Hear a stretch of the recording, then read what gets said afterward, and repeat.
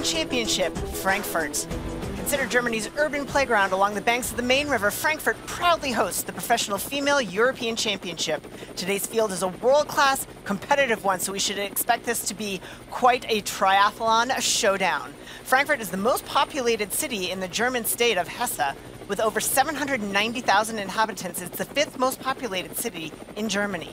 Frankfurt is a hub for global finance as the home of the European Central Bank. It's also rich in culture, tourism, and transportation. The city is home to influ influential educational institutions, including Goethe University. Frankfurt has many uh, downtown high-rise buildings that form its renowned city skyline. In fact, it's one of the few cities in Europe to have such a skyline, which is why the Germans sometimes refer to Frankfurt as uh, Mainhattan, combining uh, the local River Main and Manhattan uh, because of that, that scenic skyline. So along, alongside my good friend Matt Lieto, I am Dede Griesbauer, and we are here in Frankfurt for what is going to be a stupendous showdown here for our professional women, Matt. It is for sure, Dede, and uh, no place better to, to have a, a, race of this caliber than uh, Mainhattan. Uh, and yeah, the European Championship certainly brought a bunch of the best competitors in the sport of Ironman triathlon triathlon on the women's side. And uh, every time I've, I've watched this race or been involved with it, it's been a spectacular event, and I, I can't wait for today. And a lot of great headliners, some some key American athletes, obviously some Europeans, some local Germans going to get an awful lot of support out there uh, from the hometown crowds as we take a look at some great overhead shots of our swim venue. Let's talk a little bit today about what the athletes are going to uh, are up for. Actually, let's talk about the race in general. Of yeah. course, we talked about um, professional female European Championship, so no professional males, only professional females today. 2,600 athletes registered, representing 64 countries, uh, 450 tri clubs, with a total of 890 tri club athletes uh, competing. And let's talk about some of those Kona slots. Yeah, no, they've and uh, Nice slots. Yeah, they got four professional female uh, spots up for today for uh, for Ironman Kona here in a few months, and a, a, a, bunch of spots for age group men and age group women. Uh, I believe it was uh, 50 age group female spots out there today, so uh, a bunch of uh, opportunity for people to still get to Kona and to Nice. And I, I know I'm excited for those two races down the road, uh, but we can't look past today. No, no, lots of opportunity. A lot of our professional women already have qualifying slots, so those slots are going to roll down yeah. to some um, some fierce competitors that may not ultimately be at the front of the race. No, I think that's a great point. I mean, most of our uh, favorites, I think, if we were uh, going to do that, we don't play favorites, do we, Dede? No, uh, they're already kind of, uh, this might be a test. You know, when you go to try to go to a world championship, clearly qualifying for that worlds is part of it, but you want to know you're ready to race the best in the sport, and that's why they've come to this race. Absolutely. Let's talk a little bit about this iconic course map. The swim will take place. It's a one loop 3.8K or 2.4 mile Roka swim course in the Langener Waldsee. Um, it is two laps where the athletes uh, make a uh, an out and back. They have a quick Australian exit, and then they undertake what is the longer of the two loops to bring them back uh, to the shoreline and that first transition. That's a super super unique swim, Dede, and that Australian exit is always uh, always exciting. It means they, they have to get out and get back in. That's all that means. Uh, then they go through transition and then onto the FulGaz bike course, uh, 182k or 113 miles, so just a tad long. Two loops uh, on this FulGaz bike course begins in downtown Frankfurt and leads through the beautiful villages surrounding the city. But uh, you know, from images we've seen and being out on course, uh, it's a beautiful place uh, going through downtown Frankfurt and out into the countryside. Absolutely stunning. And of course, then they make their way back into the city center for one of the most iconic marathon courses we have. This Hoka Run course, 42.2 kilometers, 26.2 miles, four loop, Matt, four loop run course. Yeah. Um, set, you've got the backdrop of the city skyline around downtown Frankfurt.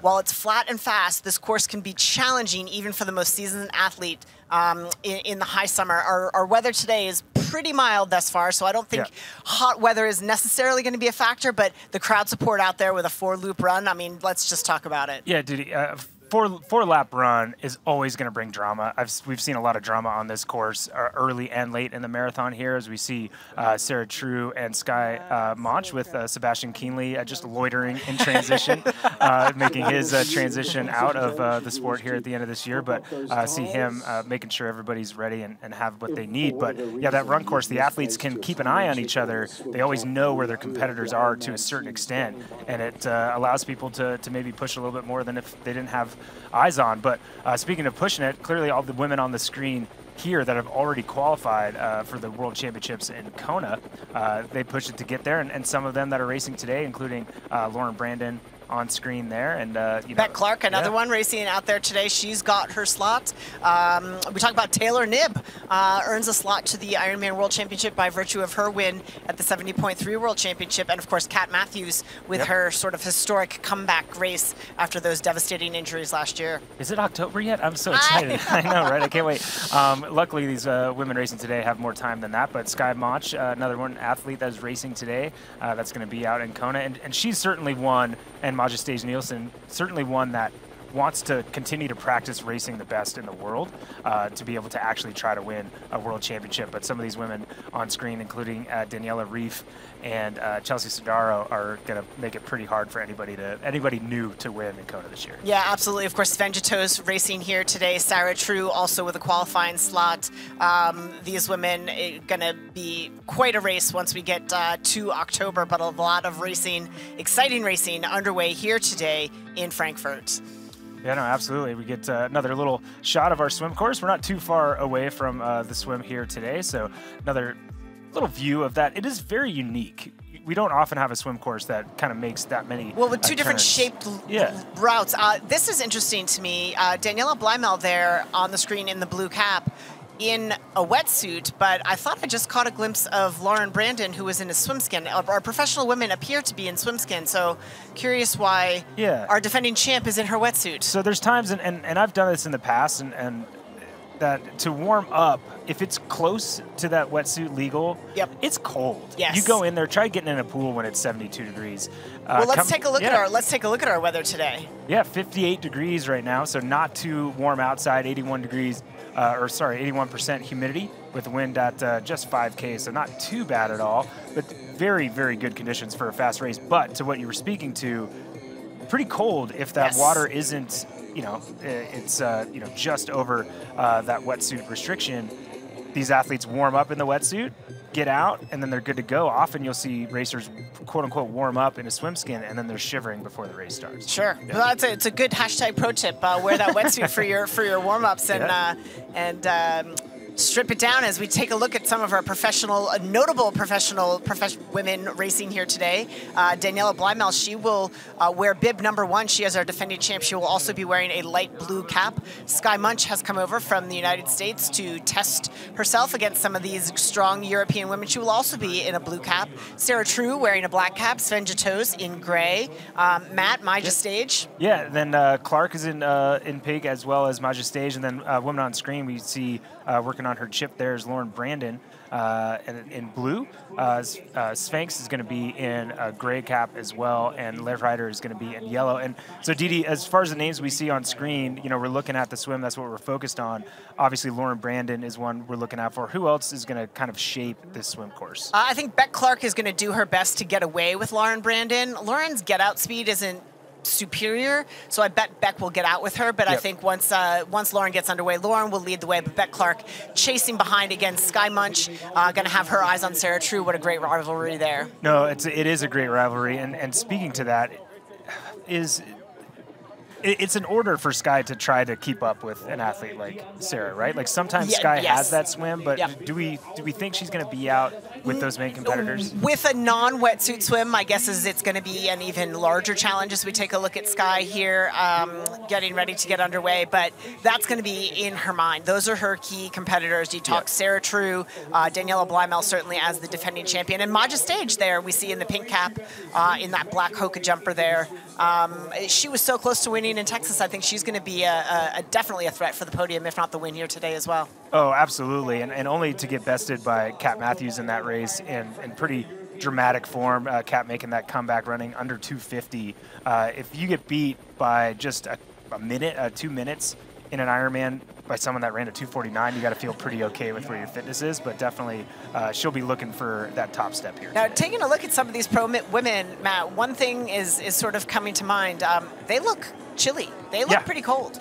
No, 59 and overcast, especially if you're in that water already, and you know the the temp has been rising since these athlete these athletes have been out there. So uh, certainly a little bit chilly, but you see the smart ones are the ones that have their their hoodies on Yep. and have the wetsuits on. And I'm not trying to pick on any, but if you're getting that emergency blanket, Yes. means maybe you haven't really thought ahead, and she's already cold, right? So to start a race, I've seen athletes actually in this race drop out quickly after the swim when it was non-wetsuit because that if you're chilled going in, an hour in cold water Yes. can can get you. And I think people think, oh, it's quote unquote warm enough for non-wetsuit, but it's still you got to be you got to be moving to keep warm. Yeah, absolutely. And you'll want to plan your warm up slightly differently, perhaps do an on on land as we take a look at Sarah True, uh, peeling that sweatshirt off, getting ready to, to get underway here. Uh, talk about doing an on land warm up as opposed Yeah. to an in water warm up, things like that to get the heart rate up.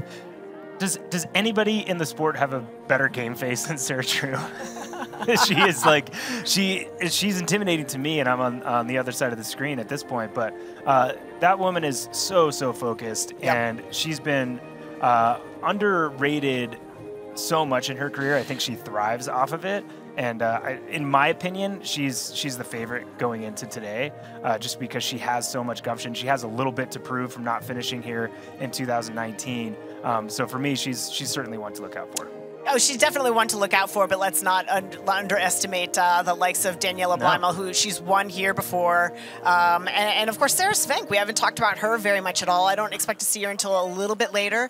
She's had some injuries, but um, she's proven to be uh, ferocious when it comes to that bike run combination. As we take a look at Lauren Brandon there, uh, blue cap, she's the first one to line up there. We'll expect to see her feature uh, prominently in this uh, Roka swim course. Yeah, and Dede, on this Roka swim course, because there's, uh, we've also seen athletes go off course here, right? Yes. How important is it if, like, how much of an advantage is it if you're someone like Lauren who's going to theoretically have that lead kayak or paddleboarder compared to other athletes behind where you might have to sight a little bit more in this race than normal? Yeah, I think so. And given the nature of the course and that it, it's it's two laps, but they're they're different shapes. Yeah. So you really have to be mindful of what the buoy placements are. Keep your wits about you, and when you go by a buoy, okay, that's not a red turn buoy. That's just a sighting buoy. Um, you, you have to have studied the course a little bit, and I guarantee a lot of these top pro women will have been out here um, reconning the this swim course because it is so unique. Yeah, for sure. And uh, obviously, Lauren Brandon is that swimmer we expect to be uh, in the front for most of the swim today on the far left hand side of the screen. Uh, it's Sarah True in the middle in the black there as the rest of the athletes are lining up here. Dede, just a few few moments to go. Just a few moments to go. Nerves are high. They're shivering a little bit, uh, ready to get underway here. One of the few times you're begging for that race to start. Yeah. Uh, so you can just, if nothing else, get in and get warm. No, absolutely. You see, uh, notice Sarah uh, Sarah True had a double cap on, Yes. uh, keep you a little bit warmer there. And again, we had another shot of uh, Skye. She does look cold. Yes. Uh, so that, that that could be a thing.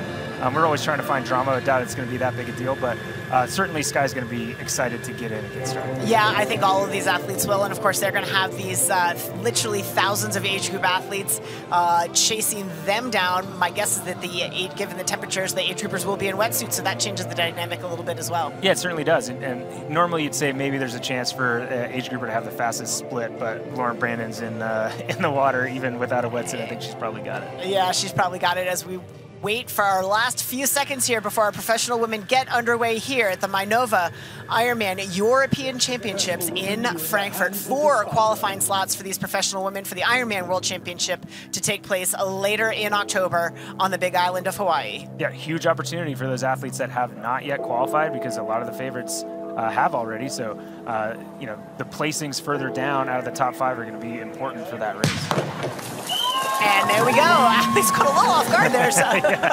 Too. Lauren Brandon looked a little bit surprised. Uh, she ran down, got underway there. Uh, not the most graceful entrance I've seen for Lauren, but uh, our women underway. But you can see Lauren, she had a plan. As soon as she hit the water, she went right as quickly as possible. Yep. Now, Dede, is that a, a, a line, wanting to get the best line, or getting away from competitors trying to get on her feet? I think it's a little bit of it's a little bit of both. I, I think she doesn't want to give anybody a free ride. Certainly, she knows that Beck Clark is going to be out there uh, with her. Beck, another um, standout swimmer. Of course, Beck Clark will She's be in the pink pink, cap, yeah. and she's the one. Again, we talk about Lauren arguably one of the best swimmers in our sport, not with the greatest get out speed. We saw it at uh, Boulder 70.3 the last time Lauren raced. Yeah. Uh, Taylor Knibb was out well ahead of her, but it takes that first two, 300 meters for Lauren to really get that threshold, that strength of her threshold speed underway. But that's Beck Clark in the pink cap Yep. leading the way, Lauren Brandon off screen, and that is um, Sarah True on Beck Clark's feet. So a great start so far for Sarah True. Yeah, and Sarah looks super comfortable. And I, I will say, the first 100 meters or so, it did look like Lauren Brandon did have a little bit higher turnover for her. Um, clearly, that's something she knows that Yeah. uh, she's uh, maybe doesn't have the get out speed. But they've all come together now. Beck Clark has moved to the right and gotten on the feet of Lauren Brandon. And uh, certainly the one probably working the hardest to be where they're at at this point is Sarah True. Uh, you can see she has a little bit of a gap, but she's going to settle in in, some distinct groups for me. Talk to me about that because I mean Sarah True is a she's a fantastic swimmer. She is a, a what I would call lead pack swimmer, Yep. not an off the front swimmer like a Lauren Brandon, but a lead pack swimmer. How dangerous is it for her to try to go out?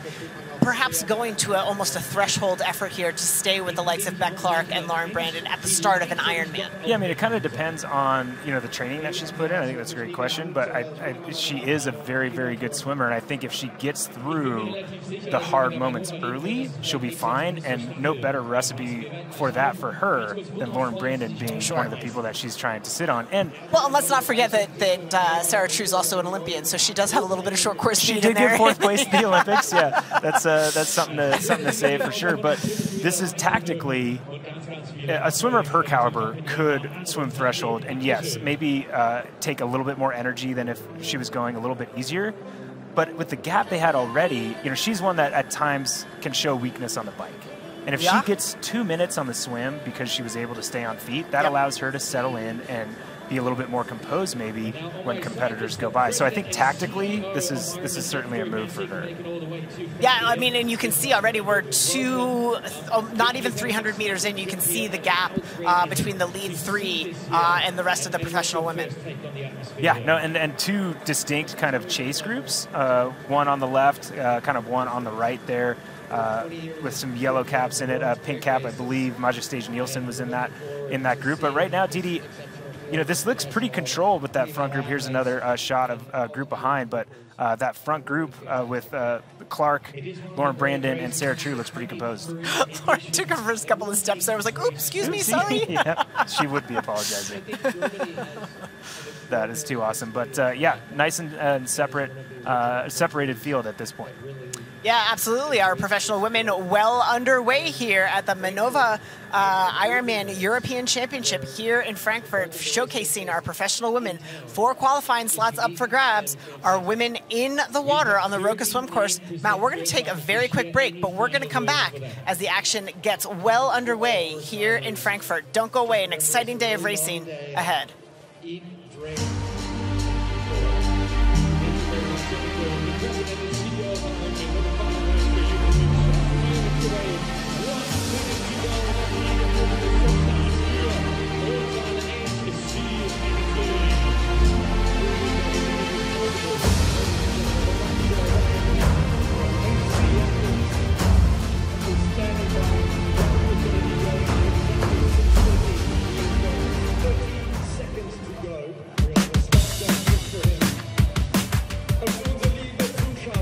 FulGaz is the indoor training software that our coaching business relies on. Our private club room makes it super easy to meet up for group rides, not wasting any time. It's the first thing they see when they log in. My athletes have never been more prepared for the specific demands of each bike course. It works for first timers, professionals, and everyone in between. FulGaz has transformed the way that I train my athletes. And welcome back to the action here at the Mainova Ironman European Championship, Frankfurt. We're seeing a familiar sight here, Matt. Uh, that is Lauren Brandon, the, the lead of our women's uh, race so far. Yeah, and it's it never gets old watching her swim. It's uh, if you uh, search YouTube for best swim stroke, uh, hopefully that would come up because it really does. Uh, it's people work a lot, uh, put a lot of time in the pool to look anything close to Lauren Brandon, and she she looks at every day of the week. And uh, Clark looks really good too. A little bit more like a powerful uh, stroke uh, than Lauren Brandon does. Lauren's obviously got a lot of efficiency, moves a lot of water un- uh, water underneath her, uh, but Clark looks great as well. Yeah, she does. She's got a slightly higher turnover, um, a little bit less of a kick, a little bit quieter kick out of Beck Clark than we see Lauren Brandon has. I mean, it, it, it's a blessing when it comes to the swim. She's got exceptionally large feet, um, and uh, they, they really do act like flippers, and, and, she gets a lot of drive out of that kick. So uh, Lauren Brandon going to the feet quite a bit uh, to utilize yeah. that, that kicking strength as we take a look here at Sarah True, who is, who is tucked in in a wonderful position, uh, sitting on Beck Clark's feet. So yeah. well done her. She's not going anywhere. No. She's not going anywhere. And, and Dede, to your question before, I do think it's easier to quote unquote risk it a little bit by going hard on a swim with swimmers that might be a little bit faster. And again, Sarah is a great swimmer, so we're not discounting that at all. But when it's a non wetsuit swim, it's easier to, to make that gamble because you're not going to get that internal heat of part of the equation of what's going to blow up, right? So uh, it's a little bit easier to kind of push yourself there. But uh, these three women are settled in. And to me, it's interesting that uh, Clark is a little bit like she's not touching the toes, right? She's a well, little bit off. I was actually wondering if that was the elastic starting to stretch just a little bit. Yeah. Um, she's not right up on the feet. Uh, that's obviously where the best best draft is on the hip. Yeah. Um, but if she could get right up on those toes, she'd definitely be in a better spot. But I wonder if Lauren's just taking her to, to the max there as we look at our, our chase pack of women. Yeah, so chase pack, we've got um, kind of. Uh, some of our favorites in there. Caroline Lethrider is in there, as well as Maja Stage uh, Nielsen, and then the two light blue caps of Daniela Bleymehl yeah. and Skye Moench is in that group as well. I see two light blue caps, so those two favorites also in that pack. So that is a powerful, powerful chase group. And from this angle, it doesn't look like they're too far. And I, don't think they've lost too much time, but it certainly is a little bit more than it might look uh, from this angle. But if you've got, looks like 10 or 12 athletes in that group, uh, that's going to be a, a, powerhouse group on the bike uh, for those three women to try to hold off. And I believe that yellow cap leading that, that is Carolyn Learider leading that that group. Um, here we've got. Um, I don't know who that, that green cap is, but those light blue caps, Skye. Moench, I believe that is That's her. Skye. We see that classic sort of yep just going. Yeah, that turnover. One of her training partners uh, has the has a similar yes uh, similar former uh, training partners. Yep, stroke stroke stroke rate as uh, as she does. But uh, is it surprising to you that Carolyn is the one kind of leading that second group? Um. I wouldn't say it's necessarily surprising. Um, I, she's picking her head up an awful lot. So to your point at the beginning, like sighting on here is uh, a little bit more difficult. They've lost sight of the pack in front of them, and those buoys are, are spread out a bit. So it's it is tough to see where you're headed to next. Totally, and uh, so by my count, that was 13. Uh, in know, the chase, group. yeah, in in the, chase, chase group. group, and that gap is big, and they're eight minutes in. So eyeballing that gap at like at least 30 seconds at this point, and obviously the the takeout of those two athletes in the front is going to be a little bit better, but also I think the ability for Lauren Brandon and Clark to hold that pace the second half is a little bit easier. They know that they're trying to get time. I think one of the problems that might happen in a group of that size is that after a lap, Carolyn Lethrider might be like, dude, I'm not going to pull this whole thing on my own. Well, exactly. Right? And I would say, you know, Skye, at least on paper, Carolyn and Skye are very, very com- comparable swimmers. Okay. Um, of comparable ability, they put in sort of similar performances. Yeah. Um, I would say a, a Daniela Bleymehl, who is in that group, is doing well to stay in that group. She is getting a benefit there because, again, some of her performances wouldn't have been as strong on paper as a Skye. I would imagine to get a little bit of a, a distance there in my stage of, of caliber of Skye as well. Totally. And from that up uh, overhead shot, and from the back you can see it too. That chase group actually looks like it's breaking into two groups. Yes. There's a little bit of a gap there, so uh, if that break up, that breaks up, that's going to change dynamics a little bit. But uh, it did look like, uh, as you said, Carolyn Lethrider and uh, excuse me, Skye Moench were in that front front section of that group. Uh, so we'll see if the other favorites going in. Danielle Bleymehl, she's going to want to stay uh, in that first half of that group for sure. And Beck Clark doing a good job taking that buoy. That's yeah. sometimes where you can lose the feet. Um, Lauren would know that and possibly could put it in an acceleration uh, to try to get away. But uh, Beck Clark uh, cut that nice and close and, and is able to, to hold the feet of Lauren Brandon. So our, our three leaders still intact. Yeah, and what you've pointed out to, you know, if you can say there's a weakness to Lauren Brandon's swim, theoretically, it would be her get out speed. Yes. And that's going to be a similar thing to going around a buoy. She's not going to have that really hard tempo or, Sure. or try to break somebody. So uh, these athletes are going to be able to, to stay in there. But mentally, if you're in this chase group, you now see the group already going back the direction you came. So I got Yes. clock, uh, Dede, with those uh, lead three went around that first buoy at 10 minutes flat. So they're going to be about a minute, only 10 minutes into this swim. Yeah. Oh, yeah. I mean, and no doubt, given the given the caliber of swimmers we see um, from our three lead females here, I mean, you've got Lauren Brandon, arguably one of the the best swimmers in the sport. Uh, you've got an Olympian, Sarah True, who comes from a swim background, so we know that she's a strong swim- swimmer. And of course, Beck Clark always features at the front of the swim race. So it, it's a great swimming group, but we've got a, gr- lot of great cyclists in this chase group as well. Oh no, absolutely. And and you know, we're used to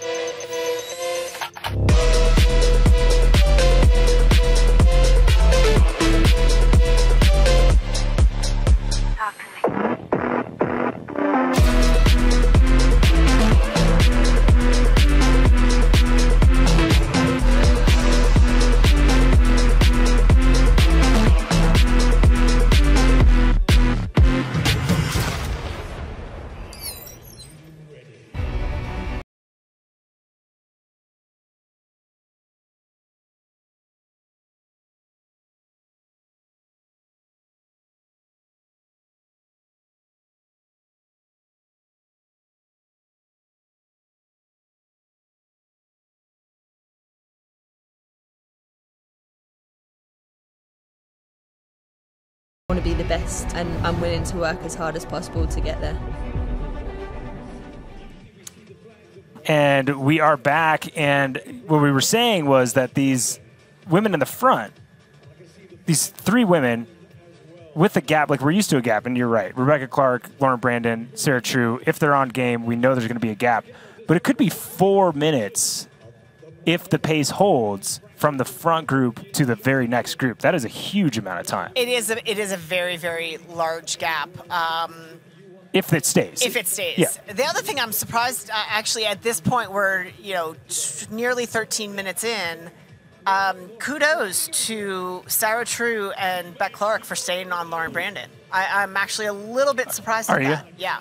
um, do you think it's I, d- I don't know if it's Beck and, and Sarah having a great day or if it's Lauren just not necessarily pushing the pace on the bike and maybe wanting a little on the swim and Yeah. maybe wanting a little bit of company in the early stages of the bike. No, no, we normally say, you know, wetsuit and non-wetsuit. Uh, a wetsuit swim favors the not great swimmers. Are there some great swimmers that swim better without a wetsuit still, right? Like, could that be part of it? Could maybe Sarah swims better without a wetsuit even if she's against good competitors?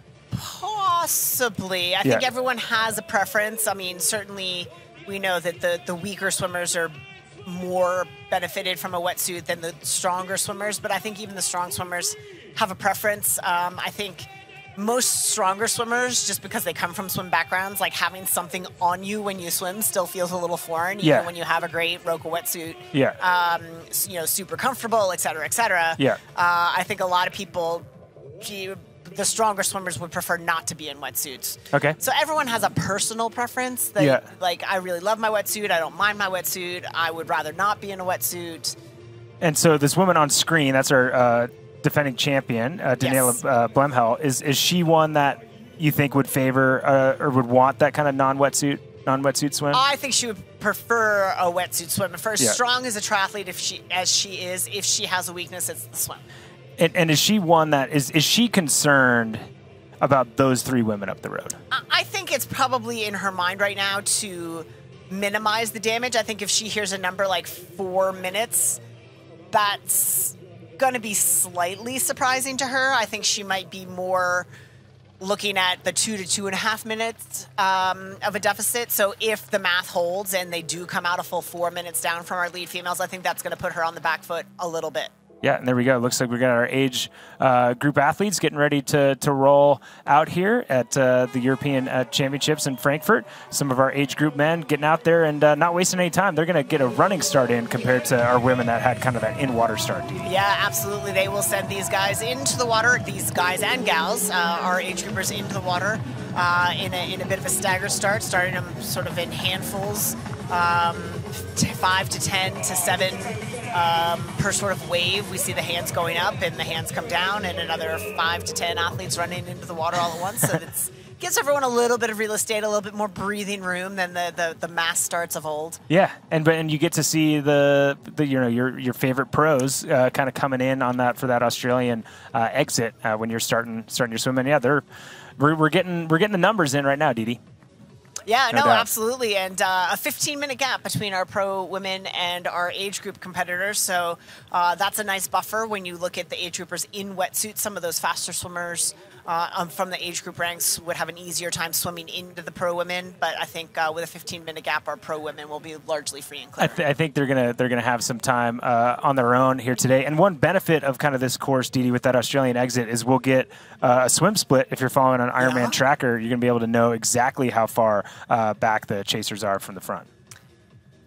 And our age group competitors getting underway here. The excitement is high down at the swim venue as things are officially uh, underway here at the Mainova Ironman uh, European Championship. Yeah, and Dede, I mean, I think this this swim course obviously is beautiful. It's a little bit challenging because of the kind of multi-lap uh, design, but it's super flat and super uh, calm, right? So we should see some pretty quick times even considering that we don't have wetsuits today. It should, yes, in theory, without without wetsuits, um, it is relatively protected. Um, winds aren't really a factor this early in the morning yet, um, but yeah, a very calm swim, um, not terribly difficult technically, except the things that we've noted in terms right, right. of the different shapes of the two different loops and yeah. the buoy placements, etc. Um, yeah. And it might sound silly, and maybe it is silly that we're talking about the like technical difficulty of the swim, but when your your eyes are an inch out of the water and you're you know you're fully lactate, uh, that's it's hard to know where you're going sometimes. And your goggles, you don't can't always uh, see w- what you might uh, want to see normally. Uh, so it's a little bit harder to navigate. But Dede, it does look like uh, Rebecca Clark's losing a little bit of uh, distance there. Yeah, it, you know it's weird. It almost looks like, again the camera angles are so. It, it, almost looks like there's a current. It does. Um, and that could be you know the age group competitors, the wave of the age group competitors going the opposite yeah. direction. That's sort of uh, pushing, but it does look almost like there's a, a current. yeah, no, it does. It does. I think that's an optical illusion, but I'm seeing the seeing the same thing you are. But it does look like uh, you know Lauren Brandon is uh, veering a little bit to the left, and Clark was uh, trying to stay on those feet as much as possible, but the other thing we'll notice in that Australian exit is you can be good at that and you can be bad at that. Yes. You can be really bad at that. Yes. And and if if Lauren Brandon is controlled in her swim effort now and wants to get away, she will make some really hard steps on the beach and try to get distance. But I don't know that that's a strength of hers. Well, not yeah, exactly, not necessarily. And, and in this instance, with the Australian exit, um, it, it is one of the things that I think the pure swimmers like Lauren Brandon would prefer a one loop straight swim. totally. Right? Yeah. No distractions, no no, you know, not breaking it up. She doesn't want people to get up and take a look around and see what the gaps are. She wants to be sort of free and clear of it all.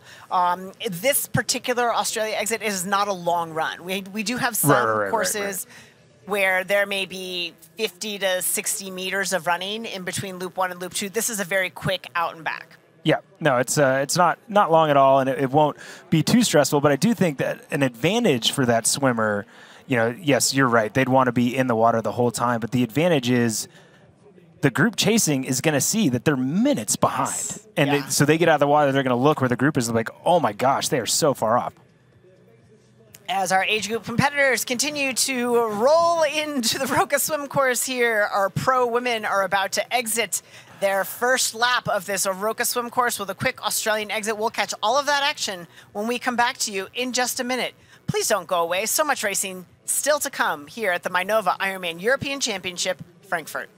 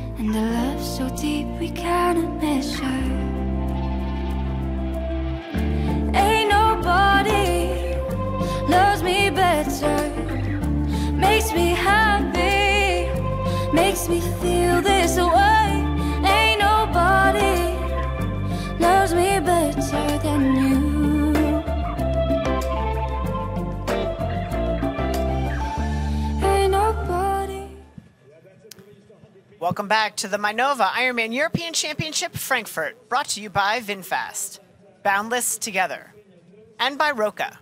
Find faster with Roka. Well, someone that's finding fast uh, right now, that's uh, that's Lauren Brandon. She's at the front. They've already made that Australian exit in and out, and uh, you noted uh, off screen that she didn't even she didn't even look back to see what the gap is. I think she knows uh, she's on a day, but they've already been out and and in uh, the water almost a minute now, and these athletes still have a bit to go. Dede, I do think we're going to be looking at four minutes or possibly possibly more. Could be. I mean, it's a little bit deceiving because I do believe with the nature of this course that the second lap is slightly longer than the first lap. Yeah. So Oh, for sure. it- it's going to be more than double by the time Yeah. they, they get out. But um, I, I thought technically, and we only caught a, a glimpse of it there in the corner, but uh, technically Lauren had a really good exit and might have been able, we'll get a camera view as we look at our chasers uh, coming back to the beach, yet to exit, um, that, uh, that Lauren might have um, enabled herself to get away with the how technically clean her exit and entry back in were. Totally. And what's noticeable here, Dede, is that we do have that is Skye Moench in that group. Um, here we go. We see Oh, this is the, the replay of the Yeah. of the Australian exit. Perfect Again, exit, yeah. No glance. She knew they were there. I don't know if she knew how many, but she did not even look. Quick adjustment of the cap, there's the look. but a great run. And Yeah. you can see it just took Beck Clark a, a half second more to get up and out, and, and that may have helped as we take a look at that frenetic, uh, frenetic stroke of Skye Moench. Yeah, just uh, put put it in and and, and I, I don't think I could physically turn my arms over that quickly. yeah, well, uh, some people uh, can do it that way. Some people have the long finesse and perfect stroke like you do. The, the other thing that is completely uh, surprising to me is that with that rapid turnover, she still breathes every stroke. That is that's a inhale, lot. exhale, inhale, exhale. That's a So- really, really quick turnover. So here we go. That is.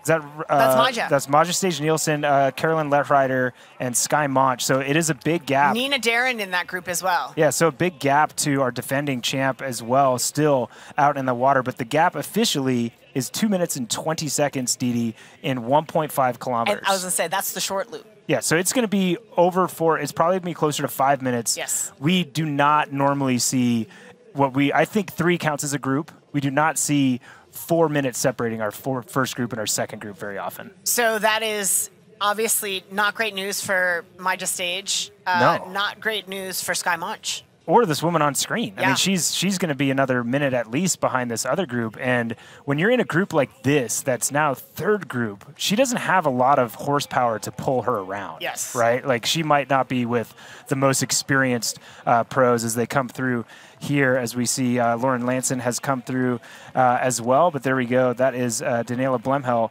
uh, coming out of the water, and we'll get a split for her. So she's come out in 2350 compared to 2027 of our first group and 2250 for our second group. Well, and the other thing, the one thing that I think Daniela Bleymehl has going for her right now is when I look at that group, and you always sort of want to look around and see who's who you got, who's on your Okay, who's on your yeah. team. Right now on Daniela Bleymehl's team is Sarah Svang. Yeah, no, that's uh, I, I noticed That that, is one piece well. of good news right now for Daniela Bleymehl. Yeah, and sometimes less is more when it comes to that. You only have one, uh, you know, person you have to deal with instead of a group. Uh, so definitely an advantage uh, for her. And here we go, a little replay of that third group uh, coming out of the water with the bib number one on the right hand side of the screen in the blue, getting ready to, uh, you know, she's almost halfway done with her uh, swim here uh, in Frankfurt. But another Ironman that's worth putting on your list is uh, Ironman Vichy on August 20th. Come experience nostalgic French elegance at Ironman Vichy, known as the Queen of the Spa Towns. Uh, Vichy offers a double race weekend with an Ironman 70.3 on August 19th, selected by the athletes as the best Ironman and Ironman 70.3 races in 2021. Swim, bike, and run to one of the best finish line parties on the circuit. Vichy is the perfect host city because after the race, you can finally relax thanks to its many spas. Register today at ironman.com slash IMVC. Europe. Ooh, Spa sounds good. Spa, Spa sounds really nice to me right now. kind of does. They got some of those here in Frankfurt. We gotta have to um, go bang about and see if we can find one or two. Yeah, maybe. And I think, uh, you know, the spa's going to be on order uh, for some of these athletes, but a lot of work left to do for uh, Daniela. I think, as far as what I'm seeing on screen right now, uh, the person that's kind of in the back seat and maybe not going to plan is uh, Daniela Bleymehl. And I think you're right. Sarah Spanks being with her is a big deal, but she's. It, it's it's a li- it's not very much to hang your hat on, No. but it's something. Yeah, yeah. It is something. And here we have our lead group of three still well intact. We thought maybe Lauren would get away, but um, nope. Still still a group of three. Yeah, and with someone like Lauren, you know, she's qualified already for World Championship. She's out here, you know, she doesn't necessarily have to do another Ironman before that, but she obviously has something she wants to do uh, over this distance. Is is it likely? Often we see those splits really big for the beginning when there's like get out speed and everybody's settling in, and then we expect the splits not to gain the same throughout the distance. Lauren Brandon, she's not really going to get off the accelerator. is she? No, yeah. So I think that's a, that's a different situation than I, I mean. I think if asked, she could probably do the swim twice and still hold that same sort of Yeah. pace. It's it's it's extraordinary her ability to maintain that sort of threshold effort. Uh, and whereas I think some of the other swimmers who either don't come from as deep a swim background as Lauren does, or slightly different physiologies, don't have the same swim efficiency. That form tends to break down, and I think we're going to see that gap actually grow. Yeah, no, I think so too, and that's why I'm. I mean, I'm I'm already talking about the end of the swim. It's uh, I'm excited to see what that gap is, but I do think it's going to be close to five minutes as we see that second group. And again, Dede, to me, looking at the kind of the impetus of this second group versus the third group is very different. These athletes are like chasing, Yes. and to me, it seems like that third group is like just get me out of the water. Just yeah, Right? I- the body language definitely would Yeah. speak that. I mean, you look at the the chasers here, still a great stroke rate, um, still uh, accelerating. You could almost see the body language of the, the as your, to your point, the second chase group. Uh, we've had an athlete here who's walking back into the water, so that doesn't that doesn't show a whole Not lot rushing. of enthusiasm there for uh, getting back in to swim yet some more. Uh, no, definitely, uh, definitely not. Uh, but here we go. Great overhead shot, and that there's such a massive gap when you've got this big helicopter shot and you don't see anybody, Anybody, yeah. anywhere. Right? Um, it just looked like they're just out on a swim on their own. But uh, great shot of those three women, and again, you know, we're talking about Lauren Brandon. We're talking about Daniela, and obviously Rebecca Clark's having a good swim, but this is being set up perfectly for Sarah True. A five minute head start, maybe? Yeah, when you look at her primary competitors overall in this race, being uh, Maja Stage, uh, Skye, uh, your defending champion, yes, so far, great, great day. A big smile on Sarah True's face, even though she doesn't really know it yet. Does she always smile when she's swimming then? That must be. uh, but uh, yeah, she's got some work uh, left to do, as do we. Uh, we'll get more to it uh, on the other side of this break.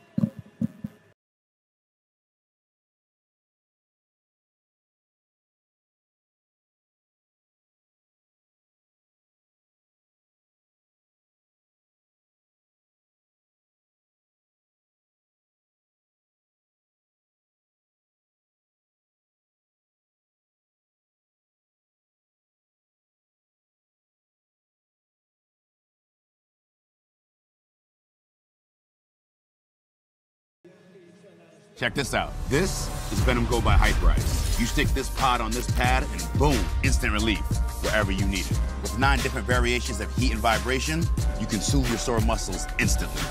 The tight spot on your neck, that little knot on your back, that shoulder that always bugs you, and your tight calf after a ride, say bye-bye to the pain and soreness. Heating up six times faster than any other heating pad. Ooh, that's hot.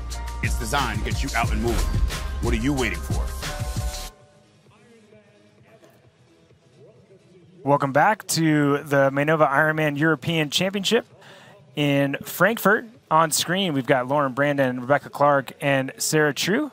Uh, Dede almost looked like, oh, they got a little company out there. Look at that. That's uh, we got a, Some what we got is a group of five off the front, uh, chase group of eight with a small gap of geese trying to go across. Oh, I wasn't expecting that. sorry, sorry, everybody. Uh, but no, great overhead shot. We got the geese going one way and our uh, lead three women going the other. And again, huge, huge gap uh, from our lead three uh, women at this point. Uh, that last overhead shot, it almost looked like Sarah True was uh, a, a little gap was opening between her and Clark, but I'm betting uh, she's going to be able to get back on those feet.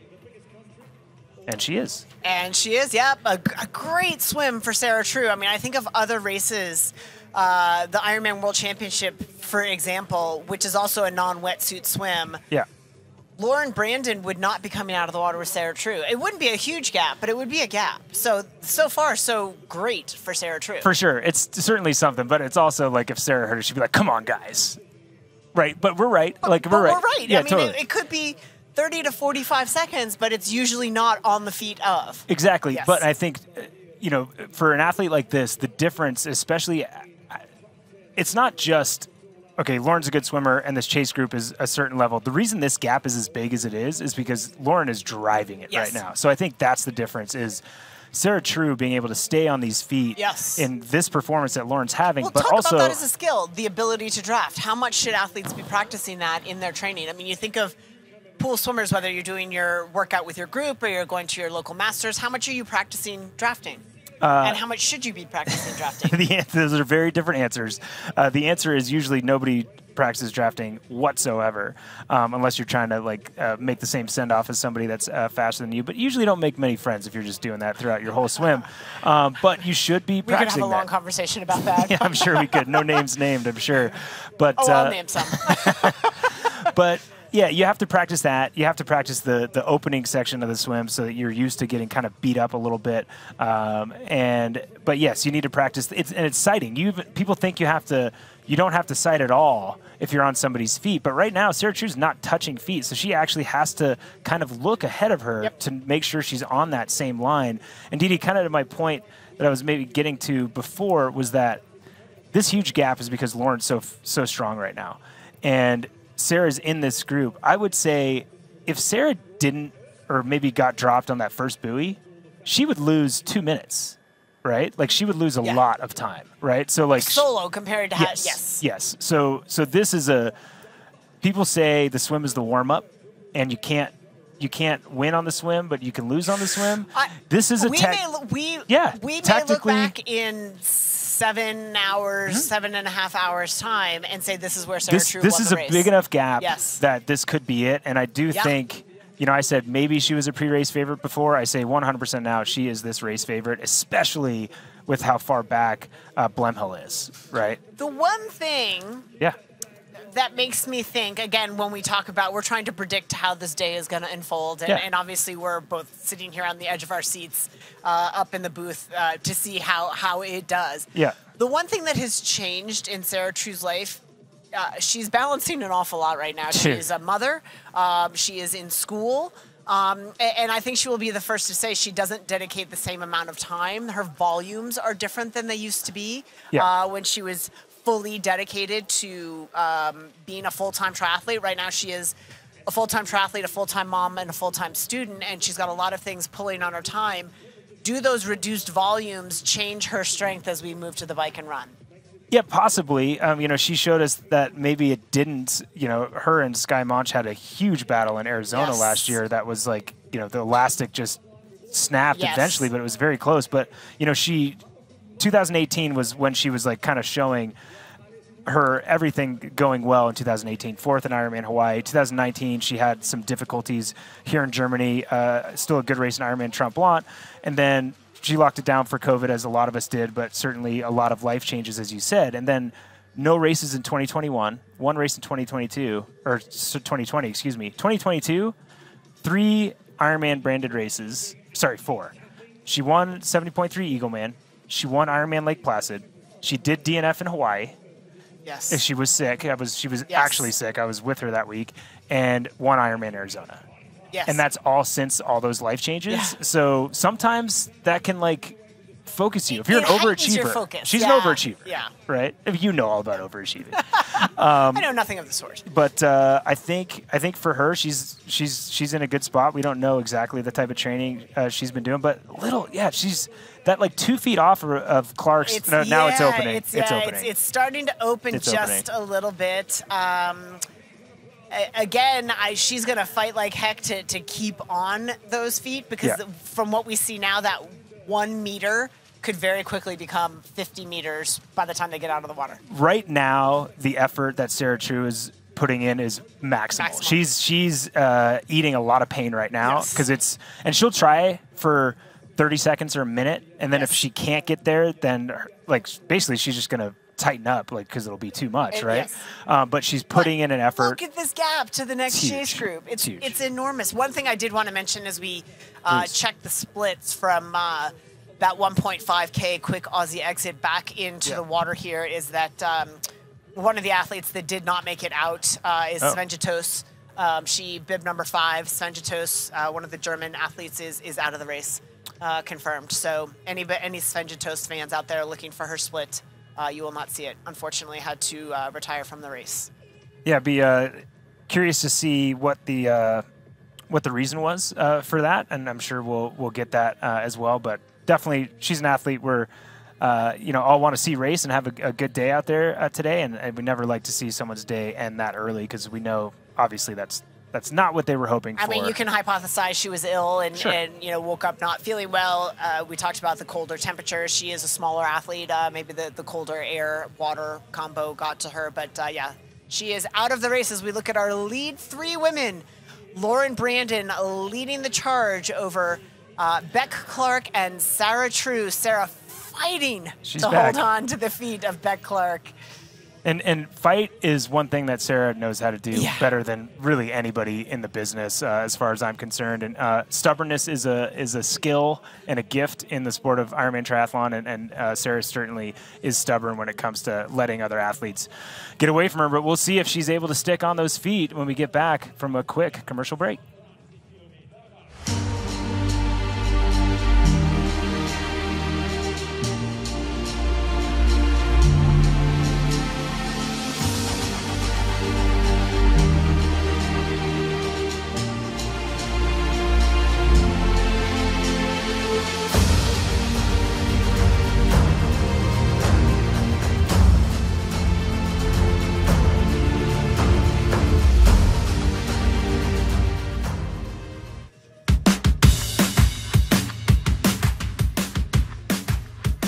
FulGaz is the indoor training software that our coaching business relies on. Our private club room makes it super easy to meet up for group rides, not wasting any time. It's the first thing they see when they log in. My athletes have never been more prepared for the specific demands of each bike course. It works for first timers, professionals, and everyone in between. FulGaz has transformed the way that I train my athletes. Welcome back to the Mainova Ironman European Championship Frankfurt, brought to you by VinFast, Boundless Together, and by Roka. Find faster with Roka. Okay, there we go. That was uh, one of our chasers that did look like that was uh, Maja Stage Nielsen. And we're giving all the credit to Lauren Brandon because she deserves it. But Maja's stroke is beautiful as well. She looks she looks great, super smooth. Um, in that chase group, uh, it does look like uh, Carolin Lehrieder is the athlete uh, on her feet. So again, these are those athletes in that second group that are are still you know chasing hard. Not that the athletes behind aren't, but you can tell they're doing a better job of limiting their losses. I think that that gap to that third group is going to be over two or three minutes alarming. from this too. Yes, like that's yes. I I think Bleymehl might be seven, eight minutes down. And look at this. Look at this right here. You Yep. can see how confused they are. They actually almost came to a complete stop. And, and I'll say, sometimes you have to do that. It is better than swimming off course. But, But look, this whole still. group has come to a complete stop because they, they didn't know where the next buoy was. and that's because the gap is so big. Yes. Because the, the front women didn't go through this because they had. Uh, that's my that's Maja Stage in the in Maja Stage Nielsen in Yeah. the in the pink cap. Yeah, Yep. absolutely. And she, uh, that's uh, Carolin behind her. Again, it almost looks like they're in a current. Uh, you know, they're kind of spinning a little bit here, She's and they're almost. still. I wonder if she's having a. Okay, the, she's fixing the goggles. I mean, you can see the impact behind her. Well, this is not going well for this chase group, and there's something going on with uh, with with Maja uh, for sure. Let's let's try if we can stay with her. There's it almost looked like she's having a I bit of a they panic all attack. think they're off course they're like they're all I think at this point think they're off course. So that front group has gone a totally different direction. Yes. And this front group, the group to the right or the bottom, excuse me, is realizing. There we go. Another athlete in that front group. I believe that is Lehrieder. Uh, noticed that she was going the And wrong here way. they go. Yep. And now they're coming back. So that Dede, it was already going to be four five minutes. It's going to be even more now. Like this is unbelievable. And again, I still think that group behind is going to lose more time. But That's hey, you know what? break. We were right. It's Yeah. technical. It seems silly to talk about it, but when you come around that buoy and you don't have the lead paddler or a boat like the front group does, it's just when you have five minutes, so you can't see anything in front And, and of you. And here's the thing while a lot of these athletes will have come out and, and maybe done a practice swim right here at the swim venue, the buoys may not have been dropped in. Yeah. Um, a- and, because this is such an unusual, I want to say slightly unorthodox swim course, here we have it again. So here we go. It was the yellow cap here out in front. And I think it was the pink cap of Maja Stage who was the first to sort of realize, guys, Yeah. this isn't right. Like, Yeah. there's no buoy there. She adjusts the goggles just to say, Am I not looking at what I think I'm? I thought she was having a panic attack, No, honestly. it did look like that. And Dede, tell me how hard is it to be on somebody's feet and be like, okay, I got to stop and figure this out. That is a lot. That is very alert uh, because racing nine, nine her. times out of ten, I would give the advice that you stay on the feet in front No of you, even if they're swimming Uh-huh. slightly off course, because it's it's better to be on the feet. That's the benefit of the draft. But when they're drastically off course like that, it's yeah. Totally. And so what we see there, that's their lead kayaker. So this is why there's an advantage to that front group, is because this lead kayaker can see the buoys. They're going straight to the buoys, and this chase group uh, can't really see it. So now they're they're settled back in.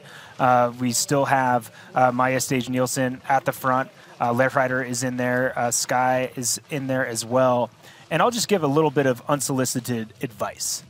And the way, if you're going to a race and you don't have maybe as many buoys, and it's a difficult course like this, you go in the day before and you see where the buoys are going to be and you practice sighting big Yes. right so you go in and you're like i don't care if there's a buoy there's a There's building a back there There's a cell tower. these there's a, two mountains Yes. come together in the foreground so you Yes. always know the sight lines. and when you're looking at those sight lines you don't have to pick your head up as much because they're further away and higher Sure. than trying to look at something in the same level as you so not that these athletes didn't do that and i think i bet i bet maja did and that's why she was able to stop so quickly and be like wait I mean, This isn't she right. wasn't that far in Yes. to notice that. So It- intuitively, she just knew something wasn't Totally. right. Um, it, it is. It's it's terrible, and, and I don't want to say we've all been there, but we've all been there where you've Yeah. been sort of confused. Um, uh, yeah, they came around this buoy and they picked. The, you could see where's the buoy, where's the buoy, where's the buoy. Yeah. They all almost stopped, and it's the it's the it's Lehrieder who took them off. Yep. It's Lehrieder who started swimming in the wrong direction. And it was Maja Stage who stopped and said, "Wait, no, what are you doing? That's not right." Totally. And for a second, she's like, "Okay, well, everyone tells me stay with the lead, like stay on the feet, stay on the feet." And then she finally had the wherewithal to say, "No, this isn't right." Totally, and you make a good, you make a great point, and I do think you know that was an error, but Maja just saved this whole group because Yeah. she noticed it so quickly, and yeah, just a great awareness from her. And you say we've all done it, and I mean, Dede, the the men did it at seventy point three world champs last Yeah. year, like a Not fair. nearly as drastically. It. Well, I was in the boat. It felt pretty drastic on water level. I'll tell you. I'll tell I mean, you it's a world championship, and it was four or five strokes. But Totally. Literally, for, This is for. Maja to stop swimming, they're really struggling out there. Yeah, and that's not a replay, folks. That's uh, her still trying to figure it out. Right now, these women in this chase group, in a different manner than that third chase group, they just want to be out of the water. This is not going This well. is- yeah. This is not going well. And it is going to be five, six minutes. Here we go. Another replay of, uh, you see on the up, up, upper side of the screen and to the left of the swimmers, that's Lehrieder going the wrong direction and Maja being like, no, we're figuring this out right now. Let's go this way. And it didn't actually take uh, Carolin that much longer uh, to realize and see everybody else in the distance. But you're right. We've all been there. Uh, but right now, And Bleymehl taken along in that group as well. Yeah. uh, no, she's in the group behind. That was Skye Moench. oh, that's Skye. Yeah. So uh, there's there's a lot happening here, and as I said earlier, we always say you can't win in the swim, but you can lose. This race is being drawn by this swim. Yeah. These are huge gaps. Like you, you expect five six minute gaps on the bike ride or on the Yes. run, right? Not to, to start, start. Not to start. Because even as you know, you you folks uh, watching at home, you might be like, okay, I can't wait to get out of the water. The, uh, you know, that, that's what we want to do. The pros are the same way. No matter how good you are, you still just want to get out of the water. And at Yeah. a certain point, But let- let's talk about like even Lauren Brandon, who's a great swimmer, wants to get out of the water because she wants to know, okay, where am I at? Where do I go from here? Totally, absolutely. She wants to. She wants to have that information, and to some point, all of us still feel like the swim Yeah, is. sorry, a, you're right. That is Skye. yeah, The, the some of us feel like it's still a warm up, right? Yeah. Even we know the gaps are different, but if you're starting the like bulk of the race six minutes head start, yeah.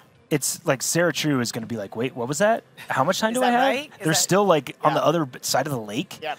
um, as well as the other two women. And Sarah, man, she's give her She's credit. fighting, yeah. She's now had that uh, a couple foot gap off and on for a lot of this swim, and she's hanging in there. So she's doing some of this on her own. Again, a lot of the reason she can stay close is because she doesn't really have to sight that much. Right. Yeah, no, absolutely. And and Lauren's got the benefit of the kayak. Uh, we talk about you know the lead swimmer, and everyone's like, "Oh, you're so lucky you get the kayak." Sometimes if the kayak is too close, Yep. they end up pushing water back in your face, and it can actually be really annoying. But.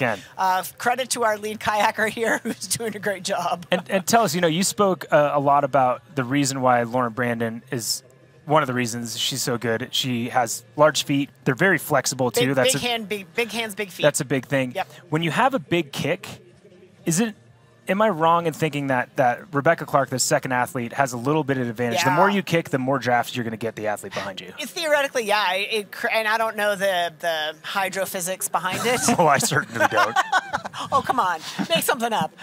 Sounds smart. Come on, you can do it. No. I don't. I don't know the, the necessarily the rationale for behind it, but yeah, if you have a a bigger kick, um, it does tend to pull a Yeah. little bit more. Um, than if I, I look at Sarah True and she almost looks like her legs are sort of floating behind her. She's got Yep. a sort of a, a two beat kick, um, just different styles, certainly effective. She's swimming roughly the same pace as, Lauren Brandon. Yeah, and here we go. Back on screen is our bib number one, Daniela Bleymehl. Uh, again, it doesn't look like this group is really fighting at this point, right? It, it does seem like that kind of that energy is the get me out of here uh, thing, and, and I don't know if it has something to do with the the It's just slower turnover, less powerful swim strokes. yeah. Yeah, interesting. But uh, yeah, no, the race is certainly uh, developing a lot uh, right now already. We're not even 50 minutes into this uh, into this race, and, and you and I have uh, raised a few octaves already. There's drama. We rarely see drama in the swim, but we've already had one dropout Yep. of one of our pre-race favorites. Uh, we've had our, our pre-race favorite on screen right now, bib number one. She's at least five minutes behind the lead right now, and not even in that, that and not chase even group. second. Yes. And our chase group of a lot of those favorites is at Off least course. four or five minutes. Yeah, off Yeah. course, four or five minutes back. And if we're being honest and not, I'm not trying to be harsh, but the only pre-race favorite or favorite to win this race, in my opinion, that's in the front is Sarah True. Yeah. Right. So she's normally we would have thought that some of those pre-race favorites would be in that first group together. And do you think that is a good thing for Sarah or bad? Because she's not cycling's not her strength, right? She usually kind of sits off, like will pace off of groups. Is is that going to be harder for her mentally to be on her own this whole bike ride, or try to stay with Lauren Brandon? What, what do you think about that? I think. I mean, I think that Sarah True is every bit as strong a cyclist as Lauren Brandon. So I think Yeah, they're going to okay, yeah. find find good company in one another. If anything, Lauren is in the more unusual position right now in that I don't think she's necessarily accustomed to having company Right. out of the swim. Maybe at the Ironman World Championship when Lucy Charles comes out, but then the two Yeah. of them don't ride often very much together. Um, I think it's actually great news for Lauren Brandon as well because she does do well. We think back to her where she picked up her qualifying slot at, at Ironman Texas. She was alone at the front until she was caught by Maja Stage uh, and Jocelyn McCauley, but then wasn't dropped by them. Right. She enjoys the company. She is happy to let somebody else sort of set that pace. Um, so I actually think while Lauren will be slightly, I'm slightly surprised Yeah. that Beck and Sarah have been able to swim with Lauren. Uh, I think Lauren's actually going to be pretty happy about it to have company right Yeah. out of the gate on the bike. Yeah, and I, I, I didn't uh, I didn't mean to say that Sarah wasn't strong as a cyclist, but it seems like she always keys off of other athletes. And so you're saying you think that uh, Lauren Brandon and Rebecca Clark are uh, uh, the type of athletes that she's she's not going to try to get away from them. She's going to key off of them and, and stay in that group. I think. still think she may try to, to get away from them. Yeah. I mean, we saw it in, in Lake Placid where Sarah won last year. Uh, she went off the front of the bike, I believe, on her own Yeah. um, a- and was alone setting the pace. So I think Sarah's had enough race experiences that that she's probably I, she's certainly not going to defer to Lauren and Beck. and she can kind of do it in a bunch of different ways. Yeah. yeah. She, she can go, she's got a lot of flexibility. She can go a lot of different ways from where she is right now, but where she is right now is extraordinary. Oh, absolutely. Um, I, I think she's going to be absolutely tickled to have put in a swim that puts her within seconds of Lauren Brandon out of the water, but more so that due to the strategic error is going to put her four or five minutes ahead of Maja Stage, uh, Oh, yeah. ahead of Skye, For sure. and perhaps six, seven, eight ahead of Diana Bl- Bleymehl. Yeah. Daniela Bleymehl. And let's, Dina, you know, you alluded to before that, you know, she's got, you know, more responsibilities now, you know, maybe a little less time and, and how that's affected her training. What I'm looking at as I, I see the, you know, in 2022 versus the previous years when she, she has a new child, she's in school, uh, you know, maybe her focus isn't just racing. What I think is different is that she's picking the races and focus and keying on specific races. So like we we kind of underestimate her. So you're like, oh, let's see, Sarah True hasn't been raced, but it's like she knocks it out of the park every stinking time, every I actually, time. I actually uh, spoke to her before the race, Yeah. and she just said she's like, I just need to take the uh, advantage of the opportunities to race when I can because of the other demands in her life are so different than what they used to be. Yeah. Um, and she is an athlete that wants to race the big races, right? Yeah. She doesn't want to back down and go to a smaller, quieter Ironman where she might be uh, off the front alone all day, as we see our lead three athletes getting ready to exit this Roka swim course. She wants to race the big races, so the fact that she is in great competition here, um, yeah, strategic, and it's going to give her a lot of feedback as she makes her preparations for the World Championship in, in October. No, I think that's a great point. And man, the, the helicopter can't get high enough for us to see the group behind. Yeah. And I mean that shot from the front, and we'll see it uh, maybe here again. There's nobody behind. I mean, there are three buoys back. Yep. You know, there's nobody. So here we go. We've got Lauren Brandon uh, getting to dry land first. Uh, you know, she's not waiting around, getting that jog on. Rebecca Clark right behind uh, Sarah True uh, coming through in third. We're going to get the times uh, coming up here in just a second as these athletes. 52-19, unofficially your swim split presented by the Wahoo Element Rival, 52-19, 2.4 miles, 3.8 K for Lauren Brandon. Yeah, I mean that is for a lake swim with that many turns and an Australian exit. That is a very very fast swim time. Yep.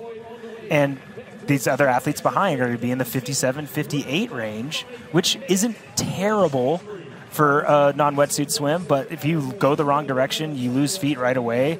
That stuff starts adding up, and uh, you know it's going to be there's going to be a lot of work and. The faces of these athletes, when they get to shore and hear the gap, there are going to be a lot of double, triple takes for sure. Eh, Almost to the point where you question if that's accurate information. Oh, 100%. Yeah, 100%. As we see Sarah True trying to get uh, her top on at this point. A lot of these athletes in that swim skin, you'll see some Dee with the arms all the way down while they're swimming. Yep, Beck Clark did that. Yeah. That's what she opted for. Often, you know, they, they make those suits to be aerodynamic in the aero position, not really to, to swim all that effectively, and and that affects some athletes more than others. And you see Sarah True had hers tucked underneath her swim skin, and then that's what she's doing now is trying to pull that on. And in a long transition like this, it's not that stressful, but still feels pretty stressful in It's, the moment. it- it's something else to focus on as we see, you know, the two athletes, Lauren Brandon and Sarah True, both had those race kits down, had Yeah. to pull them up. Beck Clark opting not to. So she's got a little bit more of a relaxed run, but Yep. it certainly hasn't cost Lauren anything. Um, it hasn't cost Sarah anything that, that you know, it's just, it's, it's another stressor on your time. You're not just necessarily, not just running, you're running and dressing at the same time. And if you don't think this is a big deal, go for a swim and Yes. try to put a, a piece of spandex on right when you When get out of the you're water. yeah. uh, it, uh, it rarely goes that well. And Sarah hasn't been able to get that front zipper on yet, so she's probably going to wait until she gets into this tent and stood still. And you know, she might even ask a volunteer to help, but Yes. um, uh, she has the ability to do that. So here we go. That second group, splintering just a little bit there in the middle, but uh, we still have uh, Maja Stage Nielsen at the front, and, and she's not giving up at all. We see Sarah True is in the back of that group, and Carolin Lehrieder in the middle of that group. So still some of our contenders in that second chase group, as we have an overhead shot uh, of our women outside of the tent, uh, kind of getting all their things together and putting everything back in that It looks bag. like they're uh, almost like an official is having a conversation with. It does look like that, but I think they have just maybe a volunteer there or, or ask for some assistance. But That's a long time to be standing there. yeah, we'll uh, we'll see if there's anything else going on. But right now, it does look like uh, we had our first athlete. I think that was Rebecca Clark was able to make it through, and then we had uh, Sarah True getting all those things in the bag. Here we go, Rebecca. Clark running her way through transition, and uh, you know shakes her hands out. We see Sarah True in the background there. So um, I Oh, think there we these, go. That is yeah, Lauren. Yep. They're just making sure everything's in the bag. Uh, that official making sure they're not leaving anything around. Lauren, can, you could tell she she noticed that she lost some time there, and you don't want to lose the front group on the bike by having a slow transition or being confused somehow in transition. But first to the first to the bike uh, so far today. Yep. So this will be Beck Clark as she makes her way. Just checking the tire quickly. Hopefully everything is okay. um, taking some of her so yeah, and this is so this is what Lauren had stopped to do before, and now Beck taking the time to do it now, tucking those snacks in. Um, to the various pockets in those race kits, uh, so you have access to them. Um, Beck Clark took a minute to do it there. Lauren took a minute to do it uh, a couple of minutes ago, and now we've got Sarah True still futzing with that zipper. She finally got it. Yeah, she's got it, and there we go. Lauren Brandon still kind of. Ah, you know what around. this is?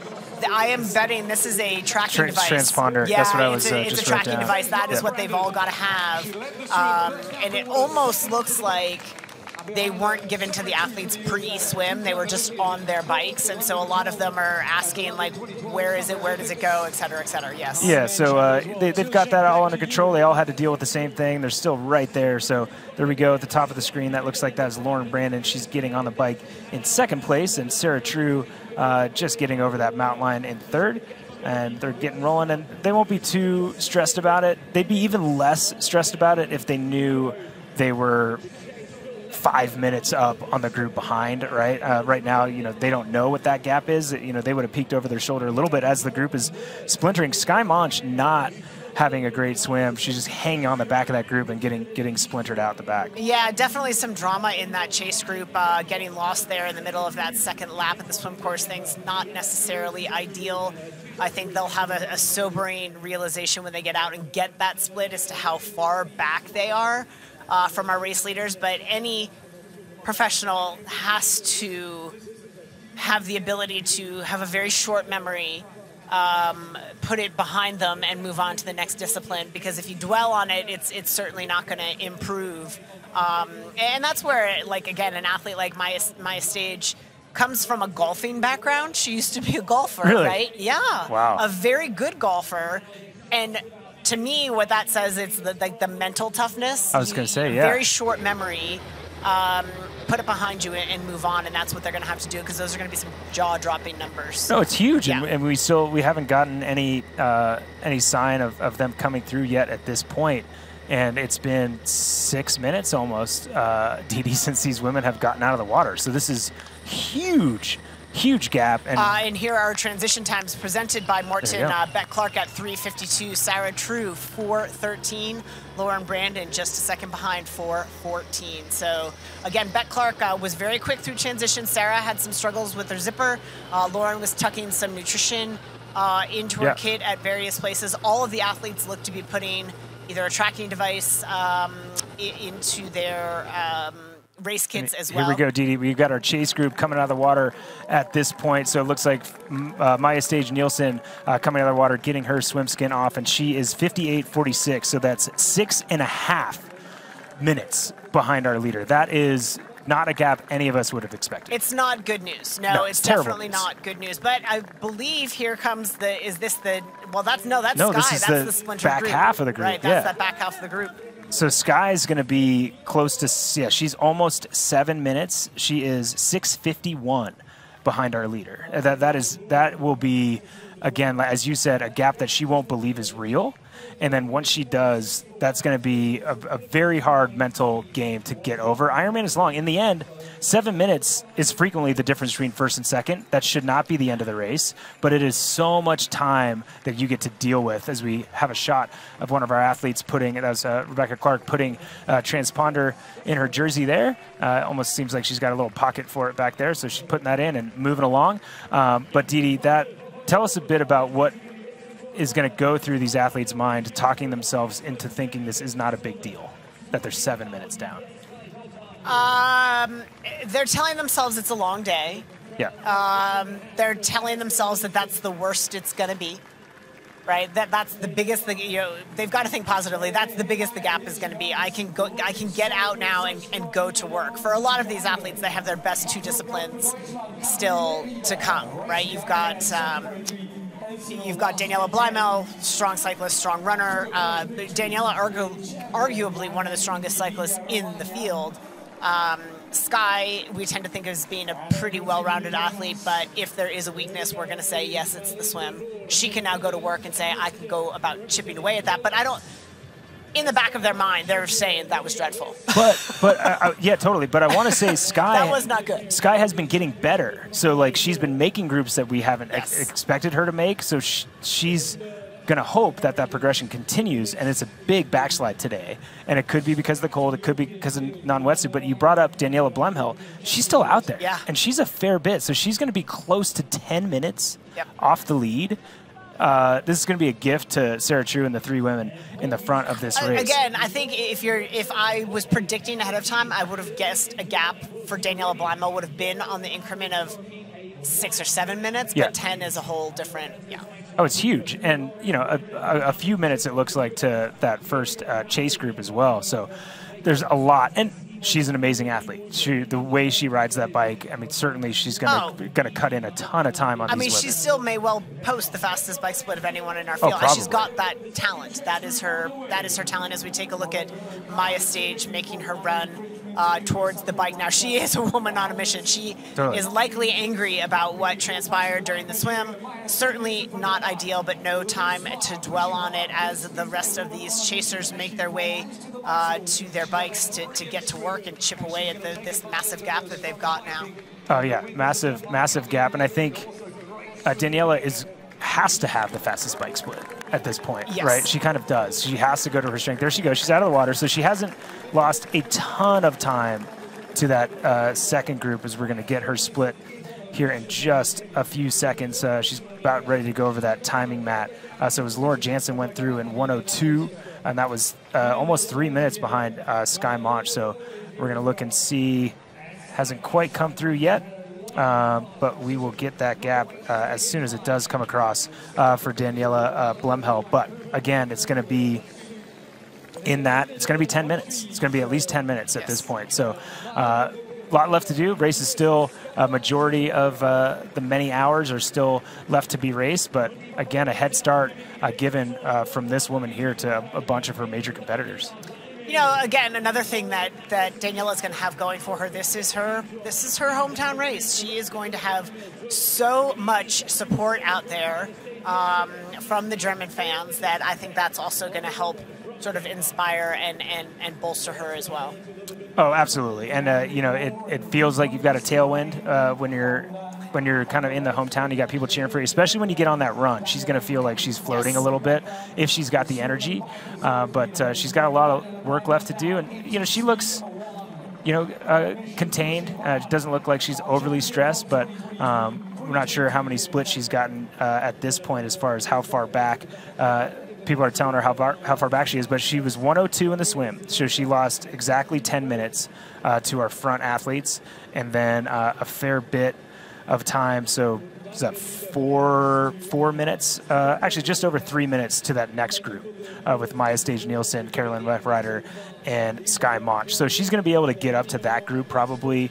Um, you know, by halfway point, uh, unless those women up front are really trucking. Uh, so she's definitely still in it uh, for that for that podium on the bike, but to catch that 10 minute gap on the caliber athletes we have in the front is going to be a big It's a, one. it's a tall order. Yeah. It's going to take a it's going to take an extraordinary effort.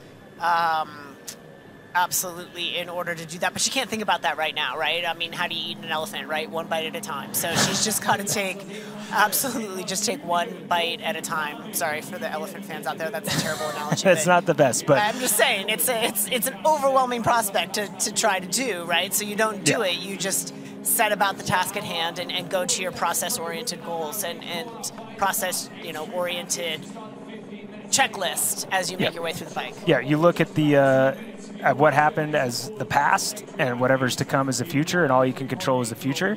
Um, and uh, that's what these athletes are going to be are going to be doing here. They're making sure they've got that tracker in uh, the spot that they need it to. There we go, getting everything loaded up so folks can uh, track these athletes when they're out on course. But there we go, more competitors getting out on that bike ride, and going to have a, a good little group here in that third group uh, to try to catch up to the second group in the remainder of the race up the road. Yeah, I, although I think uh, wearing bib number one, she's going to look at this group around her and be like, yeah, see ya. Totally. Uh, all of these athletes plunk in those trackers into their various pockets on their race kit. Uh, that is a, a, a tracking device that uh, you, there's a link on the, the Ironman Frankfurt website that you can track along as well as um, get these athletes out onto the bike course here. And uh, all sorts of volunteers racing here, there, and everywhere down there. It looks like a busy morning in transition. no, it certainly is. Uh, everybody's on point, though. It looks like everything's uh, getting done, and every the athletes are getting taken care of as we see that bib number one getting over that mount line. Uh, so there we go, another one of our, uh chasing athletes uh, going through transition. Uh, but the leaders are out on that bike course, and they're moving through it uh, quickly already from our spotters out on course. As we get more athletes getting those transponders on to make sure y'all can track them at home, putting them in that, that top of the kit. I think a lot of the athletes are trying to go for the pocket, but they're being told to put it at the top so it can get a good signal there. So another one of our competitors getting out on course here, getting ready to attack the Mainova Ironman European Championships here in Frankfurt. As we see Dede overhead shot, uh, beautiful shot of our Yeah. age groupers on that Aussie exit. And again, another overhead shot here of transition. This is back uh, earlier. Those Yep. were our leaders making their way through transition. Again, a lot of the athletes getting instruction on where to drop that tracker. I think that's what some of the sort of confusion was for some of the, Yeah. the leaders here, some of our pros coming out. Um, just instruction on what it is, where to put it. Um, last minute adjustments like that uh, have to be flexible and uh, get on with it. So, well underway here. Our leaders out of the Roka swim course on to the FulGaz bike course. Lots of race dynamics happened so far. A lot's still to come, Matt. So don't go away. We'll be right back to the action here in Frankfurt.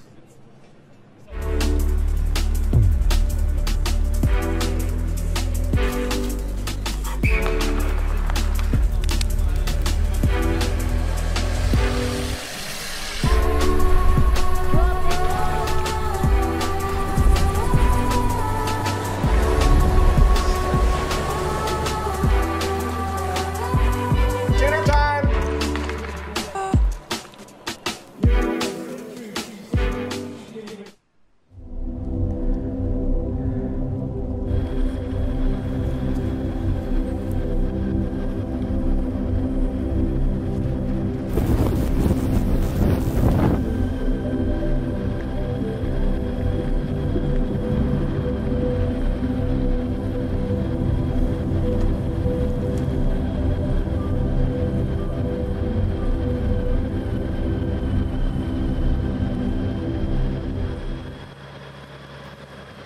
watching the Mainova Ironman European Championship Frankfurt, brought to you by Roka. Find faster with Roka. And by Qatar Airways, going places together. There you go, Lauren Brandon, that beautiful aerodynamic position we're so used to. She looks so smooth, just as smooth as she does uh, while she's swimming, but now she's on land and moving really, really quickly uh, across this course here early in Frankfurt. And she got out of transition uh, in between Rebecca Clark and Sarah True, but Sarah True pretty close behind. I'm sure these two athletes will uh, bridge up to Rebecca Clark. I would doubt that Rebecca would want to be on her own for too long. She's not going to give up time, but um, when you've got this much time left in a race and you've got certainly as big a gap as they do to that second group, it's nicer to feel like you've got camaraderie out there. I, I would think so. Yeah. Again, I don't think she's going to sit up and soft pedal and Yeah. wait for the other two women to come by, but uh, definitely was a little bit more efficient through the the transition there. Uh, and these are just the small details. I mean, Lauren has. Um, a bunch of snacks, you know, tucked into her race kit. Obviously, all of the athletes had to put that tracker Yeah. uh, into their kits, but um, Beck had that's the race kit up, so she didn't have to sort of fight with that Right, race totally. kit as well. So Lauren and Sarah both um, took a minute to get that race kit up. Uh, Sarah struggled with the zipper a little bit, but we are now well uh, underway here on the FulGaz bike course. And Lauren Brandon just settling in, making adjustments to the helmet, making sure that's sitting right so the, the tail of that helmet sits nicely in between the shoulder blades there to maximize the, the aerodynamic benefits. Yeah, no, she's looking really, really good. We're looking. I'm just double checking through uh, T1. It looks like no big, big changes there. Uh, the gaps that were out of that swim uh, were very, very similar through transition, and it was a long transition, about a four-minute, uh, just about four-minute transition. Uh, so that does have a little bit of an effect, that long run, and um, as you said, kind of those technical things they had to, the athletes had to deal with. But all that's behind them at this point, and Lauren Brandon cruising along, uh, looking smooth in that aerodynamic uh, position and, and trying to settle into a 113 mile bike ride. Yeah, a little bit, a little bit longer here in, in Frankfurt, just the nature of the course. So uh, an extra mile to just soak it all in as Lauren Brandon does Lauren Brandon things. Uh, great swim from Lauren. Uh, came out of the water first, gave up a little bit of time in transition. Now sitting in second place, getting right on that nutrition. You see, she takes that straw. Um, getting um, her nutrition on. We had a chance to chat with Lauren about why she came to Frankfurt. I mean, she got her Ko- Ko- Kona qualifying slot back in Texas, um, so why she made the trip across the proverbial pond to race here in Frankfurt. Let's see what Lauren had to say about her race here in Frankfurt.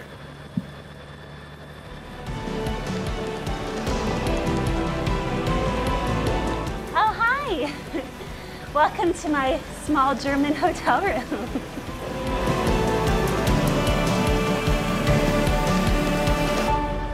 did my first half in 2015 and then watched Kona at the end of 2015. I was like, just remember being glued to the TV watching. I just got so excited about it. 2016 was my first year doing full Ironmans. And yeah, it's been it's been a bit of a roller coaster, I would say, the past eight years. Yeah, it's been amazing to see how much the sport has changed since I started. And I feel like these past seven, eight years, like gotten so much faster. It's super competitive and it's definitely different getting out on the course. You're never the one chasing, you're being chased. I don't have the strongest run, so I know that I need to have a good strong bike combo in order to be in the mix, especially here at Ironman Frankfurt.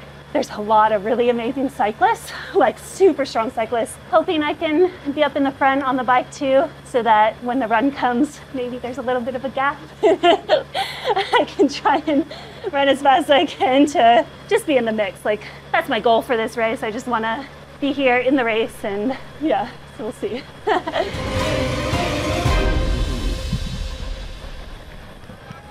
Well, there you go, Lauren Brandon, one of the fan favorites, always a smile on her face, always very kind and gracious to Yeah. volunteers, competitors, training partners, you name it. So um, great to her have her out on the race course here, getting all the race experiences. Again, I think a lot of the athletes choosing to come to this European Championship uh, for the opportunity to race people they wouldn't necessarily race in their in their home countries and and know get a solid data point on where they're at at this point in the season when they can sort of script how they plot and plan the rest of their season into the Ironman World Championship in October. Oh, for sure. And I think it, it, it shows, you know, no offense to those that don't, but the true professionals, right? Like it's pretty easy to stay at home and race, you know, somewhat locally and not uh, put yourself out there against the best in the sport Well, and travel across I'll, the planet. I'll take the other side. So this is where this is why we love to to chat and debate. Is that travel in this day and age is dreadful. Um, it, it, it is stressful, and if Yeah. you don't have to make a big trip like that, it might be easier to race at home and get the same physiological benefit. I think the opportunity to race some of these key competitors is the big attraction. That's it's it. a championship event, prize purse larger yeah. Uh, different opportunity. We heard Lauren say, "Hey, I want to race somewhere I've I haven't raced before."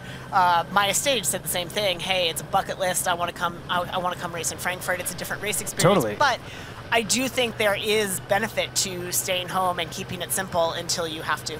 But all those things that you're saying that make this harder are same at World Championships. You're racing the best, travel's hard, it's not easy, and that's how you get used to putting yourself in a position where you can perform on those days. I and I time you're making your point right here I was commercial, trying. so I can't fight back.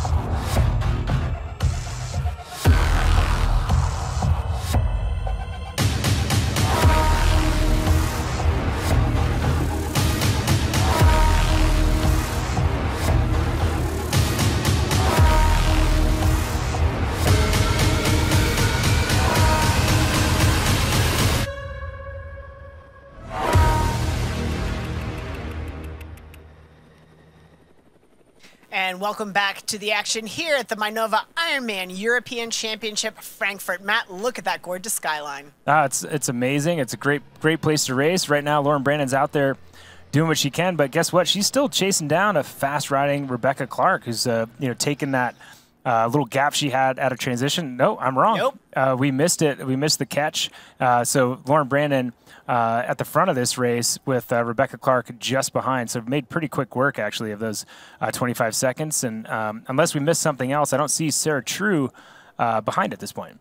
Uh, I do not see Sarah True either, which is slightly cause for concern just because she had come out right with Lauren Brandon, and I Yeah. wouldn't think that Lauren would be gunning it so hard from the start to, to drop an athlete like Sarah True. So hopefully we will uh, catch up with where Sarah is. But uh, yeah, great transition from Beck Clark. Yep. Uh, and out she went, but Lauren right back there. So these two athletes here paired together at the front of the race. Yeah, no, and, uh, and it, it, it's likely they're going to be together for quite a while. Both great uh, cyclists and, and know the tactics involved and the the fact that you know riding a race like this all by yourself is uh, you know it gets a little lonely out there. It's harder to pace yourself when there's uh, another athlete.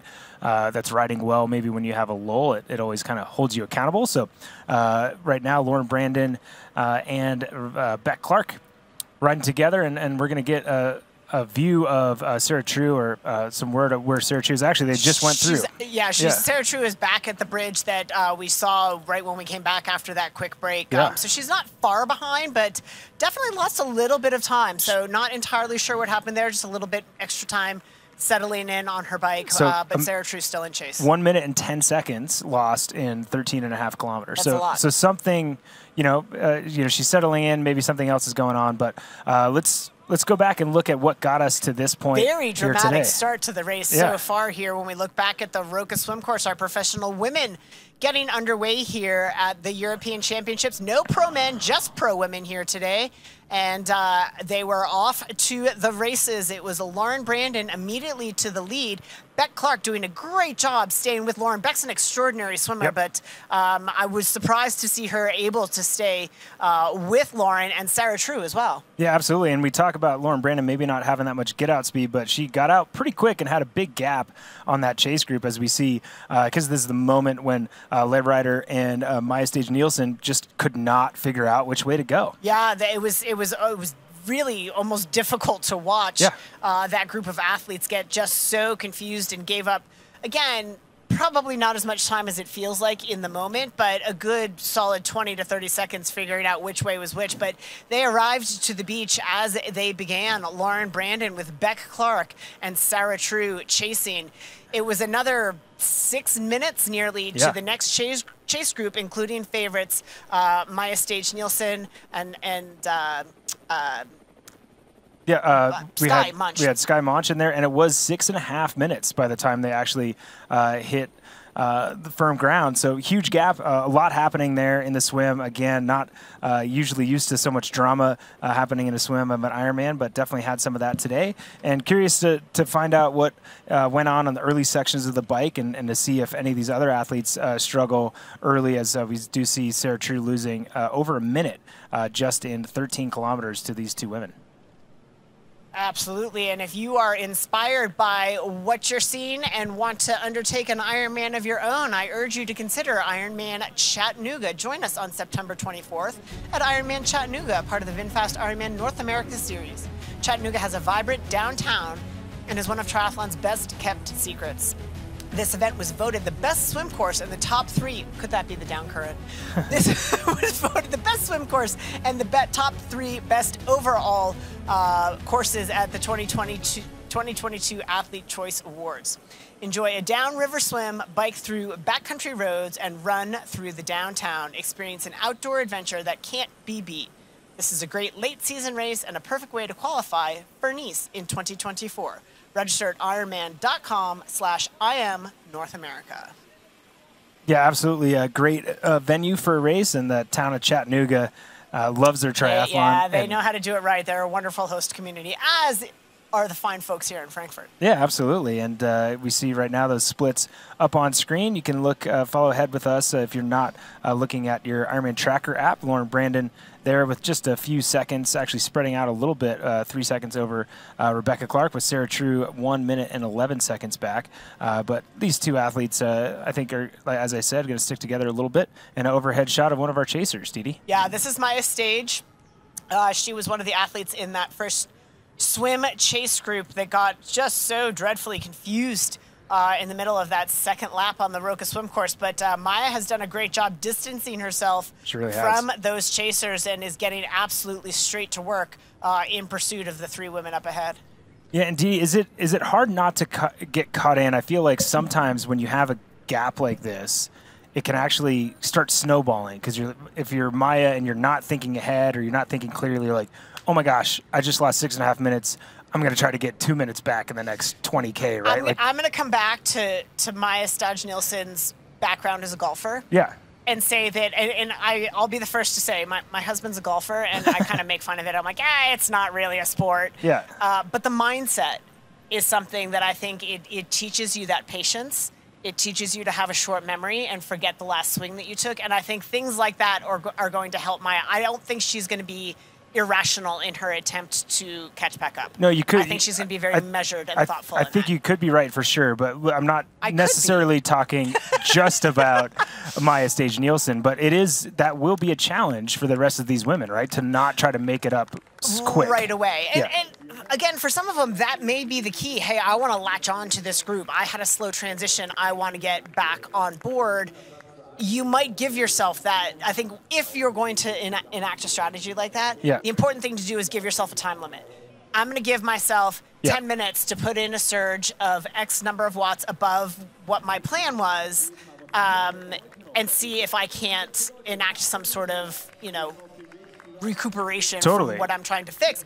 But you can't get reckless with it. No, but to my point, you would have to say that of two or three hours, right? Like you're talking a six minute gap. You're not getting anything like that back. But looking at the splits now through 13 and a half K, uh, Maja Stage has actually made back over 30 seconds uh, on our front group and separated herself by 25 on this group that we see uh, chasing behind. So Lehrieder is 623 back. And Jursic in there too. Yeah, Jersik's in there. Skye Moench is at 630 back, so she's at about the same gap she was out of the water uh, with Nina Derron at 634, and then seven back, Marianne DeBoer.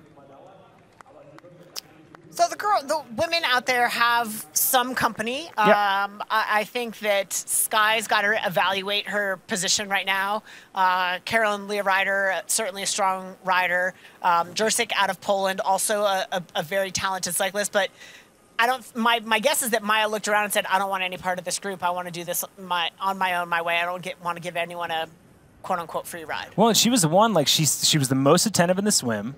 It seemed like she was the one that if the pace ever faltered, she went to the front. So like she knows uh, that those athletes in front, Lauren Brandon, Rebecca Clark, and Sarah True, are the athletes that she's racing against today, not just the athletes behind. And maybe maybe she looked around and saw, oh shoot, uh, or heard a gap on Daniela and wanted to uh, see if she could get a little bit more distance. But uh, she's certainly being assertive early in this bike ride, and, and I don't think anything above what uh, she's capable of. But it's going to be uh, fun to watch uh, what what these gaps end up doing. But Lauren Brandon still in control of this race uh, at the front, uh, pushing that pace. And, and we say it every time, but Lauren Brandon looks like you could put a cup of coffee on her back, and uh, and she's nice enough she'd probably let you do it. Yeah, she said, "Oh, sure, okay." Yeah, I'll hold it for you. You have to. That's a little weird, man. But okay, whatever you want, buddy. That's fine. Uh, Beck Clark uh, right there with Lauren Yeah. Brandon, and and uh, Beck, of course, was third at Ironman New Zealand back in in March. So. Um, taking a trip over here to Frankfurt again to get some of that race experience. I think when you have um, athletes from she's from New Zealand. Yep. Um, they will make a pilgrimage over to Europe to do some racing throughout the summer, um, sit out the ride out the the winter months in the southern hemisphere and, and take advantage of some race opportunities. So Beck Clark doing that very thing. She's a three-time Ironman podium finisher and a five-time Ironman 70.3 podium athlete. So Yep. uh, very, very strong athlete and, and having a crack here at a world-class field here at the European Championship. Yeah, and I mean she was she was up there at uh, Kona uh, last year. You know, she finished uh, 17th, uh, but she definitely you know put herself up there, and you know if she can. Uh, have a more consistent run over uh, that distance on that course, uh, you know she's going to put herself in uh, top ten uh, contention for sure. But she was definitely one that uh, you know we all kind of noticed out there. Yep. It was her first time uh, out on that race, and uh, so to get eyes uh, on an athlete like that, you could tell she has uh, great ability and, and focus as an athlete. And again, great performance for her first time uh, at Worlds. And I think to your point, you know, she's she's continuing to try to push herself. And and to me, when I look at an athlete, you- you say the amount of podiums that she's had. And no wins. It, it does show that she does go to big races, Yes. right? Like she's pushing herself, and I think once that athlete gets that first win, then they start winning a lot more because they're already used to putting themselves against the best. But right now, she's doing her best just to hang on to Lauren Brandon. Yeah, no, absolutely. Lauren setting the pace here. Again, curious what happened to Sarah True, who lost uh, an unusual amount of time across Yep. that first 15K. We did get a quick look there at bib number one. That was Daniela Bleymehl getting to work. Uh, not a great swim for her, so she's got her work cut out for her if she wants to uh, plan to defend here in Frankfurt, but she's going to have that hometown crowd on her side. Yeah, no, absolutely. And we're looking through. Uh, looks like a lot of more of these athletes have gone through that 13.4k. Uh, so Daniela Bleymehl has gone through at 909 back. Uh, so moving her way uh, back through uh, the field as best she can, but still a fair amount of work to do. uh, again, I'm like looking at this race on paper, coming in and, and studying up and trying to anticipate how it, it might play out. Um, no surprises to see Lauren Brandon and, and Rebecca Clark at the front of this race. Yeah. Um, I am surprised that Beck Clark had such a strong swim, was able to stay with Lauren and Sarah True for that matter. Yeah. Um, great swimmer, but just I would have thought Lauren would have established some separation, but there, at least, as expected, uh, we knew we were going to have some strong swimmers. And then we looked to our, our cyclists and who we thought might um, come through. Of course, uh, Jerzik from Poland, uh, she's a very strong cyclist. Daniela Bleymehl wearing bib number one, also very strong on the bike. And, and Maja Stage, we knew would, would probably. Um, pull her way through on the bike as well, and, and Skye Moench. Uh, so they, those are the athletes we're looking at. The gap, I think, the big surprise that we've talked about um, was the gap and how large it was. I think a lot bigger out of the swim than we had anticipated. Yeah, no, huge for sure. And you know, some athletes are are taking some of that time quickly. We don't know yet if it's out of panic or not. But another athlete, Sarah Svens, because Yeah, already I just made saw back. her pop into the top ten. Yes. Yeah, she already made back uh, over 30 seconds uh, on that front group as well. And again, that front group, you know, if Sarah True lost a minute to Lauren Brandon, then that's a, a, a benchmark that we can pay attention to. Yep. Um, Lauren's having a, a good ride, as is uh, Rebecca Clark in the front. Uh, we don't know if uh, Sarah True was just kind of pacing herself or if something happened or not. Um, I'm, I'm sure it's just how the race develops. And she realized, you know, maybe she was like, okay, I just, I heard I got six and a half minutes. I know I, I struck a huge match on that swim. I need to settle in and kind of do my own thing. Yeah, that amount of time though, I don't think that's Yeah. settling in. I, that almost seems like a, she had to dismount and adjust something on her Ah, bike, or uh, something was not quite right. I think for Sarah True to give up a minute and 11 seconds in 15k is something different than a settling in. And again, watching the tracker, she is making some time back up Yeah. on that. Of course, we'll have to wait for the official timing, Matt, just watching the dots on the screen. But um, to me, it says that Sarah True is getting herself back in. So not sure what caused that little bit of a pause for Sarah True, but uh, again, seeing Sarah Svenk in the in the top 10 Yeah. for the first time uh, is a name I think we will also see continue to uh, claw her way towards the front of this race. No, absolutely. And, you know, we talk about uh, the hard part for some of these athletes and what's difficult about a world championship when you're an athlete that's used to success. And then part of the reason you come out to a course like this to race the best. Are there athletes you think here that it's it would be harder for them to continue to motivate to fight when they're sitting in like let's just I'm just looking at the tracker and I see Skye Moench. She's sitting in seventh place, six and a half minutes back. Is it harder to convince yourself you're having a good day when you're just kind of in the race? You're not like moving yourself up. You're not like one of the players at the front. You're just. It, it seems it's more difficult than if you were having the same performance and you were in third at a regional race, right? Yeah, I think for an athlete like Skye, uh, she's not going to jump to any conclusions just yet. Yeah. Um, I think she's she's in the fight for the, for the long haul. Uh, she made a deliberate choice coming uh, out here to race. In fact, she had said in social media that uh, during this race week that after Ironman uh, Arizona, where she and Sarah had had that just immense battle, Crazy. She was said absolutely no, I'm not doing another Ironman before Kona, but there she is. she can't. She Um, can't stay I- away. There's, there's purpose to this, and you know she's made a coaching change as well.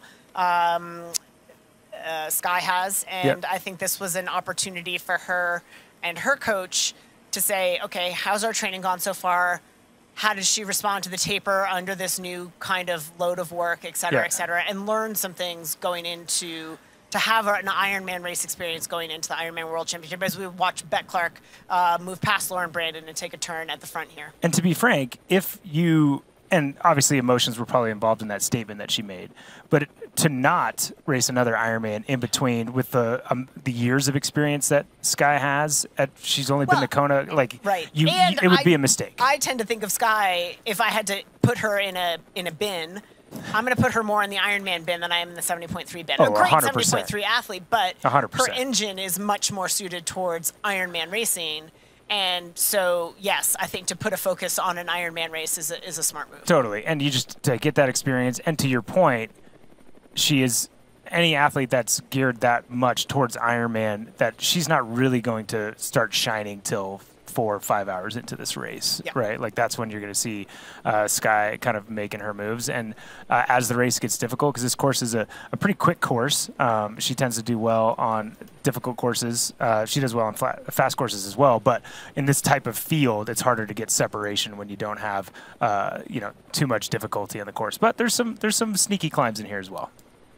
Absolutely. This is just this back to this quick pass of uh, Beck Clark on Lauren Brandon. I don't think this is necessarily a uh, critical race moment, but just Right. a little bit of a change in the lead here. Uh, Beck Clark doing the the polite thing and taking turns at the front. Yeah, and you can see they are going up one of the Yep. little little risers, getting out of the saddle and um, using that momentum to get over. And this is why it's even when these athletes we see they've been about two seconds apart this whole time. They're not quote unquote drafting. They're not No, getting an no. advantage off of each other. But when the other athlete comes by, you're like, okay, yeah, yeah, we can pick it up a little bit. You just keep each other going. Here's a nice uh, shot uh, from the side of bib number four. That's Sarah True. There we go. Uh, looks like Sarah's up on that same hill, so uh, may close. have bridged her way uh, back up to that group. I think she's still a few seconds behind, uh, but does look to be moving just fine. So um, I don't. Nothing appears to be wrong, uh, but we do wonder why she had lost that time. But she's diving into her snacks, and Sure is. everything appears to be on board. But yeah, unusual that she gave up a minute in the early stages of the bike, but she looks to be well underway here. Yeah, no, absolutely, and we'll get another split and see uh, kind of how those things change. But in a, on a climb like this, this is an opportunity for an athlete if she wants to try to burn one of those matches and bridge back up. If, as you inferred, maybe something else happened outside of you know just her athletic ability, uh, this is a moment where you can bridge a little bit of that time. Um, but uh, yeah, we'll see. We'll see. Sarah's Sarah's pretty smart. She's going to take that time back uh, when she feels it's best. But on screen, uh, bib number one, uh, Daniela Bleymehl, uh, one that certainly wants to do well in this race today. Has some work to do, but looks comfortable. Does not seem to be panicking. And man, she is as smooth as smooth gets. She absolutely is, uh, again, a lesson on how to ride a bike, and Yeah. we'll see if she can uh, make her way back up into the top five uh, before the halfway point of this bike when we come back after this quick break. Don't go away. Lots of racing still to come.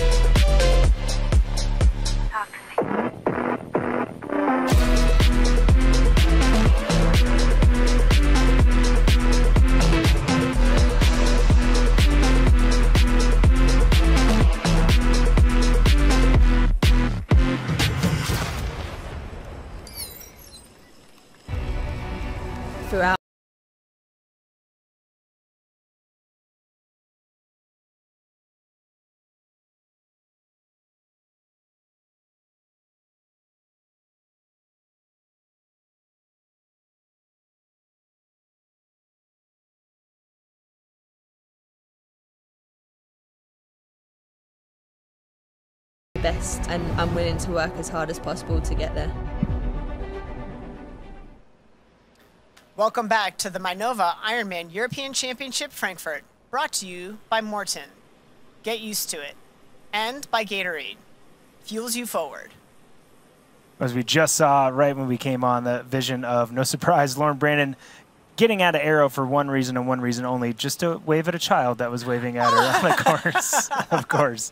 And we know she had a, gr- a big smile on when she did that. But uh, she'll be grimacing a little bit because it looks like uh, uh, Beck Clark is still uh, pushing the pace on the front, and these women are uh, trying to make sure they keep as much of that advantage as they they earned, uh, you know, in a you know with some with some good work on that swim. So these women just over six minutes uh, in front of most of their uh, competitors. Uh, Maja Stage Nielsen just the only one uh, besides Sarah True that's in under six minutes behind these two women. One of the great features of this uh, uh, FulGaz bike course here in Frankfurt, it's it's all the little villages that you go through a- along this two loop route is it's it's one of the reasons that brings the athletes to this race is the the local support. Um, Oh, keep yeah. in mind, Frankfurt, the major metropolitan area. And within just a couple of kilometers, you're out into this farmland and going through these great villages. As we check in on our weather here, 59 degrees Fahrenheit, 15 degrees Celsius, broken clouds, uh, humidity 81%, winds pretty light out of the south southwest at 5 kilometers per hour. Yeah, and I mean, uh, Dede, it can get pretty hot on this course, and, and there's been some race days where that's been the issue. Yes. Uh, you know, we saw Sarah True deal with that a few years back, and 59 degrees is going to feel like a gift uh, to a lot of these athletes. I'm sure there's some athletes that maybe wanted to test, uh, you know, their heat for World Championships in Kona, but uh, not today with 59 degrees already uh, here in you know decent way into the bike course, but great shot and no uh, question now as whether or not this course in Frankfurt is a beautiful one. Absolutely. I mean, it's that's I love the diversity of the course. As I said, a Oh, yeah. major European city, uh, financial headquarters to to you know European banks, et cetera, et cetera. And yet here you've got you know greenery and and and farmland. Um, Yeah. In the same shot as the the high rises of the dense metropolitan area. Yeah, it's pretty cool. Pretty cool. Definitely uh, unique, and, and one of the reasons why Frankfurt has always been kind of one of the big races that uh, a lot of the athletes want to get to. Here's a great side shot of Beck Clark, and yeah, she looks so smooth as well.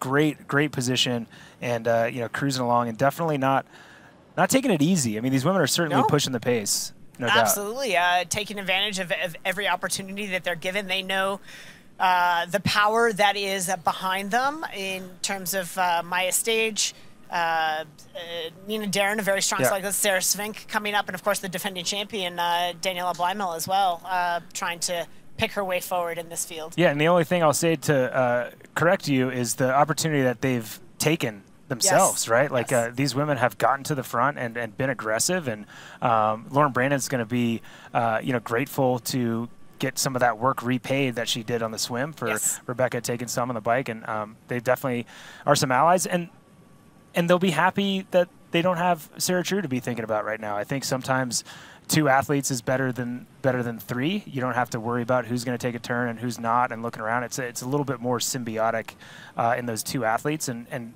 also because Sarah True's a great competitor, and they want some distance on her if at all possible. I, I would think so. Again, I, I still want to go back and see what it Yeah. was that caused Sarah True to lose contact with Yeah. the lead two women uh, almost immediately as she got underway on the bike, but certainly is, is rolling through strong now and sitting sort of in no man's land. Um, certainly uh, nowhere close to being a threat from Maja St- Staj Nielsen at this point, uh, Yeah. but also completely out of touch to Lauren Brandon and, and Clark as well. Yeah, it seems so, and and that's that's certainly going to be a hard gap uh, for Sarah to close. Uh, you know, it will have to be an intentional one, and it's one that she would be risking her dynamic ability to run in that low 250 range if she really burnt a match early on the bike. And you know, it's a little bit easier to close later uh, if if you have the strength to do so. But um, you know, she looks comfortable. I don't think she's too stressed about it. And yeah, definitely, it's still going to be over that that minute. I don't think she's made too much uh, time back on these athletes, if any. We're going to get another split here in a few minutes, but you can see by the background it's very uh, Very similar stretch of road, yeah. similar, but she's not in that same minute as uh, Rebecca Clark is. Yeah, no, definitely not. Uh, new bike for Sarah True as well. So uh, this will be her first time around a full Ironman course um, on the bike. So again, a little bit later in the year to be checking out the new equipment. Yeah. But um, obviously, she looks great. She looks comfortable. But changes like that are, you know, changes nonetheless. Oh, for sure. And she, you know, she'd be calculated. You know, she would have uh, done the training that uh, she needed to. But yeah, anytime you make a, a change in uh, sponsors or even different bikes within the same sponsor, Yes. um, you know, you're you're not really given any. Uh, slack if you tell someone you had a bad race and they ask when how many times you've ridden your bike and you say oh one or two right like that's you don't ever try anything new on race day so certainly she's she's put some uh, some time and some effort in on that on that bike that she's riding and uh, you know she looks com- the position looks very similar Yeah. to what she had before so Yep. she looks comfortable and good to go Uh, overhead shot here of our leading women. That is Rebecca Clark from New Zealand in the front with the American Lauren Brandon um, following behind. Yeah, yeah, and both uh, both rolling along pretty well with a, a a long way to go. And I think, you know, if you look at these two athletes, uh, you know, clearly Lauren Brandon has more experience uh, on the on the longer distance side of things, and in in Ironman racing, uh, you know, she's she has an Ironman uh, victory. Uh, Beck Clark has a bunch of 70.3 experience, has maybe a little bit more of that dynamic speed than Lauren Brandon does. You know, if you look at run splits, you know, they're not that dissimilar over the Ironman distance on average. Um, you know, I'd say Beck is a little bit faster, uh, but Rebecca Clark certainly has some faster 70.3 runs uh, than Lauren Brandon. So, uh, kind of that dynamic speed, I think, a little bit more on Beck Clark. But besides that, I think they're pretty well matched on the on the last two disciplines. And, and both rel- like both rookies eh, with very little race experience. Um, certainly any race experience on this course, but Yeah, less right, right, race right. experience in in Europe. Uh, so oh, there's Lauren just waving. Just getting out of arrow every time there's a child. Yeah, here's the thing. She she said specifically Lauren wanted to come to this race for a new race experience. Um, this legendary Frankfurt course is one that draws these athletes in, and I think Lauren is just loving every second of it. No, for sure. And uh, you know, she said she she brought her uh, husband uh, Brandon out uh, with her, and, and definitely more of a. You know, they, they tend to separate and do their own things when it's about work, but if it's more about of a life experience, uh, Barrett goes along, and, and that certainly is going to make things feel more comfortable. And anytime you see an athlete that's in the lead, essentially, of an Ironman, making sure they get out of arrow to wave, and not just like a courtesy, like "What's up," but like a "Hi," like a big wristy wave. Uh, it's going to leave an impression, you right? know they're it's having a good time. absolutely going to leave an impression as they make a left-hand turn here Some of onto the cobbles. some cobbles. this will not be Lauren's favorite part no, of the bike ride. I was just about to say this is where if Beck had studied up on Lauren, if Beck was aggressive through here, she could absolutely 100%. separate herself. Um, I mean, you can look at the body position is very different. Lauren is very stiff, which Yep. feels like the right thing to do when you're nervous, but it's the opposite, opposite thing that you should do. Yeah, no, absolutely. I, I don't think Lauren's not big on on. She does a lot of her work on the trainer, and she just dropped a bottle there. Yep. I'm get that was obviously unintentional. I think that has to do with the rough pavement rather than Um, It almost looked like she threw it, but I think she was going to grab it as it was falling out I of think the front. yeah, exactly. Um, and so she's. And we'll go back to that as yeah. She just hit a she hit a funny bump there and it bopped Tried up and it, yeah yep. she tried to catch it and just just couldn't get it. Um,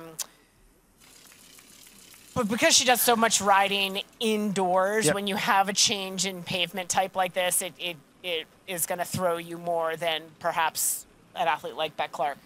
Oh, for sure. And I think, you know, I, I have not uh, had the luxury to race in New Zealand, but from every uh, person It's I've kind of talked like to, racing on cobbles it's kind of like racing on cobbles. Uh, Sure. Part of, it's the chip seal makes those those races a little bit more difficult, uh, so she'll be used to that. But, we're still waiting on the split here. Sarah True has not gone through uh, 30K. that 30k split yet. Uh, it, it, it's Laura knew that about this course when she came here. Yeah. Um, so she is deliberately making these choices to Yeah. take herself out of her comfort zone and have those experiences. It's going to make her a stronger athlete ultimately. Um, but definitely a bummer to lose your nutrition this early on as well. And she does have a, a bladder on that Yes. on that bike setup, so she still has some, but she's going to want to, you know, make sure that she she grabs uh, bottles as you go. And you know, if I'm uh, going to be critical, which Up is what we get to do here, Sarah True making that same minutes. left hand corner, so two minutes. So she's lost another 50 seconds. Uh, if I'm being critical, I think the one bottle and then the the in in the bike hydration is I'm watching that. Sorry, risky. I'm, Yeah, I'm no. wincing at that rear bottle of Sarah True that's bouncing around in there That's coming out. badly as well. Yeah, so you can see it's only halfway in. There, it's about to go. Um, so this is one of those There it situations. goes. There it goes. And and so those wondering there there is if an official is around, there's a 30 second uh, penalty if you lose or litter or drop a bottle and you know that you did. Yes. Um, so Sarah didn't even look like that she knew that she did. Lauren did, but there wasn't an official there. Yes. You have the option of stopping and getting it to Yes. not get that penalty, but it ends up uh, being a wash. But again, the official has to be there to see that uh, to get a penalty. And I think the I'm not sure. And again, we talk about the difference, the, the defining line Yeah. between intentional and Right. unintentional. In in both cases, it's unintentional. They're on a bumpy stretch of road, but the awareness we saw it with Matt Sharpe Yes, at if the you Boulder know it happened, 70.3. We knew he he dropped the bottle and he shook his head as if to say he knew it. I don't know if Sarah still knows that she dropped that bottle. It would be loud. Those arrow helmets are loud anyway. Um, things tend to echo. There's a moto by her. Yeah. She may not have hit the heard the bottle hit the ground. you can you can see where her head was. There wasn't any any mo- motion. Yep, she uh, didn't to reach that. around to say, "Is it there?" Lauren Exactly. definitely knew it was there. Uh, Sarah would may not have even known. And, and the difference, uh, you know, just because we're talking about it, if you intentionally litter, that's a five minute penalty. Yes. Uh, and I believe if you do it twice, it's a disqualification. Disqualification. Uh, but, anyways, that is something that these athletes, if they looked at the course and they knew, and they've got a bottle on the back that's full, they should have a rubber band or something to hold that bottle on. Is it, that is not bad luck. What just happened? That is those athletes maybe not doing everything they could. And there's only so much you can do. You're running a stiff disc wheel and a stiff wheel and an aerodynamic bike. It's going to reverberate a lot. So there's things there. But if you literally tie that bottle down through until you're through that cobble section, you're going to have a lot better luck. But we're going to get back to some more cobbles and drop bottles after this quick break.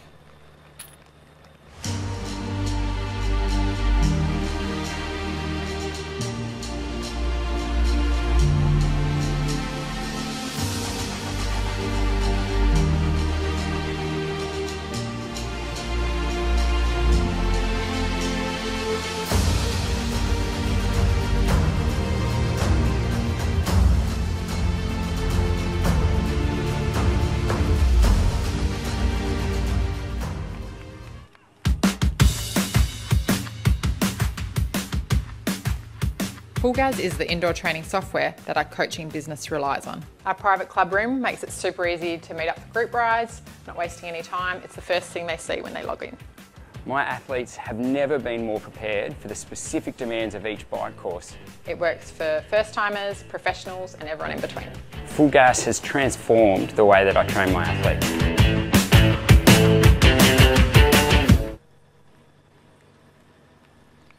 Welcome back to the Mainova Ironman European Championships in Frankfurt. We're back on screen with Lauren Brandon and Rebecca Clark, they're at the front of the race, uh, being chased by the woman on the right hand side of the screen. That is Sarah True, uh, bib number four, and uh, also down one water bottle. Uh, so some of these athletes are dealing with that. It looks like Lauren Brandon already picked up a water bottle from uh, maybe one of the aid stations uh, to replenish the one that she lost earlier, as we saw on screen.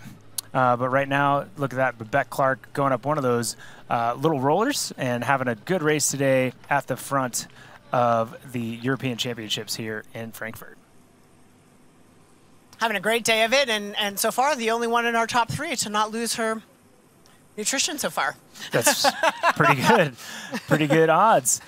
Um, lots of good racing uh, over in Europe, uh, over here in Europe, and certainly one not to be missed is Ironman 70.3 Zell am See-Kaprun.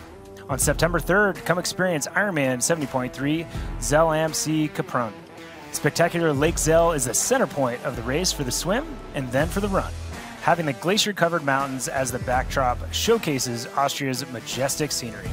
The rewarding climb past the iconic chapel on the bike course is followed by seemingly endless descents through the Austrian Alps. You won't find natural beauty like this anywhere else in the country. Register today at ironman.com slash Europe. And back to the action here. We were we've got Beck Clark at the front of this race with Lauren Brandon not far behind. Sarah True giving up another 50 seconds through that 30 kilometer mark. Uh, Maja Stage Nielsen sitting at 5:51 back. That's another five seconds closer, but roughly unchanged. Yeah. Um, and Skye Moench has has moved up um, now under six minutes back. She was 6:30 back at Yep. 13 kilometers. So Skye moving forward as well. Yeah, so now a, a, a group basically developing with uh, Nina Derron and Jessica Jerzik, Carolin Lehrieder, Skye Moench, and Maja Stage Nielsen. So uh, it's a powerhouse group, Yep. uh, all right at about uh, six minutes. So Well, yeah, and remember, Maja was so aggressive out of Yes. transition and had 30 seconds on that group, and now is back. But as we look at our race leader, Rebecca Clark here racing in Frankfurt for the first time, we had a chance to catch up with Beck about her decision to come race here in Frankfurt and her expectations on the day. Let's see what Rebecca Clark had to say in a fighting chance.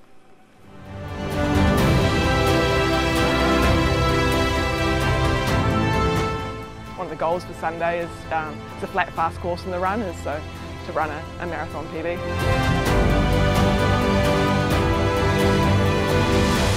I chose to come over to Europe. There's just so much racing in Europe. Um, you've got so much choice in your racing. Yeah, the European Championships fitted nicely into the schedule, so yeah, really excited to be here.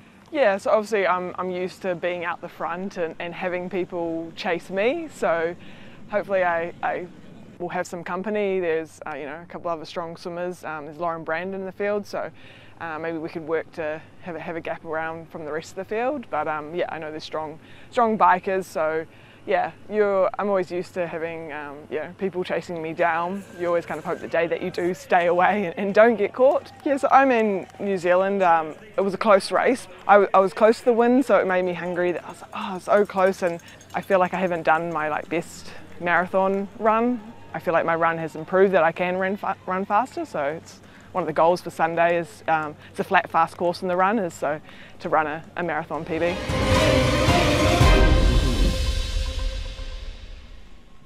You know what's interesting? That tells me straight away she's looking for a run Yeah. PB. She's while she's at the lead and seems to be aggressive in her application of bike power at this stage of the race.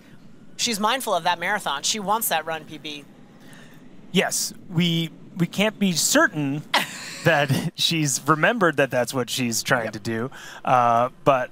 I, I trust that I trust that she is uh, keeping that a priority, and that's how athletes make these building blocks to try to be athletes that are capable of contending in a world championship is you got to have all those little pieces before you can put them all together on the world stage. And and somebody who's done that uh, you know many times at fourth place at the Olympics fourth place at uh, Ironman World Championships in Kona is a woman on screen Sarah True. And uh, she's on one of these little rollers. And uh, you know she probably doesn't it doesn't feel that little to her at this point but uh, she's able to kind of use some different muscle groups get out of the saddle and uh, you know get back and settle in. And you know she's gonna she's going to start having to fight off kind of this chase group or uh, just be aware that it's coming. I don't think she's going to try to stay away from this group necessarily, but uh, they're coming for her. And then another athlete that's making some moves is Daniela Bleymehl. Uh, she's down to 838 back, so she's pulled back about 30 uh, 30 seconds from the last uh, split we had. So she's she's definitely moving moving through the field. Make, making making progress definitely, but Yeah. a lot of work. Uh, Oh, yeah. a lot of work still to go. It's it's early going, and that's what some of these. I'm going to call them the, the stronger cyclists. They're going to know that it, it can be frustrating at the start of a bike leg that the times aren't coming down quite the way you want them to. But Yeah.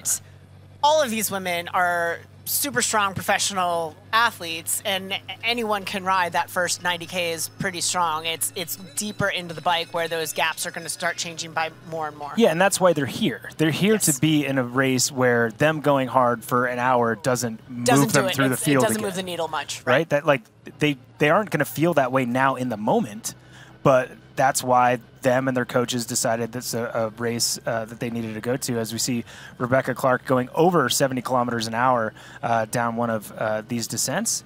A little replay of uh, her and Lauren Brandon, and and again, this is another section where if she pushed, you know, she could maybe uh, distance Lauren Brandon. Actually super impressed that we see Beck Clark being almost a little bit more tentative. She's sitting up, and, Yep. and Lauren was the one that was aggressive in the bars. Lauren is only sitting up because she was sort of venturing into yeah, you're right. Eh, That's an awareness of the draft zone. Uh, as we take a look at our VinFast performance analysis, a graphic and a speed of 37.72 miles per hour at uh, two.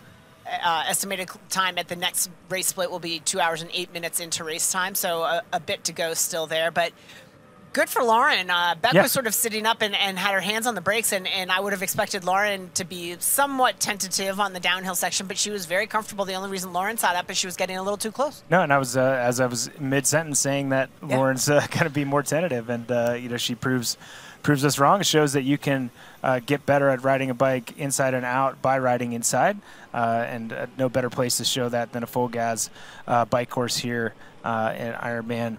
Frankfurt, as uh, again, these two athletes, uh, not much separating them, and I think they'll both know that they're pretty well suited to race with each other. Uh, you know, Yeah. if they're both having good rides, they're not really going to put uh, each other out of their comfort zone, and, and then it'll it'll be down to a run. But somebody who's is aiming to to catch as many athletes as possible on the bike, and and within range of getting to the front of and getting to those two athletes that we were just on is Daniela Bleymehl. She is a amazing cyclist, and she will only, to your point earlier, that so many athletes, anybody that's at this stage can hang on for an hour. Right. She's going to hold the same pace the whole bike ride. Like she will get better as she goes. And again, we look at the fact that she is as far back as she is Yeah. at, at 30K. She is, you know, 840 back, but she's only about two and a half Yeah. minutes back of, of Skye in fifth place. So, I mean, the, the there's enough, the gaps are big enough that once she starts picking off one at a time, Yeah. she's going to catapult herself. And and let's be real here. Like if we look at the strengths, she's two minutes behind Skye in that group, or almost. That that is the bulk of the competitors. Sarah True seems to be coming back a little bit. That that might come together as well. In reality, she is a much faster runner historically than Beck Clark and Lauren Brandon. And like she would be very confident that she could run outrun both of those women by eight minutes. Right? So like it's she there's no reason for her to be stressed, even though this will feel like uh, a different position that she's used to being this far back this early. Yes, that Yeah. far back out of the swim certainly not ideal, but she she's also the defending champion here, and I think you know you wear that with a sense of pride, um, Yep. perhaps a little bit of a sense of a, a burden. Uh, this is her hometown race. Uh, she's got her whole family out there. She's got two kiddos. Um, she's gonna have a lot, a lot of support out there, and and it's still very, very early stages. Yeah, and to your point, I think the important thing, if if you're her or you're uh, her coach or anybody cheering her on out on course, is that the bulk of your competitors are actually not that far up. Yes. They're they're, they're right there, and a two and a half minute gap would never stress this woman out on the No. bike ever. No. Right. So I think that's how you you have to break it down, and I'm glad we broke that down for ourselves because I think we're a little less stressed uh, for uh, Daniela. But we see her moving uh, along well. She's one that doesn't seem to have lost uh, any bottles because she's been on this course before, so she knows how to uh, lock those bottles down and maybe choose bottles and cages uh, correctly, even though she is running and people underestimate like it is much stiffer when you're on a disc wheel and Yes. a deep dish um, you know nowadays with tubeless tire setups you know we're running lower pressure so it's not as hard as it used to be they're running 80 psi i mean 20 years ago they were running 19 uh, with tires At, at 120. at PSI. 120 or 140 uh, as she fills up. So she's got two bottles on the bike, on the frame, one on the back, and then has a bladder in there as well. So that is also something not to be overlooked, even when it's cool. She needs to hydrate, and she's one of the only women in the front that hasn't lost some of their hydration. Yeah. That's that's impactful. And again, she hasn't had a, she's had a tough start to the year. Um, some early season races, she was suffering with a, a calf injury. Uh, but her last training block in preparation for this um, particular race here in Frankfurt, the last sort of call it six to eight weeks, have gone very well. Yeah. Um, she did have a, a 70.3 race over in Europe, and, and the calf didn't impact her. That was at the end of May. So I think she's feeling pretty confident that, that this could, could still be a great day for her. Yeah, and I mean, I think uh, you know overcoming those injuries is is hard, and it, there will be nerves. Uh, you know, especially calf Yeah. and those things, and they are like a lot of it is hydration, uh, not base but influence. Yes. If you're not on top of it, and you don't know if your calf's gonna make it all the way till you are done. Essentially, right? Like that can go pretty quickly, but she's looking great right now, as is Lauren Brandon on the left hand side of the screen. But a lot more racing uh, here to go in Frankfurt. We'll get back to it. Back from this commercial break.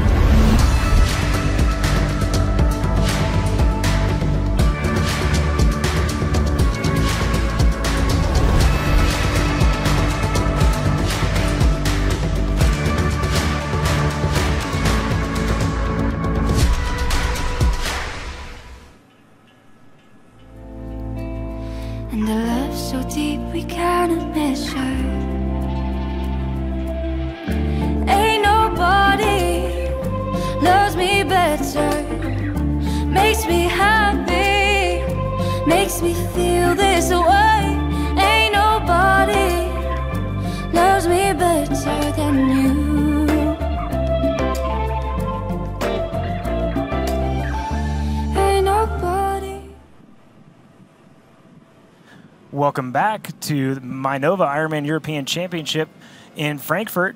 Uh, we're two hours into this uh, women's European Championship race. Uh, we just had Daniela Bleymehl on screen, and now we're back uh, to Rebecca Clark at the front of the race. Uh, she's riding with Lauren Brandon, who she spent uh, most of the, the day with so far. Uh, You know, was uh, had a nice little social swim with her um, around the lake, and then uh, now onto the bike, and it's just been those two uh, for the last little over an hour, and uh, you know they're they're riding well. They're not losing a bunch of time to the chasers. Uh, you know, I'm actually impressed. They've only lost about 30 seconds uh, through 30k at this point, um, so they've settled into a pace that's good for them. And and as you know, we heard uh, Beck say she wants to have a good run. I know that Lauren Brandon's going to want to have a good run. Uh, so I I would be surprised if these two athletes are going over uh, their prescribed watt numbers or, or overextending themselves. I bet they're in a good spot right now. Yeah, I think they are in a good slot spot. And if I look at, at Beck Clark technique wise, she's uh, this may be a little bit of a downhill section, but she's spinning a pretty high cadence. Um, she's got a little bit of a pointed toe. I think she might be sacrificing a little bit of power at the bottom part of her pedal stroke there. She's a little uh, little toe point. Uh, I'd like to see her drive through that heel a little bit more and get a little bit more power out of the full length of that leg. But um, yeah, she looks great. She looks super comfortable and not stressed at all. No, she. Uh, I would not use the word uh, stress to describe her in any way at this point. Um, yeah, she looks comfortable. And again, you know, we talk about the road conditions. Maybe uh, you know those rougher road sections being similar uh, to maybe what she she has time training on in New Zealand, but certainly. Uh, these conditions, uh, you know, kind of the cooler conditions right now. It's a just under 60 degrees uh, with some cloud cover. It's certainly going to be conditions that uh, suit this athlete on screen. And um, you know, she's she's decided to fly to Frankfurt and, and do her do her best to show what she's capable of against some of the best athletes uh, in the sport. And right now, she's comfortably in the lead. As we take a look at our race weather presented by our friends at Roka, currently 61 degrees Fahrenheit, that's 16 degrees Celsius. Scattered clouds, uh, again, shielding uh, some of the sun, helping keep those temperatures down. The humidity dropped a little bit down under 80% now at 78%. And the wind's very, very light, three kilometers per hour, uh, still out of the south southwest. Yeah, no, perfect, perfect conditions. Perfect conditions, yeah. it really is, and you know the sun's coming out. It'll feel a little bit warm uh, when that sun hits them for the first uh, little bit, but they'll they'll settle into that, no doubt. We can see the uh, pretty uh, decent shadow uh, being cast with the, the sun right over the back uh, shoulder of Rebecca Clark, but looking comfortable. We can see on that leaderboard on the right hand side of the screen, Skye Moench is moved up into that fifth place as we saw a bit ago through 30K with Maja Stage Nielsen in fourth uh, Lehrieder in sixth, Jerzik in seventh, Derron in eighth.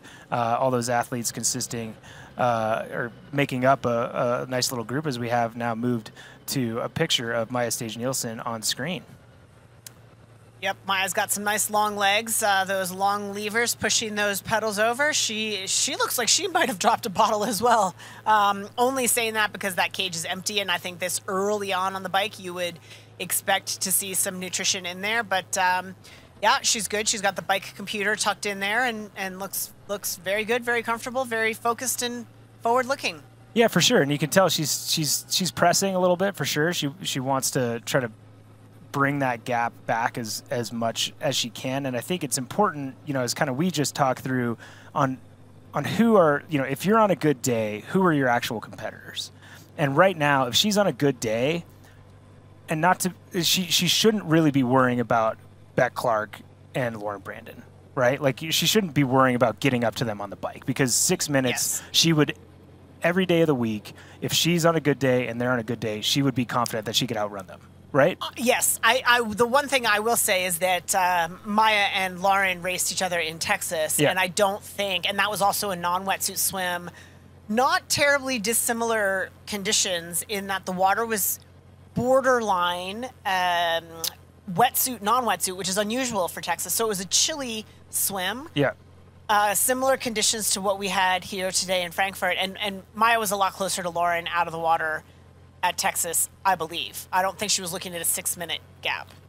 No, it was four minutes yes. at that race for sure. But she did uh, outrun Lauren by 14 minutes. Yes. Right. So I think that's that's the point, and it's that's not taking anything away from Lauren, but like on both athletes on a good day, my point is that the the spending of energy you as a professional athlete, and I'm sure they are, are thinking that is that you have to reset because you like it's all panic stations when yeah. you get these gaps. But then you're like, wait, wait, who am I racing? Yeah. I would not say that I'm racing Lauren Brandon and Beck Clark necessarily, and six minutes is fine. That's not what I wanted, but now I'm racing the women that I'm in a group with, or Daniela uh, Bleymehl behind, right? So I mean, this would be a huge. I mean, you look at an athlete like um, Maja she's got some great results, but to have a podium performance here at a major European event, I think would be a huge breakthrough for her. She came so close to oh, winning oh, in sure. Texas at the North American Championship.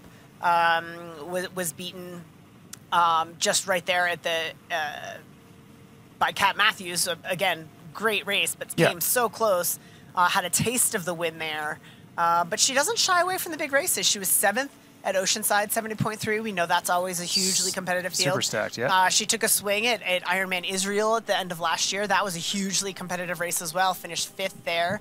Uh, she was 12th at the Ironman World Championship last year. She she had never raced here in Frankfurt, and so to test herself again against some of the best on a, on a legendary course was was a big appeal. But I think to put yourself in a position to be on a podium here, I think would be you know huge for her. Oh, for sure, absolutely. And she continues to kind of just tick away and, and make uh, these big improvements. And again, you do have to put yourself out there. And I think all great points. And again, that that Texas is hard because it's one of those things where Kat was just on a day, day yeah. and it was a comeback day, and it was a lot uh, going on for Kat. And you know, the only other athlete I think I've used that stubbornness or grit comment uh, that I did with Sarah True is Kat Matthews. Man, Sure. I mean, uh, she does not give up. So you could almost uh, take that Ironman Texas as a victory to an extent. Like you know you're capable of winning those big one of those big races. You can't uh, decide who's going to race against you. But here's our first uh, shot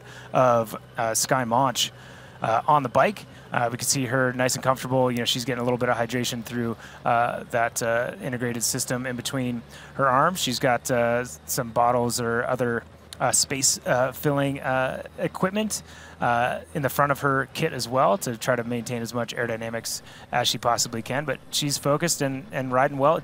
Dede, it looks like from the last time I saw her uh, race that maybe her positions moved out a little bit, like those elbows are a little bit further uh, forward maybe than I I remember them seeing next time. I could just be, or last time, I could be making things up, but a little bit more aggressive uh, position on the bike. Uh, could could very well be. Again, she made a coaching change at the end of the year, um, so she's trying out some some new things. And one of the motivations again for her coming here was to get a, a new data point on, on how the training is going so far. As we watch Lauren Brandon again going back by Beck Clark, and again, this isn't a.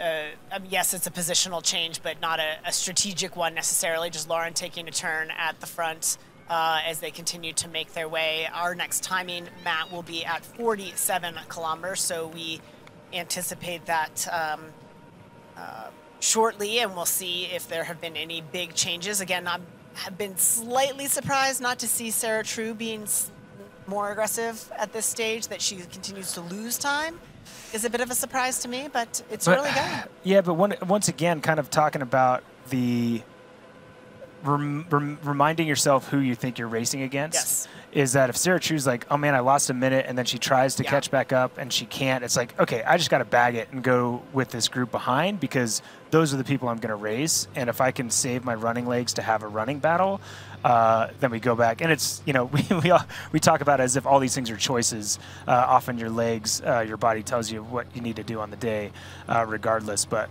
um, yeah, Sarah True definitely uh, kind of in that no woman's land uh, at this point, and and Skye Moench comfortably in the group as she's refilling that integrated water bottle system, kind of between the arm water bottle system with another bottle she had actually on board. So what she might have there is a, a lot of athletes will be starting with a concentrate Yes. of hydration, uh, and then be putting that in the bottle that's in between their arms, and then kind of cycling through these things uh, and maybe exchanging them down the road.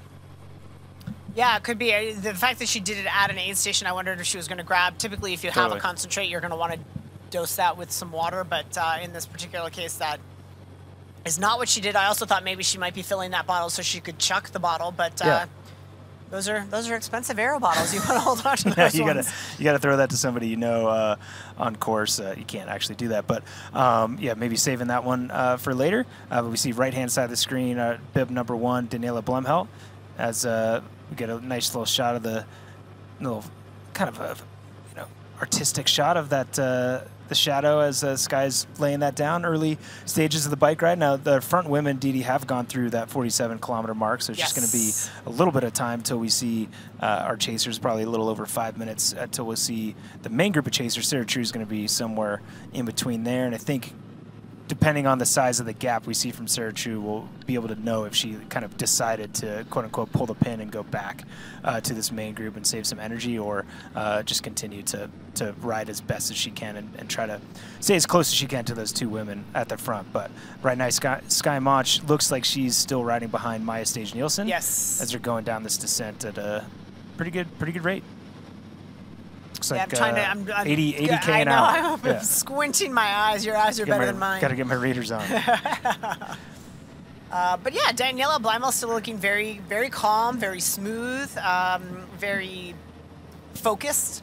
she does not look stressed at all. No. Uh, she'd be laughing at how stressed we sounded for her early in Oh my race. gosh! Did you see how far back she is? yeah, no, she's got it. She's not worried about it. Um, here are the athletes going around right hand corner. If I remember correctly, uh, Jan Frodeno a few years ago actually went off the road there. Uh, did a little bit of a uh, cyclocross cyclocross move uh, through the grass. I believe it was in that section or a section very uh, similar to it. Uh, but these these women getting through that no problem. Uh, Maja making uh, making the right lines through that as Skye Moench does her best to, to stay with Maja, and I think they're they're well well matched to, to have a good bike ride out here today. Yeah, I think it's great uh, for the two of them uh, to, to have one another as allies here. Uh, so far, to my eye, and we haven't been on them 100% of the time, but just watching the, the local tracker, tracker uh, Maja has done a lion's share of the work with um, Skye taking advantage. Um, but again, we haven't been with them 100% of the time, but not dissimilar, I guess, to uh, Beck Clark and Lauren Brandon. Yep. Uh, Beck was at the front for a long time. We've only just recently seen uh, Lauren go past and still waiting on Sarah True at that 47 kilometers. She actually has just gone through at 212. So, another few seconds. Yeah, just about 10 seconds. So not not a lot. So she's definitely kind of settled into her pace. And in 17 kilometers, losing 10 seconds compared to losing a minute and 10 seconds in the first 13 kilometers, uh, she's definitely uh, settled in to a pace that's comfortable for her and, and not at all um, kind of throwing up the. She's not throwing out the the parachute yet to, to go back to that group behind. So she might be on her own for a, a little bit today.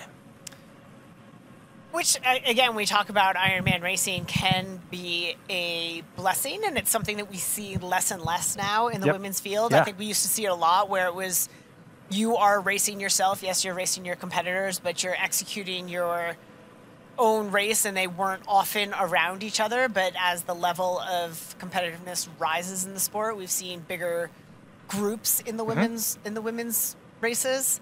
Um, but Would- in this particular case, it's sort of a throwback to, to the old days when you're on your own, just with your power meter and your pacing and all your sensations all on your own. Ah, the good old days. The good old days. Um, but it, it does, and we see more often in the women's field, and obviously in the men's field, we've seen it for a while. Is you aren't at risk for any in, inadvertent like Oh, drafting penalties yes. or position penalties. Yep. So like the the stress of the awareness of everything around you is a lot less. So I think that that ends up uh, paying off for that athlete.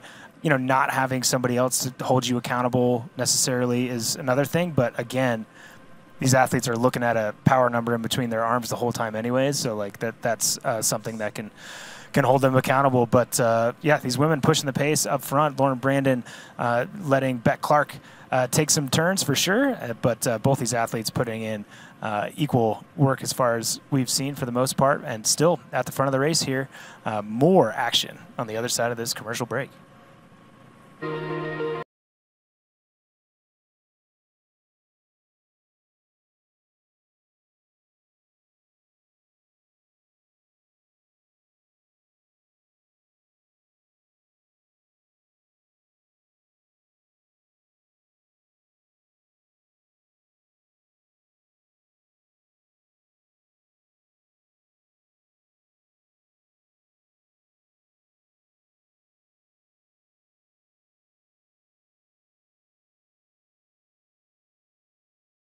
Boom, instant relief wherever you need it. With nine different variations of heat and vibration, you can soothe your sore muscles instantly. The tight spot on your neck, that little knot on your back, that shoulder that always bugs you, and your tight calf after a ride, say bye-bye to the pain and soreness. Heating up six times faster than any other heating pad. Ooh, that's hot. It's designed to get you out and moving. What are you waiting for? Back to the action here at the Mainova Ironman European Championship in Frankfurt. You're looking at our, whoop, well, you were looking at our race leader. that was Lauren Brandon. She is with Beck Clark at the front of the race, and we are here looking at Nina Derron, um, bib number 19. She is in that chase group that includes Skye Moench and Maja Stage. They have actually done a bit of damage uh, during that last break. They have Yeah, they crossed have. that 47 kilometer marker and that uh, that chase group that includes Maja, Sta- Maja Stage Nielsen, Skye Moench, Nina Derron, uh, out of Poland, and Carolin Lehrieder. Uh, they're at five minutes down now, which is a 50 second improvement on where they were just at 30 kilometers. Oh yeah, no, for sure. And uh, Sphinx is up there as well. She's made about a minute. So we'll see Dan, uh, Daniela Bleymehl uh, and her split here pretty quickly as we see these athletes kind of going. This is what we're talking about. Like you have to make these passes, you have to do it in a certain time period, and it can be a little bit stressful. So she's made one pass and she has to go around the them. whole group, Yes. uh, or else she'll get a quote unquote slotting in penalty. Uh, from this angle, it's hard to tell if whether or not she had enough space, but she is being safe and goes all the way past Maja Stage Nielsen. But you know, once we get that split on uh, Danielle Bleymehl, I think we'll. It, it, to me, it looks like the front two are slowing, right? Sarah True's maintained that gap a lot better than she did before. This group has moved uh, a fair bit closer. Forward, yes. Uh, so to me, that says maybe that's a sign that those front two women are slowing a little bit or just settling in and, and deciding that's the effort. Uh, but we haven't seen Daniela Bleymehl come through yet. So Well, again, I think uh, just mentally, there's got to be obviously because they're not at the front of the race, uh, more urgency from these chasers to Sure. get those numbers to come down to more reasonable, more manageable, more tolerable Yeah. levels um, as they make their way through this uh, full gas bike course. No, absolutely. I think well said. As we look behind uh, now, uh, this athlete leading uh, this small little group as they do their best to uh, chase on our two leaders, and then Sarah True kind of in between. And again, waiting for that uh, that move by Daniela Bleymehl. And another fantastic racing opportunity in Europe will happen on August 20th, where you can come experience nostalgic France. Uh, French elegance at Ironman Vichy, selected by the athletes as the best Ironman and Ironman 70.3 races in 2021. The best finish line party on the circuit. Vichy is the perfect host city because after the race you can finally relax thanks to its many great spas. You can register today at ironman.com slash imeurope. Yeah, I've heard great things uh, about that event. Um, not heard anybody. Uh, I'm not going to enjoy complain about a spa day. No, it sounds so Oh, nice. it sounds amazing. Uh, here we go on the right hand side of the screen. That's Carolin Lehrieder with uh, Lauren Brandon on the left hand side of the screen, uh, both moving along quite well. And I'm man, I'm hitting that refresh button, and it does it, it does not look like uh, our bib number one has actually pulled back that much time. I keep waiting for a big move, but she's taking her time. No panic uh, from her. We're just 47 kilometers into this race, so no need to make those big moves to the end. We all know kind of that elastic stretches Sure. a, a lot snappier uh, near the end of that bike course, but still, I'll admit, a little surprising to me to, to not see that gap continuing to come down. Yeah, obviously the biggest movers uh, is our first chase group uh, now with Carolin Lehrieder leading the charge. Uh, there went from the back to the front of that group. And now it's Sarah Svenk uh, who has moved up a spot, uh, but sort of alone in no woman's land at six and a half minutes down, all on her own. So uh, she's going to have to keep working to make contact. It could be um, uh, Daniela Bleymehl picks her up, and the two of them can work together to, to get to this group. But right Yeah. now, this is our our primary pack in the women's race as we look at race leader Lauren Brandon, uh, who is sitting with Beck Clark. Uh, two minutes and 13 seconds up on Sarah True, and then five minutes up on the primary pace, uh, chasers. So- chasers, chasers, you know. Yeah, it's all the same.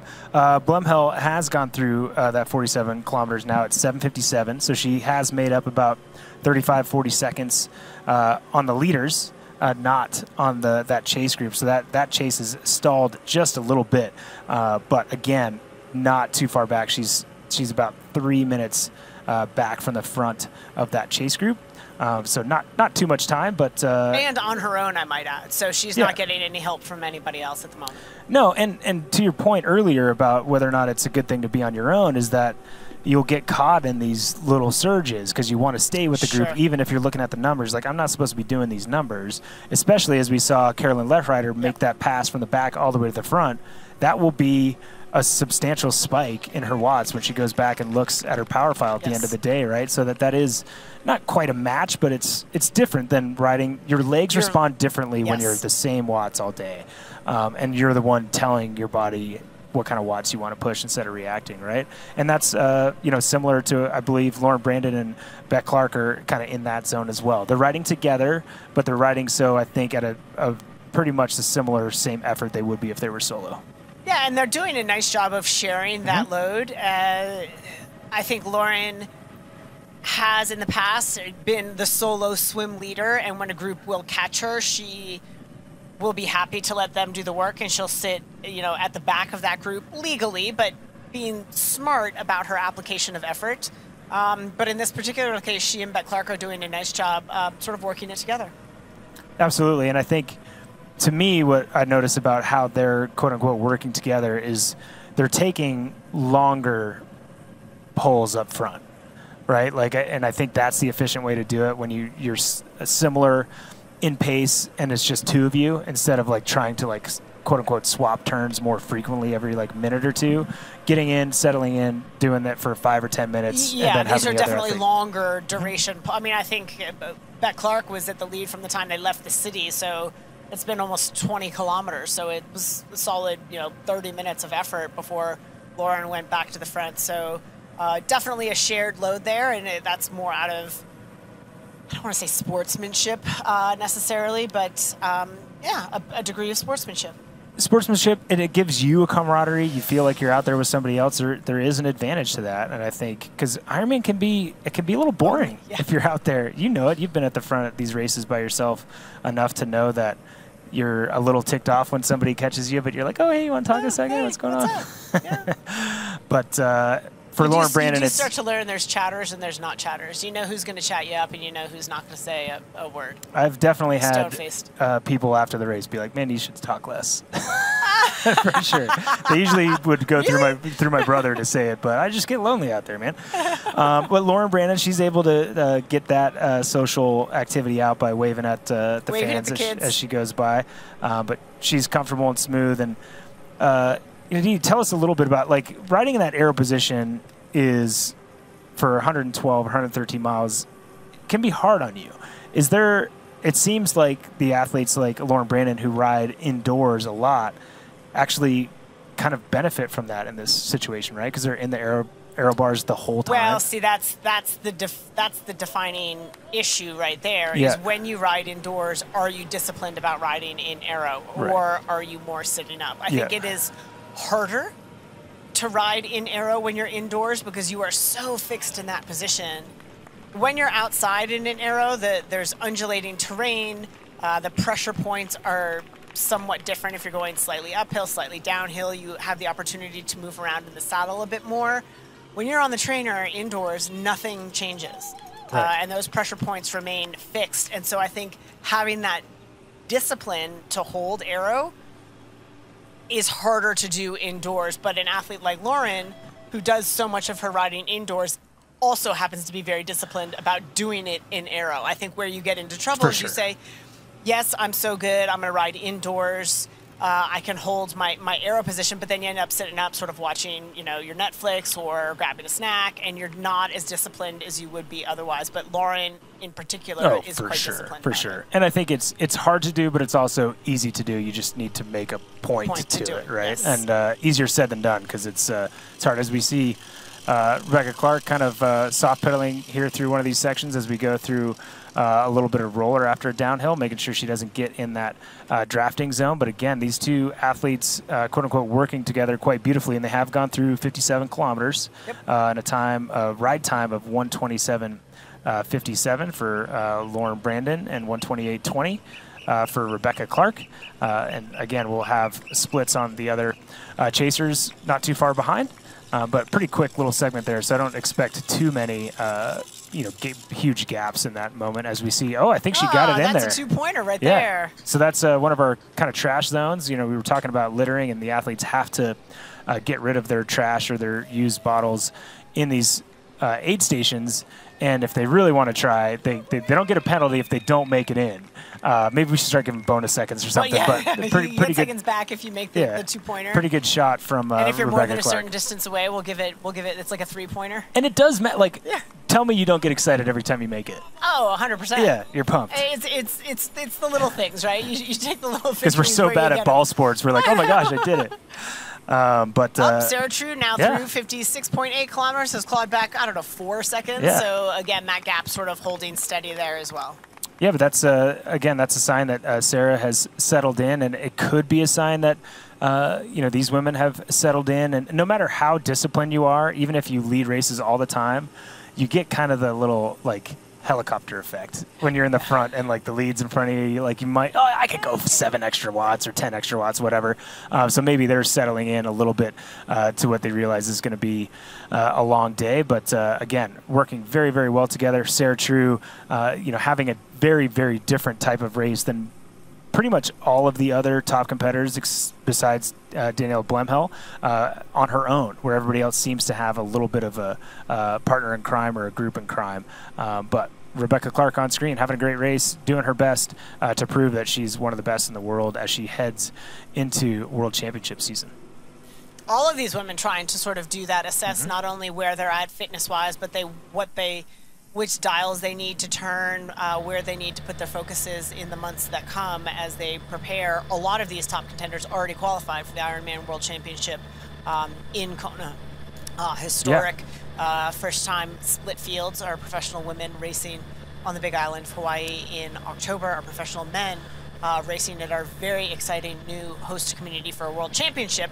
Not a new host community for triathlon. Lots of legendary racing has happened in Nice, um, France, and that's why it is so befitting for our, our men's competition. Uh, I mean, uh, Dede, to be honest, I was so excited when I heard that's where uh, Yes. we were going to take the men. You know, I was able to get over there for 70.3 Worlds uh, a few years ago, and I cannot think of a better venue uh, for a World Championship. And uh, excited to see uh, the men race there this year and the women next year, but more importantly, the women uh, racing in Kona this year on their own day. And one of those athletes is going to be attacking that course is Maja Stage Nielsen, and who's on screen. But we were also able to get our great AFC crew uh, to sit down with her and, kind of see what her headspace was going into this race, this part of the season.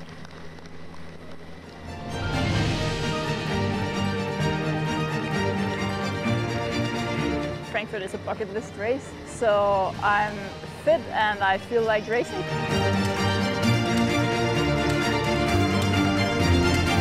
I started triathlon when I was in Lanzarote. Uh, I worked in Club La Santa and they have like multiple small events there on the island.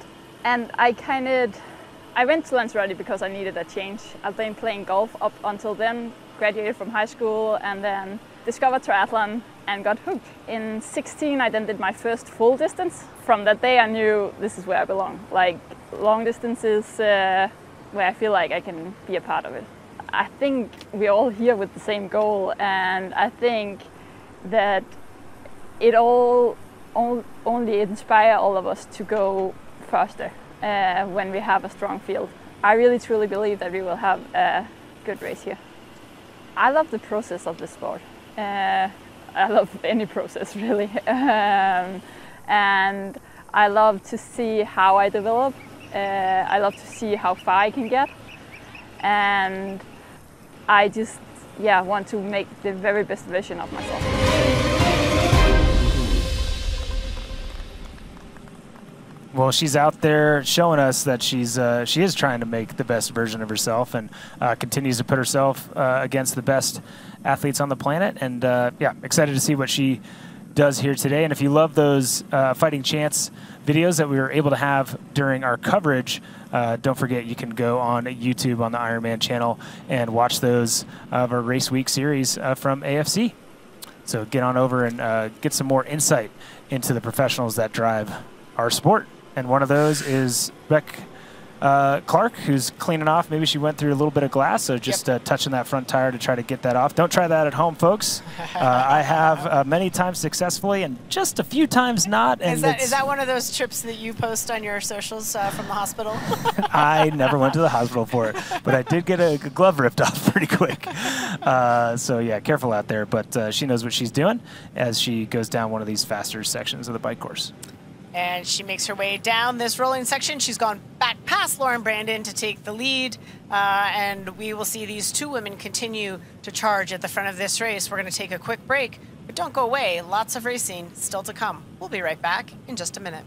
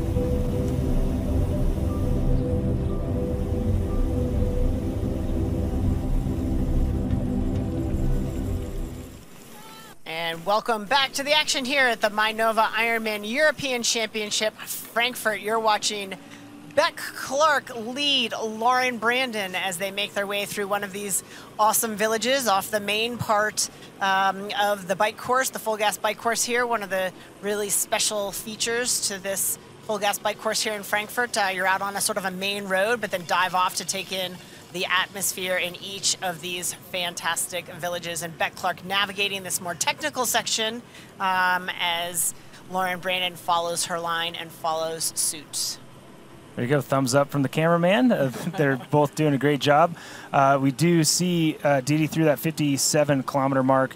Another 30 seconds or so. That chase group has pulled back on our leaders, and about the same, uh, Daniela has pulled back on the leaders as well. So uh, things staying Groups coming together. pretty, pretty Yeah. similar, but uh, yeah, moving around a little. moving moving up towards the front of Yeah. the race anyway. And if you're intrigued by some of the racing that you're seeing here, think you want to go ahead and enter one of these awesome Ironman races, but unsure of what your schedule may be, I want to keep you aware of our Flex 90 program, which allows athletes that register in the first 90 days that registration is open the flexibility to defer. Transfer or receive a partial refund if you are no longer able to participate in your race. You can enact these benefits up until 45 days before your race. So if your plans change, your race can too. So be sure to check out the Flex 90 program at ironman.com slash early slash benefits. Yeah, pretty cool uh, program. I think that Ironman's put together gives a little less stress Yes. if you uh, think think ahead, which I'm not very good at thinking ahead. Planning ahead. but uh, yeah, good stuff. Um, definitely planned ahead by uh, Rebecca Clark was to be at the front of this race, and uh, you know she put the work in to make sure she was able to get there, and uh, she's swapping turns with Lauren Brandon, and again a comfortable two minutes and six seconds over Sarah True, and then four and a half minutes uh, to kind of that bulk chasing group, and a further three minutes to Daniela Bleymehl. Uh, but you know, all pretty consistent. We're not seeing any huge movers up or back at this point when it comes to our top 10, but it is kind of solidified. Uh, Daniela Bleymehl has moved into the top 10, so all of our favorites at this point, our pre-race favorites, as Are far as I the- can see, are yeah, on the top 10. Are now in the top 10, Yeah. sure. Um, yeah, exactly. And when we talk about those race favorites, we talk about Sarah True, uh, we talk about Maja Stage Nielsen was second at Texas, Skye Moench, obviously, um, Sarah Svenk, who haven't talked an awful lot about, but she's had a period of um, injury and illness, so she is very excited to be here uh, racing against some of these uh, powerhouse women. And of course, uh, Daniela Bleymehl, who is our defending champion here in Frankfurt. Yeah, I mean, a, a super class field, and you know, we often would expect, you know, there's always attrition to some extent, uh, you know, early in a race, and we haven't really seen that. We had one drop out in the swim, One drop out, yep. Uh, but that's that's about it. So to see everybody, you know, six or seven of this top ten right now are, are pre-race favorites. So uh, pretty pretty consistent there as we uh, get back to Maja Stage Nielsen uh, at the front and uh, definitely moving through through this section of course pretty pretty quickly. Yeah, this is just a recap of Maja going back to the front of that group. This is uh, a group of five. Maja, Carolyn, Leah Ryder, Skye Moench in that group, uh, Jursic out of Poland, and Nina Derron. Um, so just some back and forth, and Maja wanting to be in control. It could be very calculated as they go through sort of the more technical Sure. sections. Uh, you might want to be in front of or behind. We saw that with Beck Clark moving ahead of Lauren Brandon. Not surprising, Lauren probably not as strong a rider through some of the technical sections. Yeah. Maja might have thought, okay, here comes a, a, a twisty, turny section of the course. I think I'm stronger technically. I'm gonna I'm gonna go to the front and lead the way on this one. Yeah, and that's why we see, you know, generally groups move through the field and gain time back, right? Is that you've got someone who's really good at flat, fast sections that when you get to one and you're not going fast, they go to the front. They're like, come on, guys, let's go. And on somebody who's better at hills and somebody who's better at descent. So you, you see people kind of uh, inject speed at different sections where when you're in a group of two or by yourself, it's just kind of a steady state the whole time.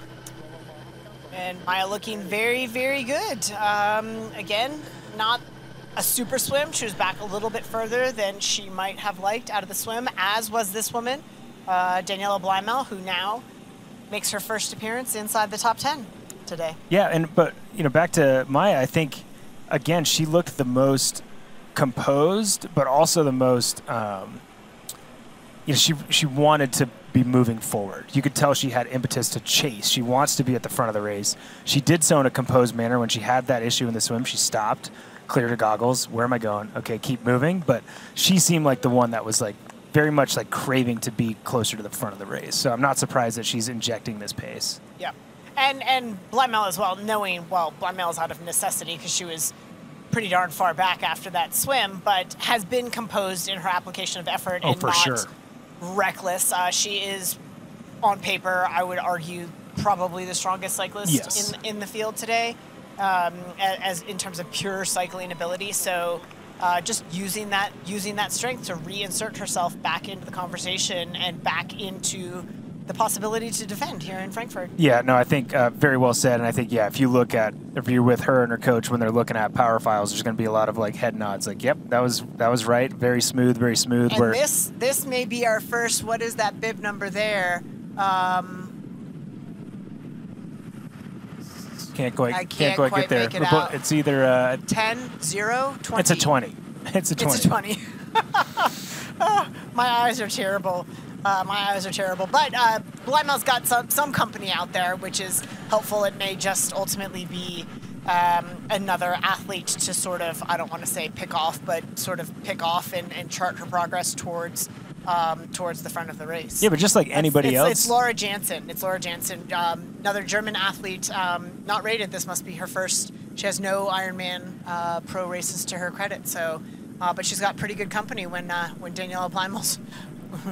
For sure, yeah, and no matter on your door. no matter who you are, and if you're riding well, like Danielle is, is is gonna, you know, you get some energy from being around another person, right? So it's gonna gonna boost her up uh, for sure. And um, you know, this athlete is is having a great ride at this point as we see her get to that kind of quote unquote technical section that we saw uh, Maja uh, Stage Nielsen move to the front. Yeah, that was not that long ago. I have not yet seen Sarah Svank, so I think she is somewhere in the mix, obviously between the two groups. So I She believe is, that yes. so this athlete that we're watching, Laura, riding with Daniela Bleymehl, Sarah Svank, somewhere in sort of in between in the quote unquote no woman's territory yeah, on her own. Yeah, from what, what we've seen on course, she was about a minute behind uh, that that first group, and at this point, probably about a minute and a half in front of these uh, two women on screen. So Sarah Svank and Sarah True actually are two sort of in no man's land athletes uh, wedged between uh, pairs and larger bunches as the dynamic continues to unfold here in Frankfurt. Yeah, there we go again. Laura Jansen on screen from Germany. Uh, she's was fourth at Ironman 70.3 Switzerland uh, not long ago at all, just a few weeks ago. Seventh at Kraichgau. Um, not seeing any Ironman results, as you said, but uh, pretty consistent 70.3 athlete, kind of in that uh, fourth to to eighth uh, zone. A, a good runner, um, so she's able to put a good bike together. You know, and it, sometimes the first time ignorance is bliss. Yes. Uh, but you know, she's a low 120 runner. You know, that could translate to a, a low 250 your first time out if you don't know any better, right? Well, and again, a smart move if Yeah. you're going to do your first Ironman, do it in your home country where you're going to have an awful lot of support out Yeah. there. As we look back at our chase group and some of the dynamics, some conversations there going on between Carolin Lehrieder and uh, Maja Stage Nielsen. Um, maybe just communicating about you know efforts or taking pulls or taking turns or potentially gaps and, and how they're doing and how the race is unfolding, but a little bit of communication within the, the women's chase group here. Yeah, and it looks like uh, Laura Jansen is actually, you know, is one of the quicker uh, movers on course, or at least through some of that later section. She was uh, about 25 seconds behind Daniela Bleymehl, so she's moved up and is uh, having a great bike ride and, and clearly using some of those faster technical sections to uh, to put her kind of effort in to move to this uh, second chase group. As we watch Carolin Lehrieder exit the village and back out onto one of the straighter sections of this course. It's always just still so fascinating to me that for a major European city that you get this this rural that quickly That quick. outside of the city. It's it's remarkable. Oh, for sure. As we see Lauren Brandon uh, just a second or so behind Rebecca Clark, uh, having a great ride, staying smooth. And again, these two athletes doing their best to hold off obviously doing a great job holding off at this point. Sarah True, she hasn't really made up any time on them, but they're certainly, you know, trying to hold off this chase group as long as possible because at some point it's quite likely that it's going to go from a group of two to possibly a group of eight. Uh, seven or eight athletes kind of all together once these groups come, come together. So uh, hopefully they're enjoying their kind of solo-ish time uh, with those two athletes, uh, spending a lot of time just uh, with each other, uh, setting that smooth pace because things will, the vibe will change drastically when this group of two, or if this group of two changes to a group of eight or nine.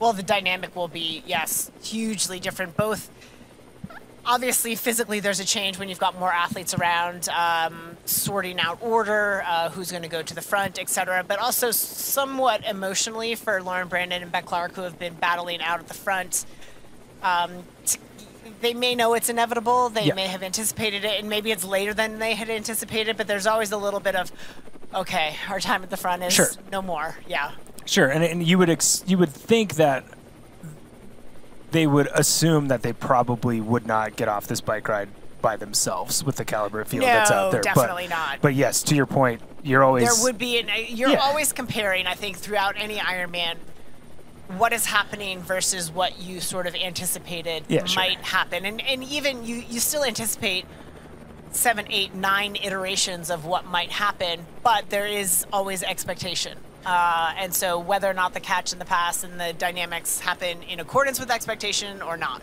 Well, and it, and it changes, right? Like I don't think either of these two athletes would have thought they would have have had six and a half minutes on the next chase group, right? sure. So like they're like, okay, well that happened. Maybe we do lead off the bike, and uh, you know that that changes. But I, I do think it's somewhat inevitable that that that first chase group uh, bridges up to these. Uh, women, but they're doing a great job at this point, and uh, Beck Clark certainly uh, showing her strength at the front of the course at this point, and uh, Lauren Brandon, no surprise to see her, you know, hanging on as, as long as she can, and again, just kind of putting in performances so she can feel confident going into that World Championship in October. But we talk about sort of as these groups might converge and, and when it might happen. We talked very, very quickly about, um, sorry, Laura Jansen being the fastest mover on the course. Her average speed over the last uh, little bit, 37.66 kilometers per hour. When you compare that to the woman on screen, Beck Clark, at 35.64 kilometers per hour. That's a pretty significant difference. So uh, definitely these changes in, in paces or these differences in how these athletes have settled in starting to have impact on your overall standing And to- obviously totally. And to me, it's it's impressive that an athlete that's her first Ironman has 70.3 experience. You see her actually getting better after that hour. Yes. Right. Like that's uh, you would expect the 70.3 rookie to be the one that to be the one that's most aggressive that goes too yes. fast for an hour and then uh, kind of uh, blows apart. So uh, she's having a, a, a great race and look forward to uh, Seeing more from her, seeing what she does and saying her name a lot more uh, today as she continues to work through the field. But uh, things start to spread out a little bit more after that. We have Marlene DeBoer in 12th place, eight minutes down. Uh, Katarina Wolf, uh, 10 minutes, and then the gaps start opening up 14 minutes, 15 minutes uh, to our athletes behind that. So I think kind of that top 10, 11, including Laura Jansen, that's uh, most likely where uh, a lot of this race is going to come from. Uh, not to discount uh, Marlene DeBoer, who's the last check was only about 15 seconds behind Laura Jansen. But again, Beck on screen, uh, riding well, running smooth, and comfortable. Again, I think in that in the conditions uh, maybe she's used to, kind of low 60s. Um, but again, this course, especially with that four lap run course to come, is opportunity for some very, very fast times today, especially from this woman on screen. Let's see when we get back from this break.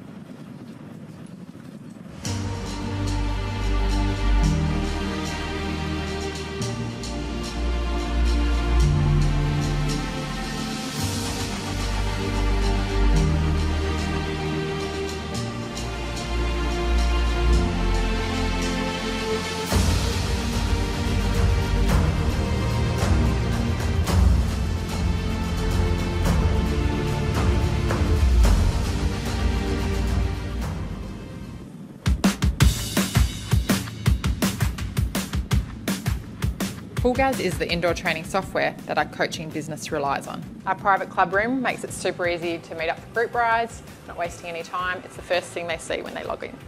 My athletes have never been more prepared for the specific demands of each bike course. It works for first timers, professionals, and everyone in between.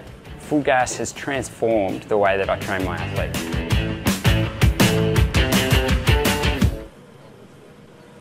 And welcome back to our coverage of the Mainova Ironman European Championship here in Frankfurt.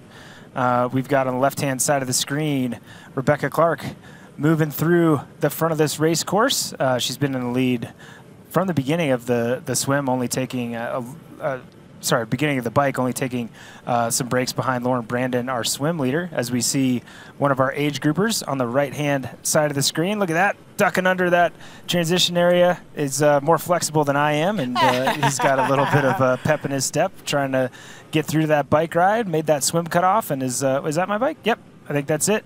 Take that one, buddy. It's all yours. As I say, you might, you might be thinking that's not my bike, but it's all I got. That's amazing. Love it. So uh, it's a great juxtaposition to see uh, Beck Clark on the left-hand side of the screen. You know, we we focus obviously in this race coverage our elite athletes, but it is the age groupers that uh, make up the majority of our racing here at Ironman. He gets a little advice: don't get on yet. You'll get uh, you get a penalty just like everybody else. So he gets to that mount line. Uh, he's going to throw that leg over and get on the course. And uh, again, it's uh, anything is possible, and it's often uh, the age groupers that really uh, show us that, not just our professional athletes. So awesome to see that, and uh, appreciate that coverage from our, our camera folks. well, and awesome, just also.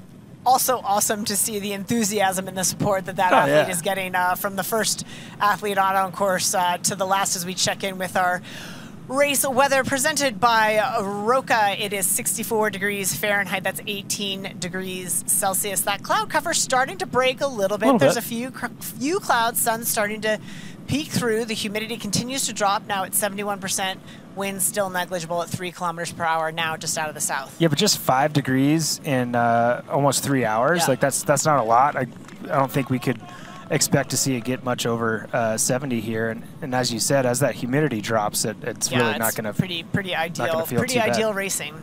Yeah, and I think for, conditions. for this woman on screen and someone who's going to have to put a lot of power on that bike ride and then be consistent on that run, um, put herself out there a little bit, these conditions are great as we do see uh, our lead women going through that 73 kilometer mark. Uh, Beck Clark goes through 153.40 and Lauren Brandon 153.22 for ride time. So we'll see how far back Sarah True and the rest of our women are, but no doubt this woman on screen, you know, it's it, it nothing that we it doesn't look exciting what she's doing right now right but that's that's how you have a fast consistent bike split she i almost guarantee you she will have the fastest last 40k of anybody on this in this field and it's because she's just being smooth and consistent and i say that because she's consistently done that in the past It's it's sort of interesting too because an athlete of her caliber, as we take a look screen right here, this may be one of our last swimmers uh, making their way out of the Roka swim course. Lots of water support there, uh, cheering this athlete uh, to make that swim.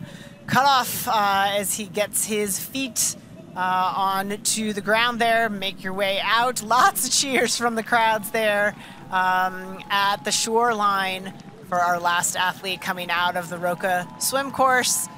Get yourself up, get yourself across that timing mat. oh man it's Maybe uh, get yourself a Roka swim skin. Yep.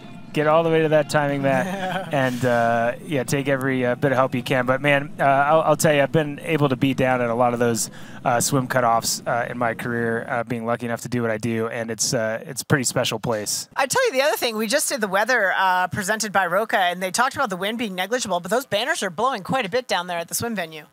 Yeah, no, they absolutely are. I think it's a pretty. Uh, you know, I think one of the shots we had of uh, Maja Stage Nielsen, she was, you could see the the bib number fluttering quite a bit Yes. from kind of a side wind. So the wind is coming up just a little bit, and uh, we're in studio now. We'll get pictures back to you as soon as we can. You don't want to look at us, I know. I'm sorry, but we'll we'll we'll get uh, get footage back to you as soon as we can. Um, but Oh, update though, uh, Sarah True out on course at mile, sorry, 73 kilometer marker, uh, 145.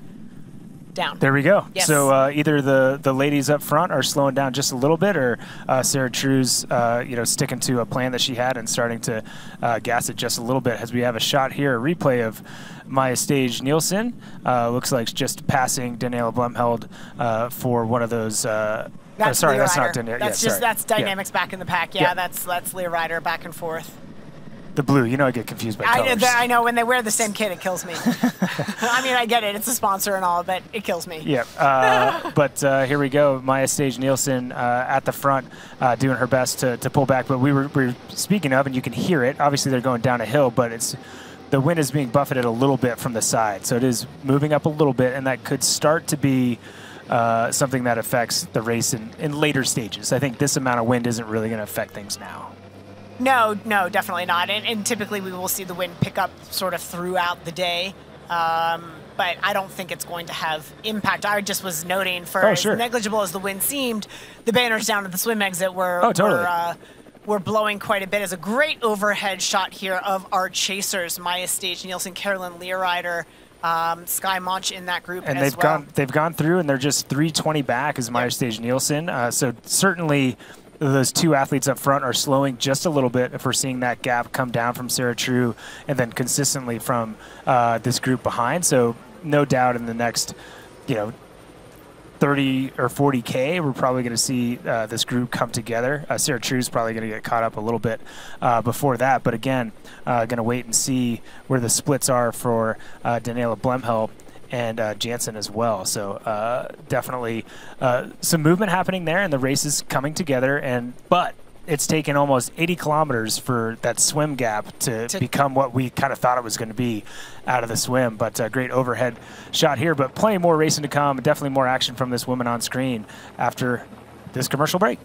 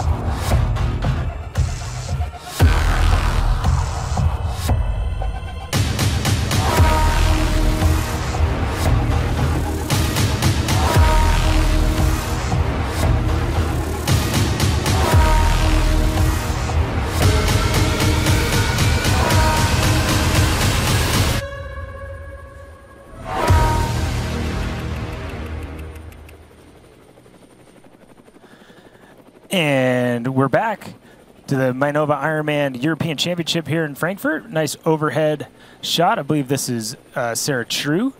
Uh, she's one we've seen, kind of this dark blue, uh, black kit, and she's made up time on our leaders, so she's about a minute and 45 seconds back. But bad news is uh, the athletes behind her are making up even more time, but I think she would expect that, or certainly from what she's seen in the last little bit. And I think, Dee, what we had talked about earlier is, you know, your pre-race plans are one thing, and then you have good uh, intentions, and your head's in a good spot, and then you come out with like a six-minute lead. You're like, maybe I'm going to go wire to wire, right? And then probably talking yourself into, no, my plan was to have a good bike ride and then have a running race. And I think Sarah True will be confident enough in her run to start with these women and have a good run.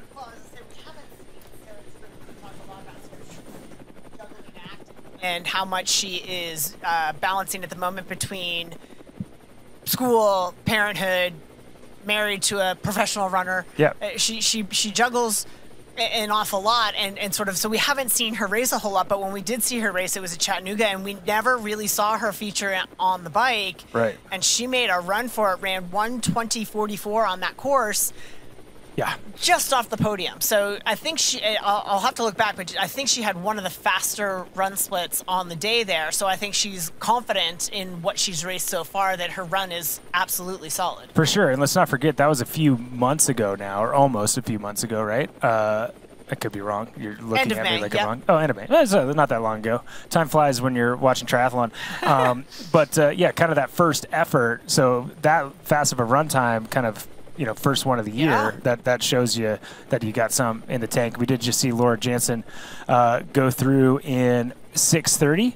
Uh, so right behind, you can see on screen Danielle Bleymehl at 6:29. So those athletes actually haven't made up really any time on that front group. They're pretty much riding the same pace as that not front group, excuse me, that chase, Chase group. They've been consistently about three minutes back Yep. for the last bit, which is fine because that chase group is moving up on the front of the race, and generally you'll see things stall when the group catches the front. You'll see everybody's might start looking around a little bit more. I have a, a theory or a hunch that uh, Maja Stage Nielsen might continue to push the pace. She just seems like she has that in her today, and I think Well, we've seen it's Maja Stage and, and Carolin Lehrieder have been at the front of that group the whole time. and they're thinking and forth, about they're thinking about this woman on screen. They're not too worried about the ones in Yep. front. They're worried about her.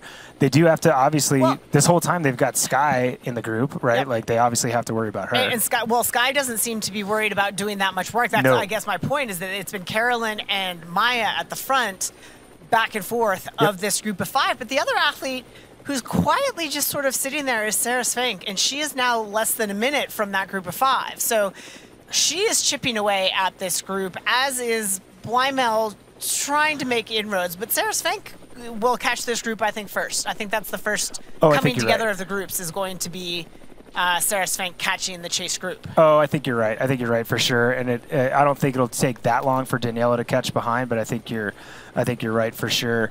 Um, and if you're looking for rest and relaxation and a great racing experience, yeah, then come race Ironman 70.3 Erkner on September 10th. It's just a stone's throw from the German capital of Berlin, and yet hidden deep in the Brandenburg forest lies the charming small town of Erkner. Be amazed by the idyllic landscapes of the Oder Spree region with its wide meadows, impressive forests, and dreamlike lakes. Don't miss out. Register now at ironman.com slash imeurope. Yeah, Some looks like, great scenery there. It's beautiful. looks like they have a good time too. Uh, having a good time, uh, literally, uh, the two women at the front uh, of this course, just hitting about three hours in our race so far today. Uh, the women that you know put the effort in early on the swim, uh, got that gap, and are uh, you know enjoying the luxuries of being able to kind of set their own pace for a while because things might start getting not chaotic, but once that group catches, they're going to be in the 90k, 100k range, and that's where people start getting tired, right? And so if you've been riding to hold the pace of those around you, and then somebody puts an effort in, and in my opinion, you never know, but often it'll be someone like Skye Moench who you haven't seen do much. Yes. That's they're like, okay, let's wait till it comes together, then I'll do my thing. And then and then I'll, I'll try to disrupt it and, and make a move so that this group that could be potentially eight people That's a lot. Uh, pretty shortly um, isn't eight people for long. Yep. Um, as we look at, I believe that's Sarah True chasing uh, with Lauren Brandon and Beck Clark at the front. We're going to take a quick commercial break, but don't go away because we'll be right back with so much more racing still to come here in Frankfurt.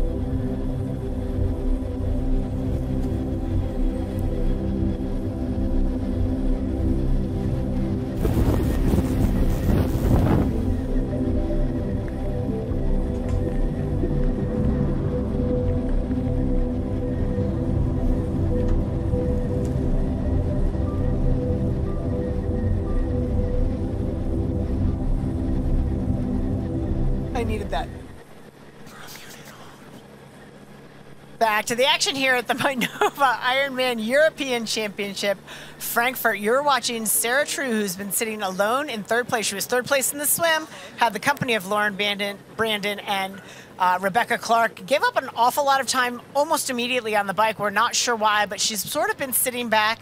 Uh, the gap to the lead two women was as much as two minutes 12, I believe, and now down to a minute 39 seconds. Yeah, no, and it's uh, you know she pulled back another six seconds in the last uh, three or four kilometers, so uh, continuing to move forward, and she's going to start seeing. Maybe she won't see the athletes necessarily, but she'll see the motos that are next to the athletes. She'll see this helicopter that's got the shot, and that makes things feel pretty close. As far as Sarah is concerned, like this helicopter will feel like it's right on top of her. Oh, sure. So she knows that she's she's quite close. Uh, so good things for her. Positive uh, encouragement uh, from outside sources, and uh, again, she's she's going to get caught uh, by this group behind unless she's been uh, saving a huge move that is uncharacteristic for her. But I, she's an athlete that's going to be confident in her run with this field. I think. I think Skye being the bigger concern for her on the run at this point. Uh, Bleymehl clearly will be as well, but right now she's uh, still in arrears. But Sarah has proven to herself that uh, she can outrun Skye, uh, most notably last time at Ironman Arizona, where they just kind of went toe to toe, and Sarah just kept driving it. It was that was an amazing, amazing race. Yeah, and, and, and Sarah knows she's running well. I mean, her performance at Chattanooga confirms that. Um, so I think she's confident in that. And to your point, not disrespecting Lauren Brandon and, and Beck Clark, No. but uh, on paper, Sarah's got their number once they start running. we've got the the great thing about triathlon is we know anybody can break through on any day. Yes. But we also have all this data on what these people have done in the past. Right. And anything we're saying is on somebody's best day and somebody else's best day, this person's better. Is- yes. Somebody's always going to have a bad day or a better day. Um, but on paper, I'd say Sarah Sarah is is kind of that runner, and um, you know at times she can move around on the bike where it seems like she's not as confident. Like I feel in Chattanooga, she lost a little bit of time uh, on the bike that was maybe surprising at times, but she was able to get it back, as you said, on the run. But she's always there. And I mean, how long ago was her fourth place at the Olympics? Like the um, length of time that she's been at this very, very elite level of triathlon Yes. is staggering. Like it's like 20 And, years. and across multiple distances. I mean, Totally. obviously, fourth place at the Olympics, great 70.3 athlete as well, and has been uh, like fourth on debut at the Ironman World Championship, you know, for the Ironman distance. So just a hugely talented athlete um, across all distances. Yeah. Um, it's an extraordinary career. Yeah, I mean that, that that Olympic Games fourth was in 2012. Yep. That's 13 years ago, and the uh, the amount and the the time it takes to get an athlete to a fourth place before 2012. Yep. I mean, she's been grinding since early aughts, right? So uh, she has more experience and kind of race savvy, and when you combine that with that stubbornness I spoke of and confidence and uh, belief in the um, you know kind of the system she's working within she's a tough athlete to beat and i still think Well, she's she's also sort of a no time to waste kind of athlete. Like, she's not 100%. here to, to have a, a new experience. She's raced in Frankfurt. Um, I believe it was one of her first Ironmans. Uh, she's had good races here. She's had horrible races here, and Yes. we'll talk about that Yeah. likely later um, into the race.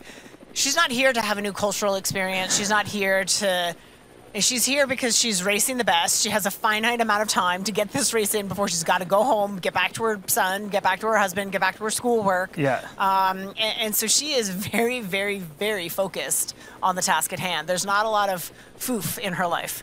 no and i mean that that uh, race that you spoke of her first ironman here you know she was second place to daniela ryf Yeah. right like and, and then she went straight away a few months later to kona and was fourth place there. So like and then you know we spoke of kind of that year where she had some bad luck that dnf uh, here very late leading the race and uh, then you can see she's gotten back into that consistent uh, racing that she's had and uh, just a just a great athlete to watch but a lot of other great athletes out here on course have gone through that 77 kilometer mark so now the, the gap is under three minutes uh, to everyone in that chase group uh, with sara svensk still one minute exactly uh, behind that group at four minutes back and still exactly three minutes back, Daniela Bleymehl. And to me, that states, you know, we're talking about kind of that momentum gained by being in a group. Yes. And Daniela's just like Pac-Man, just jump, jump, jump, jump, just super steady, moving the whole time. As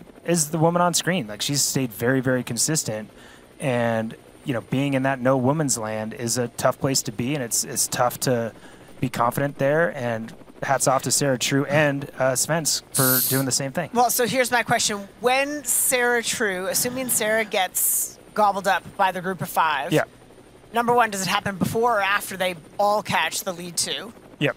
Question number two: When Sarah gets caught by the group, is she surprised by how large it is still at this stage of the race? Uh, I don't think I don't think it'll phase her, and I think she will get caught before she catches the front of this group. Um, you, she might even look over her shoulder and, and see that. Uh, but I think uh, Sara Svensk is the other one that's kind of like again, she's right in that minute between. Yep. She's probably going to catch that group at some point, and then kind of kick herself because Daniela Bleymehl is probably going to catch within like a couple miles, right? So it always feels like you do a bunch of work. But speaking of Sarah, you know, our great uh, crew down at AFC was able to uh, get some words with her coming into race week. So let's go down and see what Sarah had to say had to say about coming. in.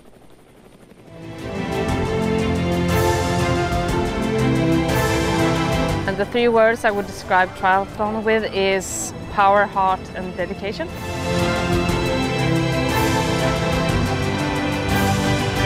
Oh wow, yeah, I always wanted to race Frankfurt. It's always been one of my bucket list races. But unfortunately, it has never fitted into my calendar, or I've been injured or sick. But this year, it fitted very well, and I'm healthy and I'm ready to race.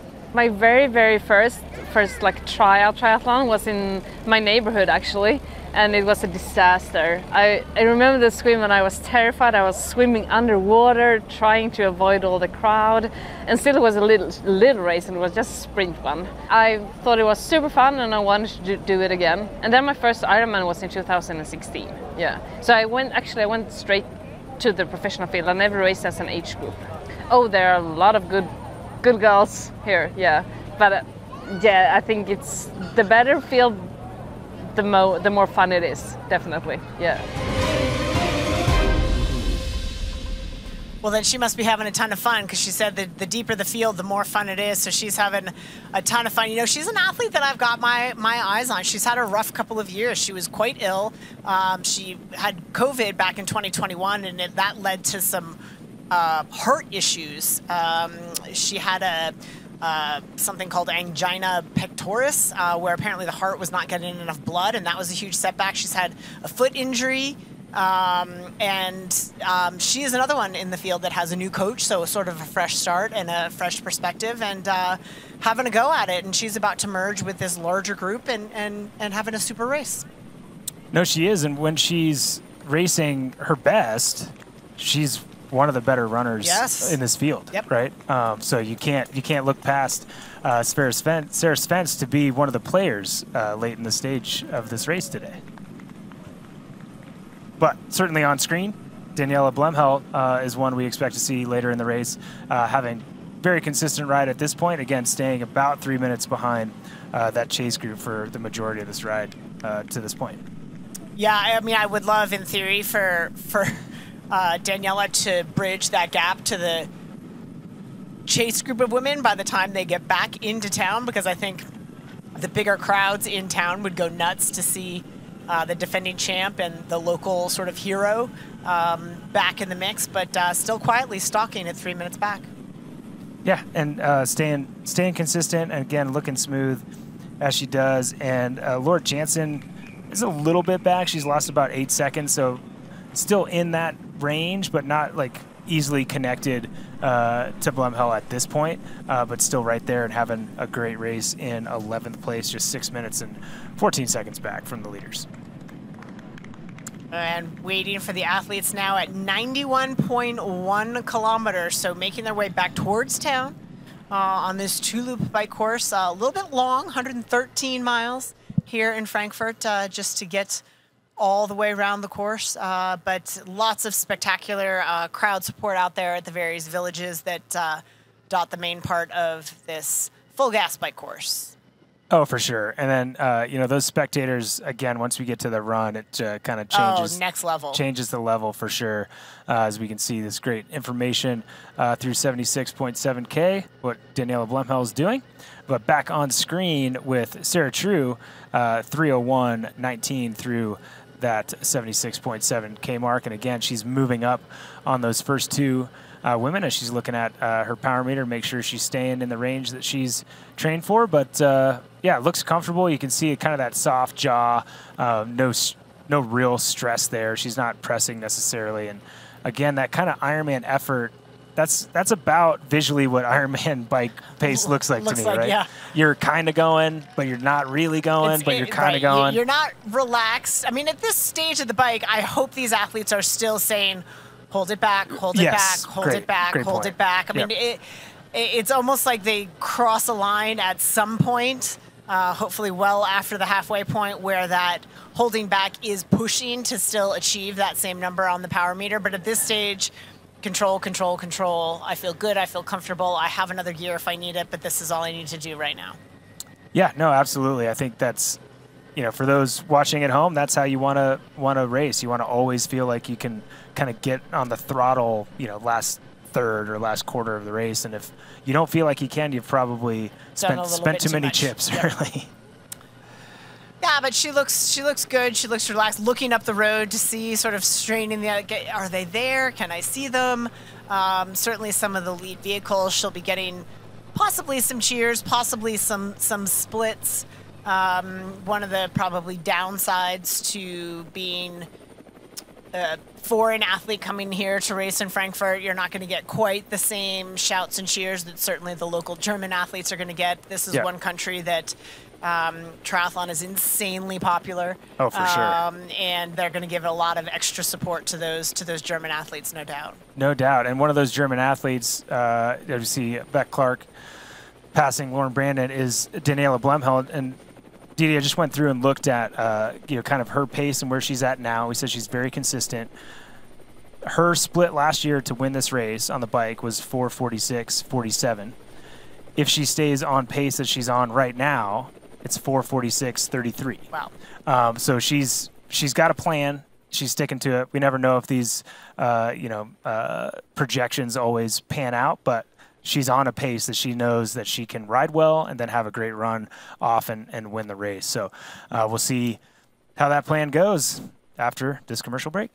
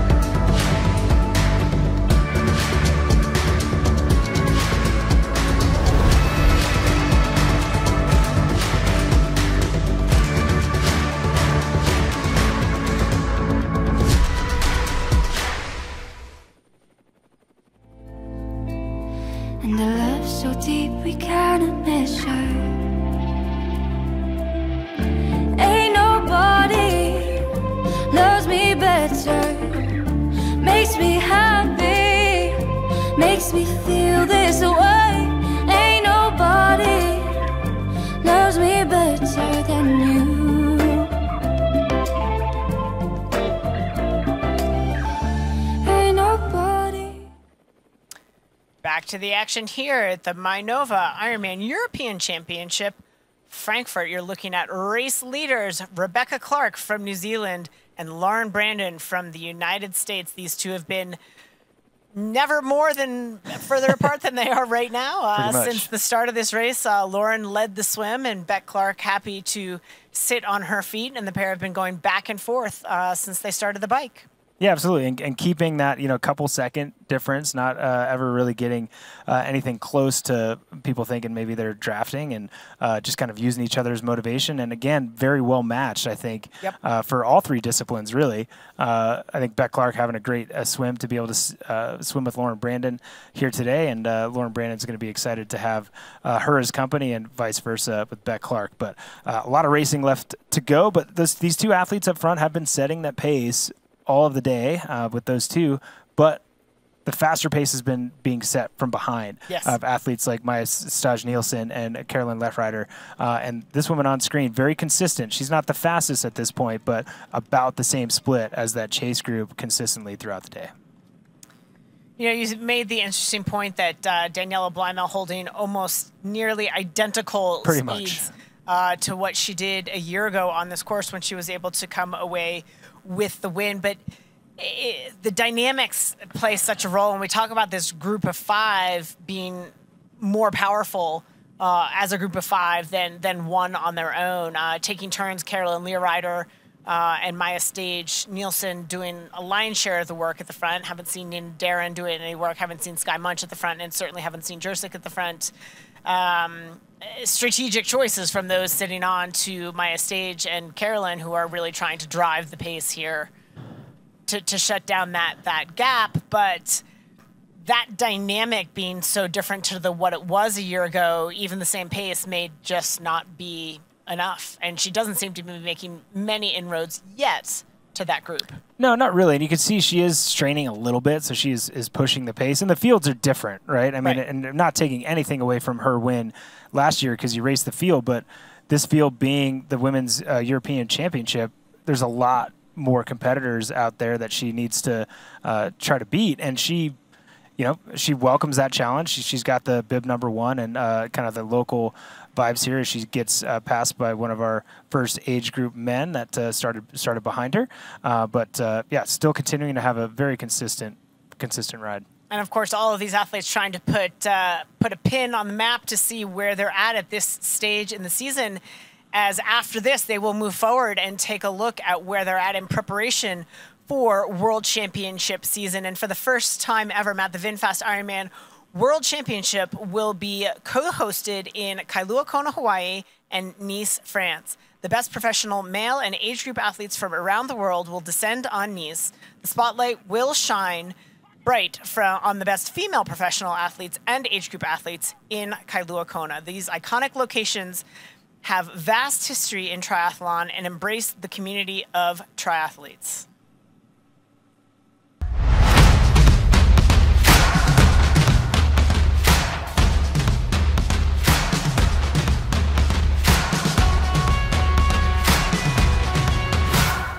It's going to be an iconic race in an iconic location. The home and course of many, many champions fought out. It must be nice to be in Nice if you're Mark Allen. I had the opportunity to compete in my first Ironman World Championships in 2022 in Kona on the Big Island, and it was a dream come true for me. It is one of my favorite places in the world, and I feel such a spiritual connection with the island. I am personally very, very excited to be there. A race the course is going to be challenging, hilly, hence why I'm in the hills preparing already for it. But I tell you what, no one knows how to put on a triathlon party quite like the French. The race venue is amazing, but what makes it so special is the community there and how they embrace triathletes and also our community of triathlon that gathers there every year. So I'm sure we're going to be in for a treat looking forward to a beautiful course in the Mediterranean. I've had the pleasure of living there for a few years, and I can tell you it's gonna be spectacular and worth preparing for. I felt so proud to be representing myself, my family, my daughter, and my teammates out on Ali'i Drive and on the Queen K. Looking forward to seeing you there. Enjoy the celebrations and even more the preparations. See you then join me there in 2023 to enjoy the magic that is the Big Island during race week.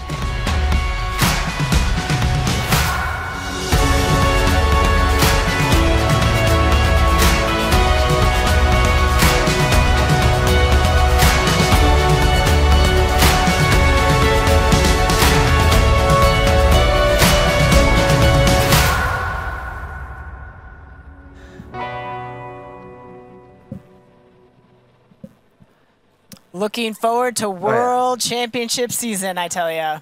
Uh, so am I. Can't wait to be out on course uh, watching uh, this and historic. A lot of these year. athletes have yet. To, a lot of these athletes have qualified. A lot of our favorites in the race have qualified, but a lot of athletes still hadn't. And in this professional women's only race, there are four qualifying slots up for grabs, which is super exciting for a lot of these women yeah. who we haven't actually been talking about because they're not some of our race favorites. Because so many of our race favorites ha- already have slots. But as of right now, um, Jursic is sitting in a Kona slot, as is Sara Svensk, and those are two athletes in our top 10 so far uh, who need slots. Uh, I believe Nina Derron also needs a slot. So Jansen. Um, Jansen. So yeah, a lot of the athletes that um, are in contention right now have a lot more to race for than quote unquote just the podium. A lot of our athletes racing for the podium and other motivations, but a, but a handful of these athletes four qualifying slots up for grabs. No, there's so many different reasons to come race a race like this, and that's one of the reasons I'm so impressed with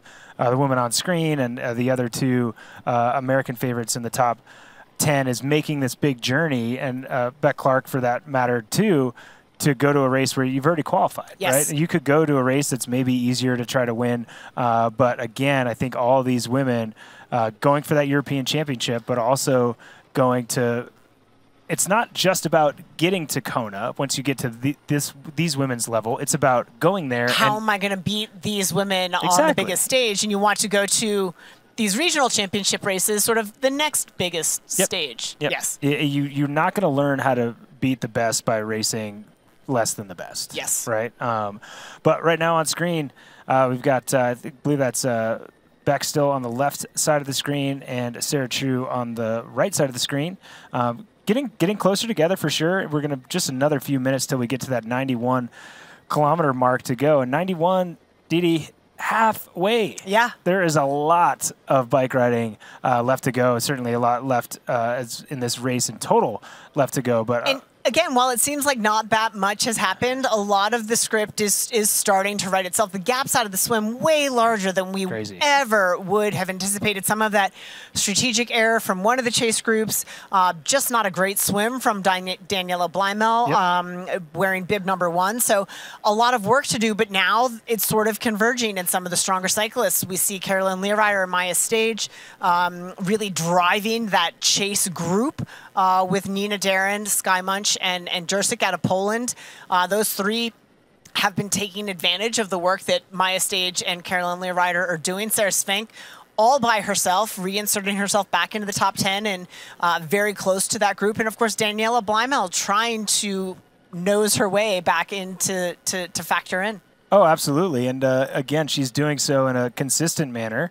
Um, again, you know, noting her her pace and her split from last year, she knows that that's something that she can ride and have a good run off of. And, and let's not forget what you mentioned is that you know she's been getting over a, a calf injury, so Yes. you you normally can't you normally don't want to overdo the bike because your run's going to suffer, but certainly if you're trying to uh, make sure a calf doesn't lock up or get uh, you know annoyed uh, late in the run, you want to make sure you don't overbike. So she's she's being consistent and uh, and honestly, how, as have the rest of the women in the top ten. No huge moves, right? Like we're not seeing any like gaps going down by two minutes quick of someone that's overextending themselves or anybody blowing up at this point. It's all been pretty consistent. Nothing much has changed. I mean, I think Sarah True has went back a little bit. Now she's going forward, but besides that, everybody's kind of maintained a, a similar ascension through the field. as would be expected for athletes of this caliber. Sure. Again, eh, we talked about where Daniela Bleymehl's headspace may be and that these gaps aren't coming down the way she might want. Um, but when you're dealing with athletes of this caliber, anyone can ride those 90Ks really well. It's, it's later in the race um, where errors earlier are going to get magnified and where sort of the, the cream rises to the top, so to speak. And, and some of these true strong cyclists will be able to use that strength against someone that maybe has overspent in the, in the early stages. Yeah, for sure. As we see uh, Clark having a having a good ride here, uh, getting up one of these little rollers and this overhead shot. It seemed like she was maybe opening a, a gap a little bit more than had been, but it does look like Sarah True's actually on the same climb. Stretch, yeah. yeah. So uh, you know, getting getting a little bit closer. Hasn't hit uh, the steeper sections yet, but uh, curious to see if things start to open up. I, I might have just been seeing things there with that overhead shot, but it looked like things were stretching just a bit, and that's where about where we'd expect. Maybe a little early, uh, halfway through. You know, somebody would have to be overextending a fair bit to really start falling off the pace, but. Uh, about here forward is when we're going to start seeing the gaps uh, going uh, either direction. But yeah, this does look like uh, Sarah True's on that uh, same stretch of road. I, again, I'm just struck by those stats that you know we had uh, we had the headshot there of, of Sarah True and and looking at her results from Yeah. last year, and while her volume of racing is down a bit because of all that she's she's juggling at home. Her record of racing is her percentage of success. Her hit rate is, is pretty high. Pretty high. I mean, we're looking at a win at Arizona, a win at Lake Placid, a win at Eagleman all last year. The obvious DNF in Kona.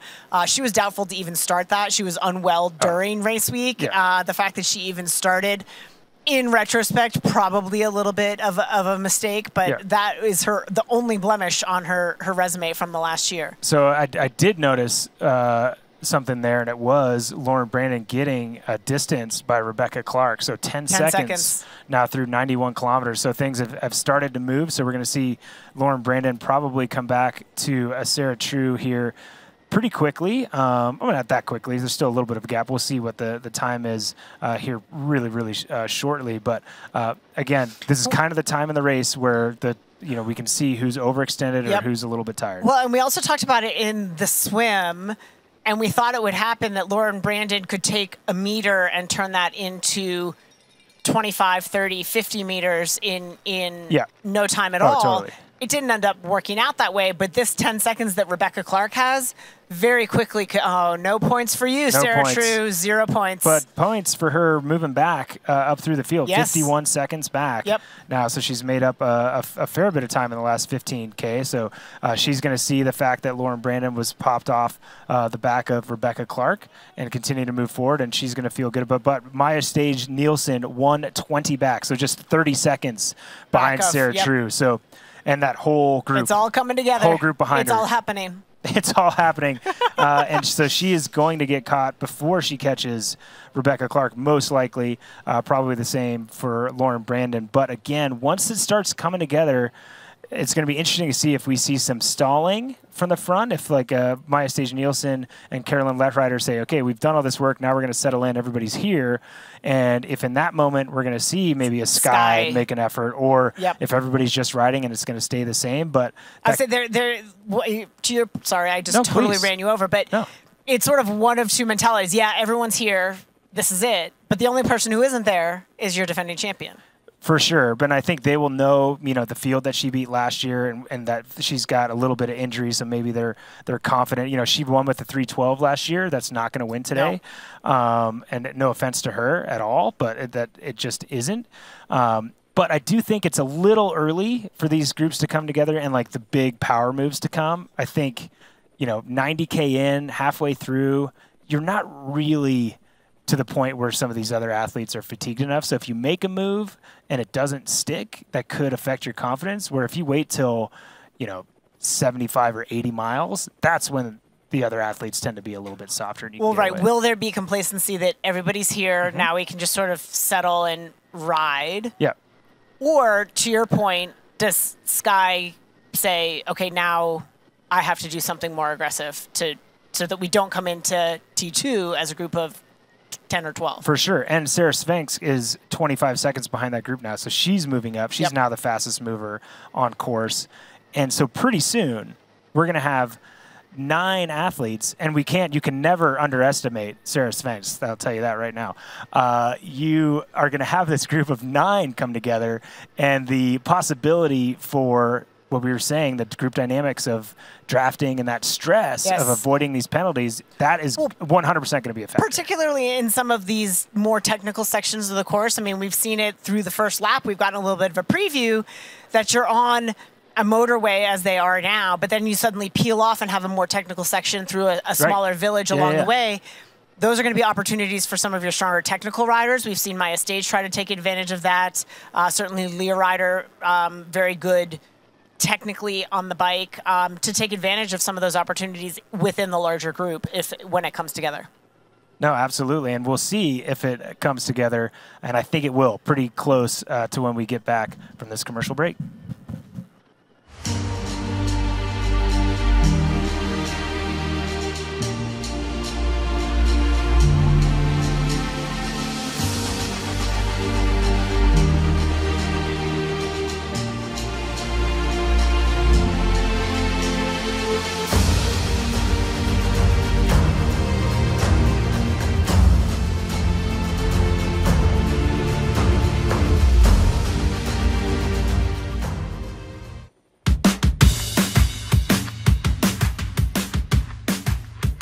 FulGaz is the indoor training software that our coaching business relies on. Our private club room makes it super easy to meet up for group rides, not wasting any time. It's the first thing they see when they log in. My athletes have never been more prepared for the specific demands of each bike course. It works for first timers, professionals, and everyone in between. FulGaz has transformed the way that I train my athletes.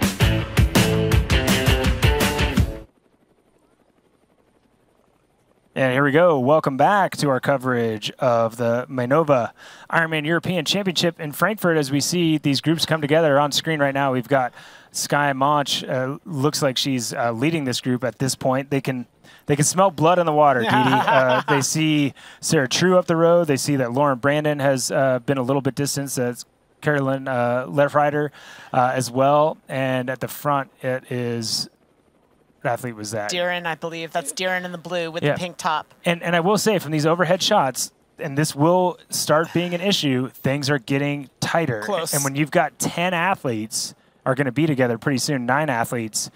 Uh, the uh, the race officials are going to become uh, a factor to this race uh, as they do their job to make sure because the difficulty, the distance is one thing, but it's m- moving within that group Yes. is when it becomes difficult and athletes can kind of Particularly when it gets technical and there's turns and corners and you have- someone hits their brakes and you're not anticipating it and you ride into the zone, but then it's technical and you can't get past them. Exactly. Yeah. So that there'll be a lot of opportunity for unintentional Yes. breaking of the drafting rules.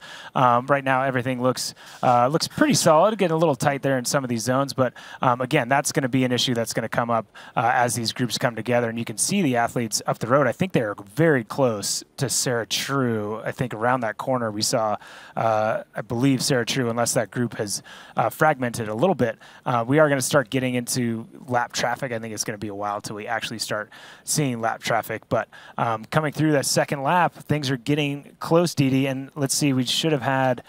Uh, let's see, Lauren Jansen has gone through. She was 432 back, so a little bit closer. No, exactly that three minutes still. Haven't seen the split of Bleymehl uh, come through, but those two athletes were riding together, so not seeing Bleymehl's name is just a, slightly concerning, but um, Yeah, and you like that again. Is that a tr- is it a chip error? Is it a because she was ahead of Jansen as I recall by Oh, she was just like 15 seconds. So it's uh, no alarm bells yet. We'll give it another uh, little bit to see uh, where those splits are. But nice overhead shot of this chase group as they're uh, moving through the field.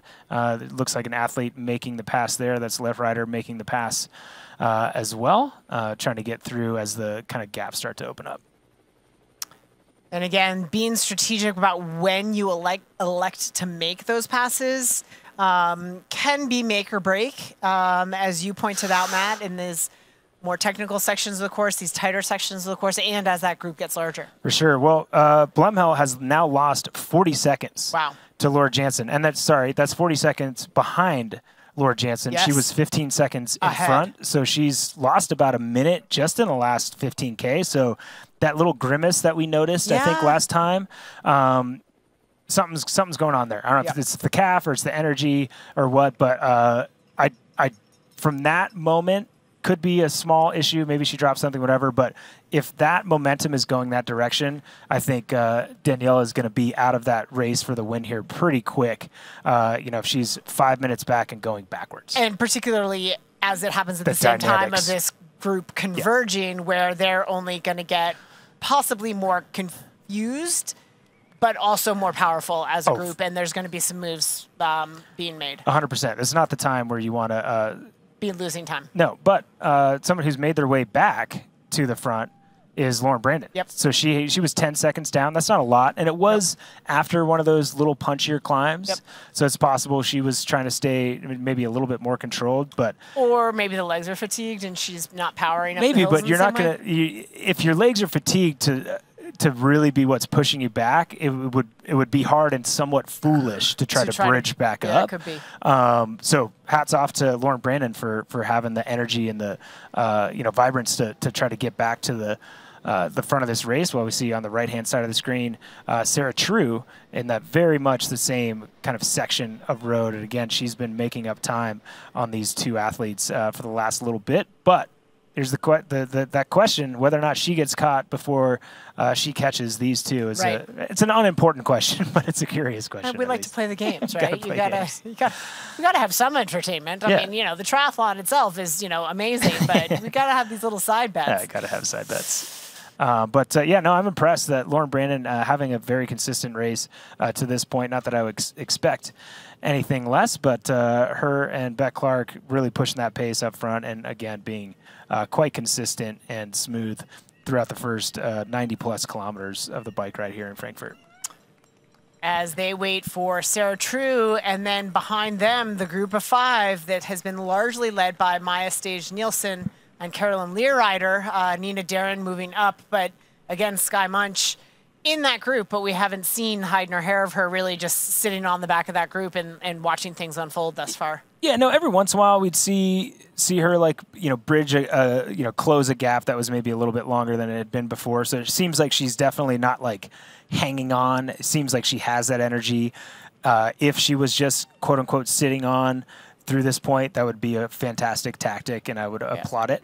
Um, so uh, you know, hard to say. We'll know at 120k if she's uh, making a making a break off the front of this group, and you know, pretty soon when this group comes together, she's going to be like, okay, this is exactly where I want to be, right? I That's was, a- I, I was You just saying, I was see her? trying to, I, yeah, I almost thought I saw the, the other camera moto that was with Sarah True as the athletes made rounded that corner, but I, I mean, they're almost certainly going to be in this straightaway at the same time uh, with the way these gaps are coming down. So we'll see if we see Sarah True get into this section road. There she is. There's that left-hand corner as she gets caught. yep.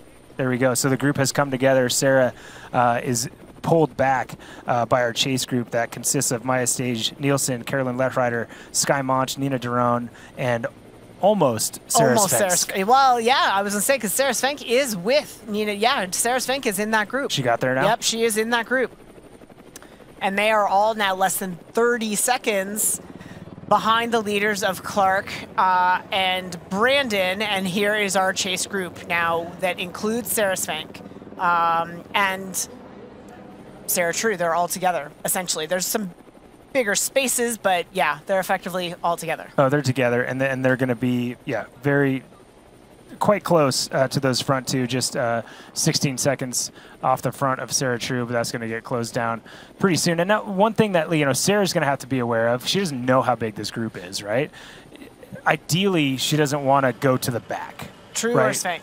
Uh, sorry, uh, great. Uh, true. Yeah. Uh, you know, she's been off by, by herself, so she'll, she's going to know that the group is coming, but if she's not aware and look back, she's going to end up being back in that ninth position. And then if she wants to make a move, and this is where those like tactics and dynamics matter, is that if you want to be able to answer a move. if, If, somebody goes to the front, Yep. and let's say it's, and I would bet if somebody was going to do it, it would be Maja Stage Nielsen goes to the front and then just goes, Yep. and you're sitting in ninth and you don't see it, Yep.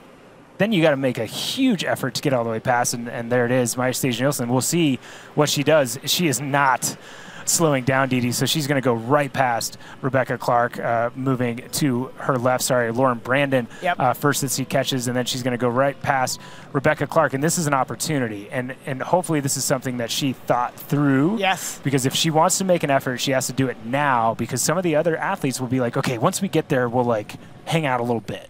And like, right? Like some athletes will be thinking that. and that. she doesn't want to give No. anyone a chance to hang out and, and wait a little bit. Let Rider is not letting that happen either. Yep. Uh, so there we go, come together, and definitely no time wasting. But right now, so these two athletes that have had the impetus are in a great position, and if they had a rearview mirror, they would try to continue to push on because they're now separated by the two athletes that they caught, And- the slowest other- athletes. I would say the other group of five, the, those a little left, Yeah. Derron Moench, uh, Svensk just joined in that group, but are trying to get past uh, Brandon and Clark as well. and this is where you risk that like slotting Yes. in, right? Um, so this is where even with someone doesn't have intent, you have to react and like you have to think three steps ahead. I, I, and I can't see who it is, but the second to last rider who is making the move up the outside right now is basically forced to go all the way to the front. Totally. And here we go, looking at Sarah True, looking over her shoulder as she sees the moto come by, and Sara Svensk, the two Sarahs exchanging uh, a word or two. Um, Sarah does, uh, True doesn't look too stressed, and that wasn't Sara Svensk, I'm sorry. That was Maja Stage Nielsen. Um, but uh, there's that pass there, and she continues to push through the front of this course. And now past Beck Clark, we have a new race leader in Maja Stage Nielsen, who had done so much of the work um, in that group of five chasing, uh, now sitting at the front of the race overall for the first time today. There we go. Yeah, and it's uh, again, it's getting getting cluttered, and it's these are the as it comes together is the dangerous time Yep. for for these penalties. Again, we see someone going up the outside now, has to go all, All the way, way. to the front. Uh, would love to stay with this shot to see that she makes it all the way to the front because otherwise we're talking about that slotting in, which you are not allowed to do. But burning some matches here by going to the front, whoever that is. yeah, uh, and it's I can't see from this distance. It's not Skye. No, it is not. And it and we we saw this at 70.3 Worlds a couple years ago, um, and it is. Uh, you know, it's challenging, right? Like you have to actually like almost hit your stopwatch Yep. and say, okay, here's the math. There's four riders ahead of me. I got 20 seconds to patch each. Let's do it. There was an official right on it, though, as well. There should be. We're at the front of the race, and here is the athlete. I think that is Sara Svensk on the tr- on the trek. Yeah, it must be because that's the athlete we have not uh, seen uh, much of today, but she's uh, rolling well and definitely not waiting around for anybody. Here's another replay of Sarah making the pass on Maja Stage Nielsen. And so now, within a span of about two kilometers, we've had three different race leaders. and that's going to be happening a lot from here on out if this group uh, stays together. But uh, again, I still think kind of big story is the fact that we've got now a gap of over four and a half minutes um, to our defending champion. As all this is happening, uh, one thing we know, Dede, as all this is happening, they're not going slower. No. They are accelerating for sure, and uh, in a way that they haven't yet today, even for athletes like Sarah, who's been on her own throughout the day, setting a, a steady pace. Um, you know, she knows that she had the strength to pull up to this group, and, And now what, she I can was try gonna to say, what does it again. say to you that she, not only did she pull up to this group, but she said, I'm going to go straight to the front of it? Yeah, because she's She didn't take a pause at all. She didn't say, okay, now I've caught the group. I'm going to sit in for a minute and take a breather. She went absolutely straight to the front of it. No, I mean she's settled in, right? She's been in this effort, and like it can take you out of what's been helping you to be successful up to this point if you adjust. And that confusion is when you are maybe allowed, quote unquote, to get up the road and to get a gap. If you stay in that group, then to make an effort to get away, it's going to have to be a much more dynamic one. You're going to have to wait for a steeper hill or a technical section or just push huge watts. Where in this section, she can kind of use that momentum and hopefully just catch people falling asleep. And she's got a lot of positive momentum behind her after a couple of tough years. I I think I mentioned earlier she had COVID in 2021 and ended up with some heart complications as a result. Um, she had a, a foot injury. Um, I believe that pulled her out of uh, the Ironman World Championship. I don't know if it was last year or the year before. She's another athlete. She's recently changed coaches. Uh, she's a doctor. She is now focusing full time though on triathlon, no longer practicing medicine. So um, a lot of positive things. She was very, very excited for this opportunity. We'll see if she continues to capitalize on her lead after this quick break. Don't go away. We'll be right back.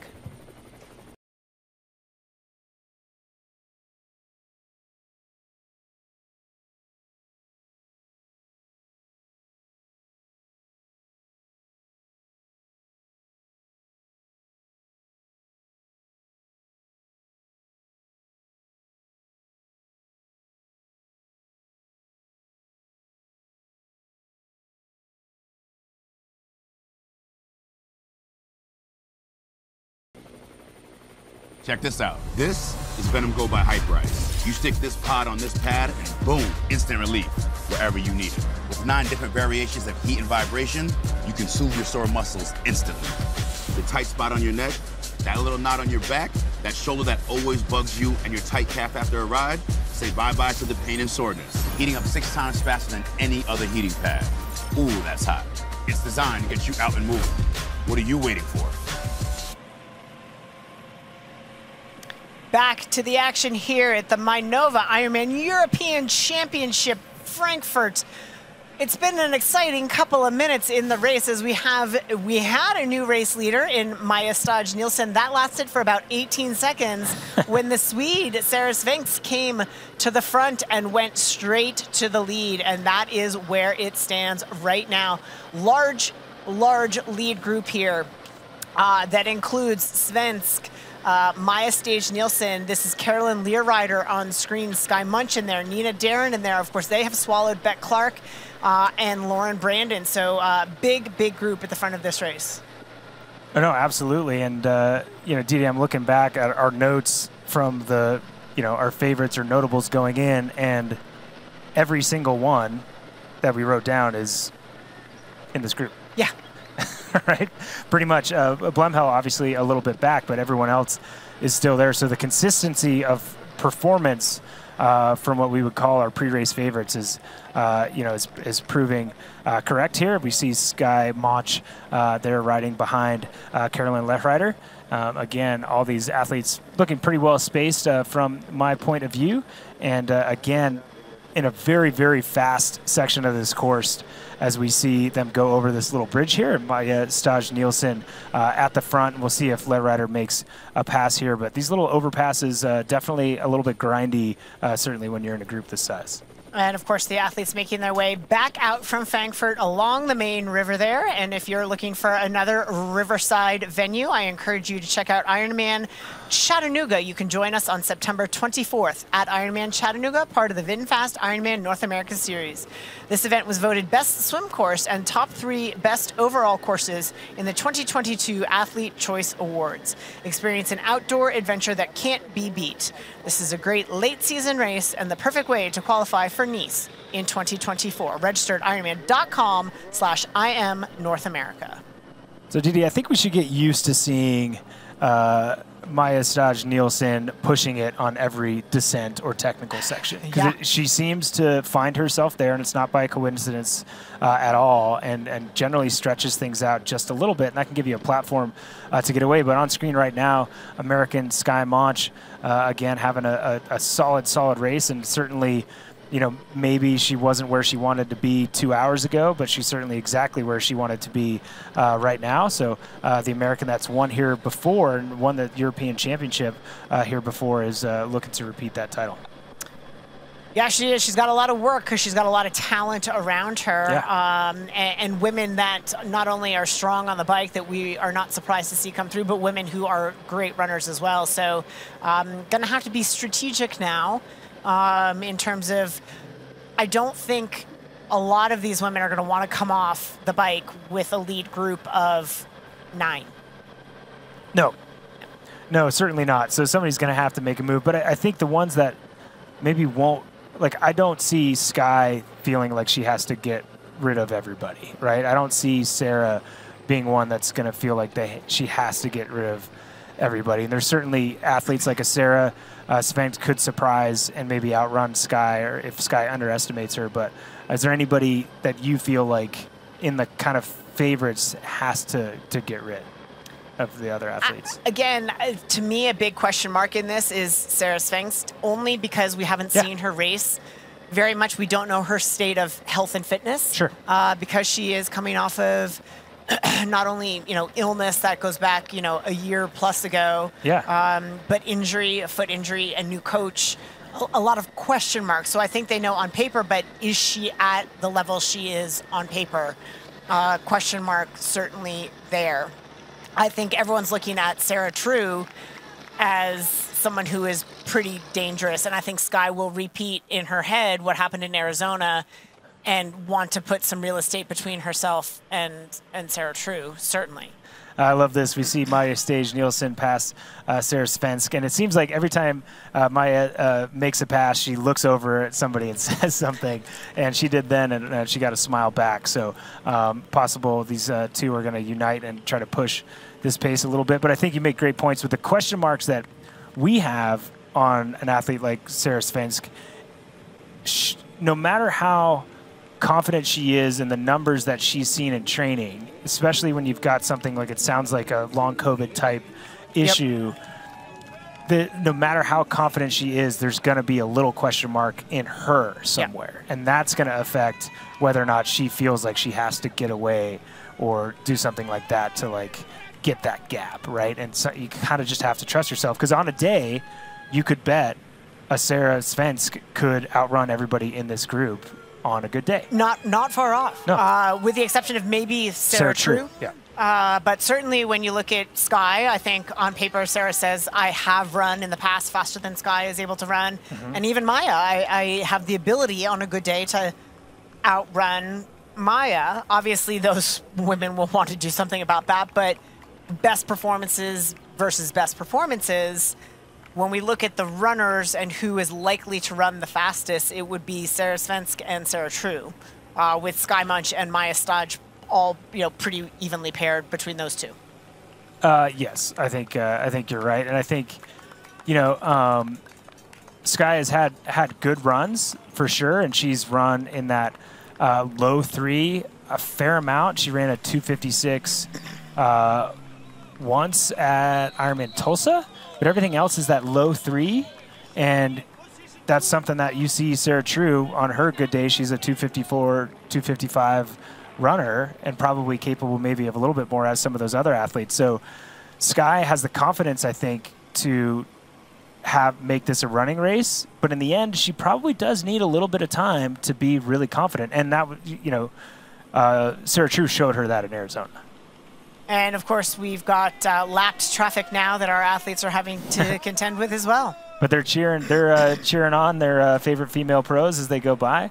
Uh, at this point, it's uh, Sara Svensk that's getting uh, some good applause uh, from those lapped athletes as she goes up one of these hills. And, and this is a good opportunity to see if things are going to start stretching out. This is where the stronger athlete that has a little bit more of that muscular endurance and hasn't really dug into the reserves yet is going to be able to get some time. I don't think any strong attacks, but often the like slow burn attack where the athletes don't know that they're starting to get into the red, those those tend to be the more effective ones.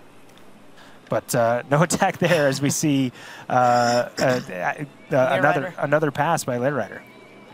Rider just keeps coming back. Uh, you know, Maja Stage was doing the same thing, Yeah. sort of moving to the front, and Rider just kept keeps coming back, keeps coming back. And in this instance, with a group that's that large, it may be in an interest to stay out of trouble, uh, but she definitely keeps coming back. No, she certainly does. And uh, again, as we see these athletes uh, going through some of our lapped uh, traffic, it reminds us again that it isn't just about the pros out here at Ironman. It's about our age groupers out there going through the same experiences, maybe just a little bit further back uh, from our pros. And our fighting chance uh, crew was able to sit down with one of our age groupers, Michelle Ramon, and kind of get a little insight on, on why she's out here and uh, you know what why this race is important to her. Sunday I will do my first long distance.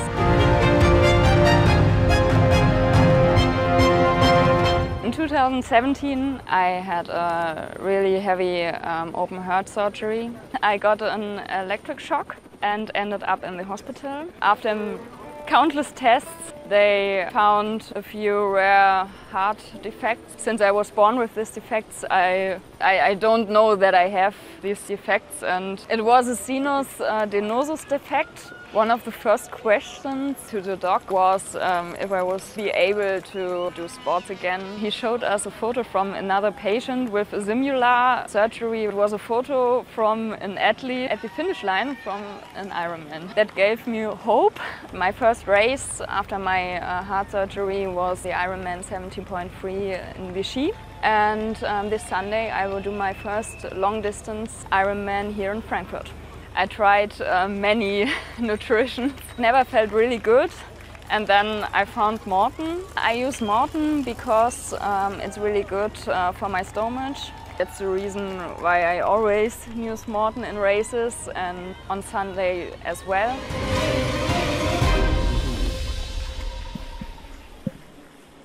Incredible and inspiring stories from some of our age group athletes proving that anything is possible. If you aren't inspired by stories like that and people who thought they might never be athletic again um, and are out here conquering their first Ironman, I think you, you, you take that and it, it absolutely could be you. Oh, for sure. And I think that's what makes uh, the sport so exciting and uh, inspirational. We've all got our own stories that sometimes we forget when we're just focused on the pros. It's great to be reminded uh, why most of us are out there. Um, on screen right now, we have uh, our lead two women with uh, Carolin Lehrieder and uh, Sara Svensk at the front of the race. uh, trying to splinter up that group, but at this point, doesn't look like much is happening there. Although it does, if I'm counting, I'm only counting one, two, three, four, five, six. Uh, so a little gap to seventh there. So starting to stretch out a little bit in the back there, Dede. Yep, again, the moves are going to start happening and, and gaps starting to grow. It, it took a long time to get here, um, in part because some of the gaps out of the swim were so much larger than we had expected. Uh, but right now, Carolin Lehrieder, I saw her as she was going through town, uh, a coach slash supporter slash family member with a whiteboard and some splits. Oh. Giving her the, the hands down, like settle in, settle in, don't get too ahead of yourself. And, You know, you go through town and there's that adrenaline boost fra- Yeah, from yeah, the yeah. crowd certainly and you, you might get a little away from yourself uh, particularly when the group dynamic has recently just changed as well Yeah, and it's easy to get, yeah, as you said, excited and maybe uh, burn a match or put an effort in maybe when it's not tactically the best time. So probably good advice uh, for her. As we see on the right-hand side of the screen, uh, Maja Stage Nielsen. Again, you mentioned it a second ago, Dede, but these two women on screen have been uh, the instigators or the ones that, if the pace settles at all, they're straight to it. Sure. Um, so I expect to see any of these moves uh, soon be from either these two athletes, and again, with uh, Maja Stage Nielsen probably in a technical uh, section if she's going to want to push the pace. But I believe right now she's riding in that third position, and the fourth position there is uh, Skye Moench as we get a kind of a overhead uh, side shot of the top three women in this group. And to see who is still amongst them uh, to your point uh, is it Nina Derron is it Jursic uh, and what has become of Brandon and Clark are, are longtime leaders of this race Yeah, no, I mean, I think and, and Clark and Brandon, you know, ha- were would not have been as used to kind of Sky, those adjustments. Yeah, that's there's Sarah. Clark and I believe that's Jursic Yep. at the back of that group Yep, I believe you're right. And then that is, I can't tell if that was Brandon or not. Um, we'll be able to get a shot here in a second as those trees clear. Yep, that's Lauren Brandon, Brandon. yep. So it looks like they're all still there. Did we see Derron? I did not see Derron Yeah, so she might she might be out uh, the back of that group. So we'll see. Great camera work showing us that pan back to see if there's wow any well athletes out behind. the back of that group Yeah, so unless we missed her, nope, there Oh, she there is. she is So yeah, there we go. One athlete out the back, and I think we're going to probably start seeing this uh, bit by bit. Dede, we'll see Yep, that these. We'll see these athletes one by one getting kind of spit, Spit out, the back, Yep. and we might see uh, some athletes come through. Lauren Jansen again, she was a mover, uh, you know, kind of in that early third of the bike ride, uh, so she might make herself back up there. But right now, our first casualty of those groups coming together and that uh, pace that was injected into it, and I think what we're going to see at that next split is you're going to see Laura Jansen. She's either maintaining or sh- I'd, I'd bet she's probably losing time. And our defending champ Daniela Bleymehl, I think, She's- is going to have yeah. lost a lot of time. She's she is she is has lost a lot of time. She's four and a half minutes back. She held that three minutes to the group Yeah. for so long. That has grown to almost four and a half. So she is moving not in the right direction. Going to have to find another gear uh, if she has any plans to defend. But right now, all Carolin Lehrieder leading the group as we head into a quick break. But we'll be right back as we get underway with the second half of this VinFast bike course.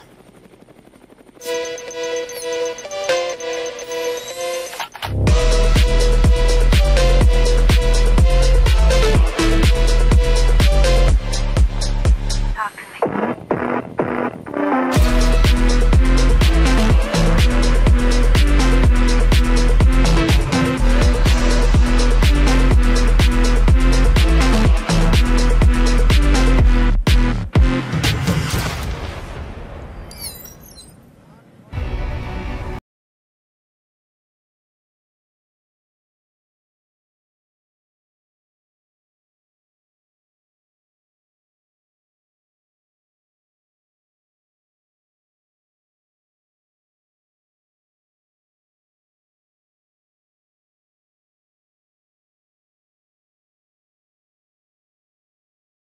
best, and I'm willing to work as hard as possible to get there.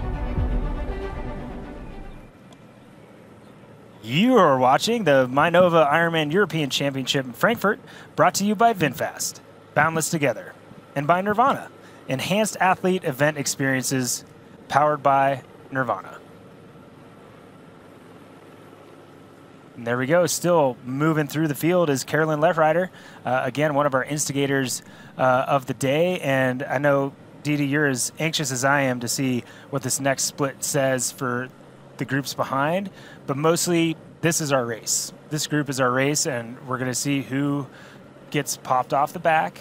And I think it's going to be one of those things where it's not going to be this slow attrition, it's going to be pop. Okay, you're not in the top eight anymore. Yep. Pop. Okay, you're not in the top seven anymore. Yep. It's just going to be racers out the back. Um, probably not a direct attack off the front. Really, just I think this this field or this group could be down to I'm guessing three or four by the end of the bike ride. Yeah, I'm super impressed with with Carolin Lehrieder here. Obviously strong on the bike, but going toe to toe with some of the best cyclists in the sport and and leading the charge. Um, a, a talented athlete, but again, very very aggressive at this stage of the bike. I, I'm impressed with her performance so far. Oh, absolutely. She's uh, she's doing a great job and uh, being consistent throughout, and uh, again making it a race. And, and no doubt we expected a great race here at the European Championship, and we're certainly getting it. Back to Lauren Brandon, uh, an athlete that led the entire swim by herself, and then a lot of the early stages of the bike ride. Yeah, she is sort of clinging to the back of this group, and uh, we talk about one of the athletes that might get popped off. I mean, certainly holding strong right now, but uh, with an age group athlete in there, I think that that elastic is snapping as well. Oh yeah, absolutely. And we can see the athlete stretching a little bit. Like this athlete is is certainly pushing the effort, right? Like I think this is going to be another one of those kind of uh, there till you're not uh, sort of situations. Uh, but she's been having uh, had a great great bike ride till now, and still right up there. And that's um, Jerzik. And uh, you know we'll we'll see if she can hang on. But again, I think these three or four athletes in the back, if they had the effort, they'd be moving themselves a little bit more forward. And I think being in that reactive state Yes. isn't a great place to be. Well, and we do see that. We see Beck Clark sort of reacting uh, with Lehrieder, Svensk, um, and Maja Stage definitely driving the effort at the front, those three. No, yeah, absolutely. Here we go. One of those cobbled sections. We'll see uh, the bottle count on Uh, this uh, on this side of things. Hold but- on to your bottles. Yep, it seems like the, the locals and the athletes that have been around a bit had uh, pretty good control over those bottles. Very high uh, RPM as she goes through uh, this section, which uh, can make it a little bit harder, make you feel like you're kind of uh, all over the bike a little bit. But this group all going through here at the same time. And one, one thing to be aware of, man, now if there's bottles dropping, there's athletes right behind you too. So it could end up being an issue as these athletes slow through a little congested part uh, of this section of the course.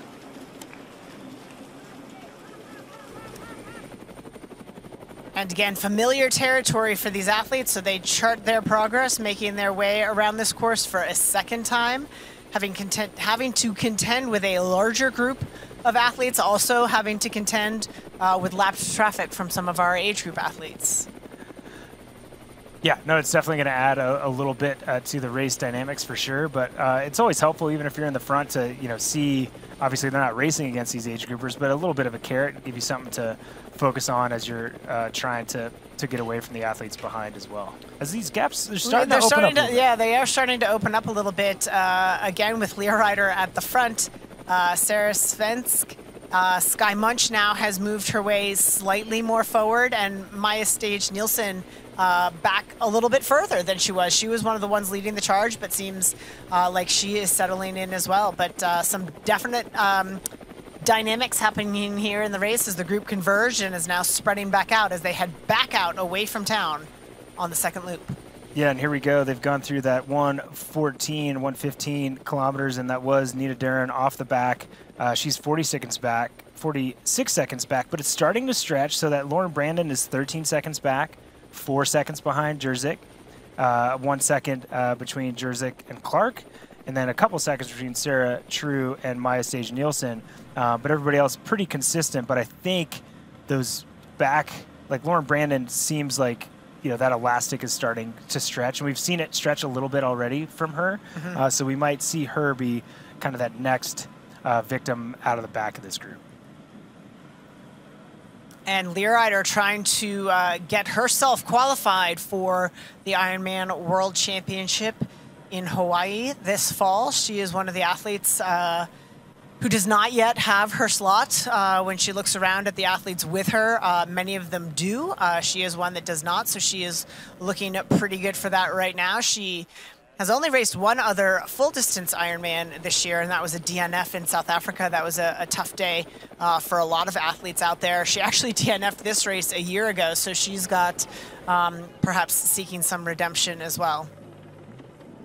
Yeah, no, absolutely, and uh, there's a lot of different uh, motivations for these athletes to be out here, and uh, you know maybe different mantras uh, while they're racing in their head. Again, there's not, you know, they've got some outside input. They see these motos and they see their competitors, but in the end, it's kind of what's going on in between their ears that is the most important thing. And Dee, I'll tell you what, she looks super relaxed. Yeah, she like, does. She is not pressing at all. Like she's she's in the, she's in the zone for sure. Again, I'm I'm super impressed with her because again, we can only evaluate these athletes as we see them, you know, again on paper. And on paper, um, she is not a name that I would put in with a Maja Stage Nielsen, with a Sarah True, with a Skye Moench, with a Sara Svensk. Um, so full credit to her that she is at the front of this and leading the charge and looking very calm and relaxed in doing so. Yeah, no, absolutely, and uh, you know, making all these other athletes react while she's doing exactly what she wants to do and feeling comfortable doing so, I think is uh, you know pretty important and impactful as we see uh, Sarah True going through uh, the aid station. Uh, you know, she's got uh, a bottle on board, and uh, I think we did see she had a, a bladder on the bike as well. So uh, she's getting what she needs. St- a big smile. she's saying something to folks at home, but uh, you know, you don't. We don't. I said she's a game facer. Yeah. You do not often see her smile to the camera, so she is in a very comfortable spot if she's smiling at the camera. I've that might be the first time I've seen her smile before a race. Like normally she waits till like the podium to, to smile, right? So that's a, that's a sign. Yeah, it definitely is a sign. Um, eh, she should be smiling. She's she's one of the fastest runners, again on paper, um, and she's in a she's in a great spot right now. And while she rode the first loop all by herself, sort of in no man's land, Yeah. chasing Beck Clark and Lauren Brandon for a long time, and not a part of this group of five, she's probably happy to have a little bit of company right now. Yeah, maybe it's some distraction for sure, but and you can just see by her uh, kind of her posture. Look at she's relaxing, uh, you know, opening up her neck, make sure she's relaxed. She does not look like she's she looks like she's slowing down going it does. up. Yeah. It, it honestly does look like she is actually holding back Yes. a little bit on those pedal strokes to make sure she doesn't move into somebody. And Laura Jansen has gone through at 5:30 back, so she's lost another minute. Yep. Uh, so the injection of pace has certainly opened things up a little bit, and uh, you know, waiting for that uh, gap of Daniela Bleymehl uh, here pretty soon. She's going to be uh, coming through this split. and Maja Stage, no smiles out of Maja Stage Nielsen at this point. No, she is she is all business. Uh, certainly uh, doing a great job. And I will say, I always mention it once. Right now, I think she's my she's my kid of the day. Oh, your kid of the day. Yeah, she's kind of like a Rainbow Sherbert vibe. I'm into it. My favorite uh, as I was a kid. But you like the sherbet? a little bit, yeah. Uh, gap here, a little bit. I think she's fine. She's comfortable, but a little bit bigger than maybe we've seen uh, with Sara Svensk uh, sitting there in third position again with kind of that uh, you know aerodynamic uh, system uh, in her jersey to make sure she fills up that void of space to maintain aerodynamics and certainly seems to be working for her as I, I think she might be at this point the fastest Fastest mover on course. fastest mover like Yep. fastest split to here yeah she's 257 through that 115 mark and everybody else is over three hours so Yep. she's gone three minutes faster uh, on her own Again, we think about, you know, she had that foot injury that kept her sidelined, and oftentimes, depending on the nature of the injury, she may have spent a lot of time working on her bike, and I think that's that's showing here. Uh, riding very, very strong. Skye Moench looking very good, very She does. controlled comfort and comfortable. She tends to push a bigger gear, grinding out at that lower cadence, but uh, she does not look stressed at all. Yeah, she gets a little bit. You see a little bit more shoulder rocking from Yep. Skye, but that's not abnormal. So I think uh, you know that's the the way she she moves on a bike and feels comfortable on a bike. So yeah, she looks uh, just as comfortable as anybody else in this group. But I mean, a lot of women left in this front group that look in their face and their expression and how they're pedaling like they've got a lot of energy left. Left. So I'm curious if it's just going to be a consistent ramp the last 60K or if they're going to stay in this pretty solid pace and then just have a brutal running race. Well, again, the, these athletes they they study each other going into these races, um, and again, we talk about athletes on paper, but Carolin Lehrieder has has not turned out a run split that's going to turn heads of, of a lot of the favorites um, that she's riding with, like Maja Stage, um, Skye, Sarah, and Sarah. Um, again, she is the weaker of the runners amongst the group, so they the rest of them seem probably quite content to have her do a lot of the work and sort of use her for what she's what she's good at. But she is biking better than I think I would have expected at this stage. So I mean, she's she's turning in a, a different level of performance. There you go, and it looks like uh, Skye Moench is making a bit of a move uh, there, a replay of a move that she made up one of these climbs. You can definitely tell she's pushing in the effort a little bit more as uh, she passes uh, the woman who's been putting a lot of the effort in uh, earlier, and that is uh, Carolin uh. And again, one of those little climbs there out of the arrow position, then right back into it, looking comfortable and smooth.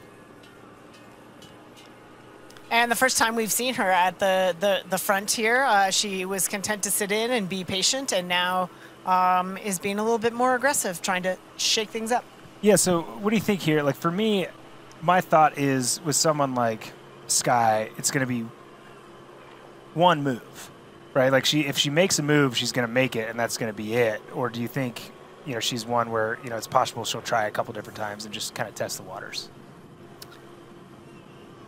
I don't know why she wouldn't try a couple of different times. Yeah. I, I, think it depends on who responds and in, and in what way and Yeah. who's left um, when it's done. I think she will want this group to whittle down a little bit. I just don't think she wants to take any chances No. um, necessarily. But I also think she's probably looking around at Sarah True being in there again. Sara Svensk. Yeah. Um, there, there are threats to her for the win.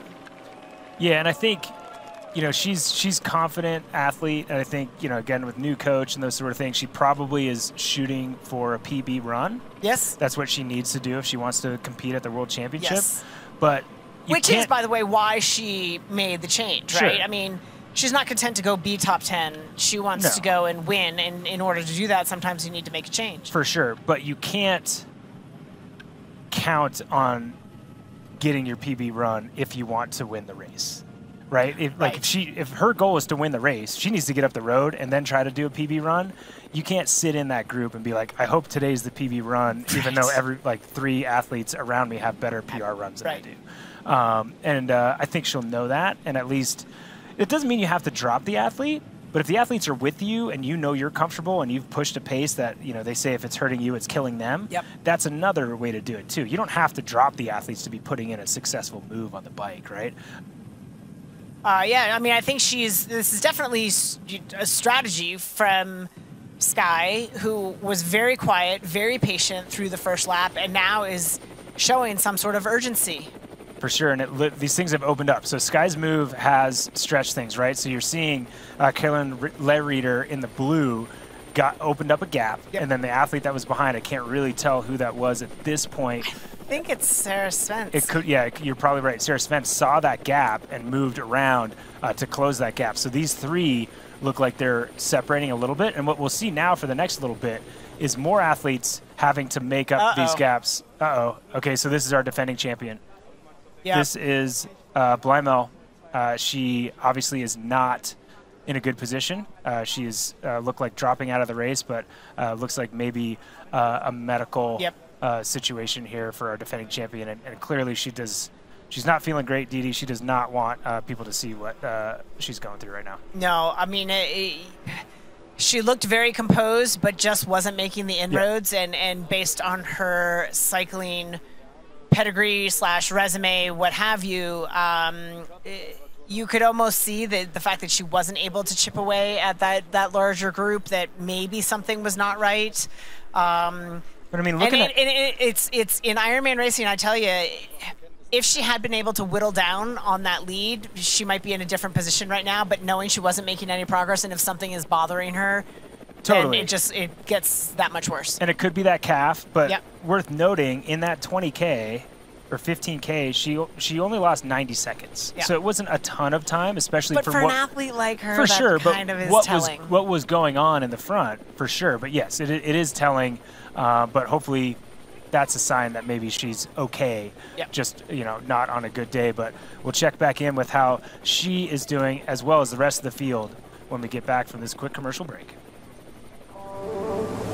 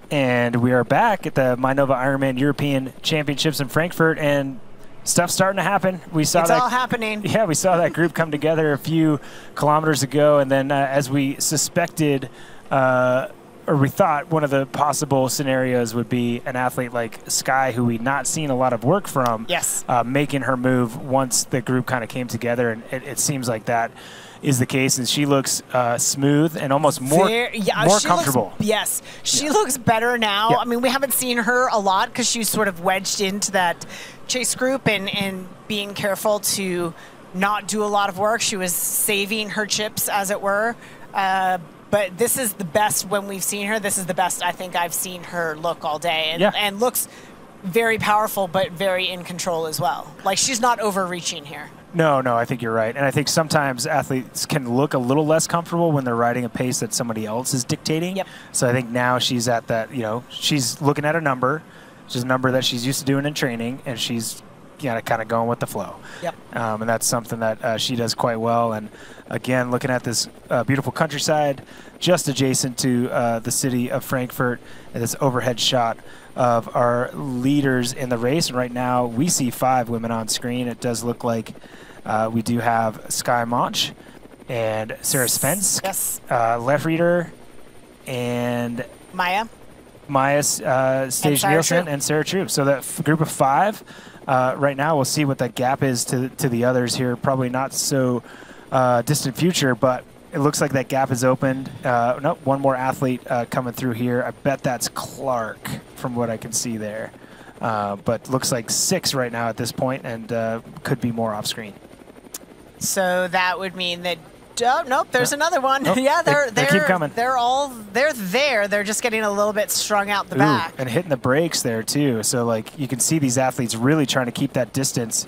Uh, some athletes getting into that rear wheel section really have to be careful because once you get within that 10 meters, you're supposed to go go past and go all the way through the group Yeah. when it's this tight together. So again, uh, these dynamics could start uh, to affect these athletes and, and their ability to uh, stay out of the sin bin, so to speak. Interesting uh, just juxtaposition here from uh, Skye to Sarah. Uh, just in the form, um, Sarah with a slightly higher, lighter cadence. Um, Skye likes to push that big Yeah, gear. she does. Um, definitely puts the muscles under a little bit of tension, but controls the power all the way around the pedal stroke a little bit. Uh, more efficient for her. Uh, we've seen her ride this way for, for years, but uh, Sara Svensk looking very comfortable as well. Yeah, and I mean, and honestly, I think right now the RPMs that Skye is pushing are a little bit. I'm not trying to be critical at all, but a little bit uh, higher RPM than Than what she's- yeah. than what she normally does. Because Yes. normally there's a really big uh, juxtaposition actually between her riding RPMs and her running RPMs. Yes. Right. Um, so I think this shows that she's kind of pressing. Maybe working. Yeah, she's uh, working the cardio system a little bit more. Or maybe just under the tutelage of Yeah. a new Oh, coach, totally. trying to Yeah. change the way that she rides. I think her former coach was a big advocate of pushing the big gear. Um, did a lot of big gear riding in, in, training, and maybe trying to pair up that cycling cadence a little bit more Yeah. with the running cadence, so that it's not as big a difference uh, once you get off the bike and start to try to run. Yeah, no, I think that's uh, I think that's possible. There's a Lehrieder uh, here looking comfortable as uh, she has, and kind of that quote unquote attack or that injection of pace uh, that Skye Moench uh, put in this this race at the front of this race hasn't really caused uh, much No. damage. It, No. it definitely put some alarm bells out, and there was some movement different places. But and and again, you don't you can't judge a successful quote unquote attack or effort just on whether or not the athletes are still there because we don't know if she put a couple athletes in the red zone that's going to damage their run later on. Again, it's not. It's the final blow Yeah. that you say, "Oh, look at the attack For she sure. made," but it's it's the multiple smaller blows before that that that put the cracks in there. And the ones that aren't dynamic, where like the dynamic one, somebody goes, you're like, okay, they're gone, Yep. and the the other ones will lull their competitors into going over the effort that they're capable of, and those can actually be a little bit more damaging than the dynamic off the front attacks. Uh, but a great shot of Maja Stage Nielsen uh, looking as comfortable as she did early in the ride. Great RPM, great cadence, and uh, to have that high RPM with as flat a back and smooth uh, movement as she does is uh, not easy, folks.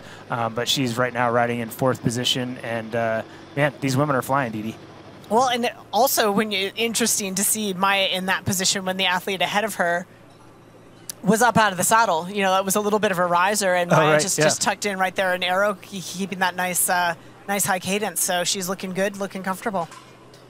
Yep, as is Skye Moench. And again, she's one that, you know, she had a great performance uh, here at this race in 2019 to get her first Ironman win at the European Championship. She's had uh, plenty of other uh, great results as well, uh, most notably, you know, as far as in th- the biggest races, uh, a fourth place at the Ironman World Championships in St. George in 2021 World Championships that occurred in 2022, and then a ninth place in uh, the World Championships in Kona in 2022 as well. And I, I would say it was that performance in Kona in 2022 that was the bigger disappointment and maybe prompted the, Yes, the change in saying that. coaching. That. again, she is not an athlete that you know she had that fourth place performance in St. George. Part of that is, I think the course suits her strengths. Um, Yeah. quite a bit. Um, that whereas the the course in, in Kona is a slightly different animal for an athlete like Skye. Um, but looking to take that next step to not be fourth, to be on the podium, to ultimately win. And when you come in then 10th, it feels like a step backwards. Oh, for sure. And I think, you know, the confidence that she has, I know interviewing her before the race, she was like, I don't know why people are talking about the heat. The heat's not bad here. And then she ran a 319, and, and I'm sure the heat had something To do with it. to do with that for sure. So, yeah, you've got to, and that shows a true professional. It's like, wait, either, you, like, she feels that her expectations are reasonable expectations, which I wouldn't disagree with. And if you think they're reasonable expectations and you have a performance after a fourth place where you think maybe you're going to move up and it goes backwards, it's reasonable to, to, to make a change, especially, you know, we're not meant to be with the same coach for five, ten years necessarily, right? Like these changes are, are good for you. And, and uh, you know, we'll see what happens. And if you really want to be the best in the world, um, you know, you got to, you have to make those, you have to make those moves. And she's, you know, she's 34 years old, so she, she has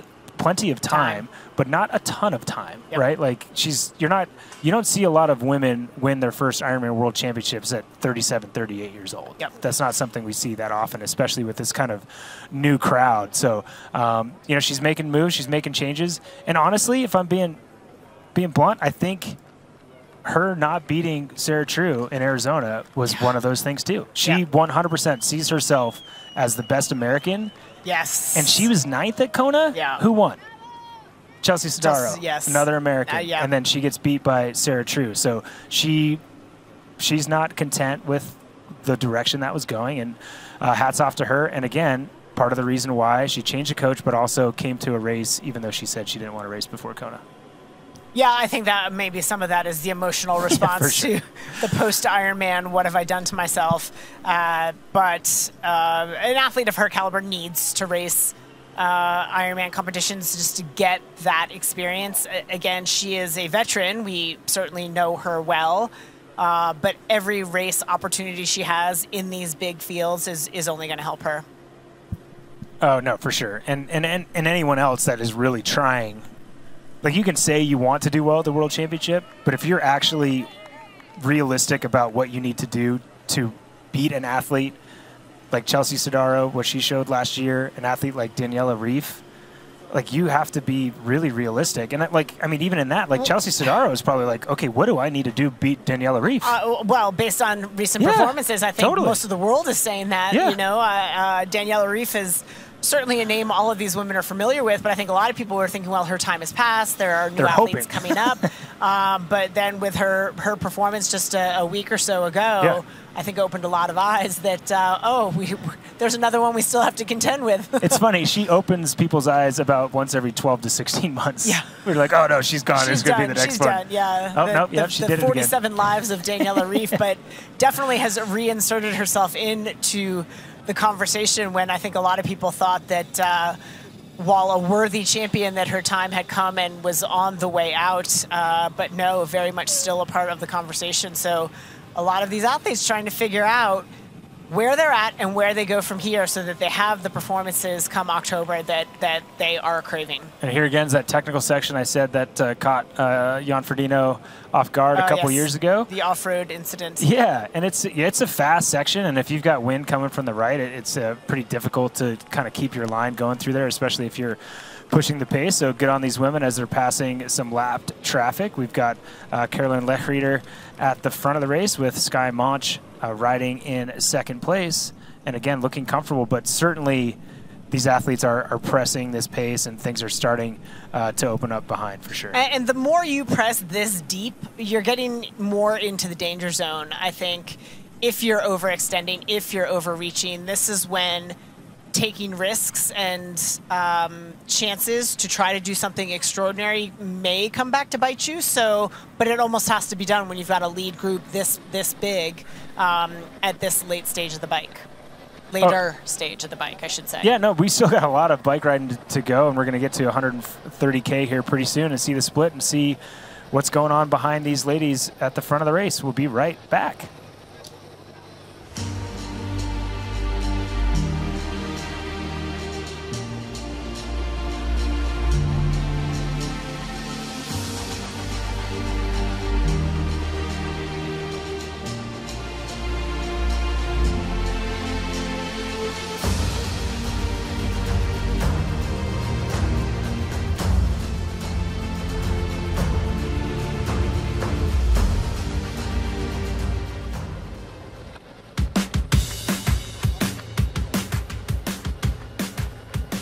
FulGaz is the indoor training software that our coaching business relies on. Our private club room makes it super easy to meet up for group rides, not wasting any time. It's the first thing they see when they log in. My athletes have never been more prepared for the specific demands of each bike course. It works for first timers, professionals, and everyone in between. FulGaz has transformed the way that I train my athletes.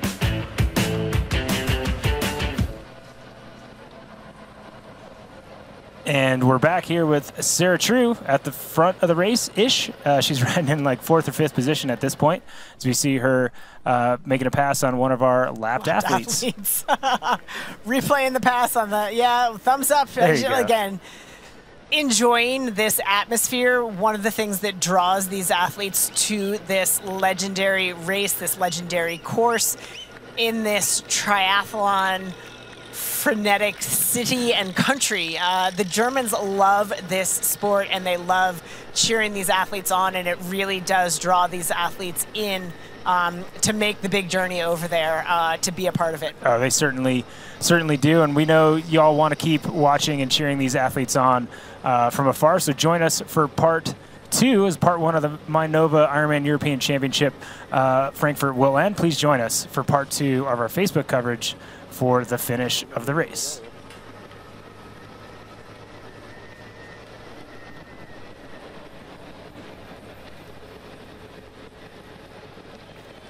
Okay. Yeah. And here we have Sarah True again looking so calm and collected. She doesn't look any different to me than she did when she was on her own.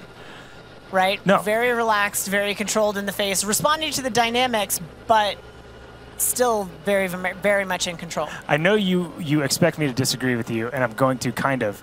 I think she looks more relaxed than she did on her own. I really do. Like Yeah. we didn't see her smile or joke around. She's put her tongue out. Like Yeah. this.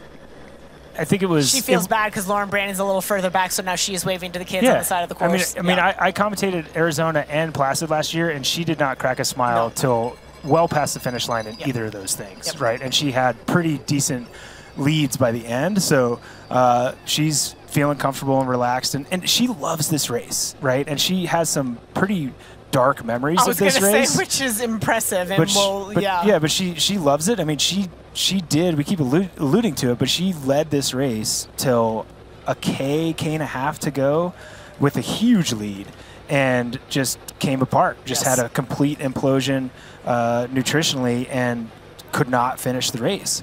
So, so she wanted to come back, and that's the, the race that Skye won. Is that she wanted to come back and uh, do her best. I believe her coach uh, is is in the, the region as well, so I think that's part of it. Sure. Um, but uh, she and, and that tells you the class of the athlete. Like normally, an athlete that has an experience like that, or a lot of them, would be like, I'm They, not they put going that. back They there. put that on the heck no list. Back on the list, yeah, right. absolutely, right. Um, we, as we heard Skye say, heck no, I'm not doing another Ironman. uh, I wouldn't have been surprised given what happened Yeah. uh, on this course for Sarah True for her to say, heck no, I'm never going back to Frankfurt. Yeah. Um, but again, yes, it speaks to her confidence to say, you know, I know how to solve that problem, or Right. I'm in a very different spot right now. And it speaks to the power of this race and how legendary this course and, and this fan base is that draws her back Yep. um, to make a big trip away from family, away from obligations at home, Yeah. um, eh, to, to be a part of it again. Oh, totally. Um, and just I don't think we mentioned uh, splits through the last 130k. This group of seven all together, uh, except Lauren Brandon, Lauren Brandon is, is out the back one minute and 22 seconds. So she's uh, she's out at this point Yep. uh, as far as this front group goes. There's still a, a decent gap for her for athletes chasing behind the next athlete. Um, was Nina Derron that had, had gone off the back, and then uh, besides that, another five minutes back. Uh, so now we've got a group of seven, and I think we you know, we verbalize this and we expect it. It's going to go from a group to eight to a group to seven to a group to six, and it's just going to keep going. And the Yep. more efforts like athletes like Skye make, the more uh, frequently uh, kind of these exits out the back are going to happen. And as we've been saying, it doesn't have to be one magnificent swooping blow, but just tiny blow after tiny blow after tiny blow, and one by one by one, it's the next one, right? It's it's the next small blow that someone else, the next Lauren Brandon, is off the back. Um, so the attacks keep coming at the front, uh, and the repercussions are felt uh, at the back of this this chase group Uh, or lead group, I should say. Oh yeah, no, absolutely, absolutely, and uh, you know, I'm I'm super impressed with uh, Rebecca Clark uh, still, uh, and I'm not that I'm surprised that she's still here, but uh, you know, she's she's riding well and still Yep. looks as composed as she did early on, and, and you see what happened to She's talking to herself. her compatriot. Yeah. Yeah, she might be. Yeah, uh, Lauren Brandon is is uh, you know kind of that elastic snapped, and she's a minute and 22 seconds back at this point. But uh, Rebecca is still still right there, and, and she's not concerned with the fact that these athletes put six and a half minutes into her, No. and some of those athletes more than that. With uh, Sara Svensk uh, putting uh, you know eight and a half, nine minutes into her, um, but she's still there. But man, these women are flying. Yeah. This there's some high high speed riding going on right now. No, absolutely. And for these athletes at the back of this group, to go anywhere else is going to cost them more than it's worth at this point. Yeah. Oh, yeah, for sure. And uh, here we go. We see Sarah True in the back of this uh, group of, uh, she's about fifth position right now, but again, looking uh, pretty comfortable. And this is an athlete that's, again, had good success in 70.3 racing and in uh, Ironman racing, and uh, both on the championship level. And, uh, you know, the 2024 VinFast Ironman 70.3 World Championship it's coming. It's not too far down the road. And in December 2024, uh, Taupo, New Zealand will welcome the very best professional and age group triathletes at the 2024 VinFast Ironman 70.3 World Championship. New Zealand's breathtaking scenery will be showcased. Once you arrive, you'll be welcomed like a local. Swim in one of the world's largest freshwater lakes, ride through beautiful rural landscapes, and enjoy the lakefront views and spectators on your run. See you in Taupo in 2024. Go to Ironman.com slash IM 70.3 World Championship 2024. That is going to be one heck of a race. I know athletes, uh, a lot of athletes that I coach are already plotting their assault uh, on Yeah. New Zealand and, and trying to figure out how they're going to, what pathway they're going to take to, to get the opportunity to compete there. Uh, just another great host community. For sure. And uh, back to the race with Skye uh, Moench on screen. If we're, we're talking about how these athletes were going to come off the back and then that was it. See you later. Yep. Nina Derron, Yes. four minutes. And she she did not get dropped that long ago, right? And Lauren Brandon again, a minute 22. That's going to be bigger. So like, there's no doubt the top five and probably the top six or maybe even seven of the race are going to be in this group. Probably most realistically the top five. Uh, you always have some runners coming through the field, especially with those efforts that you've been talking about with an athlete like Skye. They're going to come off with a lot more tired legs than they think. So one or two of these athletes is going to crack. Yeah, but you know what's interesting to me, and I'm wondering if what we're seeing is athletes cracking. I mean, we talk about sort of the attacks and how this group is riding really strong. If we look at their paces through the last segment as compared to their paces through 60K, 70K, Yeah. the pace has slowed. They- Sure. They're not riding as fast as they were on the first lap of this. So I think we are seeing cracks um, in the armor of the, those that are getting dispensed off the back. Oh, for sure. It- but it's not like the pace has lifted. The pace of everybody has slowed. Yeah, but I, I think the pace is more uh, up and down than it was before, right? There's there's more efforts and then recover and then efforts and then recover than before, and and that type of riding sets an athlete tax- up for yeah. more of Could be a- more taxing. Yep. Yeah, and the, you know, the athlete's going to blow up. But yeah, you're right. The, the paces have definitely slowed. The wind does seem like it's come up just a tad, uh, so that's going to affect things a little bit. But um, man, the focus uh, and control on uh, Lehrieder's face is. She does not seem stressed, or she's No. got the best poker face in the business. That that indeed, and again, I'm super impressed with her. I mean, she's a, a super respectable athlete, but Yeah, I yeah, just yeah. wouldn't have put her at this stage of the race in the same camp as some of these other other racers. So she's having she's having a day. She's having a great day. Her consistency across Ironman racing isn't what some of these others is. She's got a handful of DNFs uh, for reasons I don't know, but Yeah. looking back over some of her races, um, she's got a fair number of, of DNFs. And again, sometimes that's injury, sometimes it's I don't know what, but she um, she's absolutely having at least by what I've seen a career day. She's trying to order the others around her at this point, but again, they're not they're not dumb. They know what's up. They know her resume. They know their own. So they're happy to have her sit at the front. Totally, but she also knows that the pace is slowed. to- Yes. To your point earlier, right? And I mean, you're right. She's, you know, she's pretty consistent. Has these DNFs every now and again. Uh, she hasn't won an Ironman since Italy in 2019. Yep. Um, and she had a good run there, uh, 306, which on that course and uh, that day was a was a good a good run. But I think she's in the, you know, I, you're right. I think she's a good athlete. In great not- company. In yes, in great company. And if she ends up in a podium position at the end of this race, Oh. by far, uh, you know, breakthrough Banner race day. for this athlete. Hundred percent, and and that is And no reason to doubt what we could be.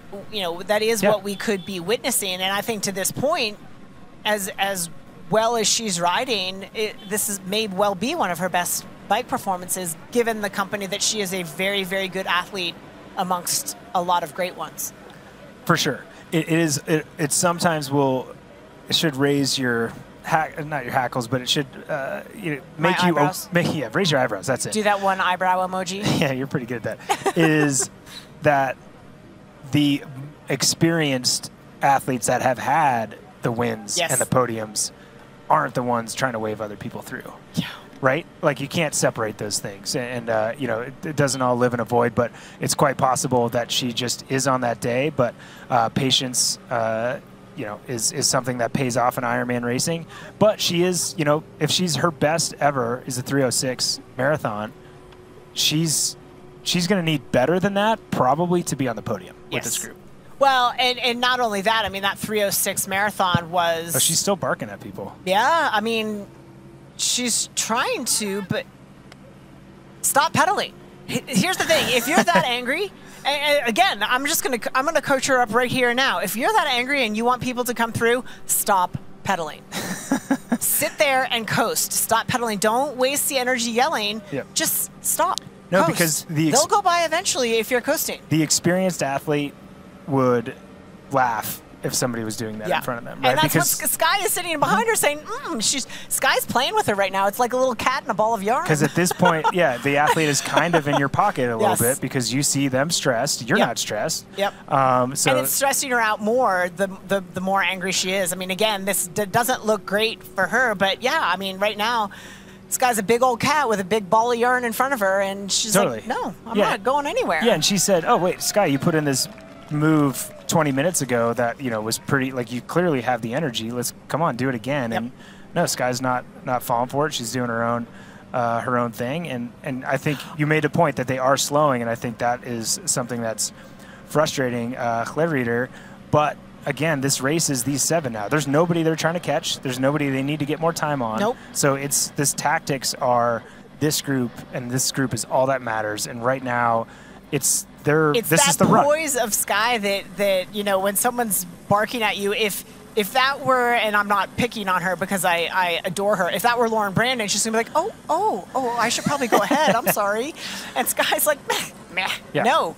Absolutely not. And so, you know, she's got, she knows what's up and 100%. and She is not going to do any more work than she has to. with anything, I I mean, Skye's not going to do the work, but if I'm Skye, I'm still looking at Sarah and Sarah and even Maja in there and saying, something's got to happen between the end of the bike because I'm not super comfortable in Yeah. that company getting off to run a marathon. No, In terms of winning the race, podium, yeah, fine, but uh, totally. Again, she might have the confidence to think that. Hopefully, you know, the history would tell us that's that that is not the case. But to your point, you know, if Skye is is laughing and uh, cat playing with the ball of yarn, Sarah True Oh, is yeah. playing with a couple balls of yarn. Yeah. Right? Like she well, loves she's a bigger cat happen. with a larger ball. Yeah, because totally, because right now Skye's just paying attention uh, to Lehrieder, and Lehrieder's paying attention to Skye, and Sarah True's just sitting back, being like, "Okay, I'll sit here. You guys ride however you want. Let's look." Right now, this race is the run, Oh, right? Like yeah. this is all this is right now. And, I think that's why Lehrieder's likely upset because she wants some of the runners to come through and do some work. And why why would they? But we'll find out when we come back from this quick break.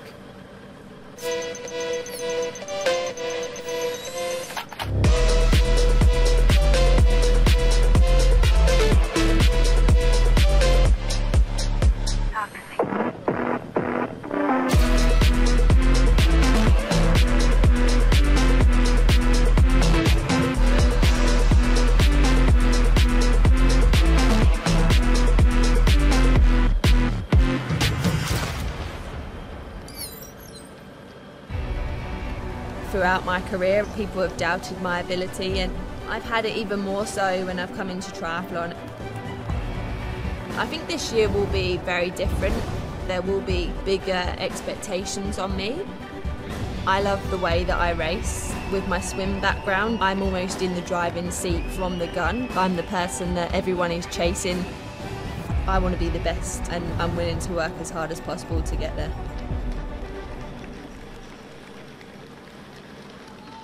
And we're back. And we're back. We certainly are. And on the left-hand side of the screen, that's Lehrieder, and on the right-hand side of the screen is Skye Moench, as you are now calling her the cat with the ball of yarn.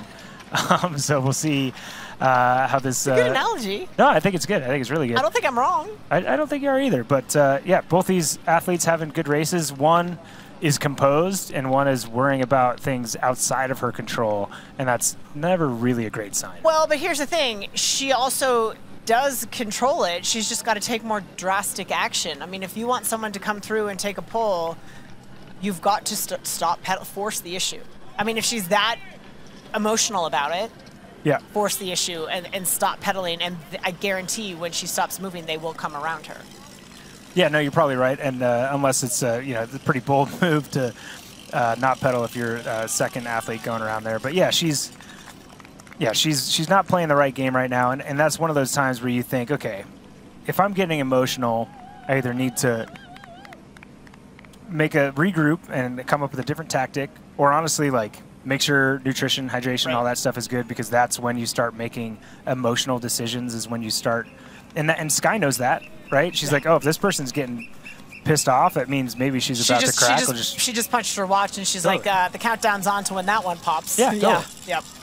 Yeah, you're not wrong. And the athletes all went through 141 kilometers, so just about 40K to go. That group of seven, Seven. athletes, so only separated by 10 seconds, with Rebecca Clark hanging on uh, in that seventh position, with Jerzik in sixth, True in fifth, uh, Maja Stage Nielsen in fourth, Svensk in third, Skye in first, and Lehrieder in first. Second? First? Second, first. In the second first position. Exactly. Oh, goodness gracious. Well, racing here in Europe is certainly a unique experience. And if you're looking uh, for one of the more beautiful experiences, come experience Ironman 70.3 Zell am See-Kaprun. Spectacular Lake Zell is the center point of the race, and having the glacier covered mountains as a backdrop showcases Austria's majestic scenery. Cycle through the Australian Alps. You won't find natural beauty like this anywhere else in the country or dare I say, in the world. Register today at ironman.com slash imeurope. There you go, Lehrieder on screen, and then uh, Lauren Brandon did go through that 141 K mark. Uh, just lost another 40 seconds. So yeah, to your point, it, and to what we've seen on screen, things are slowing in this front group because they now know the race is this group Yes. and it is the run. The from here on out, unless somebody makes a big move on the bike, it's a running race. And I don't see a big move coming. I, I don't think, even for the, again, we'll call them on paper best runners, it, it's just, it's not worth it. And for the on paper runners who are going to have to have a great run to compete with the best runners, they're going to need to cons- conserve and save a little bit. Yeah, and I think that, to me, the person I think might make a move, just my gut is telling True? me, is no. I, I Ah. think she's confident in, in her run. Would be uh, Sara Svensk Ah, okay. because we haven't seen her in a bit. She was one that was really pushing the pace. Yep. So if you said, okay, this is a running race, maybe I need a couple minutes. With 20 miles to go, I'm going to go. You sit in and you settle, and then you go. You don't drop the rest of these people by doing what Lehrieder is doing right No. now. Um, but I will also say that I don't know that Sara Svensk feels like she needs. Well, it's the couple of inconsistencies of, the last couple years, Yes, right? okay, that's fair. That that's a, that's a challenge. She has the running pedigree. Yes, I was going to say because I look at some of her For uh, sure. some of her run splits and what she's been able to do. Um, she's right in and around um, sub 120 for some some 70.3s. Um, well, I guess we are going back a ways. Uh, It's been a while. Yeah, it has been a while. Um, and and some 309s, 310s. Um, but a 258 at Cozumel yeah, in 2021. I mean, that in that was a year that wasn't frightfully hot, and that tends to be one of the big limiters in Cozumel. But 258.01 is a pretty impressive run split. So Yeah, and a 256 in Barcelona, but again, it, it has been a bit. So if she's done some some tests and, and knows that she she has it, then you're right. But the only reason I say that is because we haven't seen her, and she's been an instigator, and maybe uh, Maja is uh, that same person. We haven't seen her in a while either. She Yep. could be saving up for an effort on the bike. Well, and Maja's one that I think she, if she wants to win She this race, she's going to have to reach to match the running of a, of a Sarah True and even a Sara Svensk. Yep. Again, on paper, it's been a, it's been a minute for, Yeah. for Sara Svensk, but Maja's a great, great runner, but is going to have to have a next level performance to win it. So win, is sure. she conserving right now? I, I think you've got to do the mental math and say, does an aggressive move to try to give myself one or two minutes on the rest of these women, does that ultimately hurt my run even more? Totally, and it's so hard too because if, like, on paper, she's not the best athlete that's in this group left, right? As Maja Stage Nielsen, but she has all the pieces. And sometimes, if you want to try to beat athletes that are better than you, you don't try to actively beat them. You make sure you're the next one there, and if they mess it up, Right. you're there to sweep, right? Yep. So and she's got a three-hour marathon. She showed at Ironman Texas she can uh, she can do that. That could, if some of these other athletes make mistakes, be enough. If everybody has a good day, it's not going to be enough. Uh, could be enough for a podium, but yeah, I think you're right. If she wants to try to win by being aggressive, then she probably needs a little bit of time, Yeah. just a little bit. But doing the doing the calculation in your head, is it worth it, and what does it cost my marathon? Right? Does Probably it not. if I can come off with a two minute lead in the remaining kilometers of the bike?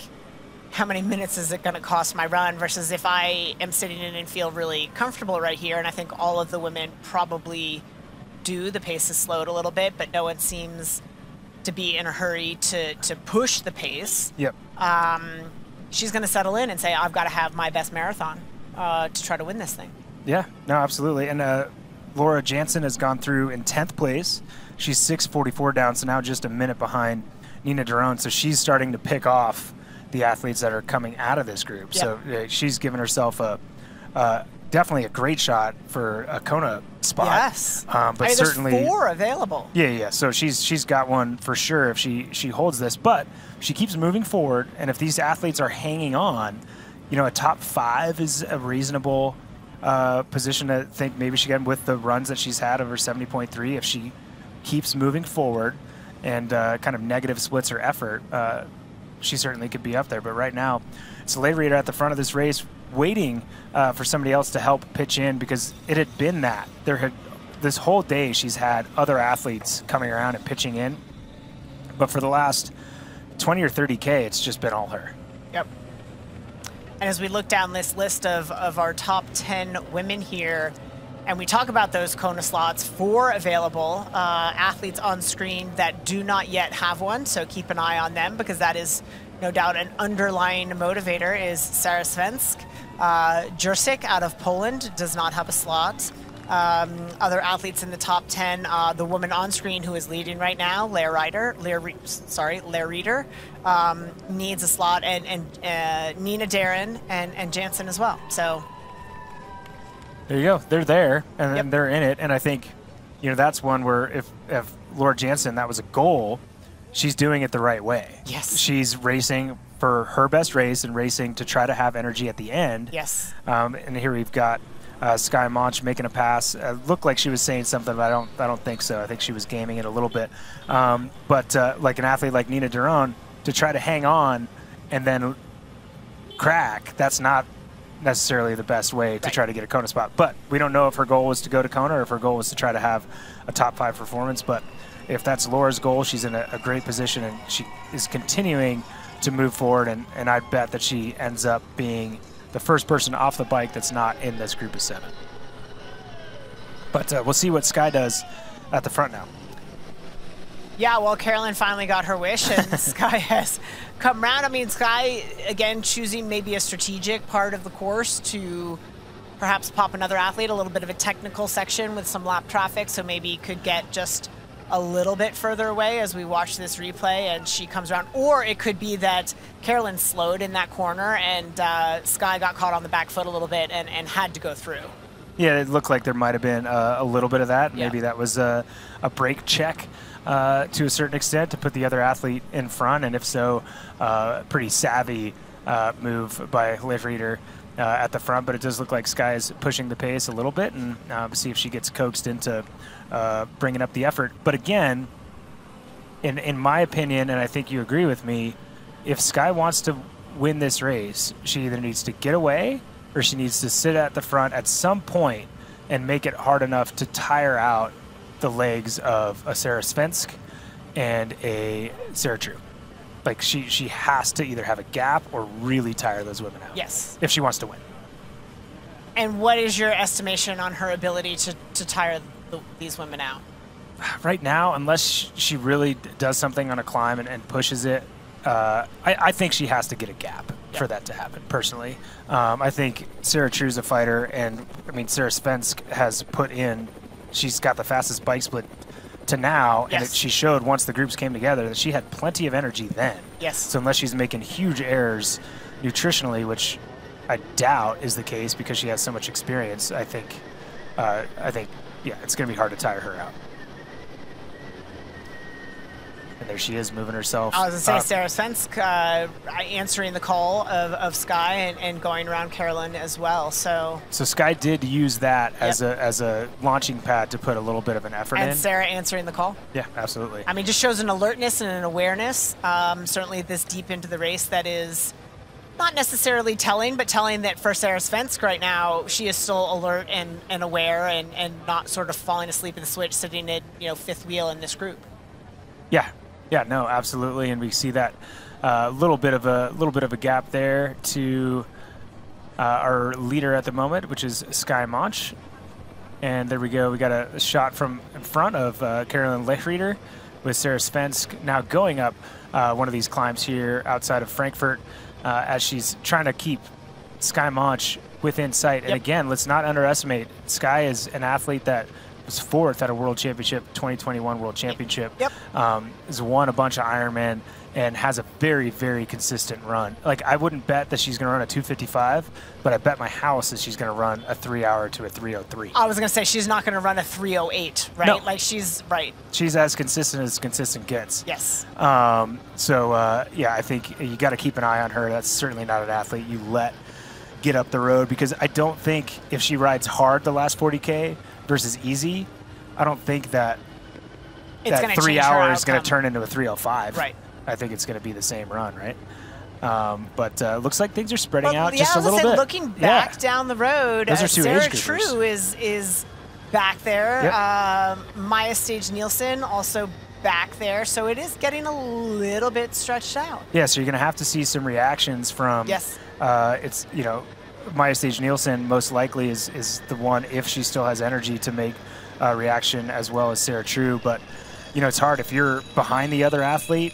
If you're Sarah behind uh, Maja or Maja behind Sarah, you're going to be like, no, let them close it, Yeah. type of thing, right? But Yeah. you can't play that game for too For long. too long because then it's gone. Yeah. Your opportunity is gone. For sure. Uh, but Skye putting another, she's done now. This is the second, uh, I'd say, aggressive, somewhat aggressive Push, effort. yep. You know, she's not attacking out of the saddle or anything like that, but she gets to the front. She's like, well, if I'm at the front, I'm She's trying lifting to the hurt effort. You can tell that by her cadence, Yeah. right? You can tell that by, I mean, could be a little bit of a downhill section, but she definitely is lifting the effort a little bit here. to me, it seems like she had a plan, or her and her coach had a plan that if she's in the front, she's pushing, and if she's not in the front, she's not pushing, and that's a pretty effective race plan. You're either following or you're leading with impetus, and uh, it seems like she's she's doing that right now.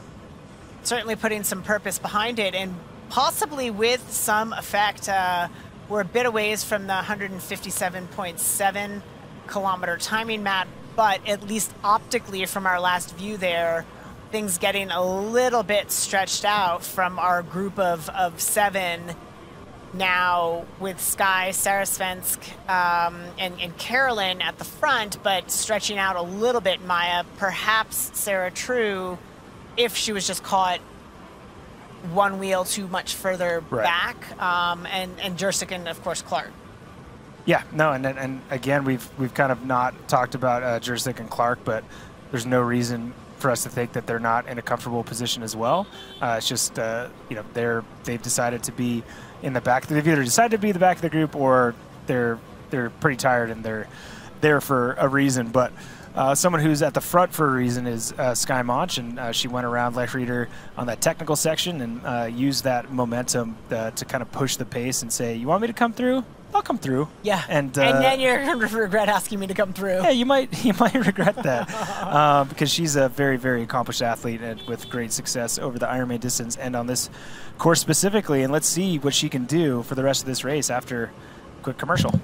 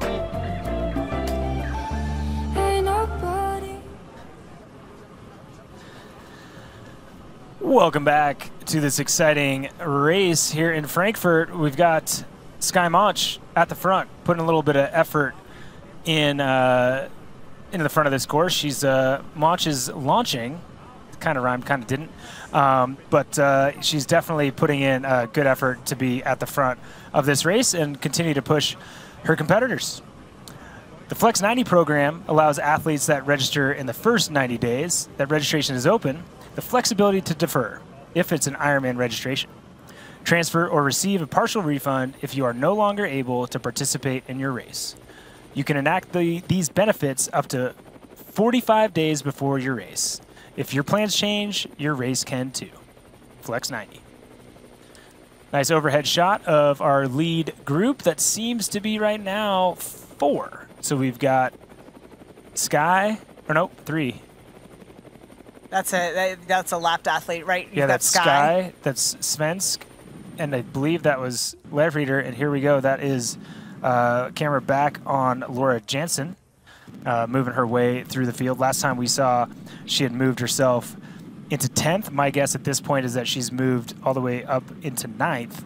Uh, and wow, she looks very composed and very focused. And for an athlete that's been riding by herself for quite a while riding by herself for quite a while, and an athlete. Again, this is this is our uh, Ironman Pro rookie, if Yeah. I'm not mistaken. Uh, Yep. No Pro Ironman re- uh, results to her credit, but uh, currently sitting in the top ten in a, in a championship race with a championship caliber field. So uh, and looking very calm and collected about it.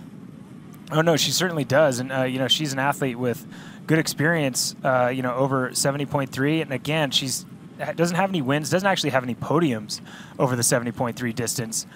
But I'm seeing one eighteens, a bunch of one twenty ones. That is fast That's running. Good running. And Yep. if she's a strength based runner Yes. to get that, that could transfer into a 250, 255 pretty easily if paced well. A- and again, could very easily insert herself into a top five finish here. Yeah, I mean, the last time we saw, her, she's 645 back. If you're running a 255, you're going to bring back a majority lot. of the people in front of you. Uh, yeah, lot of I mean, again, I, again, we're going to bank on on Sure. Skye's run resume. Yeah. Uh, Maja Stage, again, another athlete who I think is going to run close to 305, if not slightly faster, potentially. Right, but if I'm looking True, at- sub three hours. If I'm looking at Clark and Jerzik. Oh, yes. And, uh, you know, Brandon. yeah, Brandon's already uh, maybe behind her, but yeah, she's gonna has the possibility of moving up, and let's say one of those people is on an off day. But regardless, as you said, rookie Ironman uh, debut, having a having a great race. and let's let's not forget too. Not I mean not to take anything away from her, but running a, a 70.3, running a 119 off the bike is impressive, but it's a different thing altogether to run a marathon Oh, off a bike sure. that's twice as far when For you've sure. never done it before. So there's a lot of unknowns out there, but the potential is there. Yeah, no, The absolutely. potential is there. As we see, that was Lehrieder in third place. Uh, so, you know, at the last we saw with that overhead shot, it did seem like three. So it's possible that we have had a little bit of a gap with Maja Stage Nielsen, Sarah True, uh, maybe getting split after these three.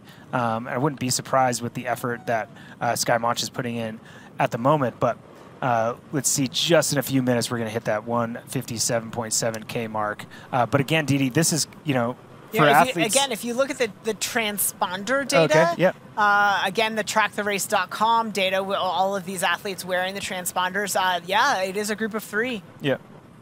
Yep. There you go. That's uh, that's definitely separated uh, a little bit, and not too surprising for those of us that have raced Ironman as professionals or coaches. You know that we you know say the race starts in the last third. Yeah. You know, and that's where we're at, and the race has really started to open up after being in a large group of uh, you know seven to ten athletes for for a fair bit uh, after the the you know those swim gaps were kind of negated late in the bike ride. So these three women pushing the pace again looks like it's uh, separated. Uh, you know, Skye Moench definitely at this point, literally, and uh, you know she's she's in the driver's seat. It does look like there's a, a fourth athlete Yeah, right it's there. getting right stretched there. a little bit. Um, it is getting stretched. It's a white helmet uh, with that fourth athlete. It might be Maja Stage Nielsen. Uh, again, hard to see from this uh, distance. It could be Jerzyk as Surprising well. that it's not true. I'm surprised by that. Yeah. Um, you know, she's she's put in some efforts uh, early in the bike ride to you know on her own. Yeah, that always is kind of a, a match in itself. But yeah, it looks like there's a little gap. We might be talking a few seconds here or there, but I'd also like to say credit to uh, Lehrieder, who looked to be in distress and was getting wasting a lot of energy yelling at people to, to come around. Yeah. But when they did, she's hanging in there. Yeah, yeah, she yeah. is not one of the athletes, at least thus far, that has been dispensed off the back and has answered, um, you know, the pace that that Skye is is setting right now. And for sure, as Skye goes into her little snack box, trying to get a little bit more fuel, uh, put some more uh, some more uh, logs on the fire, so to speak. And uh, you need to do that when you're pushing that sort of effort. But Yep. looks really controlled, and you can tell, you know, an athlete when they're eating, often it, it's a little bit harder uh, to go that effort. And, and breathe at the same time. She looks very comfortable. It doesn't look like she's overextended uh, whatsoever. Uh, and you know maybe it helps that she trains at altitude. Uh, maybe that helps when you're eating, doing a hard effort. You're used to kind of the oxygen restriction there, but she gets a little uh, fluids to wash it down. And uh, just over five hours into this race, we've got Skye Moench on the front, definitely trying to separate things a little bit. She's able, uh, you know, to get rid of most of the athletes ex- besides uh, Carolin Lehrieder and at this point, Sara Svensk. and looking very calm, um, Mm-hmm. not looking stressed a- according to plan. Very patient first half of the bike um, for Skye. Again, uh, some of the viewers getting upset that we weren't talking about Skye, but Skye wasn't doing very much uh, eh, other than being patient and being smart. Uh, as we look at Sara Svensk, um, who also is having a, a fantastic race. Uh, Sarah, another one of those athletes, changed coaches. She wasn't pleased with the injury cycle she found herself in. Uh, very appreciative of the opportunity that she had, but she also has changed coaches, and so slightly different stimulus for her Yeah. as well. And so trying out some new things um, here in Frankfurt. Yep, and uh, reached out to see if we could get an update on Bleymehl, and uh, it does sound like uh, she did uh, she suffer from hypothermia. Oh wow! Um, so we could see that's why she was in kind of that reflective blanket. And again, and that, that would explain maybe why she looked a little bit sluggish even in the swim. Um, Yeah. And she was obviously concerned about it. If she did do that warm up in the wetsuit, she was aware of uh, Yep. of the cold. I'm surprised that that didn't help enough. Uh, but she, yeah, a little bit, little bit cold for her with that duration of that swim and that non-wetsuit legal temperature, uh, and then out and you know 58 degrees uh, riding a bike at 30 miles an hour Yeah. like that. Uh, that doesn't warm you up, that's for sure. So unfortunate, unfortunate to hear that uh, she had to uh, drop out, but we're happy that it was uh, hypothermia, nothing, maybe a little bit more Longer uh, term alarming. consequences, And yep. So the, our first three are through 157k. Uh, so that's Skye Moench, Sara Svensk, and Carolin Lehrieder. And uh, looks like Jerzyk has gone through 48 seconds down. So that's a gap to Jerzyk. Uh, looks like that athlete we saw behind them was one of the male amateurs. Uh, Sarah True, 51 seconds. Rebecca Clark, 53. Maja Stage Nielsen, 55. So that group is Splint- together. It's, it's into two. Yeah, and it's consolidated. So if, if we were to see 48, then a minute five, then a minute 20, I'd say, okay, the race is blown apart. No. But if there's a group of four that's still kind of within each other and working together, they probably won't lose more than three minutes, you know, at this point uh, from here on out, unless, uh, you know, Skye Moench really, uh, you know, continues to put the effort down. What's interesting to me, and I don't want to read too much into it because it's literally one data point of one Yeah. moment in time across a very, very long race. Do it. But I'm going to go ahead and do it anyway and just say that Maja Stage Nielsen at the back of that group, she's been an athlete who has been in a group since the start of the race. Uh, Different groups at different times, and Yep. but always the athlete at the front attacking it, and now she's the athlete at the back of that group. So I, I, I don't want to sound any alarms, but it's a change in behavior to what was at one point her at the front communicating with the other athletes, almost sort of Yeah. trying to rally some action, uh, but now sitting at the back. But so maybe just a little bit of a lull. Maybe just being smart. Uh, it could be a number of things, but I- a change in behavior from what we saw earlier. I wouldn't say not that she isn't being smart, but I wouldn't say it's her being smart because if she was being smart, she'd be in fourth in the back, right? She would have the energy to be with that front group. Uh, where being in the back of this second group shows. That's what I'm saying. It, Yeah. I, I don't want to sound it's a sign. alarms, but it's it's it's different behavior Yeah. than what we saw from her in the first, um, certainly the earlier stages of the bike. Yeah. Where either she's resigned to just sort of ride with this group and doesn't want to try to affect any more change and sort of gather herself. Um, and, and hope that someone in that front three is going to falter and she still could find her way onto a podium, but different behavior than we saw the first half of the Yeah, no, I think it's fair to say that she's probably hanging on. And, and again, I think if we didn't see her for a period of time, I was my conclusion was she's either waiting to put an effort in because she's been that person, or she's starting to feel all A the little little efforts. yes. Every time you go to the front with that kind of Drive pace, it, yes. it, it slows you down. But Skye Moench, I think she feels like she wants to be at the front for most of the rest of this day. We'll see if she can achieve that goal after this commercial.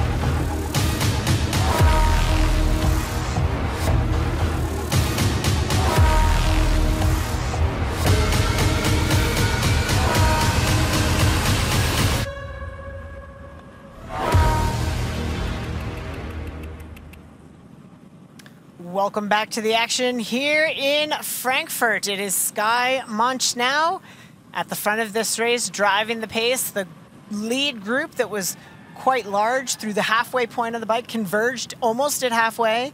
Um, has now accordioned back out again with uh, Skye, uh, Sara Svensk, and Carolin Lehrieder.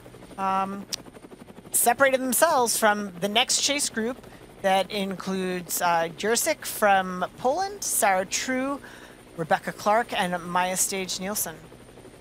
Yeah, and then it's the first time I've noticed Skye kind of look over her shoulder. Looks like she's getting a drink there and getting passed by Sara Svensk and uh, Lehrieder right behind. So Lehrieder's going to have to go uh, past both of these athletes.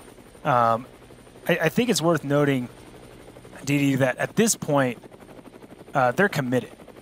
Right, like they, if they come off the pace, everything comes back together. Yep. Right, so uh, one of these three is always going to have to be pushing the pace at the front, or else this effort will be for naught.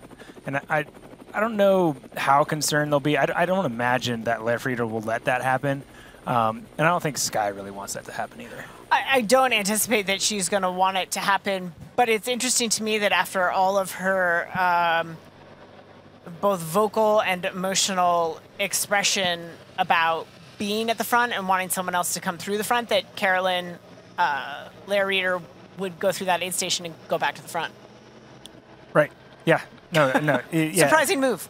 Yeah, I mean, I think it's. I think it was one of those like accordion moments where you saw Possibly, you yeah. saw just there was a replay of uh, Skye going in for a water bottle, slowing down, and everything kind of accordioning. But yeah, no, it's surprised by it. But to my point, now she has to go right, and I think if she barks again at Skye, Skye's going to probably have to come around, or else all that effort will be for no reason whatsoever. And Skye's, you know, in my opinion, she's on the right track. She's got a minute.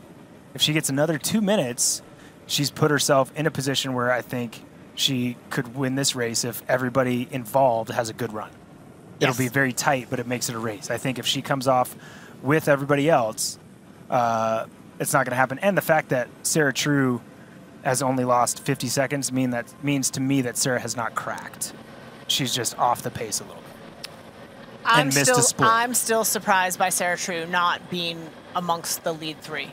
Yeah, but it's possible she was an eighth, right? a wheel. Yeah, she was not the right wheel. Yeah, we'll know Um, more the next split for sure. Sure, and of note, Lauren Brandon now um, still sitting in eighth place, but a full six minutes back of our leader. So um, that gap now that she is solo is is expanding. Okay, so- uh, pretty rapidly. And Lauren Jansen, we could probably expect to be not too far behind uh, Lauren Brandon, but she is most likely the next athlete to come through as we see uh, Svensk uh, move through the front of this course with just a little over 20 kilometers uh, to go in this race, and then it's that run we've been waiting for, and uh, certainly a run that Women on Screen has been waiting for, and, and a couple other uh, women we've been talking about all day. But uh, you know, they say bike for show, run for dough.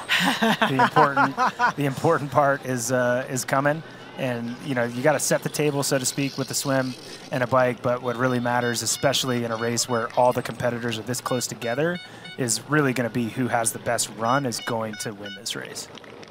Well, Most likely. Yeah, absolutely. Um, still pretty tightly bunched. We don't have conditions on the day that are necessarily, I think, going to create, contribute to the dramatics once we get to the marathon. I don't think we're going to Yeah. see any blowups we see will be based on people overreaching on the bike and not due to the fact that it's, you know, 95 degrees Fahrenheit and 100% humidity. And I, I'm, I, you're right, and I may be reaching here, but to that, does that that to me that doesn't favor Skye, right? Like to me, she's a the the the harder it is, Yes. the better she is. She's the stability player. Right. The slower a race course it is, the better it is. Yes. Where if it's great conditions, somebody else like I, I just don't know if her legs can run faster than a 258, right? Where other people can, her limiter is her leg speed, but it doesn't matter if it's 90 degrees or 60 degrees, where other athletes might be able to uncork, like maybe Well- someone who was fourth at the Olympics. And to further that point a little bit, the Yeah. conditions being what they are with relatively mild temperatures, humidity continuing to drop, um, Right. it is going to enable someone who does have that foot speed, this woman on This woman. screen, Sara Svensk, and perhaps even a, a Sarah True, to run a really, really fast marathon. Totally. I mean, and and I'm glad that she's on screen right now because this could be the like floating under the radar a little bit athlete that Yeah. she could pop off a 252. I'm, I'm telling you. Yeah, totally. So yeah, no, a lot a lot can happen here. So uh, the women, the lead women, have gone through that 161 kilometer mark, uh, still with Lehrieder Svensk and Moench uh, going through there all together, just separated between with three seconds between them. Curious to see if kind of where that they came together through that aid station and a little bit of slowing and passing. Yep. Kept things from expanding too much more. Again, it's only been five kilometers since the last checkpoint, so not a ton of time, but uh, certainly this athlete on screen is excited to, to keep the pace up. So we'll see if that gap has opened uh, at all anymore to those uh, chasing athletes behind. Well, I think of the women in that top three, uh, she's the one that needs the, the biggest gap based on run performances she's had in the past compared to the company that she's in. If everybody runs their best run. Yes. Yeah, for sure. Correct. Sarah, Sara Svensk would have the upper hand on Skye Moench, I believe, is your point, right? No, I guess my point was more that uh, Carolin Lehrieder is the one who, on paper, needs, Needs needs Okay, the gotcha. gap. Yeah. She needs the gap. Um, I think when compared to Sara Svensk, Skye Okay, Moench, yep. and Sarah True. That makes sense. And so the chasers have gone through. So 115 to Jerzik, 117 to True. Uh, Maja Stage Nielsen has lost 10 seconds. She's separated from that group. 127 with Rebecca Clark right behind. So now that group of four is two groups of two.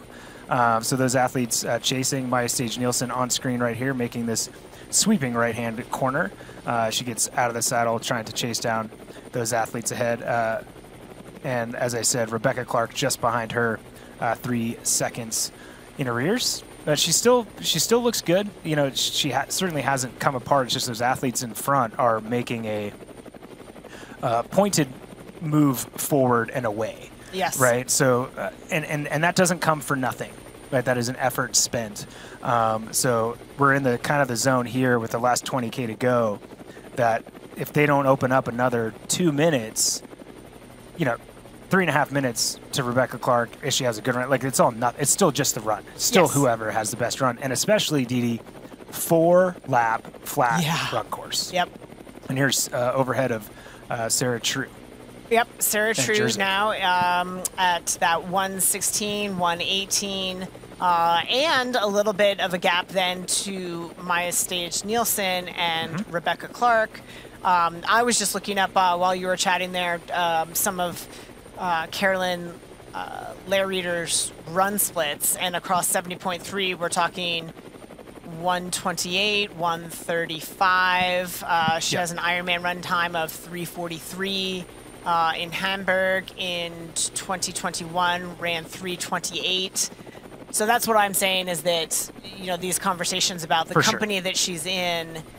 Um, She has run a 306, but that was a while ago. it was a while ago. Yep. Um, she she's riding very very well. Like she is riding in excess of what I would have imagined at the start of this race to be in this company. So maybe she's just having that kind of day. But Yeah. the marathon times of recent would indicate that she may be one whose time at the front is is not longer. But we will find out. So much racing to come as we finish up the bike and head out to the marathon shortly. Stay with us. We'll be right back.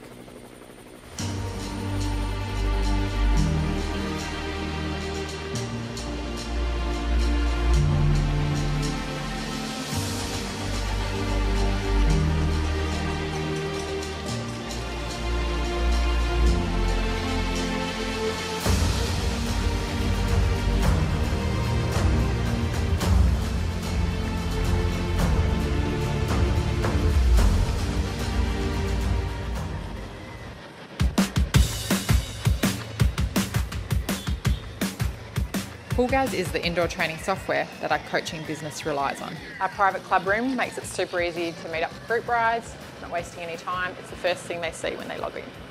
My athletes have never been more prepared for the specific demands of each bike course. It works for first timers, professionals, and everyone in between. FulGaz has transformed the way that I train my athletes. And we're back at the front of the race with Sara Svensk uh, pushing the pace. And again, Dede, this group has separated themselves. Yep.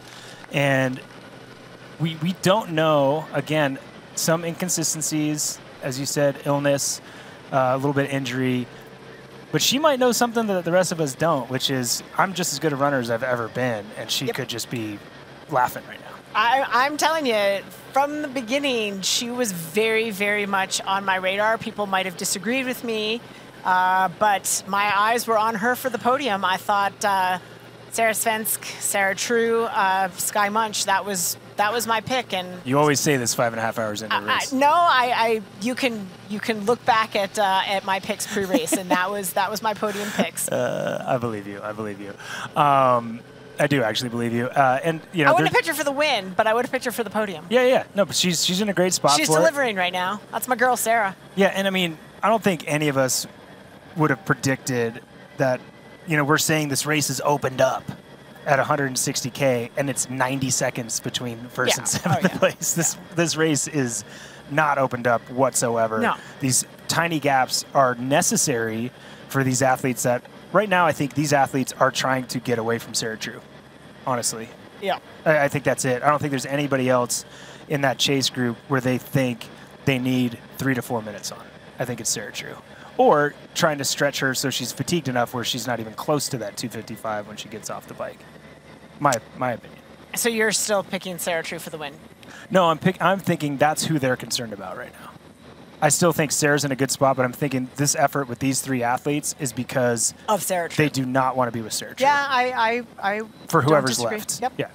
Um, and uh, yeah, we'll see when they get there. But I think this woman on screen, and we 100% cannot doubt uh, Skye Moench uh, either. Uh, I think she's certainly one that today could be that that PB run that puts her in that uh, 255, 258 range. Uh, she's certainly an athlete that is confident that she has that uh, in her, and maybe today's the day that, that she can. well, and those are the, those are the changes that you know she made in in opting to go with a new coach. We've Yeah. seen a little bit of a difference in her style, slightly higher cadence on the bike. Maybe she's been able to turn that into uh, better run cadence as well. You talked about her foot speed as sort of being her her limiter in that it wasn't it sort of was that was the keeping her from running the 255 where she's pretty solid in the three hours to 304 ish window um, maybe that increased foot speed is is is exactly what she she needs to turn in that that next level marathon Maybe, and she probably wasn't expecting it coming out here, especially the conditions she's raced here in 2019. But sure. if there was a day to get your PR run, it's 60 degrees and overcast Sure. with humidity that's not high. Yeah. Right. So I mean, it, it's certainly uh, a great conditions and great test uh, for her to try to get that fast run split, but still looking so smooth and comfortable, even though you know she's been pressing a lot of the day. Is uh, uh, Reader uh, at the front of this race again, continuing to push this base. And Lauren Brandon uh, eighth place still 720 down. I still haven't seen uh, Jansen come through. But that's a lot of time and I'm not picking on Lauren at all here but that shows that this group is moving pretty quickly still to lose seven minutes in just 40k maybe Yeah, I, yeah. I mean, you can see that Lauren's pace. Again, when we look at average paces, I think Lauren is falling off versus this group accelerating. oh yeah yeah yeah, Yeah. for sure but that seven minutes is that's that's a lot of falling off right that's going both directions Yep. Yeah. And there, there comes Jansen through at another minute uh, twenty-ish, minute fifteen back from from Lauren. Yeah, and uh, that was two minutes at the last check. That was shoot just 5k ago. Yep. So yeah, she is. You're right. She is. She's moving through pretty good, but uh, still riding riding smooth. No reason to doubt uh, that she's paced herself uh, correctly. Is Sarah Svenska? She uh, tries to get that number in a more aerodynamic position. Make sure it's not flapping around too much. Yeah, the noise in itself, you know, it's these those little things uh, towards the end that, that sort of get into your head that wouldn't bother you at the beginning, but all of a sudden this late in, it sounds, you know, really loud flapping back there and starts to bug you a bit. Oh, absolutely. Left hand side of the screen, Lehrieder, right hand side of the screen. Sara Svensk both pushing the pace, but uh, we've got Skye Moench somewhere in between or just in arrears of these two athletes. But man, that poker face, I mean, it does look like Lehrieder is like breathing through her nose. Yeah, oh yeah. She looks very, very comfortable. Yeah, other than the early emotion that we saw when she wanted the other athletes to come through, um, she does seem very, very composed. Certainly does. Well, why don't you revel in the seaside splendor of Portugal's Atlantic coast at Ironman Portugal Cascais on October 21st? With its sandy beaches and beautiful coastline, Cascais is an incredible triathlon venue. The bike course provides stunning views of the Portuguese Riviera and the unique experience of riding on the Estoril Formula One circuit. Enjoy the vistas as you run along the coastline. Get your engine racing in Cascais. Register today. Go to ironman.com slash IM Europe. And here we go. Lair Reader, Skye Moench, Sara Svensk at the front of the race as the athletes begin to think about the end of um, this bike course here. I don't think anyone's going to do anything drastic at this point. Uh, we might see an athlete pop and a, and a couple of wedges in the space, but to your point, uh, just 90 seconds separating our top seven athletes.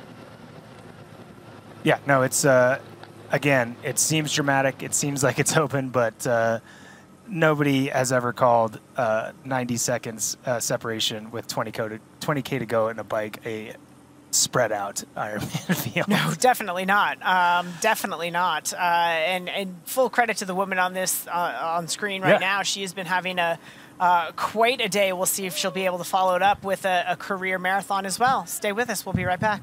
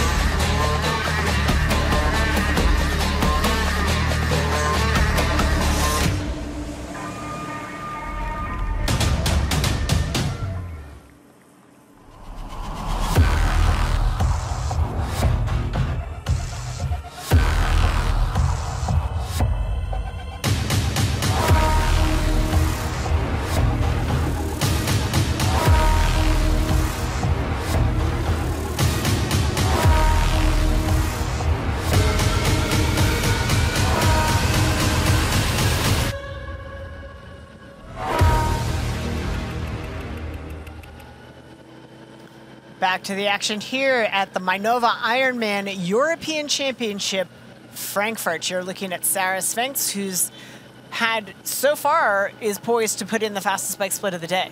Yeah, by about three minutes Yep. if she holds pace and if she doesn't uh, decide she wants a little bit more more time. But uh, to me, she seems content in this position. I I think so. I mean, I think she was back a bit on the swim and, and by herself. Uh, one of those athletes that was on her own in no man's land, chasing uh, what was the chase group in the early stages and inserted herself into that chase group. And ever since, has just been in the right place at the right time and, and has been more strategic since she caught that group. Uh, but is, is riding very, very well. And we know that theoretically is poised to potentially have a very good marathon as well. Yeah, again, if if she's brought her best self to this start line, the way she's executed this bike and the way she seemed, the energy she had when the groups came together, uh, to me it seems like uh, she's the one, you know, in the driver's seat to a certain extent. And Roka race weather update.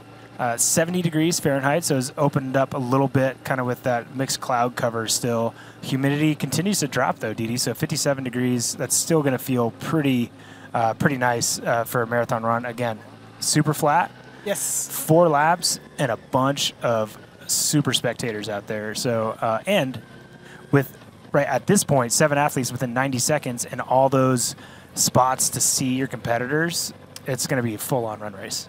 Yeah, no, absolutely, and the adrenaline certainly gets pumping uh, when the, you get in the midst of the crowds down there, Yeah. and um, we're in store for uh, an excellent race um, here, and it has been an excellent race, a, a little bit dramatic. Our, our race uh, defending champion has has retired from the race with some hypothermia, so a big disappointment there, Yeah. but opening the door for a new champion, perhaps. Yeah, definitely a surprise to see uh, uh, Daniela uh, Bleymehl uh, succumb to the conditions a little bit there. It's a little bit cold, but I'm surprised with those temps that that, that happened. But happy that she's uh, in a good good spot and getting taken care of. But again, a woman on the left hand side of the screen, Carolin Lehrieder, is moving along so well and looks so comfortable and composed. I mean, and honestly, all the women in this group of, of three in the front looks very, very good. I'd like to see.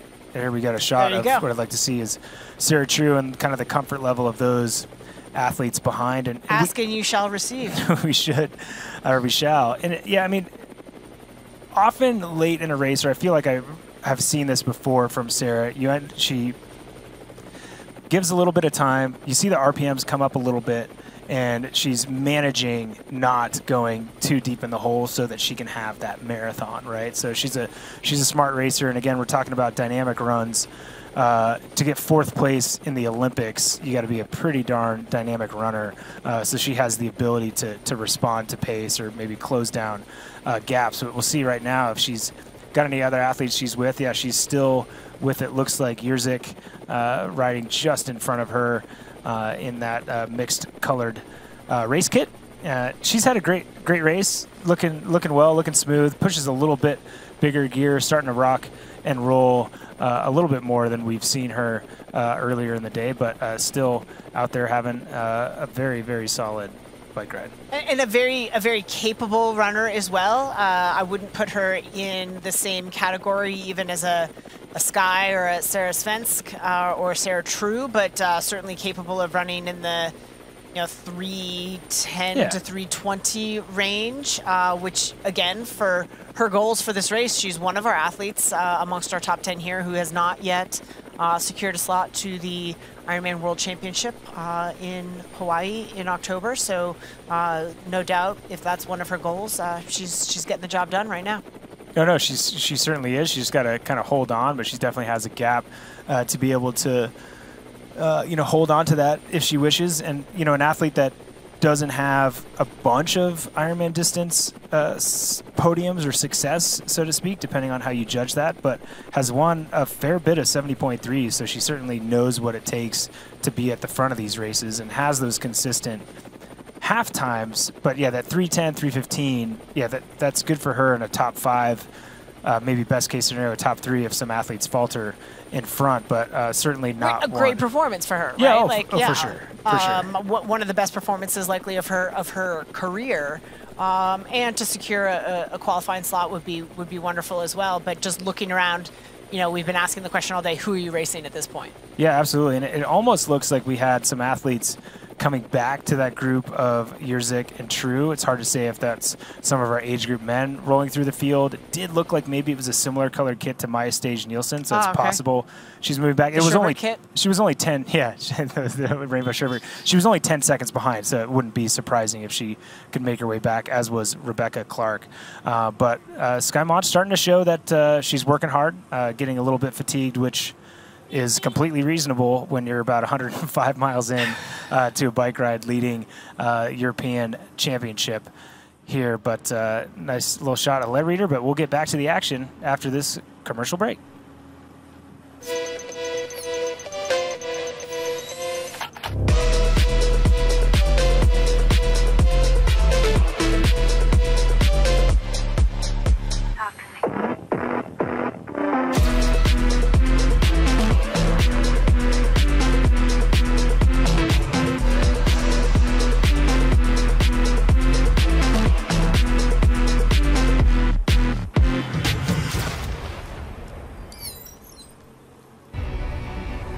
Throughout my career, people have doubted my ability, and I've had it even more so when I've come into triathlon.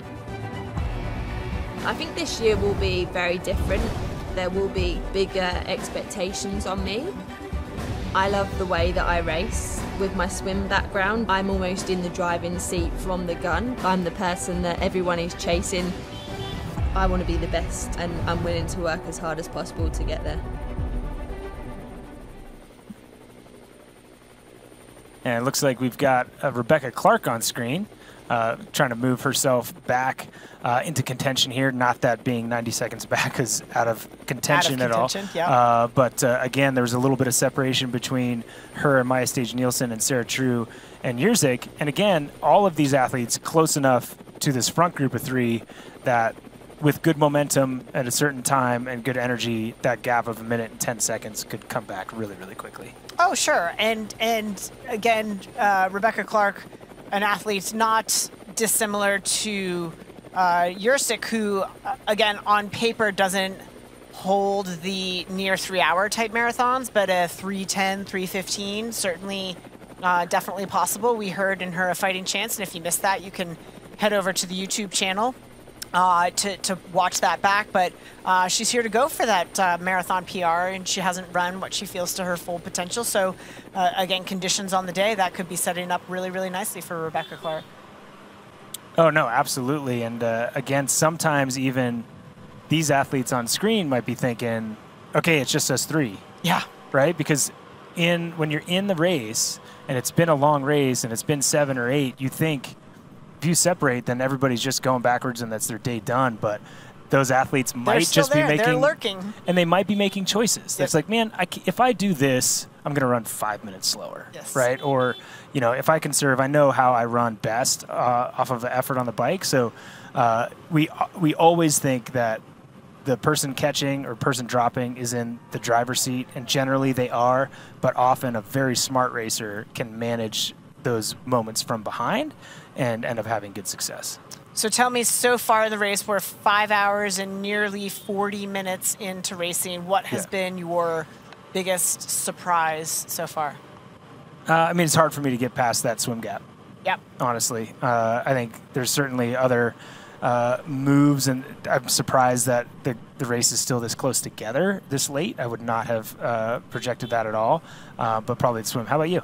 Uh, I would say certainly the withdrawal of the defending champion and the fact that she was obviously something was going on with her physically that she wasn't able to close down that gap, but the fact that she wasn't able to close down that gap and is now sort of out of contention, I wouldn't have put her.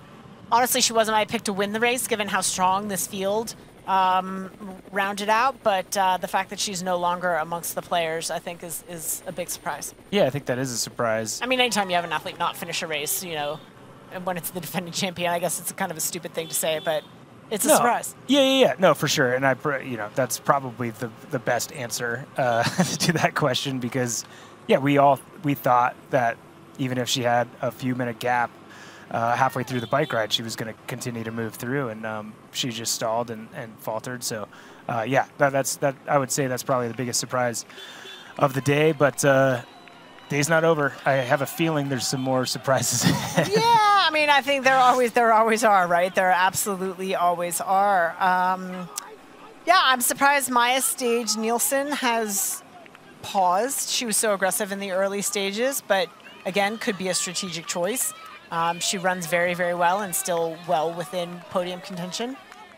Yeah, no, absolutely. And uh, okay, let's see here if we see anybody, any of these other athletes, uh, kind of making their way back up. But no, just this top three. And if I didn't know better, I'd almost think it was there's a little bit of moisture out there, um, but doesn't. We haven't gotten any reports uh, from folks out on course of that, but just uh, some of those overcast clouds uh, settling in. But we're getting pretty close.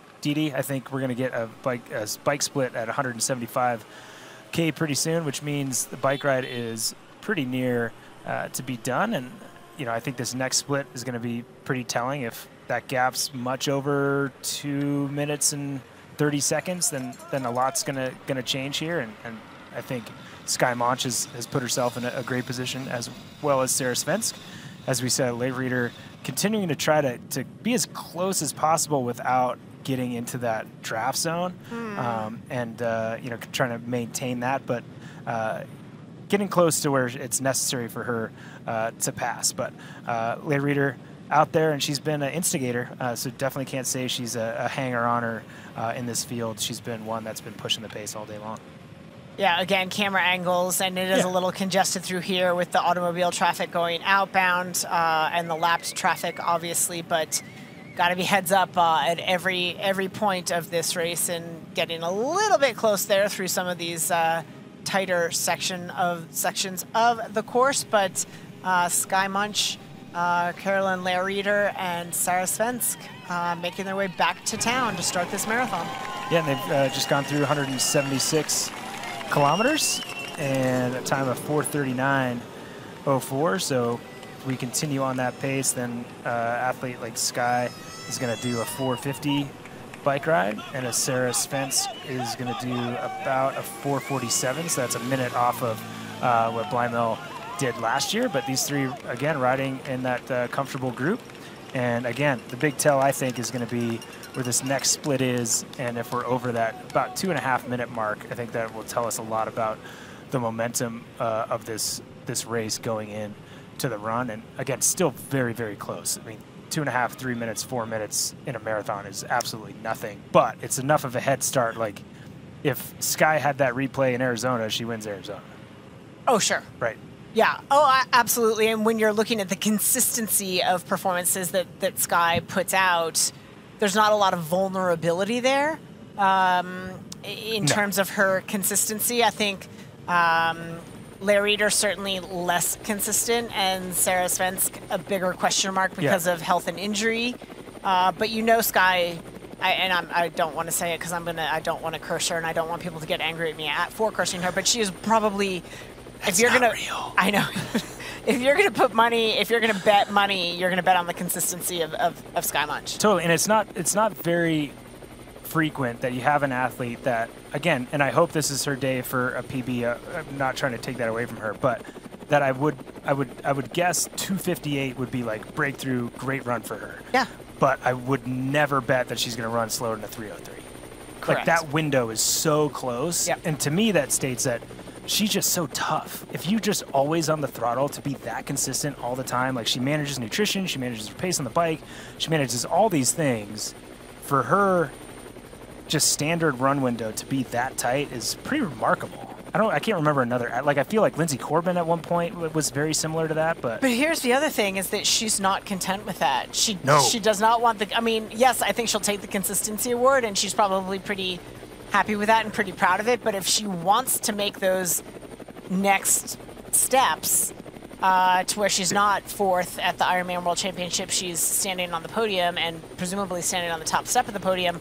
That's where she's got to. if she, if she was watching this race or she watches this race afterwards and hears me say, I don't think she can run faster than 258, she'll be pissed. She's gonna come find you. Yeah, and, totally. And, And murder you in your bed. I don't know. You know I would say she's a murderous type, but no, you're right. And uh, I just pulled two and a half minutes kind of out of nowhere, but there we have it. Two and a half Sarah True, minutes. 228. Yep. and uh, Yurzik 229. So to me, that's still kind of within that. Things are reasonable, and it's only 5K to go, so maybe they lose another 30 seconds. Uh, but this still is And no Maja Stage. no, and there's no. We still got. They might be within a, a, a 30 seconds or a minute, but there's no. This makes it quite even, Yes. right? If Arizona was three minute head start for Skye over Sarah, it would have been a battle. Different, yes. Right. So this is shaping up, and again, Sarah Svensk, if she was watching this race, she'd be like, "You guys keep talking about." I uh, mean, again, Skye this this is a this is. I, I think Skye would argue, if Skye were sitting here in the booth with us, that Arizona was very different in that Sarah True didn't race it, or she started it but did not finish it, Kona. and Skye, Yeah. yes, Yeah. Skye did. So Skye had Totally. that fatigue, and I think this is going to be a more level playing field in that Skye isn't dealing with that post Ironman World Championship fatigue in her legs. Totally fair point. And I think Yeah. that is why when she finished that race, she said, "I'm not I'm doing not that. doing that again." It wasn't just Arizona; Yeah. it was that that double. No, uh, very very well said. Uh, I'm still eyeballing while we watch our, our women's leaders head towards T2. Um, still no Maja Stage Nielsen, so that is a that is a bit of a uh, Clark has just gone through at 423. yes. Uh, so uh, Maja has has definitely dropped off the pace, and uh, kind of that uh, urgency that she raced with was uh, maybe not the best uh, tactic for, for an Ironman. And, and mo- most athletes have have done that, and she was so close to a win. She felt like that's what she like. She's trying the different things. Didn't work this time, but she still has her qualification, and you know she has time if she wanted to to do another Ironman. I don't know that I would recommend that necessarily, but she's trying new things, and she maybe now if she goes to Kona, she's like, I'm just gonna let other people do the thing, Yep. and, and hang in there. I don't need to be the instigator. I don't need to, to be the one making the attacks. Um, still, you know, she's a great, great runner.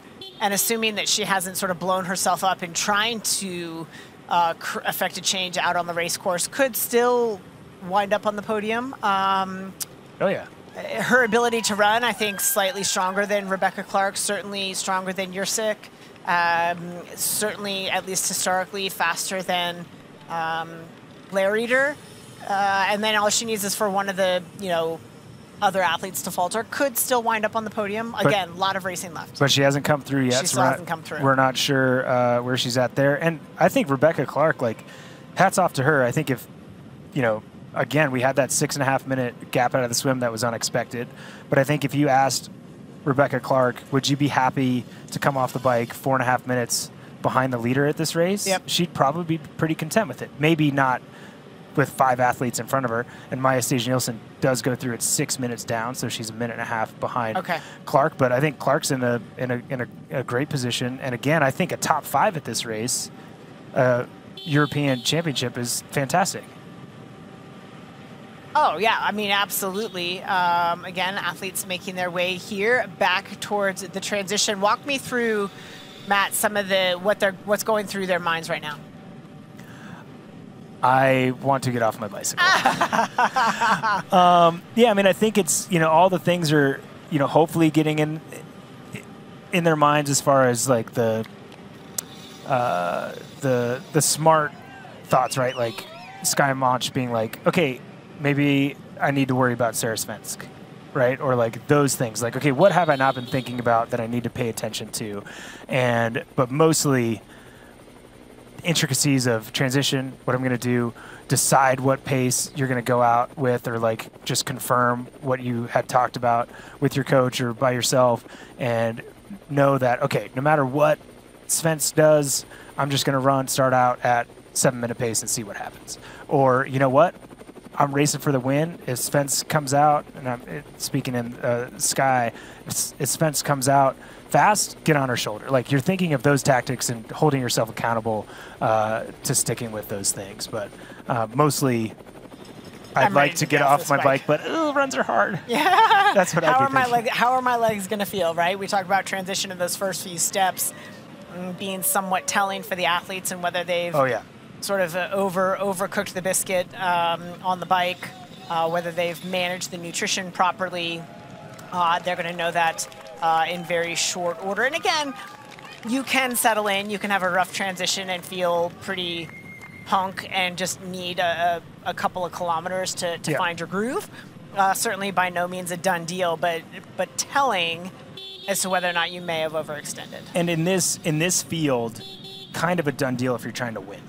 Yeah. right? Uh, so there's there's there's a lot uh, that we're going to be able to see when these women get off uh, the bike and uh, you know see where the fluidity is. But I think we can count on uh, Skye looking like Skye and being comfortable. It's not often she gets off the bike and I see her being blown or uh, running in a different manner than she normally does. She's, as you said, perfect word. It's consistency for for that woman. She is so consistent over all the disciplines, but Yes. mostly the run specifically. Yes. it's it's uh, it's remarkable actually how, how tight she is, and I'm wondering if maybe they've got a little gap on Sarah Svensk with uh, the motorcycle between as we haven't gone through the 182.9k mark yet, and they're getting the shoes out, so I think we're real close to that transition, and we're going to see uh, shortly how these women look coming off the bike. And again, big. s- I shouldn't say big surprise, but it's a little bit of a surprise to me to see Lehrieder this far up this late into the race. I mean, again, swim bike combo is is strong for her, uh, but I would not have put her in the category of some of the athletes that she's with and ahead of at the moment. So, great performance for her thus far. Yeah, for sure. And I kind of, I, I, I've- I've got the vibe and the swagger off of her that this is like, this is her A race, right? Like, I just get that. So, and I could be pulling that out of nowhere, as I often do, but I do think if that's the case, she's going to be putting it all out there. But it's not just like a emotional thing. Like, she looks really Yeah, smooth. Like, yeah. she looks great. So we'll we'll see here in just a few seconds and see how far back Sarah Svensk is. Um, but again, Lehrieder's going to have to have kind of a breakthrough run to stay on the podium, honestly. Um, But I would argue that she is having a breakthrough performance so far in a major championship race. Yeah, yeah, Yeah. I think I, I think that's fair to say.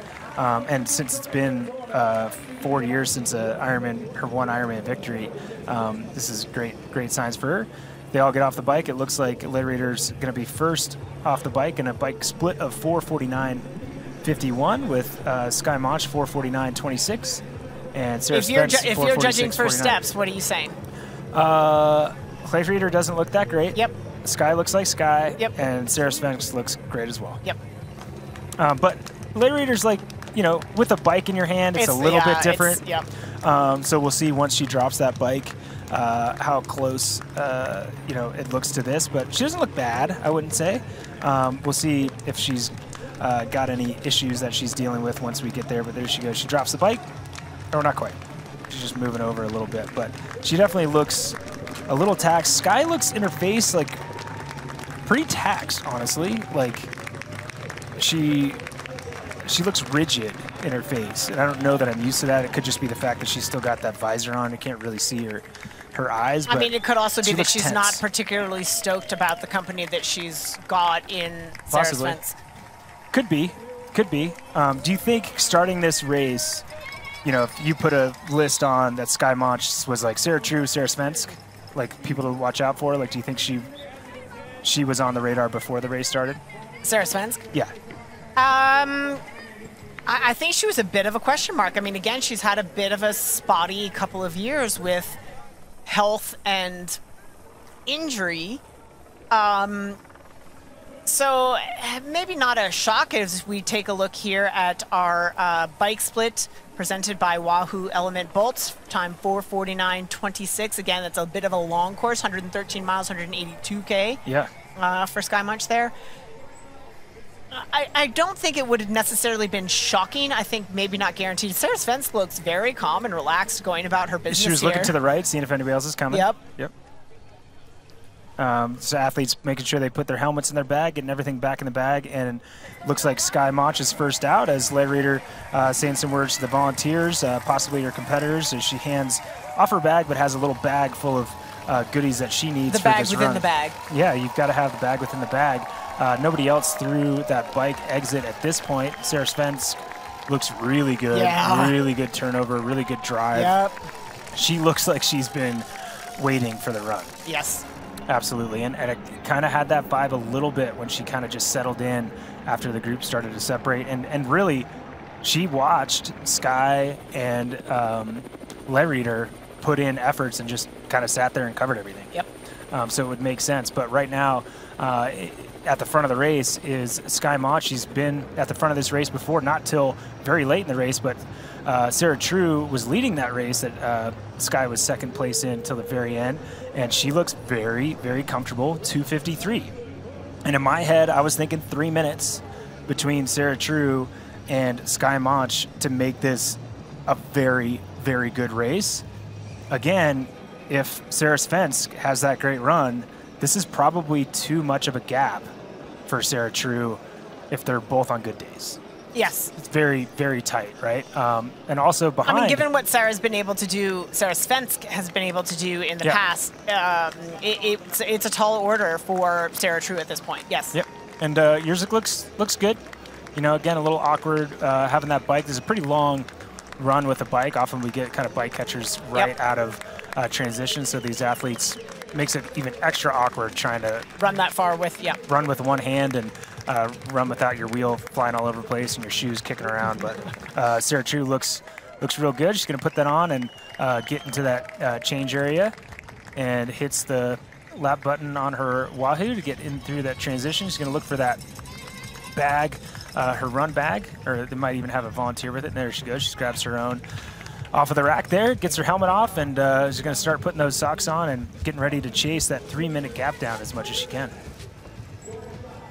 Again, she looks very, very calm. I'm sure she's not thrilled to hear the number three minutes ish. Um, probably less concerned. I think she's feels her chances are better with Skye. I think Sarah Svensk is the big question mark. Yeah, no, I think you're right. Now let's not forget, like if we're talking energy, we had uh, Skye Moench to be three minutes ahead of Sarah True, has outridden Sarah True by nine minutes. Wow. Right? So that's a fantastic bike ride. Yes. But there's energy that comes with Yes. that. Certainly more energy than Sarah used getting that gap on the swing. Yep. So that's where late stages of this run, that's where we're going to start to see that is Sarah probably has fresher legs because she is a good uh, she is a good cyclist. Um, dude, she looks fantastic. Yeah. She looks fantastic. Calm, confident. Yeah, she uh, always does. Yes. Yeah, absolutely uh, impressive athlete. And wow, Yerzik looks really good. Yeah. Yeah, I think she, she's coming out.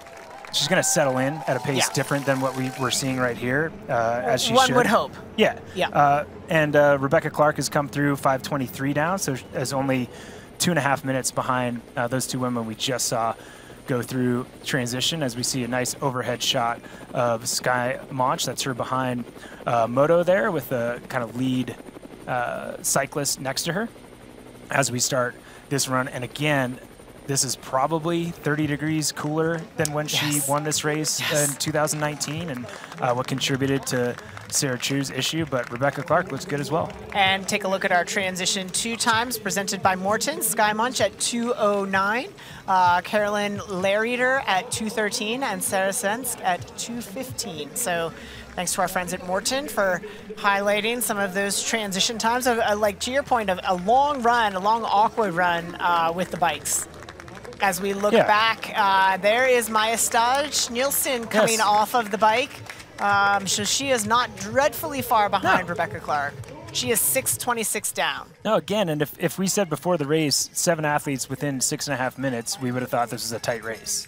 But the way it's developed, it's it seems it like seems it's blown like apart. because it was so tight Yeah. through halfway of the bike that those gaps have built up. and the way it course. happened. Yes. It went from a big gap to together and now a bigger gap. So uh, the athlete there that just came through seven minutes back is an equal gap to what uh, was had after that first swim as we get a nice close-up shot of Rebecca Clark as she uh, gets her goodies out of her bag, gets those socks uh, in hand, puts a hat on, and uh, gets ready to do all the little things uh, to to make sure she has a good run. And she looks she looks comfortable. She doesn't look too stressed. I will say honestly, it looked like Skye was a little I don't know if it was the cold, but she looked like a, obviously some discomfort. You're done running riding 113 miles, um, but she didn't look the freshest like while seated making that transition. But I've misread things many times before. But to me, the two athletes that looked the best uh, were Sarah Svensk and Sarah True.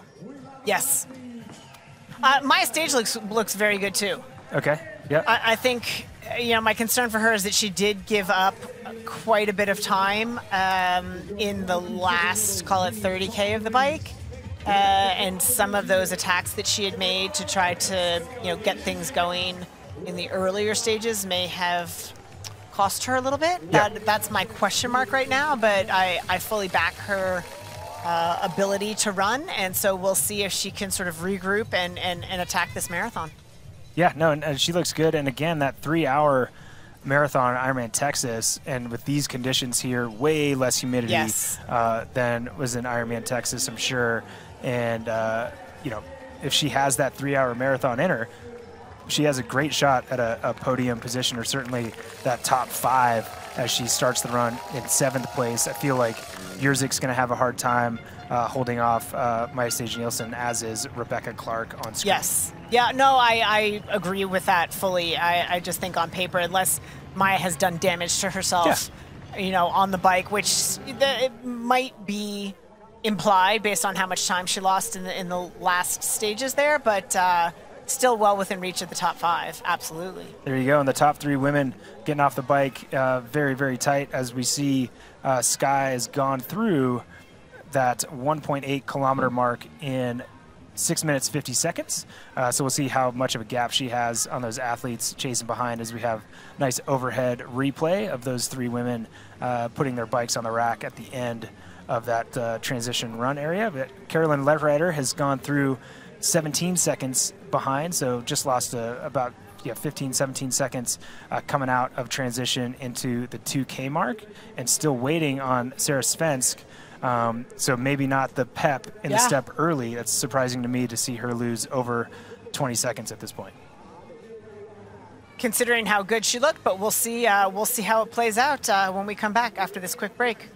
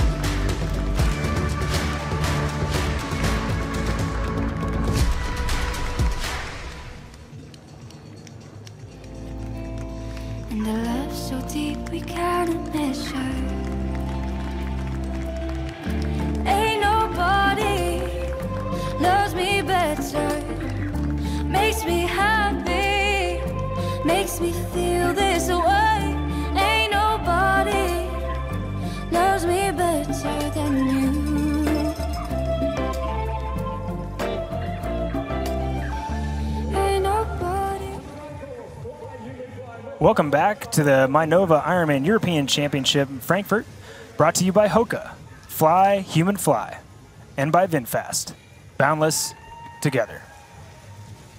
Here's our rookie, Dede. Yeah, it's a great job of it. Uh, looks calm, cool, and collected as we look further ahead on this Hoka Marathon course with Skye Moench in the lead. Uh, Carolin Lehrieder in second place. She's 17 seconds down. And Sarah Svensk, uh, surprised by this, she is a full minute and a half back through 1.8 kilometers. Well, so there's her, there's our one prediction gone. She wasn't saving it for the run. Nope. Uh, she wasn't the cat playing with the ball of yarn. Um, but no, uh, Skye was the cat playing with ball of yarn. She was. Yes. Uh, she was. So, yeah, Sarah Svensk 90 seconds back. Um, and Jansen, uh, right now, getting everything sorted, taking her time to make sure everything's perfect so she feels good and confident. She just she hasn't mastered run? the bag within the bag. Nope. Let's see here. Man, sh- she's on a mission. Yes. She is driving more than anybody I've seen coming out of transition at this point, as far as uh, just pushing forward and uh, yeah, moving herself forward. So she's she's got an opportunity here. We had Sarah True has gone through at three minutes and three seconds. Uh, down from Skye Moench, and that is exactly the split out of T2. So those two athletes are running the exact same time as we see Lauren Brandon coming off the bike. Lauren Brandon coming off the bike, uh, absent the smile.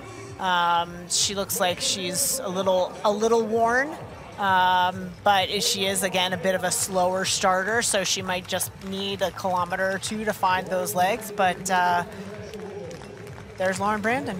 Yep, there she goes. She'll uh, she'll put that bike on the rack and uh, put herself in a position to uh, try to have the best run she can on the day, and again learn something from the day. But again, the experience. So at some point, Yes. that's gonna that's gonna come for her. Uh, she's gonna get the nutrition and get out there and uh, enjoy running in this uh, beautiful venue with all these spectators. Uh, we did have Yerzik go through in fifth place, 3:30 down, so she's lost about 25 seconds uh, to Sarah True, who she more or less came out of transition with. Uh, another shot of Lauren Brandon uh, from behind there. So our top five are through that 1.8 uh, kilometers at this point, just waiting to see where the uh, kind of momentum from Rebecca Clark and Maja Stage Nielsen is through that 1.8 kilometer mark. But again, kind of right now, it seems like Lehrieder is hanging in there, and Sarah Svensk isn't. And Sarah True and Skye Moench are kind of what we thought they would be, at least for the early portions of the run. Yep. Um, they're going to be running even for a while, and it's going to be Yeah. kind of a game of who can suffer the most, I think. No doubt as we take a look here at Lauren Brandon's T2, getting the socks and the shoes on and ready to go. Her deficit 11 minutes, 45 seconds down. That's off the bike. We'll see if she can claw back a couple of uh, seconds in transition, but she is um, got the bag back to the great volunteers here and off and running. Yeah, no, she looks she looks good. You could tell she's tired. She was kind of doing some long blinks and some Yeah. head shakes, so a little bit of uh, maybe nutritional deficit, kind of that light bonk. Uh, where your vision's a little bit weird when you don't maybe have enough sugars in you. So um, she'll uh, she knows what she's doing. She'll do her best to to fix that. Here's a replay of uh, our women, our leader uh, of the race here at the European Championship. It's uh, Skye Moench having a really efficient transition. She's now just run through uh, 3.8. Uh, sorry, 3.1 kilometers, uh, still at a very similar pace that she did for the first two. And another little shot of Sarah Svensk and uh, Lehrieder uh, getting out of transition and chasing our early leader. And Lehrieder did look really good coming out of transition. Yeah, again, my, my biggest surprise so far is uh, Sarah Svensk Yep. um, being off the mark that much in the marathon so far. Yeah, no, it's uh, especially how good she looked coming out of transition. Yep, going Uh, into and out of.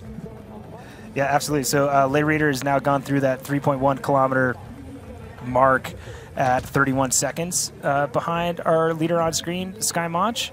And, you know, Skye looks looks good. Yeah. Looks like she does uh, when she's running well. You know, it's she's definitely on. She's got that effort in her face that maybe I'd be used to seeing a few miles down the road.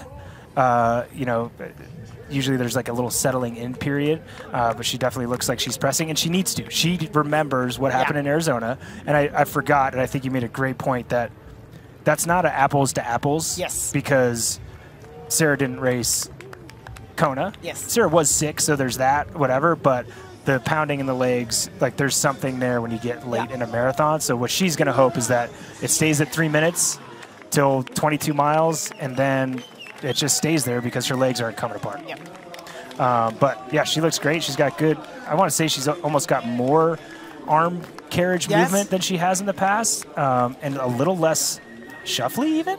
Yep.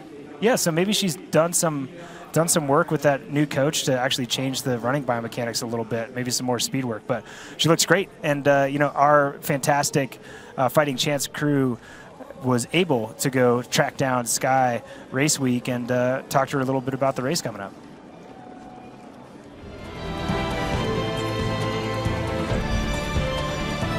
you know, we're not all out there racing thinking, oh man, like, good job. Like, no, I want to beat you. And what keeps me going is just the possibility of improvement and the possibility of being better. And, you know, we're, we're addicted to like hopefully having that perfect race and uh, breakthrough opportunity. Yeah, I mean, 2019 was interesting. I didn't know I was winning the race until a kilometer before the finish line, so it was just so many emotions and obviously pure joy and happiness and disbelief. I think female development in Ironman and in sport has come a long way in the last few years, and I think just people realizing that women are engaging and competitive and fun to watch as well. I think women getting their own day in Kona last year was incredible. You know, we're not all out there racing thinking, oh man, like, good job. Like, no, I want to beat you. And I want to joke about how I'm going to beat you before the race. And even though I'm not joking. Probably in a long time before an Ironman, I feel fit, but I don't feel you know, just totally destroyed and tired. So I'm excited to see how I feel on race day and execute my race. You know, the big ladies uh, are here who love this race to make it competitive. Like, I think it's going to be a fun race, and I'm glad there's so many women to battle it out with on course.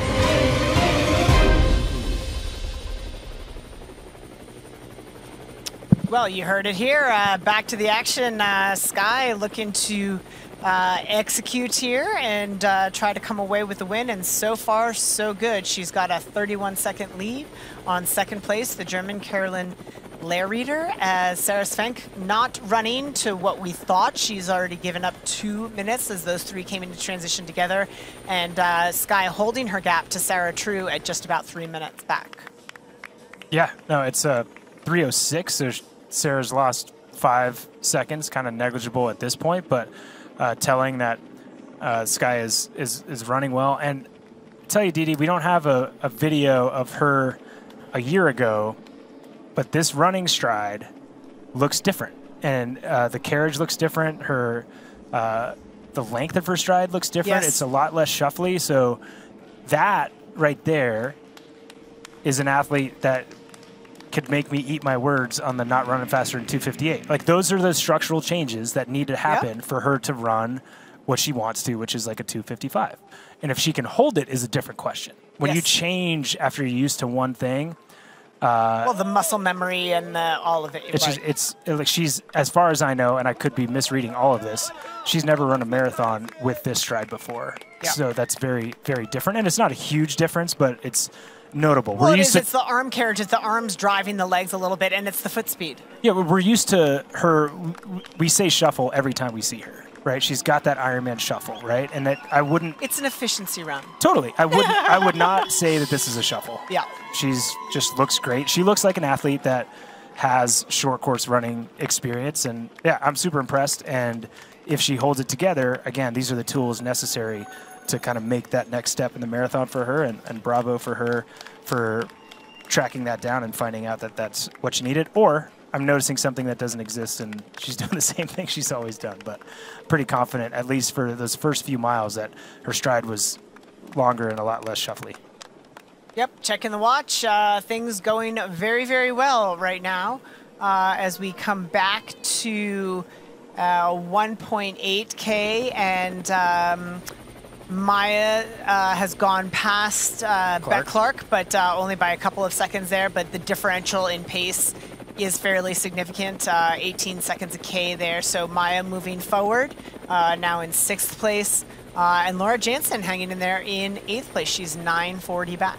But Maja, with where she's at, there's a, like, right now I'm, I'm doing the math and I'm looking at things. And if Carolin Lehrieder holds it together, Maja's in a good position for fourth. If Carolin doesn't, there's a podium potential yeah. for Maja if she continues this this pace on the run because we're going to see Sarah Svensk come back to her. Uh, most likely, we're going to see Yerzik come back to her as well. And uh, if she gets anywhere close to that three-hour marathon, uh, podium is certainly uh, certainly possible. Well, I, I, will say Carolin Lehrieder has has impressed so yeah. far uh, and continues to do so in the early stages of this marathon, currently sitting in, in second place.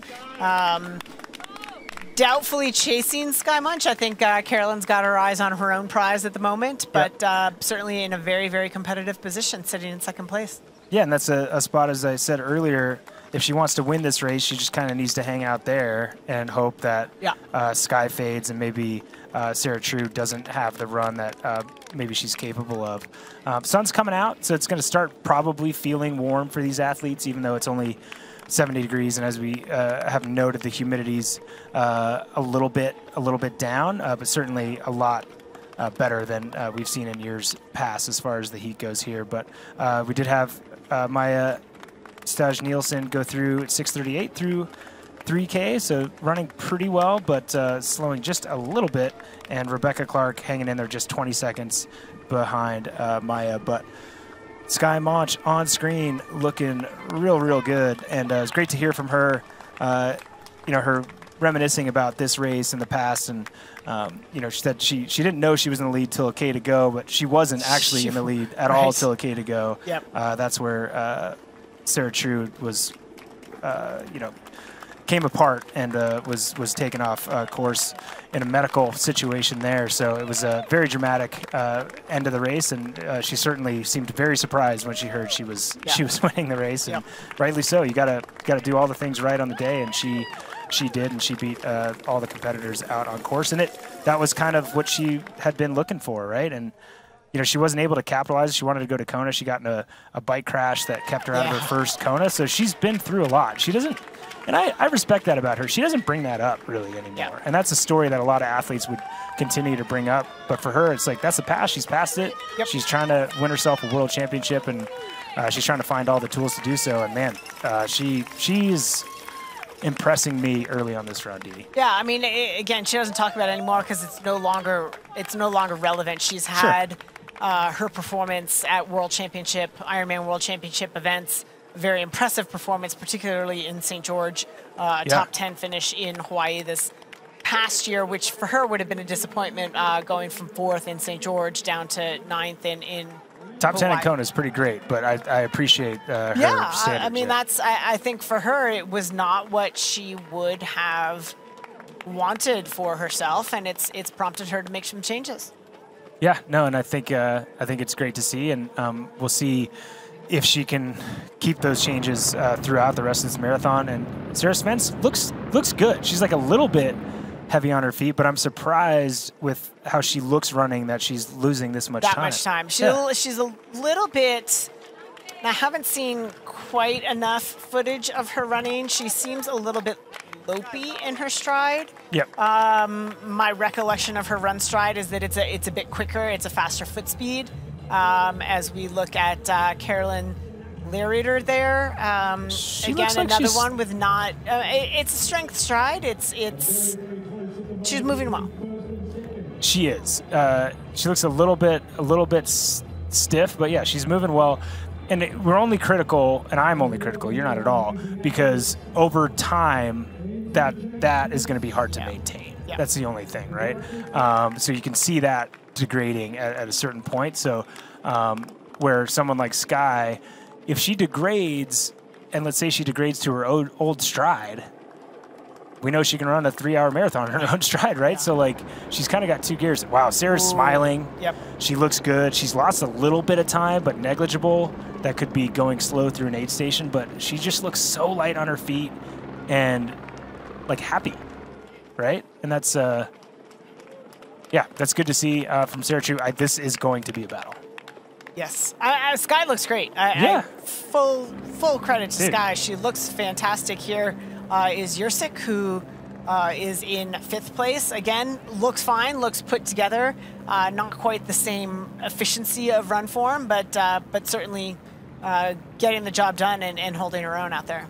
Yeah, yeah. She she's she's doing the thing and she's getting across the course, and she looks comfortable. And um, you know, it's hard to look perfect when you've just yeah. ridden 113 miles after uh, a long swim, uh, where you're doing both of those things uh, pretty hard. But yeah, I mean, I, I'm just I'm really surprised with how good Svensk looks, and that she's losing time, and yep. maybe she's turned a corner and she's running better than she Could was be. off off screen. We'll, we'll know more after this next split, but um, I thought she was going to be going straight backwards, and with how she looks, she's she's not going to lose a ton if she maintains what she's doing right now. No, I, I, again, I my recollection is that her turnover is usually a bit quicker. Okay. Uh, she's got a little bit traditionally faster foot speed, but again, I haven't watched her run enough to be able to say that definitively.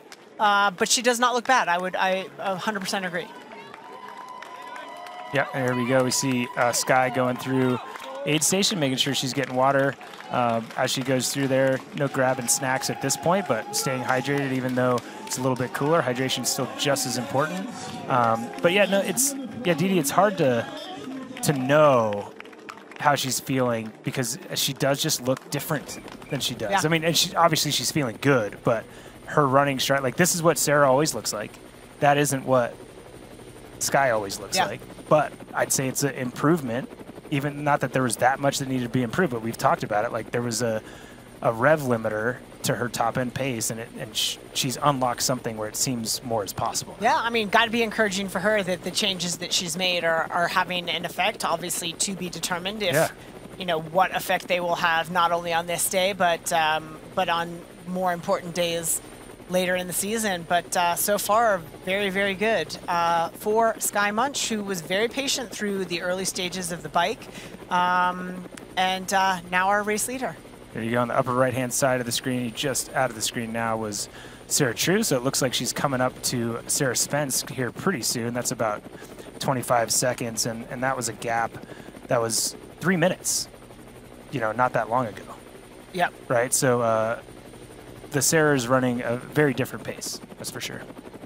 Yeah, which is again, I, I reiterate your point, confusing because Sarah Svensk does look like she's moving well, but the the changes, you know, the separation between her and Skye and Carolin, who with whom she came off the bike with, and now Sarah True uh, closing down on that gap, um, about to move into third place, tells a different story. Yeah, for sure. But yeah, but look at that Skye uh, through She looks three. great, light on her feet. Dude. Yeah. It's just uh, that that I think it's the the heel kick and that drive and the arm carriage that is Yep. is so different. And again, to me, it's going to be telling to see. It, it, it would be challenging to make this change and to hold it the whole marathon, right? Like I think it seems like at some point I it would think it's hard. challenging for anybody to hold any. Yeah, like, oh, I mean, even some of the sport's best runners at the end of a marathon, I think holding whatever the world's greatest form is difficult. But certainly, to your point, holding new form, form that is new to you. Because at some point you're going to go into survival mode, Yeah. and the mode that she's gotten through every marathon is a little different. I don't doubt. Like obviously, I wouldn't have expected her to look this different. So I'm, I'm super super impressed with the work that she's done. Also impressed with the race uh, to point from uh, the woman on screen. Uh, she looks she looks she looks okay, uh, but again, I think it's going to be hard for her to maintain this Yeah. over uh, 26 miles. Just a little bit more labored, a little bit less efficient in her stride. Um, but sitting in second place, can't argue that. And it's, I don't think Sarah Svensk is certainly challenging her at this point. Uh, we may see Sarah True be knocking on her door, but right now, Carolyn Leah Reader having a, a good go. Yeah, no, she uh, certainly is, and again, being kind of an instigator uh, on the bike ride, so definitely had energy and uh, you know something that she was trying to accomplish there. So give her credit for that, and uh, continuing to hang on well on this run. And again, nice and cool conditions today, so um, hopefully she uses those to stay consistent uh, throughout this run. But we've got two of the cyclists, so actually it looks like that must be the lead amateur Yep. cyclist uh, with that male runner on the right hand side of the screen. Um, and we've got some other the race officials there uh, riding with our second place athlete at this moment, and that's Lehrieder. But again, with Sarah True looking like she's coming up on Sarah Svensk, uh, Sarah True is going to have kind of lock target on Lehrieder here pretty Yeah. soon Yeah. Because she just looks she's like it just looks natural watching Sarah run, right? Sarah True, yes. Sarah True. Like it just looks like that's how she's been running since she was a kid. Like she just okay, I'm out running, bouncy, uh, good energy, and uh, you know looks controlled throughout. Back on screen with Skye Moench having a great run again, opening that stride a little bit from what we're used to seeing. Yeah, she looks fantastic. Still very, very early stages here. Uh, Skye through 3K, headed towards the next timing map, which will come at 7.7K. We'll see how her progress continues, as well as see if Sarah True uh, can chisel down uh, that deficit she's got to our race leader. So don't go away. We'll come back. Uh, this Hoka Marathon underway well and truly here in Frankfurt. We'll be right back.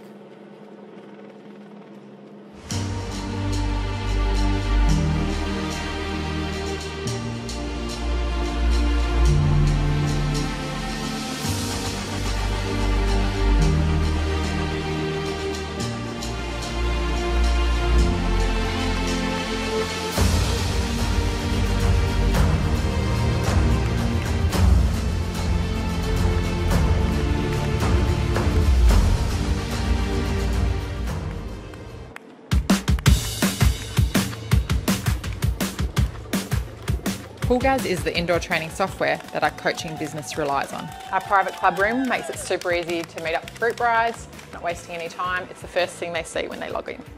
My athletes have never been more prepared for the specific demands of each bike course. It works for first timers, professionals, and everyone in between. FulGaz has transformed the way that I train my athletes.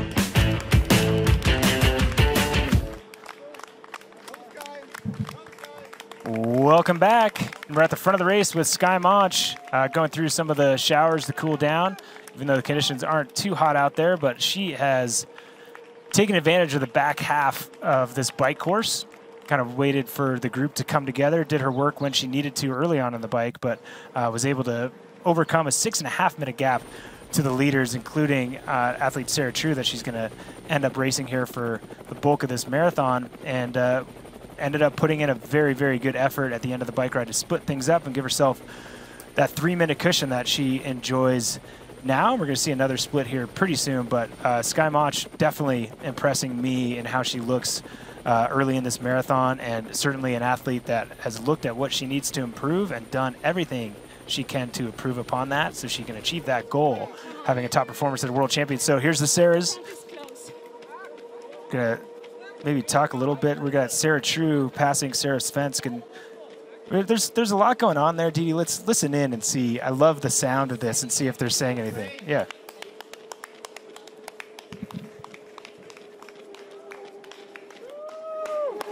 That's a negative. Yeah. That's a negative. Uh, but love it. And I'm sure you all appreciated that break from us talking. Uh, but Sarah True, she's got that kind of game face, that focus on that we're used to. Not used to seeing her uh, playing around and smiling and putting the tongue out and waving like she did in the bike ride. Uh, now she's back to it. She knows that this is where it matters. And she's going to do the math. She knows that Skye Moench didn't do or did race Ironman Kona and she Yeah. didn't the last time they raced. She knows that that three minutes was probably important at Ironman Arizona, but she also knows that she really feels like she had that win here four years ago, and I think I think there's that for her. Skye is a very different athlete than she was then. Uh, she's gone through a lot of changes, a lot of Ironman wins at this point, but uh, certainly uh, Sarah True putting in the good work. She's now moved herself into third place. And no offense uh, to woman on screen, Lehrieder, but it is just a matter of time Yeah. until she moves into second I, I like. I hate. I hate to say that, and I cheer for her. And uh, she's had a, a super performance uh, thus far. But just looking at the run form and and the posture a little bit, she's not as well stacked and not as well connected. Just not running with the same efficiency um, as actually both of these yeah. two women. And she's moving well. She's only lost 90 seconds Yeah. to Skye Moench, but looking at how she's running, at And some point that's that going is to not degrade. sustainable, Yeah. right? That is not sustainable over the distance of a marathon. But look, just some form. look how ridiculously smooth Sarah True looks. Yeah. Like we're talking about that heel kick of Skye Moench. Like this is the next level. Like this is a pure. This is a runner. Yes. That's run in the Olympics to get a fourth place, not far off of the podium. Has been running quick for 20 years in triathlon and now has transferred that into let's not forget she was fourth at world championships in kona one of the last years that she had everything firing. And if you look at the results of her going into kona that year and her last year going into kona without the sickness you'd say she was probably in a better position to Yep. race well. Different field so you can't really um, compare the two but she is a world world class athlete and she's showing it early in the run. But through that last timing match, she had not made up any time on our women's leader, Skye Moench, and let's see if she has. So she's made up 10 seconds in the last four and a half kilometers. That's virtually much. nothing. Yep. Um, but it shows that I think we're going to have these swings until it stops swinging and one person gets the momentum. And to your point, a matter of time now before Sarah True and possibly Sarah Svensk uh, close in on, on Carolin Lehrieder. Um, having a great run. I mean, Carolin, uh, again, one of our athletes who does not yet have her Kona slot, so she looks good for that. Yeah. Uh, Sarah Svensk also needs to pick up a Kona slot, uh, but there's four available, so there's there's not a lot of pressure at this point. It's just holding it together. No, there are for sure, and I think uh, yeah, you're right, and it's just getting to the finish line. If that's the goal, they can do it. And here we go. This is an, another shot of Sky, and I hope we can get uh, a little bit. We'll get a little bit closer shot, kind of one that we're used to, and maybe that side angle. But Dede, correct me if I'm wrong, please. But it does look like the stride's a little shorter already. Yeah. And she gets like she's kind of gets hunchy in the shoulders, like her yeah, neck. the posture, yes. and that's what I'm used to seeing. All that being the said, arm swings not quite as Nope. freely. They get a little bit locked up. it yeah. gets a little locked up, and she knows it. She- So yep. she's uh, she's trying to work it out, and it even like looks like it's stretched out a little bit just then. Yeah. And so I think it's degrading a little bit, but when she goes back to that, she can still run a three or a three hundred two, right? Right. But it does seem like she might be going through these moments of this efficiency of this new stride that's going to take a lot more energy. I think in certain ways, muscular energy. Um, Well, because it comes so unnaturally, it may Yeah. ultimately be more efficient, but because oh, for sure. You haven't executed it in the same way, it's going to take time to build that efficiency. Yeah, and like on a slight slight downhill, which it looks like this is, she's going to be able to open up a little bit more, but she looks different than she did 20 seconds ago. And I think we're going to maybe see that. And again, I might be making all this up, but she almost looks like her torso is straighter than it was Yeah. 30 seconds ago. Yeah. So she's going to be going I can't tell this. where that comes from. Is it the posture through the shoulders? I think so. She is, like is it a lack of hip extension that she that causes her to fall forward like that? But um, you can see she's thinking about it. It definitely comes back and keeps resetting it. Uh, as we look at second place, Carolin Lehrieder, um, her time here in second. Uh, maybe on borrowed time, but we'll find out after we come back from this quick break. Don't go away.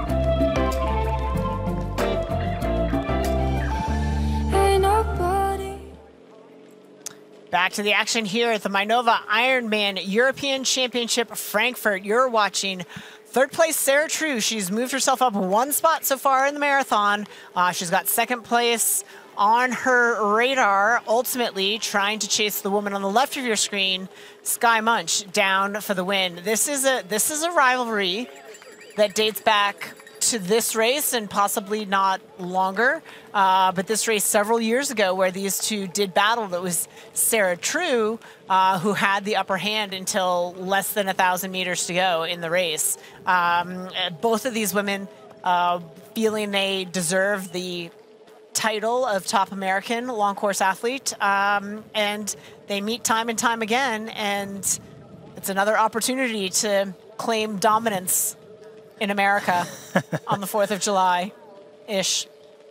ish for sure and yeah no i think that's i think that's something uh, for sure and i think uh, Skye definitely uh, takes a lot of pride in that uh, she's talked about that with the rivalry that was often spoken about with heather jackson and uh, you had sarah True in the background being like hey i'm i'm from the us too don't forget Yeah. and i don't think that i think she takes pride in being an american and being there but like she just wants to that's less important than her Yeah. winning this race Yeah. for sure um, but uh, yeah this uh, this is a, a bit of a rematch for sure from a few years ago, and uh, both these athletes are, are putting it all out there. That's for sure.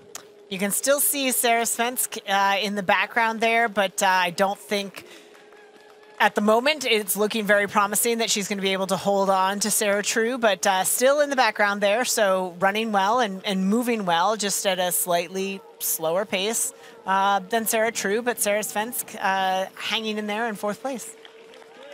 Yeah, no, absolutely. And again, she she she looks like she's running in a manner biomechanically that she's going to be able to hold it together or has the opportunity to.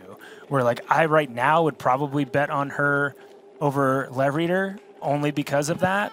Uh, even though Lehrieder's a little bit farther up, I don't want to root against anybody, but that looks more sustainable. Yes. Yeah. No, it, it I, I don't disagree despite the, the differences in pace. Um, yeah, long term, if you're playing the long term game, yeah, I agree 100%. But uh, Sarah True, looking good, moving well, No, absolutely. getting it done. Yeah, no, she certainly is, and uh, she ta- generally takes time to kind of settle in, and she'll look like more comfortable as the the run goes on. Um, you know, she might get a little more of a head bob later in the run, but uh, she looks. Yeah, here we go. The sky is kind of getting that hunch again. Yeah. just a little bit from. She's shaking it out. She has these cues, posturally she's figured out that it's either wherever it's coming from, it's from the neck or it's from the upper thoracic, something. She knows that to get out of it now, at least she knows the cues. So I think we're going to see her cycle through that off and on a lot today. Yeah, I think it's it's going to be less on and more off. Um, might be. as, as fatigue builds. Um, I, I think we're sort of seeing more of the old and less of the new, even at this stage. And um, she's just 10 kilometers in, not quite. So, um, but yeah, I mean, good that she's mindful of the change and good that the changes are, are happening to get herself to where she wants to be, not only here, but on a worldwide stage. Yeah, for sure. And it looks like, you know, obviously things are different through different timing mats, uh, but it looks like she has slowed down. At least her, her pace through Yes. 9.7 has gone to 419. Yes. Um, and she hasn't really exposed much more time on Carolin Lehrieder. And I think we're going to see a split here to Sarah True pretty soon. That's going to be telling. It was 305, Yeah. then it was 255, and now it's going to be 240, 245. We'll see. It, it could could certainly be the same. 237. There it is, 237. Another so 20 seconds. Yeah, that's that's significant. Yeah. It's definitely significant. Uh, 10 kilometers in. So again, we talk about a four lap run course.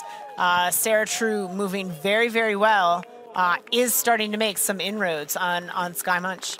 Yeah, absolutely. And if you look at right now, if they both hold the same pace, it shows, and this is very much extrapolated, that Skye finishes a minute in front of Sarah True. So very, very tight. Very tight. Well, let's take it down to uh, some athletes who are right there down on the course and athletes that have experience here on this Ironman Frankfurt course. We are going to bring in Clement Mignon and Marjolaine Pierre. Guys, welcome. Thank you for being with us. Hello. Thank you.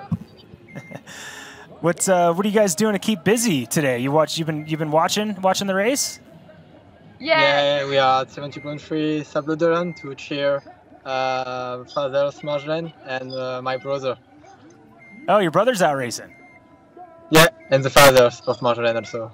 Oh, that's awesome. That's great. And uh, how are the legs feeling? A pretty good race for you last week? Yeah, yeah, uh, it was nice, but recovery a little bit uh, tough. But uh, it's better now. That's how, so you don't you don't wish you were out there today. Yeah, yeah, yeah, a little. A little. Well, you know this. You know this course uh, well. Um, what do you think the most difficult aspect or the most difficult part of this Frankfurt course is? Uh, I think it's an amazing race because I had choose this race uh, last year for my first Ironman race, and yes, for me it was uh, amazing to the, the feeling of the people, and I think maybe the run it's difficult because it's marathon, but uh, with um, a lot of people, it's very nice to, to run in this condition. And, and as a follow up to that, what aspect of this Frankfurt course fits particularly your strengths, or what type of athlete do you think will do very, very well on this Frankfurt course? I think it's um, I think it's important to to to be an uh, athlete, very uh, complete athlete, uh, very nice on the flat, on the back, but it's not uh, very flat. Also a little bit uh, climb, not long, but uh, it's not steep, but it's very nice, and it's important to have more power on the bike. and I think it's important to to be a good runner to to finish uh, this race. Yeah, no, very well said. As we see uh, Sarah True passing uh, Lehrieder, um, and uh, yeah, Marjolaine, uh, you know, you've you're a peer of these athletes. You race at the very front of these races with a lot of these athletes uh, that we've all been watching, and I think you've probably been just as impressed as we have been with how tight this race has been. What are you noticing in the early sections of this run as far as who really looks like they have it on the day? Uh, yes, uh, I would like to, to join to this party because uh, I really want to try uh, Ironman distance, but it's very nice to, to see this race and this amazing athlete. I think uh, Sarah, uh, she's in very good shape and Yeah.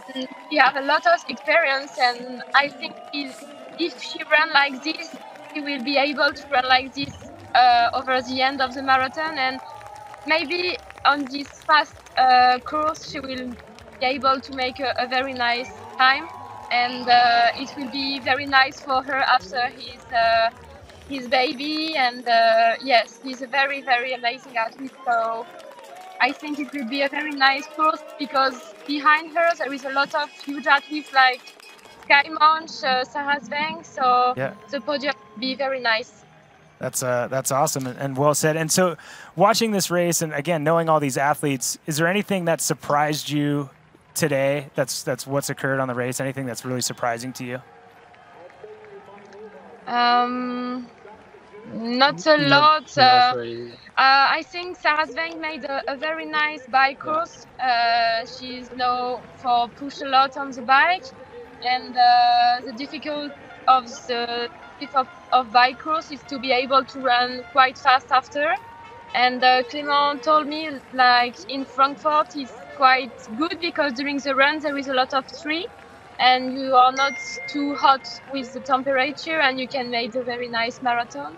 Yeah. So Uh, Clement, I want to shift gears a little bit and talk a little bit about uh, you just won Ironman France in Nice on June 25th.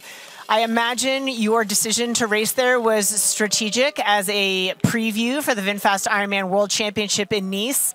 Um, what did you learn in your race in Nice that's going to impact how you prepare for the World Championship there coming up later this summer? And don't worry, nobody else is watching. Yeah, don't you tell everyone all of your secrets that you learned. Uh, yeah, I think uh, yeah, it's, it's a tough race and it's uh, very difficult because a lot of people think uh, about the, um, the bike is uh, is hard, but I think the most difficult is uh, the run because it's uh, flat, but very difficult with the heat because uh, they don't have trees to protect athletes. And also, it's very difficult mentally because it's 5k uh, on way and 5k on back. So yes, and four times, so it's very difficult to to to know because the Promenade des Anglais it's uh, flat, but um, lots of uh, things uh, seems hard after each uh, K.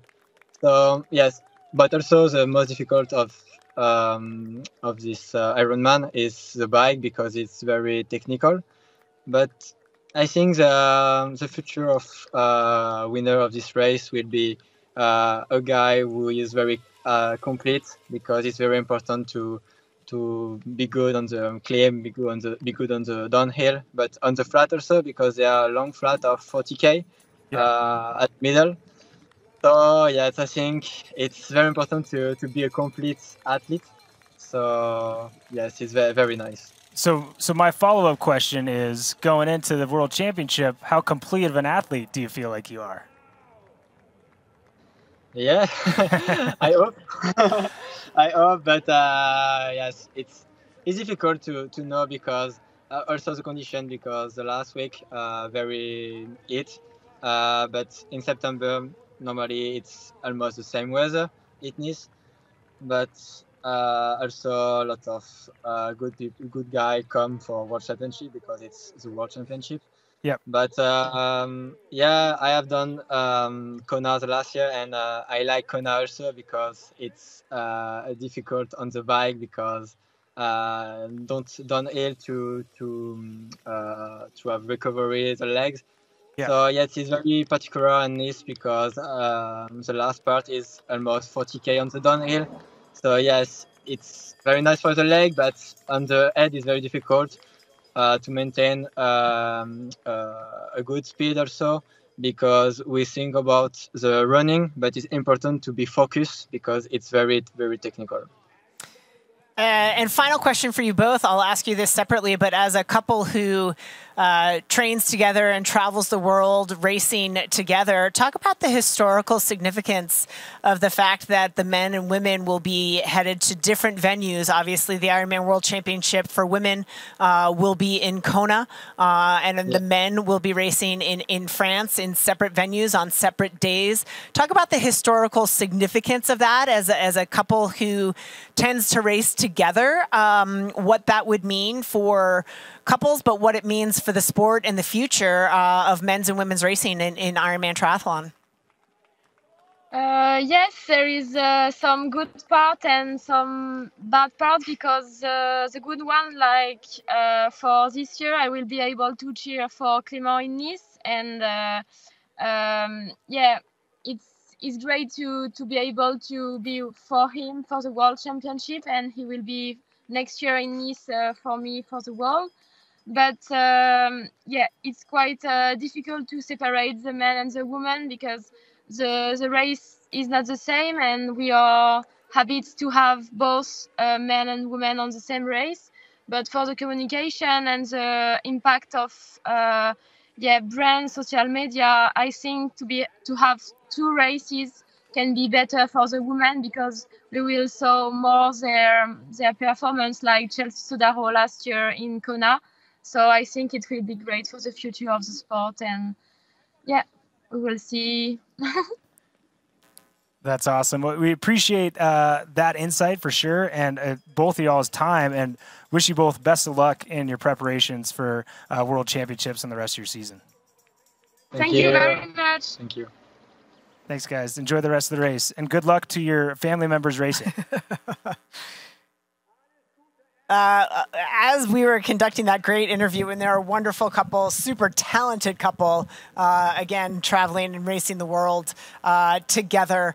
Uh, eh, we've had some some developments as you look at uh, Carolin uh, Reader there has stepped off the course. Um, and it, she stopped her watch. It doesn't look like she is intending to continue at this moment. It looks like she is yeah. ill, uh, almost waiting perhaps to let the stomach settle, see if she can eliminate some of that, if she will uh, continue. But at this point, it looks like she may be um, electing to withdraw from yeah, the race. she's getting she's getting emotional at this point, and uh, you know, no fault to her. She's kind of turning away from the camera. It's a tough tough spot uh, for her to be in, and uh, definitely not one that we wanted to see her in because she was such an impact uh, throughout uh, the early portions of this race, and for, for that matter, the later portions uh, of the bike ride as well. Um, and back to Sarah True, and again, that's or not. Sorry, excuse me, Skye Moench. That's something we haven't seen before. So she's she's realizing she's holding tension in her upper body, and she's Yep. doing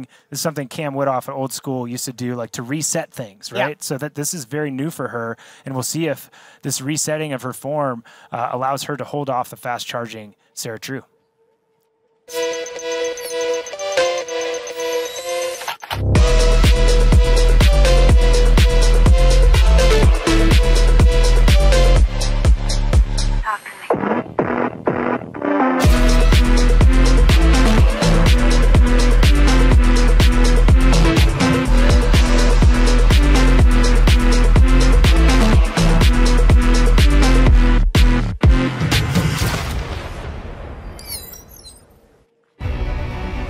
Throughout my career, people have doubted my ability, and I've had it even more so when I've come into triathlon. I think this year will be very different. There will be bigger expectations on me. I love the way that I race. With my swim background, I'm almost in the driving seat from the gun. I'm the person that everyone is chasing. I want to be the best and I'm willing to work as hard as possible to get there.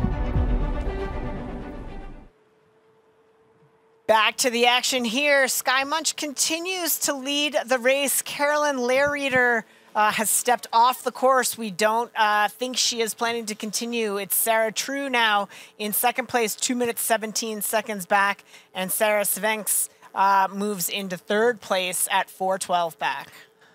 Yeah, no, things are things are moving. Things are moving. There's a bunch of changes, and I think is opening up uh, doors for a lot of those athletes from behind that maybe we were just talking about for possible uh, Kona spots. Not just it's a huge accomplishment, but uh, certainly doors open for athletes like uh, Jerzyk to move into top contention with Lehrieder, uh, you know, stalling a little bit, and uh, Maja Stage Nielsen as well, uh, able to continue her pace. But the women on screen right now, this is where the real battle is. There's Sarah True on the right that just looks so peppy and energetic. she uh, that flavor maybe wasn't the one she was expecting, um, but uh, she just looks like she's out for a jog, and uh, definitely more focus and uh, urgency on the woman on the left hand side of the screen was Skye Moench, and there's there's an energy involved with that. Like every couple seconds, she's resetting and trying to hold that form and focusing on this and focusing on that and doing that. Where Sarah True's just kind of running. Yeah, I mean, it, it, just speaks to I think that Skye of the two of them is the one with more improvements to make in terms of her run form, um, and the fact that she is dedicating that attention right now is going to pay dividends. Is it going to be enough for her to hold off Sarah True? Well, time will tell. But she's holding two minutes seventeen seconds right now, and and we know that the margin of error for Skye is very small, yeah. right? She's not, even if she loses the form, we anticipate that she will still put together a sub 305 marathon. But is that enough to stand up to Sarah True if she puts together 257? No. Right. And that's the thing is that Sarah True can, she can sit on a three hour pace for the first half of the marathon. And if she's getting anywhere, she can stay on that or if she realizes she needs more, she'll have gear if she's paced uh, her energy consumption well because she has that ability to change gears. She might not need to run a 255 yep. to beat Skye Moench, so she's going to set up and maybe put herself in a position for a negative split if she needs it. But right now, by looking at these two women on screen, if she keeps running like this and Skye keeps running like she's running, Sarah True is going to pull back Skye, as far as I'm concerned, seeing what I'm seeing on screen. And it's not a ton of time. Like, I'm not saying she's going to, like, it could be within a minute, but it's 45 seconds in 12K that she's made up, and more of that has been in the last 5K. To me, that's telling. And the fact that the first three or 4K, we didn't see Skye doing these biomechanical resets, and we see her do a couple every time she's on screen now, yep. that it's, it's going to start straining mentally the more you do that, the more you think you're weak, right? Or you're trying to adapt to something new where she's got a lot more going on in her head where Sarah's just trying to run. It's just more simple for Sarah right now. It's, it's very much more simple because it's a it's a stride that comes naturally to yeah. Sarah and it's a a new stride potentially some some form changes for Skye and, it, and a change that that she's got to affect. But here's the thing: I don't I don't slight Skye for doing it. This is oh, when no. you got to do it. Yeah. No, and in no way am I being negative. I am so impressed with what she's figured out, yes. what she needs to unlock. I cannot be more impressed with Skye Moench right now. Yeah. But that could take time. Like expecting that to stick maybe the uh, first uh, right. marathon is going to be challenging, especially when you're doing it trying to win a European championship. Um, but this is part of the process. And, you know, most things with professional Ironman athletes are not a this year process. It's a this year, next year, the year after process. And if she continues to improve on this in two or three years, she might be running 252s, 253s because she has that capability cardiovascularly. Well, if you're watching this race and you're uh, anxious to get in on the action, but not sure what your plans are going to be uh, next July, I want to talk to you about the Flex 90 program, which allows athletes that register in the first 90 days that registration is open the flexibility to defer, transfer, or receive a partial refund if you are no longer able to participate in your race. You can enact those benefits up until 45 days before you race. So if your plans change, your race can too. Check out the Flex 90 program at Ironman.com slash early dash benefits. Pretty cool program, no doubt. Um, back to the front of the race with Skye Moench, again, kind of cycling in and out of that long stride. You see her flick the neck a little bit, reset the shoulders, as it looks like she's got one of the lead uh, amateur males coming by, giving a little round of applause and cheering her on as best he can. And she gives a little bit back to Mm, she him. gives a look. yeah, she- there's a little something there. But uh, man, I, and again, if anything I'm saying sounds critical, I do not mean for that to be because I am super, super impressed with Skye and the changes that she's made and how good she looks when she's kind of firing on that. Uh, what looks to me and us as kind of a new biomechanical approach to her running form. Um, so, so impressed. And we'll see how long she's able to kind of manage that. And no easy feat. Like, if it wasn't for Sarah True, she'd be able to pull pull back a little bit maybe on the pace and settle into something different. But she's managing three minutes, which she knows And- is not and that much. pressure, right, Yeah, sure, Totally sure. different situation.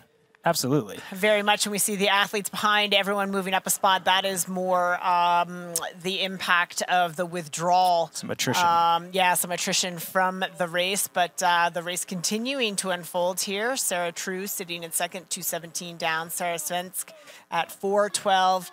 Uh, Jerzyk having a great day, four and a half minutes back. So um, a great, great performance for her so far. Maja Stage very much uh, in the conversation at 7:37 back. That's just three minutes out of fourth place, um, and about three and a half minutes out of third. So very much in it as well. And uh, Jansen, uh, the rookie, uh, second what a performance.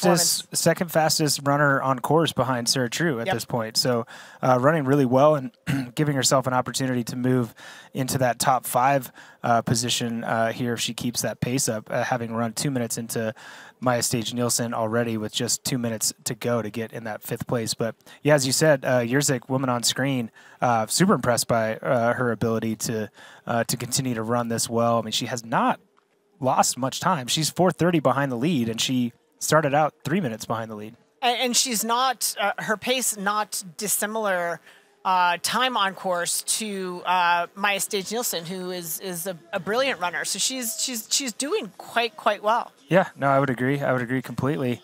Um, and uh, yeah, super impressed by uh, Lauren Jansen uh, being consistent. And again, for a rookie, uh, you know, we'll see how it ends up. But uh, it seems like still a tempered pace. It's not She just took crazy. the cup out of that age grouper's hand. She just ran through. He had his hand up and she swiped it from him. So apologies, uh, age group male. Um, she didn't mean it, I'm sure. she did not. And I've not seen so many. We had a couple shots there. We had uh, Sarah True making a couple shots in the trash can. I've never seen so many athletes so excited uh, to get their trash in the proper receptacle. I'm pretty pumped about uh, what we've got going on here. I'm making up for maybe a couple inadvertent bottle drops uh, on that. Uh, section of the bike. So- I know it was the cobblestones for sure. um, but uh, yeah, super impressed uh, by these uh, women out here at this point, uh, running very, very well. A lot left. Uh, to come, Dede, uh, on this marathon run course. Uh, still another split at the 18 kilometer mark. That's going to be pretty telling. But again, to be 12k in and to have our top four four and a half minutes separate is a pretty darn tight uh, marathon and Ironman uh, competition at this point. And we'll see if it gets tighter or if things start to open up a little bit uh, as we go through this race after this commercial break.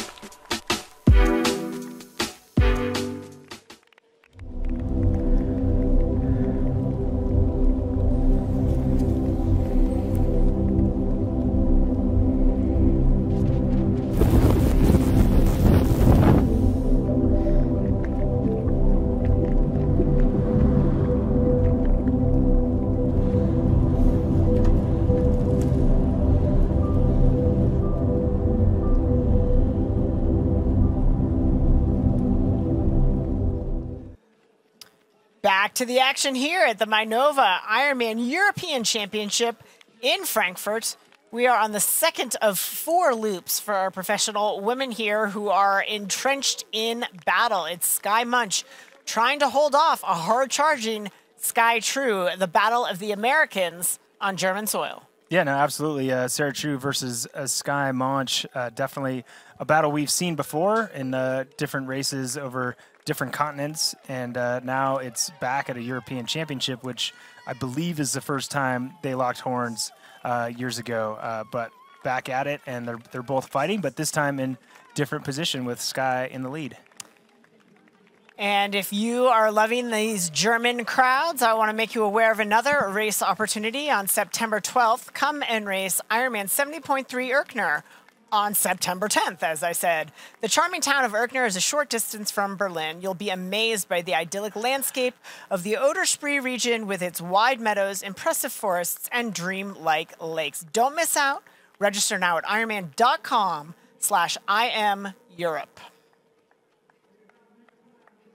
There you go. If all the crowds are this uh, this great in Germany, seems like a great place to go to do some racing. And uh, Skye definitely appreciates racing here. She's come back time after time and uh, continues to have good success. And no doubt she's having a great race today. And we'll see in this next split if she's able to continue to hold off the fast charging Sarah True. Um, but uh, yeah, holding it together quite well. Again, cycling through that, being able to open things up, get that uh, posture correct, uh, that posture that she wants to kind of move to. Um, does seem off and on, kind of seems like she's bending over that right shoulder again a little bit, but going to be overly critical only because we can see that difference is something she's trying to hold together to hold off the women on screen now. Sarah True, who just seems like that run just comes so naturally. We could see that Roka race weather report. Sun's coming out, no mixed clouds anymore, so 73 degrees uh, clear skies, humidity down even lower, just a tiny bit of wind that might uh, help cool the athletes down a little bit. This will start to feel quote unquote hot, but not hot enough that should actually affect uh, the athletes. Well, the good thing, not to get all you know meteorological on you, but uh, while the temperature increases, the fact that it's being paired with a drop in the humidity. Yeah. Uh, it, it's it's still comfortable conditions. I think if that humidity was yeah. holding true or even climbing, uh, it would feel very different down there. But as the temperature rises, the humidity is falling. Uh, great storyline here for Jerzyk, uh, having a great, great performance. Uh, she is in search, I assume, of a Kona qualifying slot. And right now, our first athlete, well, she's got Sarah Svensks ahead of her still.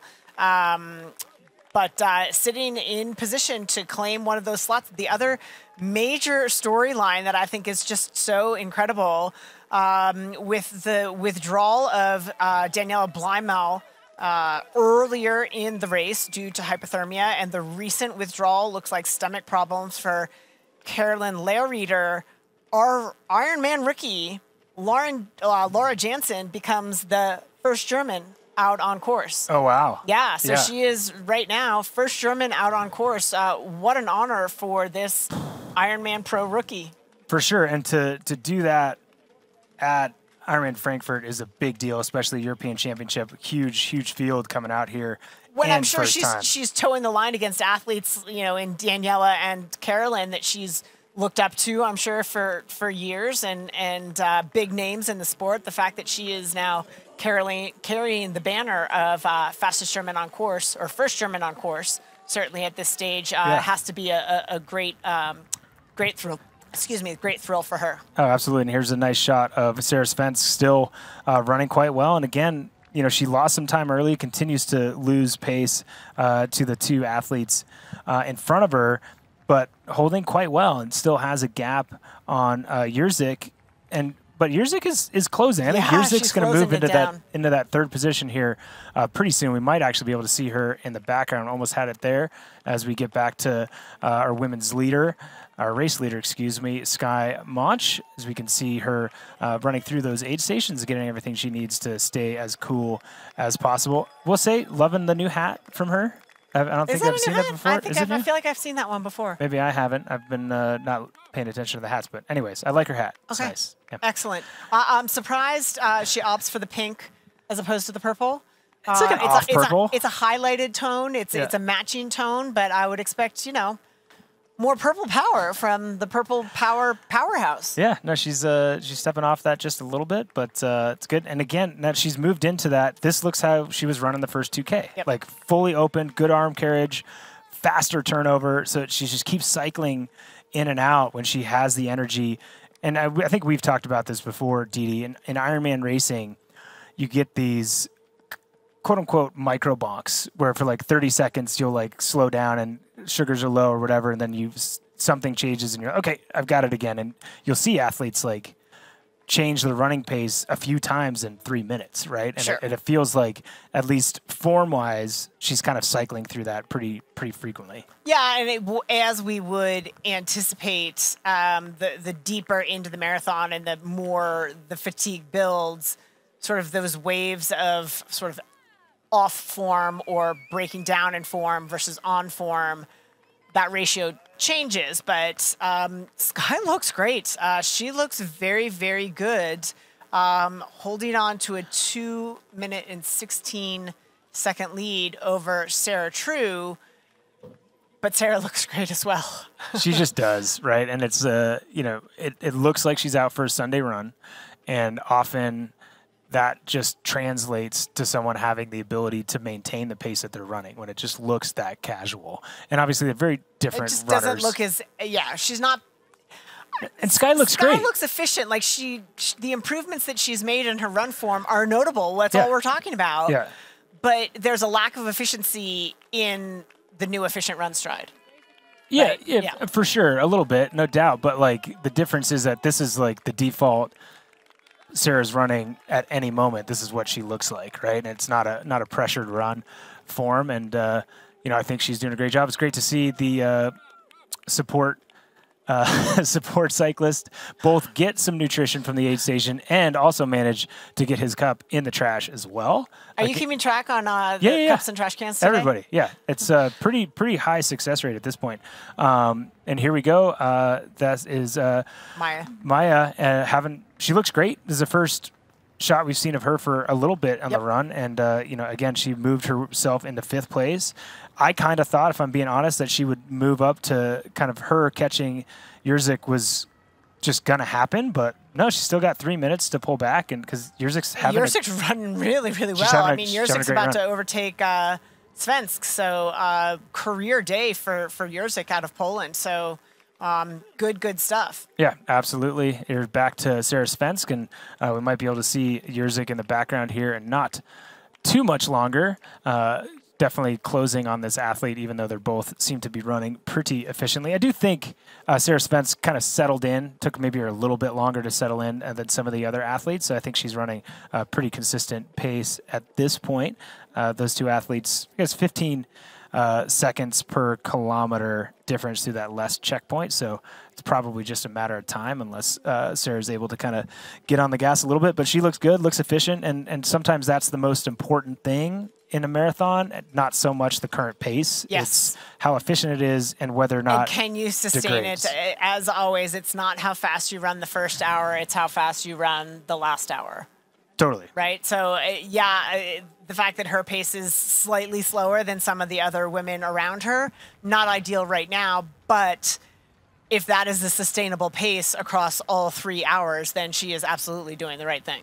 Yeah, absolutely. We get some shots of our uh, age groupers rolling through and back to our women's leader, and that's Skye Moench uh, rolling through uh, this kind of sun exposed uh, section of the course. And, and she's found a, a really good pace partner. Yeah. She's been running uh, behind this uh, male age group athlete for quite a while. And here's the athlete we've been talking about a little bit, Dee Dee. That's Lauren or Laura Jansen, excuse me, uh, having a great run looks super super smooth and uh, powerful and i think that's the important thing looking at those half marathon run splits Yeah. if it was pure speed then i didn't i didn't have much hope but if it was power based running then i have a lot of hope and, and looking at this makes me think she's going to be able to hold on she's got a lot more left to go that uh, kind of uncharted territory for the rookie but let's cross our fingers and watch on the other side of this commercial break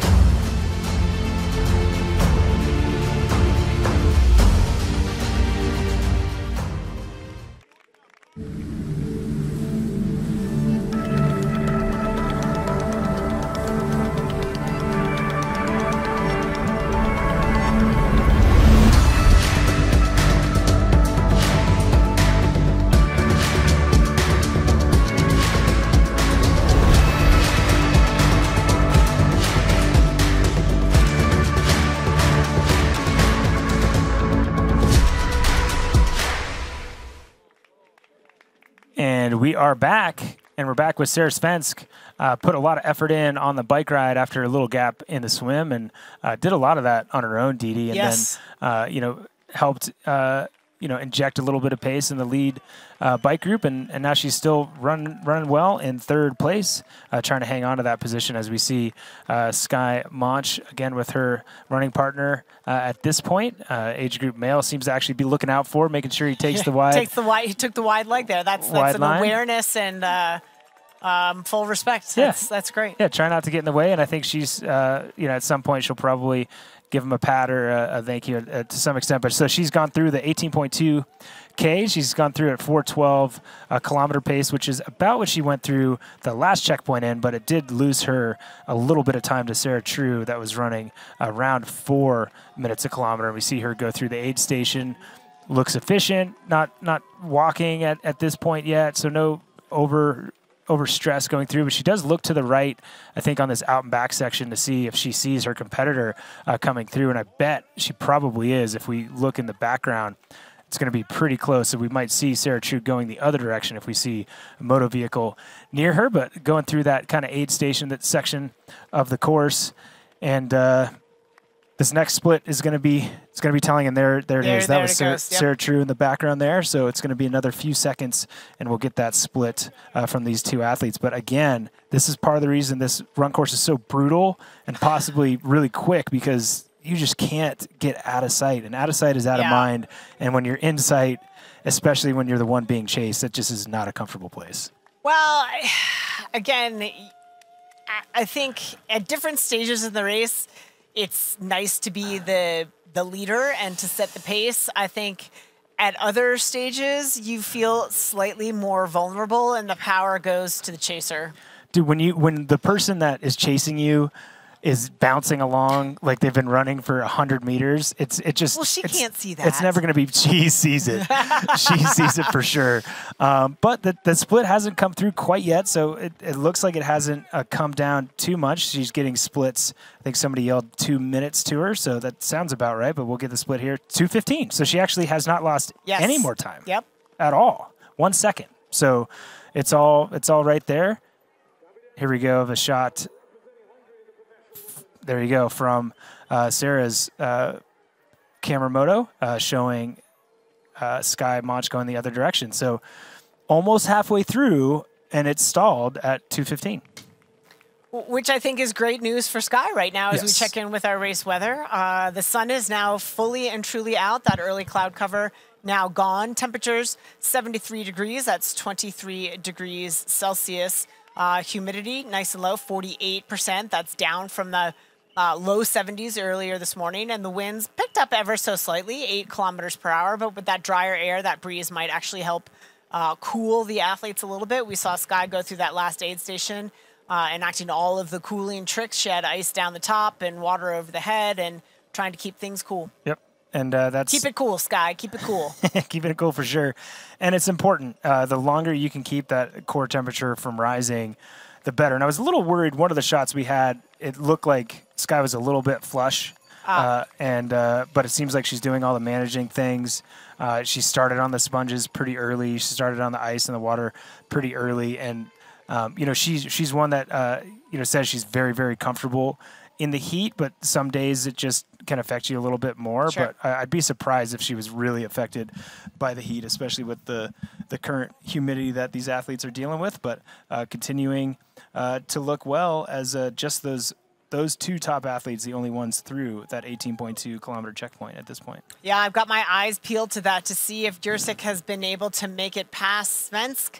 Uh, would be a huge uh, breakthrough for her to be on a podium at this European Championship.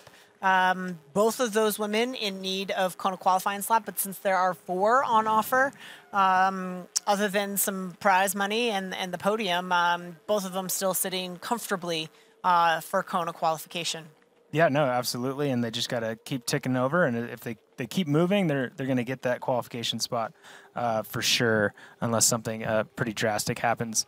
Uh, but someone who already has their spot and feeling pretty comfortable about it, and I'm sure excited uh, to get back to Kona to uh, kind of erase the last year's DNF off the books. And again, as you stated, uh, it was impressive that she even started because she she was pretty pretty sick going into that uh, Kona. But she'll be excited to get back there, as will uh, this woman on screen uh, getting there if she continues. And Dede does look like Jerzyk has moved in to third place. Yes. Uh, with Maja Stage Nielsen on screen, but uh, the podium has changed, and I, I did not expect to see Jerzyk moving up to the podium, if I'm being No. honest. And I'm, I'm, I'm super impressed and uh, stoked for her. And man, Maja looks really good. Like she she looks, I think, better than she did before. Just kind of that like she's a little lopier than like a Sarah True, but she looks comfortable. Looks like she's just out for a job. Yeah, no, she do, she looks great. We know she's mentally very, very strong. Yep. Uh, again, I come back to her golfing background, and, and she has said that that um, she'll be the first one to tap on her head and say it's all up here, and and she's she's got it together.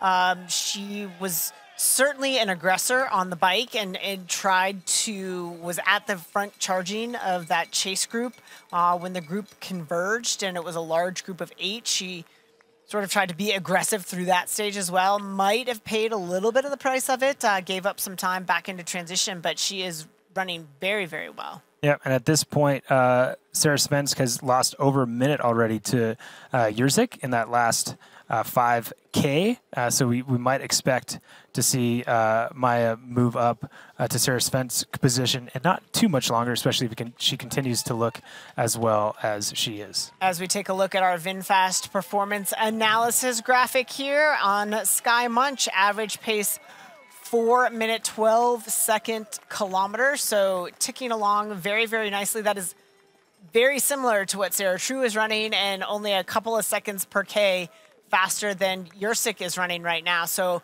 our top three women on course pretty evenly matched in terms of their average speed so far. Yeah, absolutely. And if I look at Sarah True's estimated finish time, uh, it's 3:16 p.m. Uh, so if they stay on this pace, uh, Skye is in the driver's seat. But as we know, a lot can change, and we've got to continue to be consistent. But very, very good sign to me that Skye. I don't see her doing that biomechanical reset quite as much, and the fact that in 5K she didn't lose any time. Yep. That is super, super telling.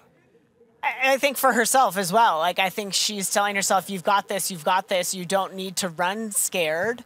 Um, and, and she she is holding her own. Again, so much running left to, to do. Oh, for sure, and I, I do think it's uh, kind of a gift that she's uh, found uh, one of the other competitors that's uh, running a, a similar pace, and we often see that in professional racing, Yep. either lapped athletes or athletes that start at a different time, and uh, you know the luck of the draw kind of on that one, and um, but also you kind of make that choice, right? You're like, okay, this person's running the pace, we'll we'll stick on this one, and because if you do that to anybody, that could doesn't always end well. True, but she'll be checking her pace and Yeah. say this pace is still reasonable, and it allows her to sort of unplug a little bit from the pace setting um, and just focus on maintaining the pace that her not on purpose pacer is is setting, and for her to focus just on her form. And uh, right now, it's holding up for her. She continues to hold her lead over Sarah True, unable um, to to close down that gap. We'll see if that continues when we come back after this quick break. Don't go away. We're coming right back.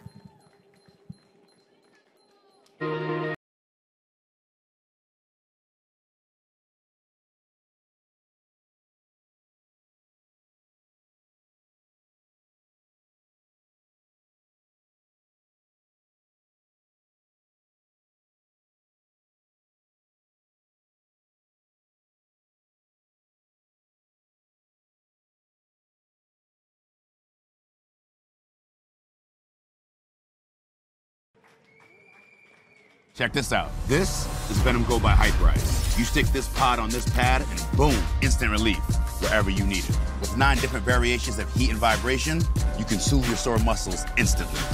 The tight spot on your neck, that little knot on your back, that shoulder that always bugs you, and your tight calf after a ride, say bye-bye to the pain and soreness. Heating up six times faster than any other heating pad.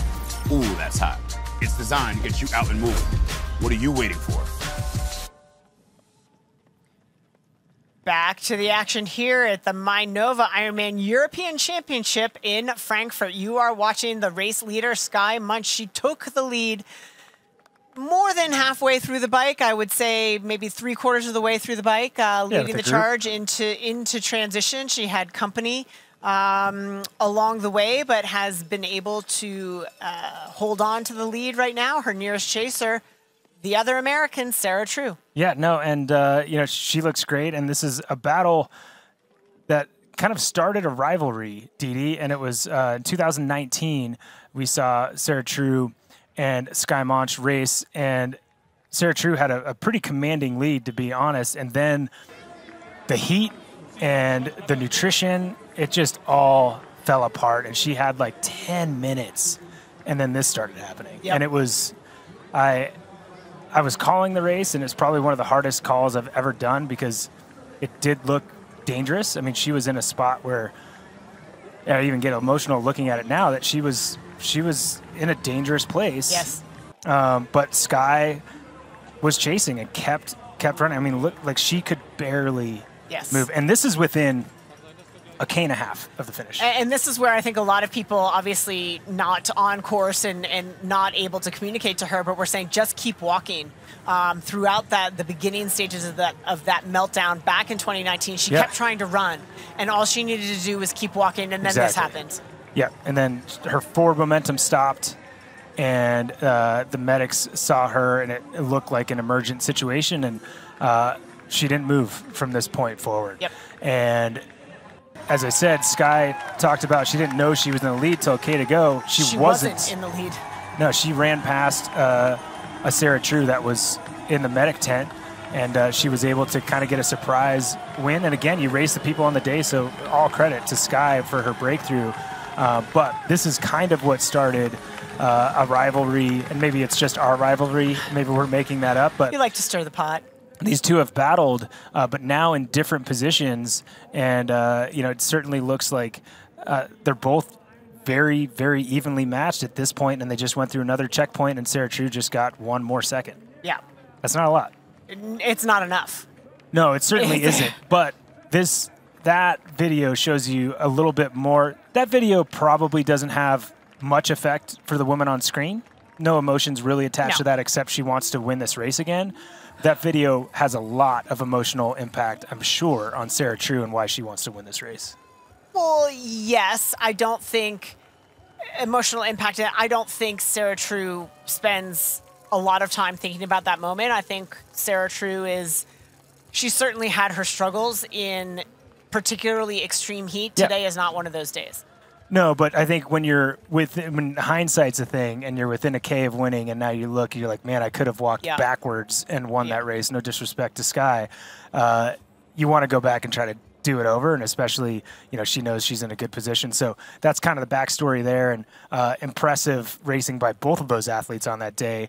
Uh, again, stubbornness uh, describes uh, Sarah in that situation, and uh, you know, Skye Skye was able to to push through and get that win, and she's she's pushing again here, and uh, right behind that moto, we're gonna get some uh, good shots of hers. She looks like she's waving uh, a little bit to maybe some friends out there, but she's gone through lap two in 128.04, so that pace Would be a breakthrough marathon Very for her. much a PR for her. Yep. And I, I haven't gone through and broken down. I don't. I think she's like a pretty close to even splitter, but Yep. not a negative splitter. So that could end up being realistically about a three-hour marathon pace uh, if she kind of holds things together.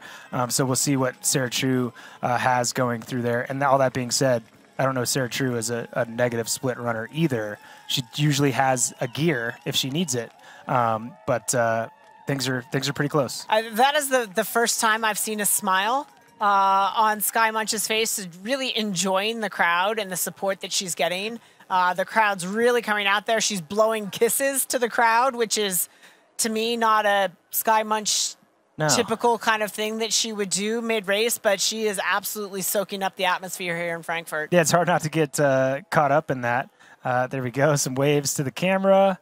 And uh, yeah, maybe uh, Uh, blowing maybe a kiss to I the think that I family. think the cameraman was maybe egging her on a little bit. yeah, he definitely was. But she indulged him, so There you go. And, and, and that is a sign, right? Like when you are calorically defend, uh, She you know, lost the hat. deficient, uh, you can't really respond to those kind of things, or that might actually make you a little grumpy if somebody's asking you to do something like that. So the fact that she's in that space to get a smile and uh, play along is Interesting. Is she lost. sign. She lost the hat. The hat came off her head, uh, but at an aid station. Yeah, so it's uh, we'll see if she goes through on the next lap and gets that hat back. um, that'll be interesting uh, to see, but you know that can be an effect. It's going to start that that'll increase her perception of the heat, out there today. And if she's pouring water over her head, it won't stay as cool considering it's not on a hat. So these little things do add up over time. Um, but again, kind of one of the I think women that we're most impressed with today is Jerzyk uh, going through 126. 08 through that 20 kilometer mark, just five minutes off of our lead at this point. Yeah, she is having a career kind of day. Uh, certainly a performance that we did not expect out of her, but uh, incredible performance from her thus far to be sitting in a podium position halfway through this marathon. Yeah, and Sarah Svensk going through at seven minutes uh, back, so two minutes behind uh, Jerzyk uh, continuing to hold on uh, to that effort as we see Sarah True uh, getting through this kind of uh, more crowded section, uh, being supported by the spectators as she goes through. She's got her little lap bracelet on, showing she's gone through there and getting through lap two. Again, 127.15 for her split halfway through the running portion on the Hoka run course. Sarah looks great. She just hasn't been able to make uh, any any inroads, unfortunately. Uh, that uh, she she came out about what a little over three minutes uh, behind Skye, and Mm-hmm. uh, was able to take some time out of her in the first 10k. But it sort of, as you said, has stalled.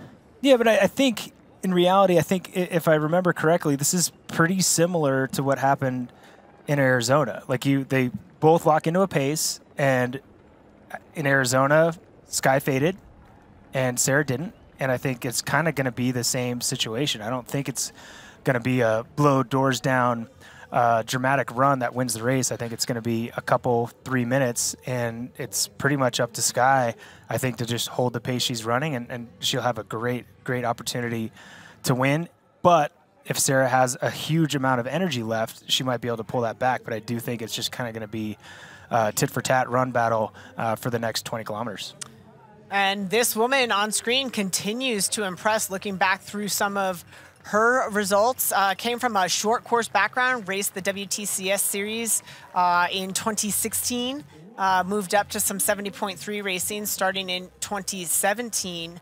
Uh, her first full distance Ironman was in 2019 uh, and finished off 2019 with a fifth place finish at Ironman Western Australia, where she ran 314.02.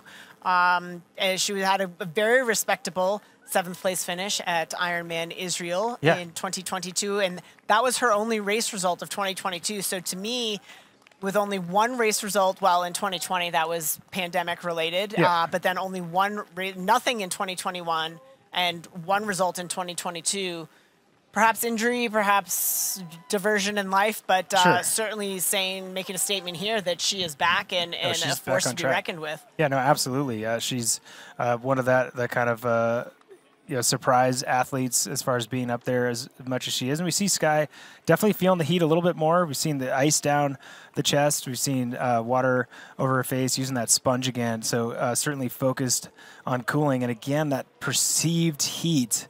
Uh, the fact with the fact that she's lost that hat is going to be a little bit of an effect. Certainly not something that she would have uh, chosen. So we'll see if uh, she finds a way to remedy that uh, at all, or just uh, make sure she continues to remind herself that maybe that's just perception, not actually uh, affecting her core temperature. Could be, but as the as the temperature continues to climb and the sun continues to beat down, she's lost the ability to do things like put ice in the hat to help Totally. continue to cool her.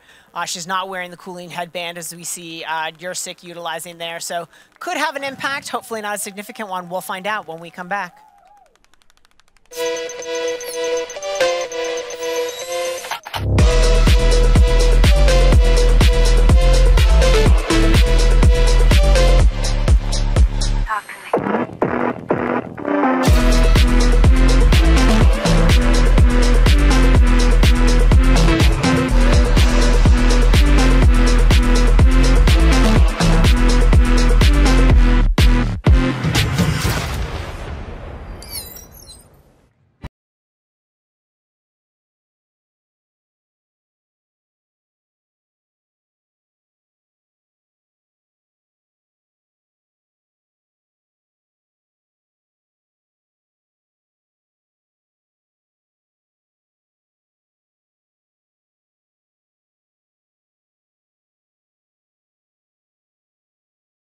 The best and I'm willing to work as hard as possible to get there.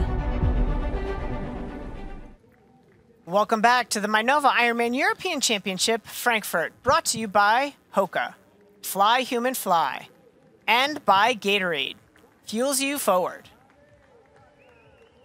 There we go on screen. Maja Stage Nielsen uh, running through really well still. Uh, hasn't quite got through that uh, run lap two portion, but Sarah Svensk has, and she's gone through in fourth place, as has the woman on screen, Skye Moench. Uh, she went through there in a time of 135.14, holding that four minutes per K pace. And I think if she does that, she's in a pretty, pretty darn good spot. Yeah, no, no doubt. A uh, little congestion here on the course, just the nature of this four loop run course as the age group athletes uh, continue to pour their way onto this Hoka run course. But she's got an escort there who is uh, no doubt letting the age groupers know that their lead professional women is coming through. Up, oh, she got the hat back. Almost. Yep, back in hand. There's a bit of a smile. There you go. She uh, she was very excited to get that hat yeah. back, and uh, there you go. And uh, I guess the high five too. There you go. And it's uh, that's technically with the race, so she yep. can accept uh, assistance from the race. Yes. Uh, really wanted that hat back, and was kind of uh, you know, she dropped that hat because of congestion at that aid station. So uh, no intent there. So all good for her. Happy to see her get her lucky hat back. Um, I know Dede, you wish it was a little bit more purple, but I, I do appreciate that hat, and I appreciate that she has it back. I'm sure she appreciates that she has it back probably almost more than you do. I would just I think, go on out on a limb here. I'm just gonna I'm gonna venture a guess. Absolutely. And so I think the, the thing here is like so Sarah True is gonna be able to see this lead moto. She's probably saw her on that bridge. 219. She knows 219. So she's lost five seconds since that last split. So yep. it's back and forth and back and forth. And to me, the most telling thing is Skye has some of that positive energy. She's laughing. Yeah. She she took that hat, gave the high five. So different things like that. That if you're calorically deficient at all or getting close to kind of the bonk zone, you're not doing those things. There's no, no extra energy going out. And Sarah True has kind of gone back to the game face focus, no extra energy being spent. And that might show that the momentum is moving to uh, the woman on screen. Well, in part because she's just not getting the feedback that the, the split is coming down. Yeah. Um, if anything, to the second, it's increasing ever so slightly. I think, you know, she's obviously not seeing our tracker splits, but you know, and and to the eye or by the watch of a spectator, probably just getting the same split. But the fact that the split, it really, it's she's just run into a wall. She can't make any headway. Sort of changes your emotional energy a little bit. That some of the frustration. I'm working really hard right here. She's not faltering at all. Not that you would expect an athlete like Skye to falter, but right. she's just not making inroads. No, certainly not. And and it does turn out that at this point that that move uh, that Skye has made uh, or made earlier in the bike to get that gap is uh, is paying off, and it's enough of a cushion. You know, it would be a lot more tactical if these women came off the bike together. Sure, it would be a much different run something I think we would have liked to have seen a shoulder to shoulder marathon between. Uh, this is pretty exciting too. Between Sarah True and Skye Moench would have would have been good, but it's it's it's still been pretty darn good. No, absolutely, and uh, you know we're going to get a bunch of good racing to come this year. Uh, a couple World Championships up for grabs, and still uh, World Championship coming in December of 2024. And Taupo, New Zealand will welcome the very best professional and age group triathletes at the 2024 VinFast Ironman 70.3 World Championship. Swim in one of the world's largest freshwater lakes, ride through beautiful rural landscapes, and enjoy the lakefront views and spectators on your run. See you in Taupo in 2024. Go to ironman.com slash IM73 World Championship 2024. Yeah, you've got to start planning your uh, your assault uh, to get that qualifying slot to head to that race. So uh, here we have a, a, playback of the, the return of the, the beloved hat. Um, Look at the smile. There it is. she is. She got, I got my hands on it. Pretty pumped. If she went backwards style. That's yep. a mid race mid race change. The backward style. Man, she is loving this moto. Yeah. He got her to blow some kisses earlier. Uh, got the hat back. It's a it's a whole situation. Um, but here we go, and that's uh, one of the long stretches along the riverfront here. Uh, we see uh, Skye still holding a great pace uh, and and running well again, running about even with Sarah True, getting a few seconds back in that last split. Uh, but through that 22.8 kilometer, Jerzyk still Yeah. holding on to that third place position. But Yeah. Skye's got that hunch again. She's got she had that hunch there for a second. We'll see. Uh, okay, she's really struggling with the hat. She's given the hat back. she's now given the It's hat a lot. back. There's a lot going on with that hat. Um, as we look back at this is uh, our personal needs uh, station, I believe, and our first German out on course, the Ironman uh, rookie. Having a great day of it. Laura Jansen had pulled over to the side of the road there, uh, grabbing the baggie full of, of supplies with a four lap course. Athletes will have access to that um, any lap they choose. Okay. Um, so she is electing to go in here. Uh, she's not quite yet halfway, or um, but but diving into those those uh, personal needs. Uh, you can stash that bag ahead of time and have access to it out on the run course. Just a slight diversion Yeah. uh, from the course, but the great volunteers in there. You typically just call out your number, but in this particular case, it looks like up there's a table for the pros. So she took the second. It seems like such a big investment in time, right? You, you uh, 15, 20 seconds. Um, you don't want to be giving away time, but th- that nutrition, if if what you have is special and personal to you, uh, it's going to pay dividends to get what you need to be out on course. Uh, the, uh, the taking care of the small things now means you're not uh, maybe creating larger issues later. And uh, she's you know making a move of a a, a veteran Ironman athlete by making sure she gets what she needs uh, sooner rather than later. And that's one of the reasons she's one of the faster runners on course at this point. And man, she just looks so smooth and strong. Certainly, uh, this rookie has a, a big future of Ironman racing ahead of her. And in her first season, it looks highly probable she's going to make it to the World Championship. Yeah. Oh, yeah. cool. Abs- absolutely. And uh, what a what a great thrill for her to be doing it um, here in Germany. So she's going to be getting a lot of lot of support out there as the first. Um, I should say female German on course. Uh, we certainly have some age groupers out there who are in and amongst our professional women, but as the first pro athlete uh, from Germany out on course, uh, huge thrill for her. No doubt she is uh, getting carried along by these amazing fans down on course here in Frankfurt. Uh, Skye continuing to impress and, and look good, um, holding her own against Sarah True, uh, whose charge has, has stalled somewhat. We now have four athletes through 22.8K.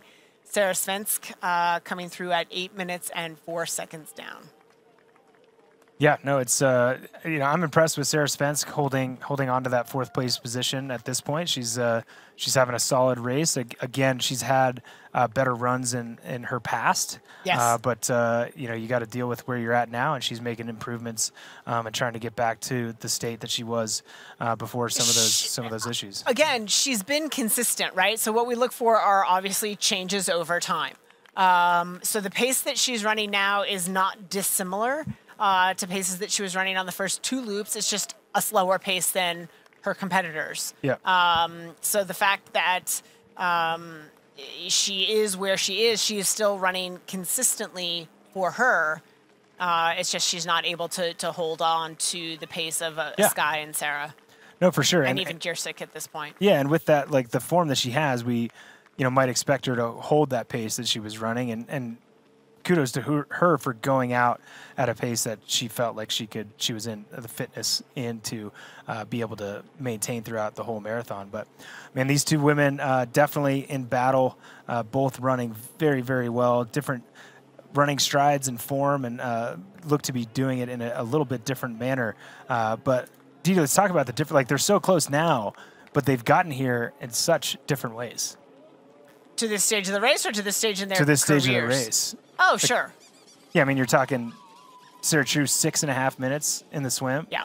Uh, Skye Moench outriding Sarah True, who's a good cyclist, by 10 minutes uh, just to get a three minute gap, which is about what she needed to feel comfortable. I mean, if she was a minute and a half, Sarah True could have made a tactical decision to close. Yep. Right? So it's kind of uh, Skye uh, kind of masterclass uh, tactical race as far as I'm concerned today, and then backing it up um, with the strength and obviously the training put in to to to back it up back half of the marathon. Well, and it, it was likely a calculated decision on Yeah. behalf of Sarah True because they were in the same group for a while riding. Um, Sarah True, uh, or uh, sorry, Skye coming up um, to the the to uh, Sarah who was riding by herself for most of the first lap. Then obviously a lot of the, those pro women came together at the end of the first lap of the bike course, uh, and it was at that point that uh, Skye got a little bit more aggressive, uh, and Sarah didn't answer. Yeah. So whether that was a physical inability or a calculated decision on behalf of Sarah, we won't know. Um, but it gave Skye the cushion that she has and the cushion that she's holding onto uh, this stage past halfway in the marathon. Yeah, I mean, it, my gut would tell me that that was a body couldn't respond or she was in the wrong place at the wrong time uh, by Sarah True because I think she's tactical enough that she would have stayed in that shadow knowing that Skye would have been really nervous if she was there. Possibly, And yep. maybe tapped out of that effort. Um, but again, yeah, you're right. We, we probably will never know. Maybe get some post race interviews and, and hear about that. But uh, big thing right now is, is Skye's performing and, and she's able to to tap into this uh, faster run speed and uh, biomechanics that's putting her in a good spot through uh, 22.8k now in fifth place. Maja Stage Nielsen, uh, so she's gone through holding on to that fifth place. We'll see if Laura Jansen has gotten anywhere uh, closer uh, to the athlete in front of her and uh, fighting for that fifth place spot.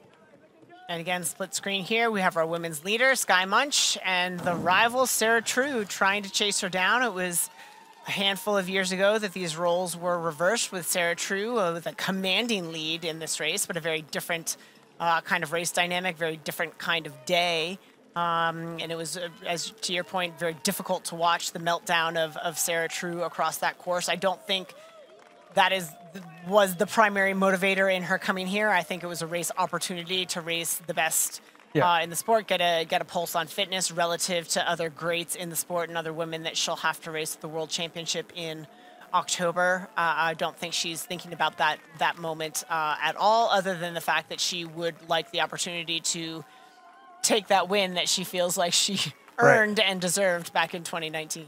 Yeah, no, I think that's uh, I think that's well said for sure. Uh, just update going through that 22.8 kilometer mark. Uh, Laura Jansen has gone through 12:09, so just one minute back now from Maja Stage Nielsen, and that's uh, she's put in two and a half minutes uh, since the beginning of this marathon. So pretty close here. And the motor driver giveth, and the motor driver taketh away the hat of Skye Moench. Uh, she launched her hat um, and uh, decided that, hey, I don't want it. Have it back. Uh, a lot of lot of action here. The drama. Uh, I didn't know that when we had eight athletes within uh, 30 seconds of each other on the bike, that the drama we'd be talking about would be the, The hat. Yeah, hat hat the, gate. The, the run hat. 2023. Um, but uh, again, battling this athlete on screen right here, Sarah True, who's holding in, and, and again, they're just handing each other seconds back and forth. But our amazing uh, Fighting Chance crew uh, was able to get out on uh, down in Frankfurt and uh, was able to chat with Sarah True. And uh, let's catch up with her and see what she had to say coming into this race.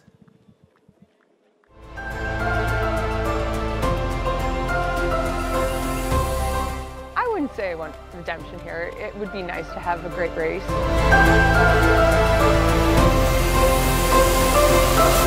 My very first Ironman was Frankfurt, and then I did it the following year. It went really quite well until about 700 meters to go. I wouldn't say I want redemption here. It would be nice to have a great race, but I didn't circle it and say, I must redeem myself. Nothing that dramatic. I love coming to Frankfurt. You get through these small towns on the cobblestones and you get all the spectators as you go up the hill. There's just so much energy that you get from the crowds. Crossing the finish line, the last 100 meters, whether you're winning or you know just covering the distance feels really similar. For me, it's it's how well have you executed on the day? got into triathlon and decided that this is something I can do, that's absolutely my family. Where most most sane people would say, "What are you doing? Use your university degree." But you know, my my family said, "Listen, if you want to try it, go for it. We totally support you." Yeah, I really give them a lot of credit for letting me live out a dream.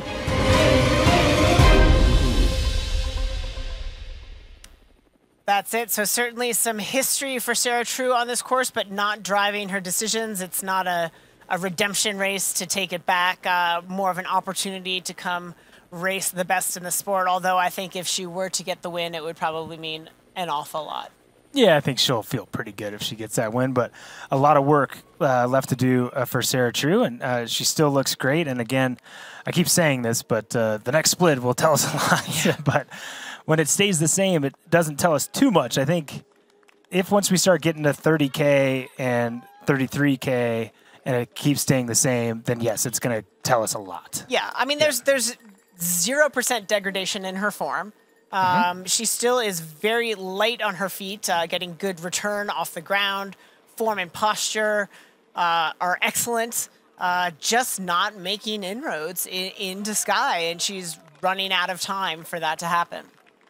Yeah, she is for sure. But when you're looking at the time left to run and the gap needed, you know, you're talking a couple miles where Yeah. somebody's struggling and 30 seconds a mile can come pretty quick. So still, well, still if plenty. anybody knows it on this course, it's Sarah True. this is true. She lost 10 minutes in a K essentially. Uh, but uh, yeah, looking great and uh, back on it, and a little cooler day than that day uh, we saw earlier. So we'll see if she can hold this form but increase the pace before the end of this marathon.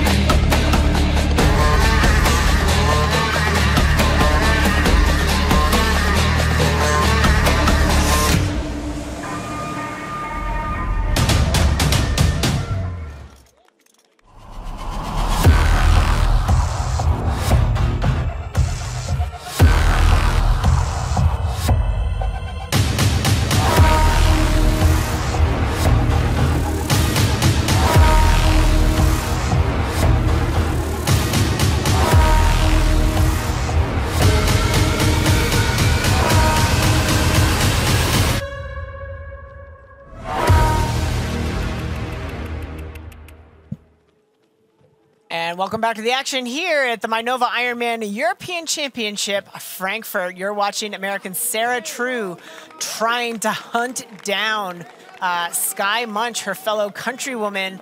Uh, these two have a rivalry that goes several years in the making and sort of started on this very course. Um, Sarah, right now, charging hard, but unable to make inroads into our women's leader right now, Skye Moench, uh, running within seconds of each other. Uh, it's been a second here, a second there. Uh, Sarah did do some damage in the opening kilometers of the marathon, but her progress has stalled, and she sits at two minutes and 20 seconds down of our race leader. Again, behind our two race leaders, the impressive one is Jerzyk out of Poland, uh, having a great, great race here. She's Yeah. five and a half minutes down, running very, very strong, has inserted herself onto the podium, going past Sarah Svensk. Uh, Sarah having a very good race, doesn't look to be in danger, just not holding the same pace. Same thing, Maja Stage still running well. Yep. Um, Laura Jansen, very impressive in her rookie Ironman, being the lead uh, professional female German out on course. We had a couple of big names drop from the race earlier, and so now this rookie finds herself in an unusual spot. Yeah. Uh, and sitting on a Kona qualifying slot. Yeah, no, absolutely, and uh, you know she's still running quite quite well.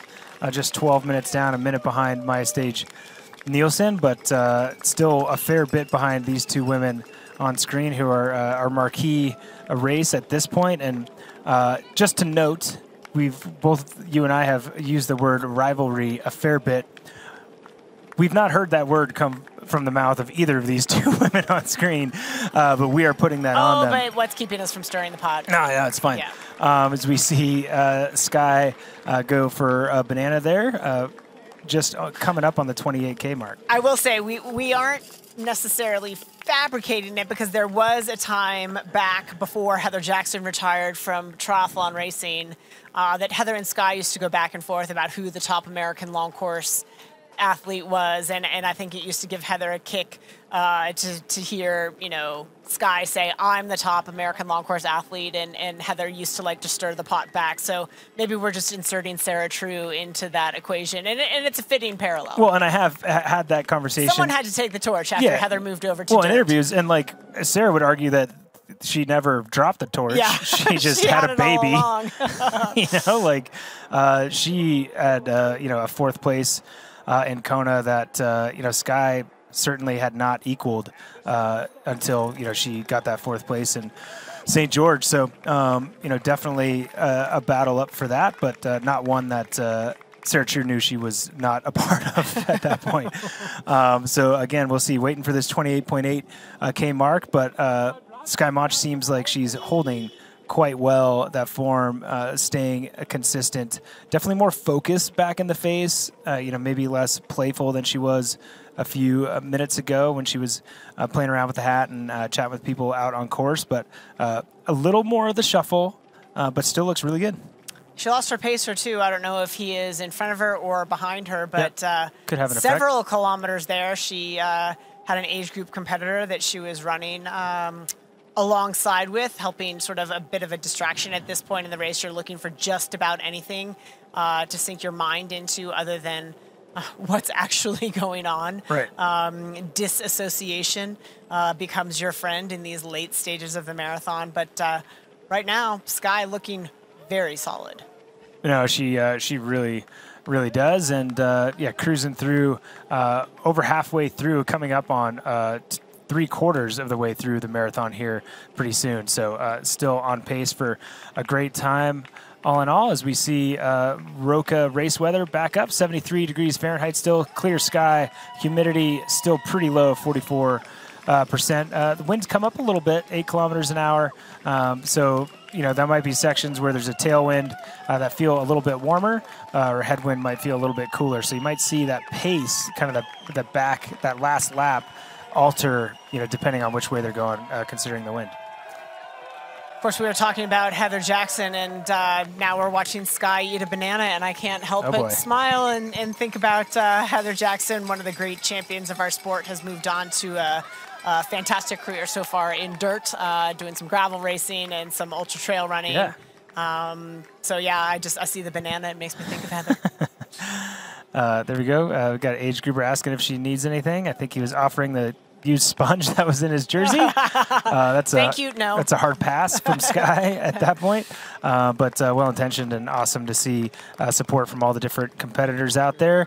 Uh, you know, that's so much of what makes our sport uh, exciting and kind of makes everybody feel like they're a part of the elite competition as we're all on the same course at the same time. So pretty cool to be able to see uh, age groupers and pros mix it up and uh, Skye gets some encouragement and even some pacing at times from other athletes out on courses. We have uh, view from above for Jerzyk. Uh, still running in third, and, and as far as I'm concerned, I think you, you might agree, Dede. The race of the day uh, for me, uh, this athlete uh, having a breakthrough, running in the podium position. Oh, absolutely. Big. Um, I don't want to say surprise because she's had some. She's had some good results, but she would be an unexpected addition You're to the surprised. podium. I'm surprised. Which I'm is okay. surprised. Yeah, I had to do some googling. I, I, I did not recognize her name on the start list as Oh, a, a familiar Yeah. name to Ironman racing, and certainly not championship level racing. So, uh, but that has changed now. Yeah, and she's she's holding her form together. We haven't seen much of a degradation in how she started uh, her run. And again, you said she has a bunch of short course racing experience, so um, you know, holding it together, this would be a, a easy pace for her compared to the the paces that she's run in the past in those short course races. So, uh, hats off to Jerzyk. Literal hats off if you're Skye. if you're. Skye, Um, but hats on, hats off, hats a- on, hats off. That's all. That's all over the place.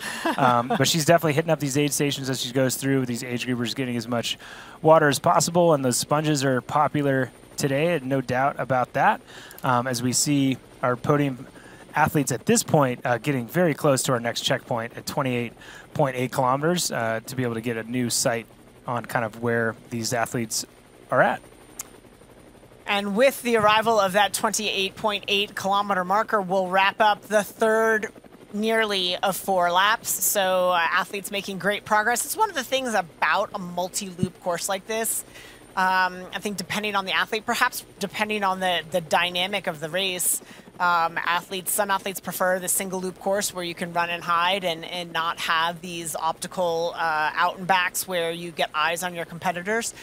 At the same time, I really believe that these multi-loop courses, that the kilometers tend to melt away a little bit faster. Absolutely. Um, when you're on familiar stretches of, of territory, okay, here I am again.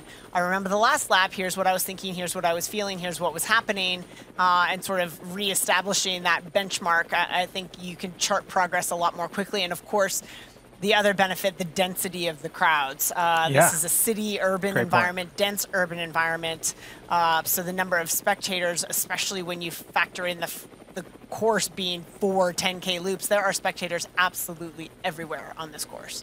You are never alone out there. No, absolutely not. And uh, yeah, really good point about that. Uh, you know, ability to kind of remember the spaces you're going through and, and uh, familiarize yourself with them as we see Skye go through that 28.8 K mark, still slowing down a little bit, 422. So again, each little section is uh, a little bit different. So we'll see, and she gets the hat hat, back. back. again.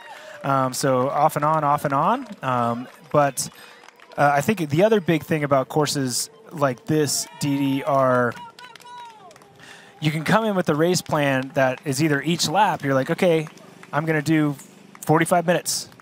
And then that's your goal. And if you go through the first one in 43, you're like, whoa, whoa, whoa, I gotta, I gotta slow this down. Or you can even have, you know, each out and each back, you know, is whatever, 22 minutes, something like that. So you have these little goals to hold you accountable. It's one thing to look down and see what your pace is, what your average pace is, but if you've got a hard number on what you're trying to do each lap in or each 10 kilometers in, it's it's really helpful. And even when preparing for the race, you can have that kind of in your mind ahead of time. So it almost feels like you're preparing on the course in some some way.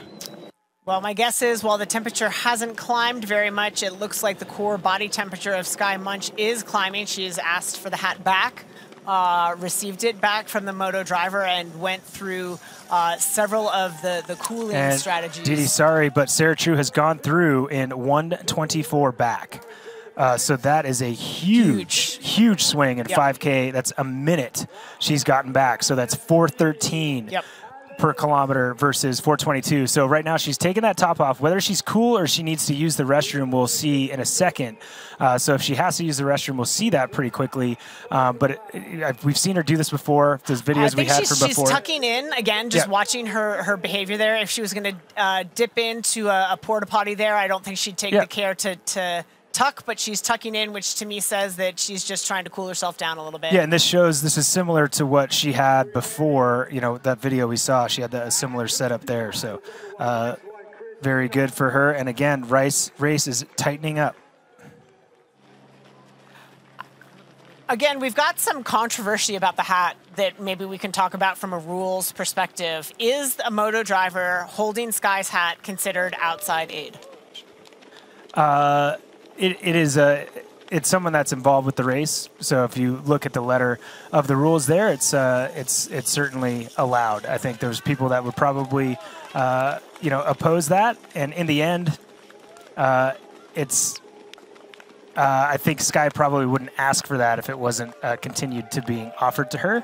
Um, but uh, in the end, I don't think it's going to make or break a race, but certainly something Uh, that people get to focus on. It- it is. It's a comfort. I, I will harken back to other races where uh, a lead uh, or an escort cyclist has carried uh, nutritional products and has created a little bit of a stir. So, um, just curious, just bringing it up.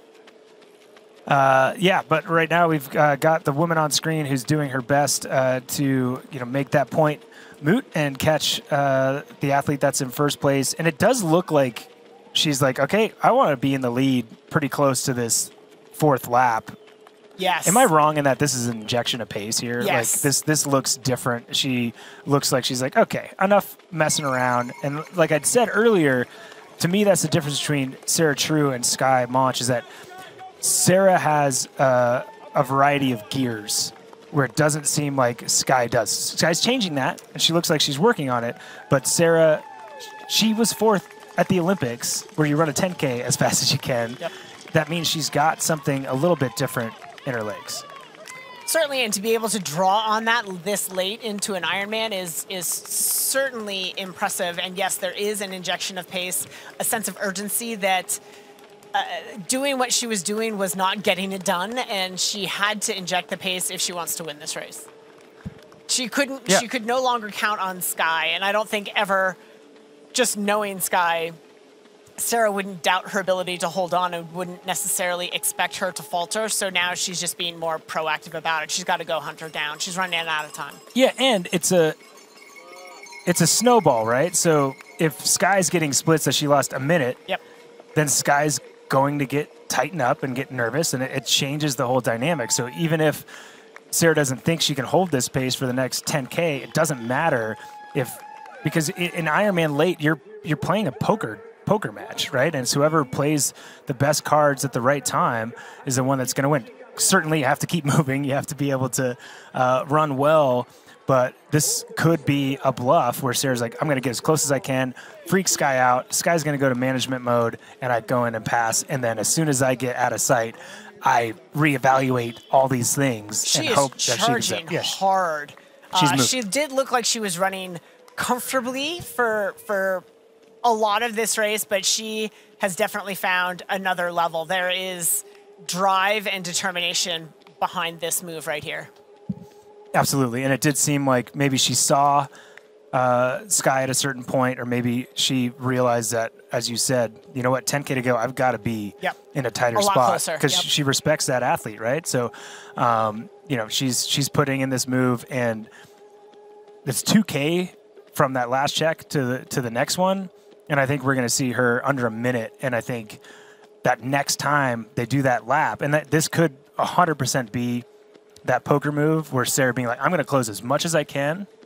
So on that last lap, Skye saw me and I was two and a half minutes. And the And next time it's going to be 45 seconds, Yep. she is going to absolutely lose her confidence. Yep. And ball is in Sarah True's court. Well, it's it's where the, the power of the chaser comes in, and that she is, you know, you think this late into a marathon, Skye is well in control, but uh, Sarah is is playing the cards she's dealt. She's got to make that move, get into Skye's head a little bit, uh, and see if she can't cause um, Skye to perhaps make some errors, or at least certainly feel the pressure that she's there, even if this is the move she's got and she shuts it down, but with one lap to go, can't close again. But she's making a move. She's going for it. No, she absolutely, absolutely is, and uh, this is kind of what we were hoping and maybe expecting, and Yeah. why we were talking about the three-minute gap and like tactically what that meant. And Sarah knows that, Skye knows that. They've been playing this poker match since kilometer one. Yeah. it's just been playing out a little bit slower. Um, if I knew more poker metaphors, I'd use them, but that's that's it. I'll try to bring some other sports into it later, but uh, certainly some bluffing uh, going on, and uh, you know, great running too. Both of these athletes running under three-hour marathon pace uh, after a, a scorching bike ride and a, a fast swim.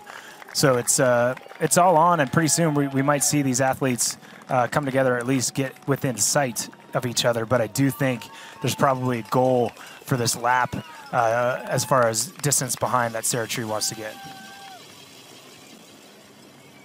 And Skye keeping it together again each lap um, coming to its conclusion. She still has a little bit more than a lap to go.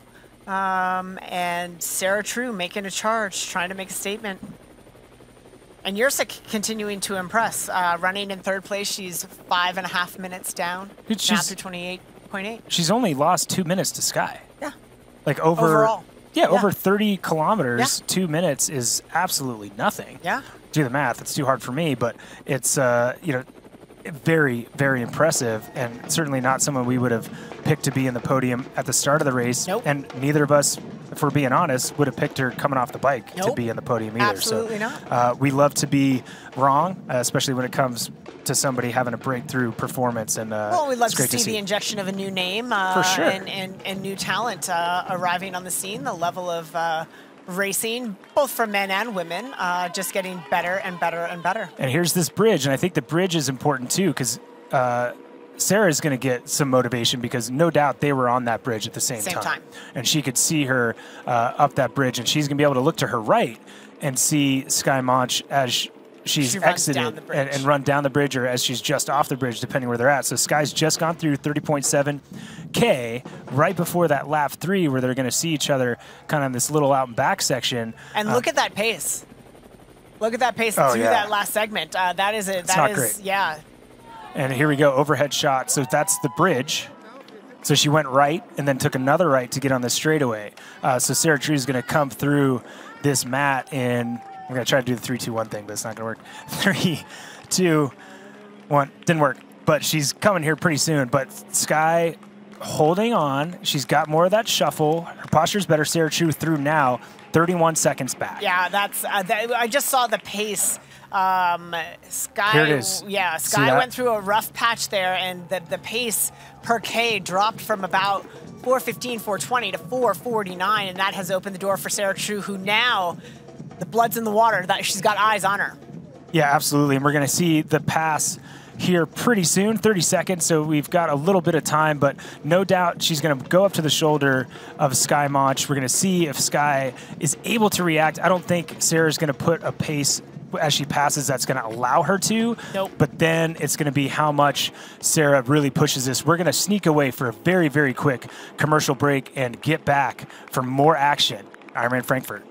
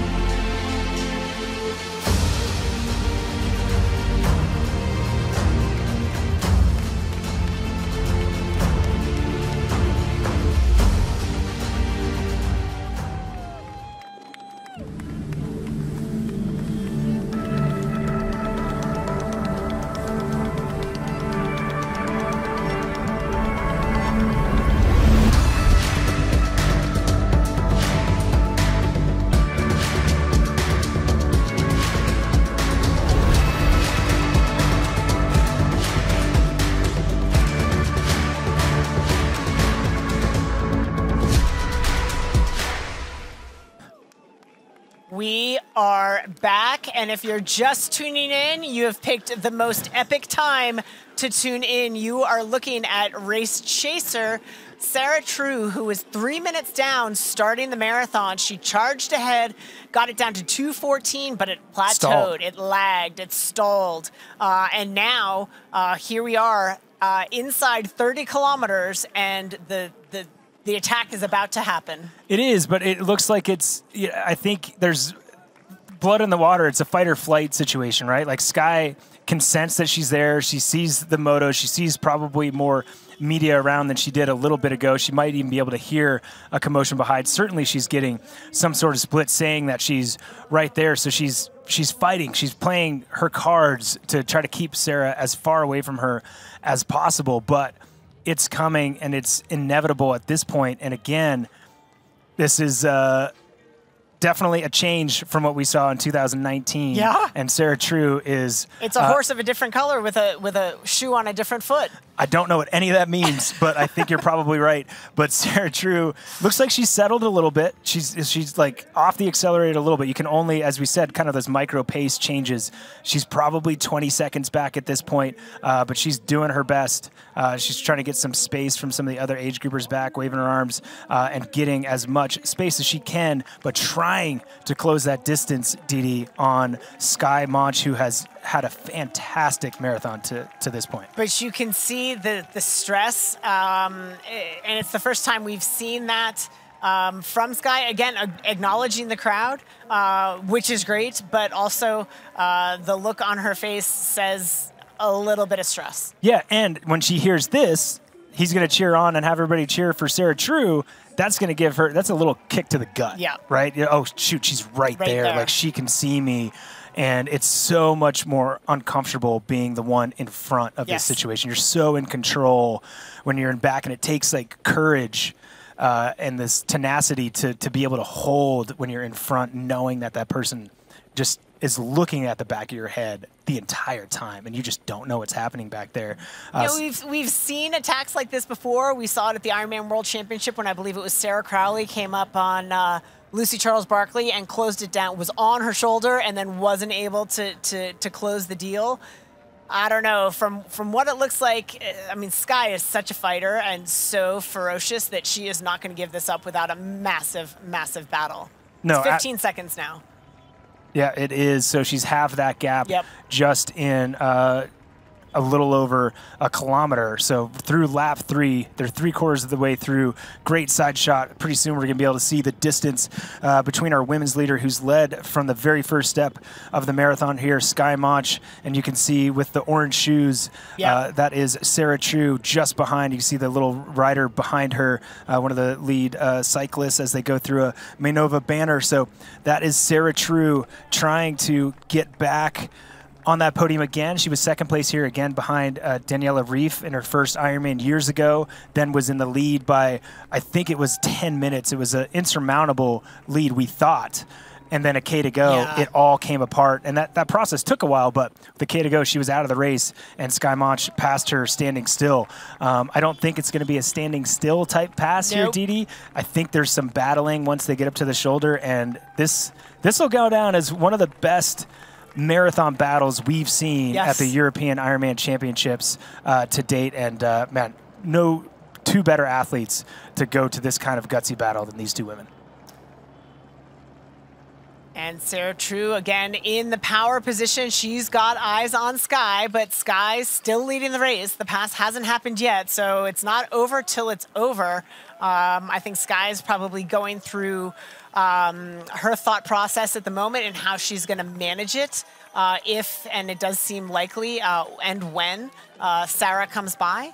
Does she have to let her go and regroup a little bit for one final attack uh, at the end of this concluding lap to this Hoka marathon course, or does she go with her? I think she's got to go with her.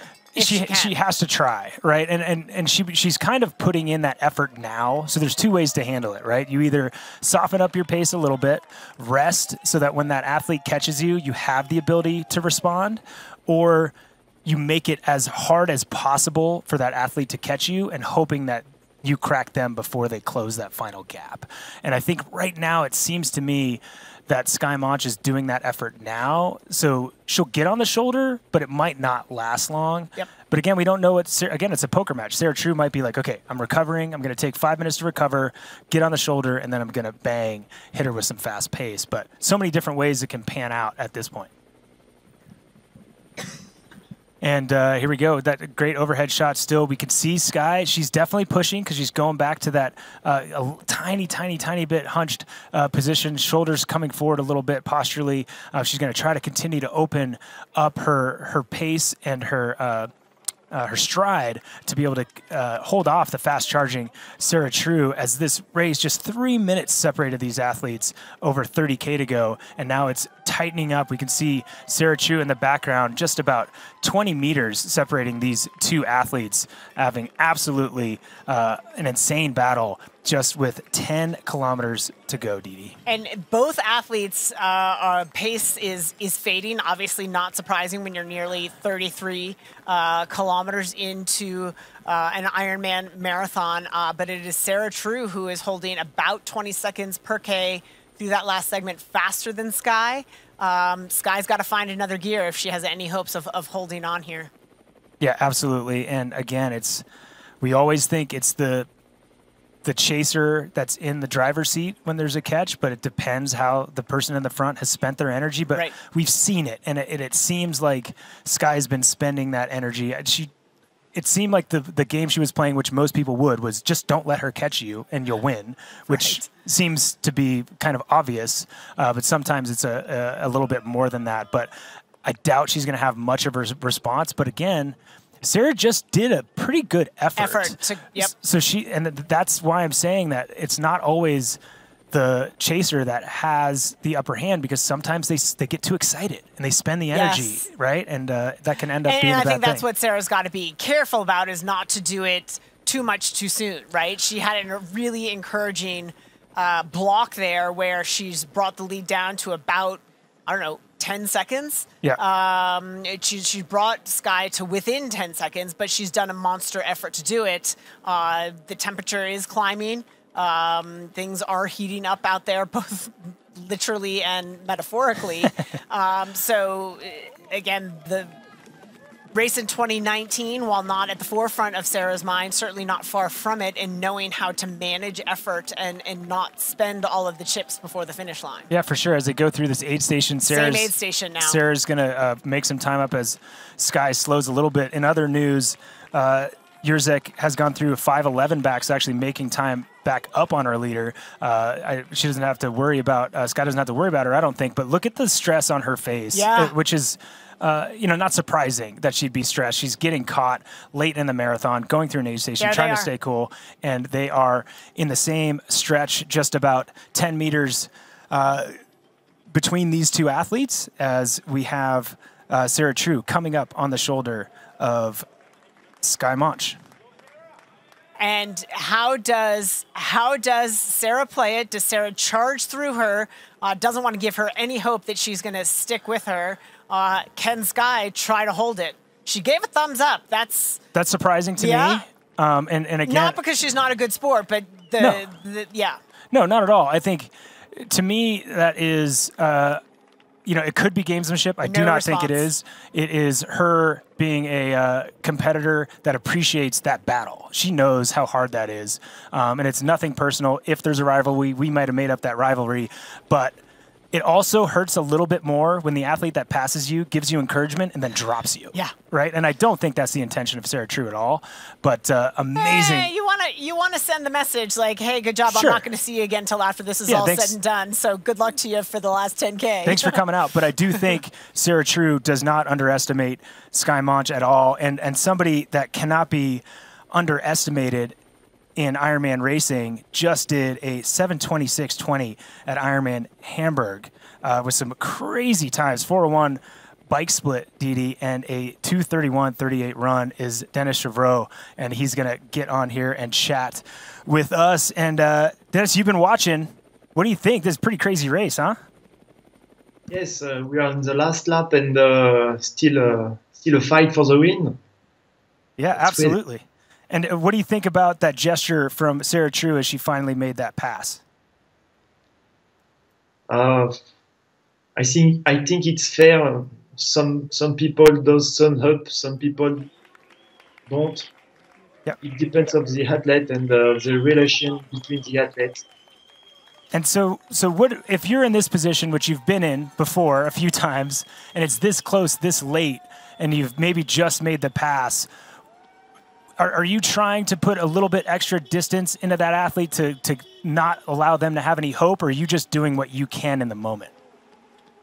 In Hamburg, I I overtook uh, Jan uh, 15k before the finish and uh, I increased my speed. I don't want to let him expect he could stay with me.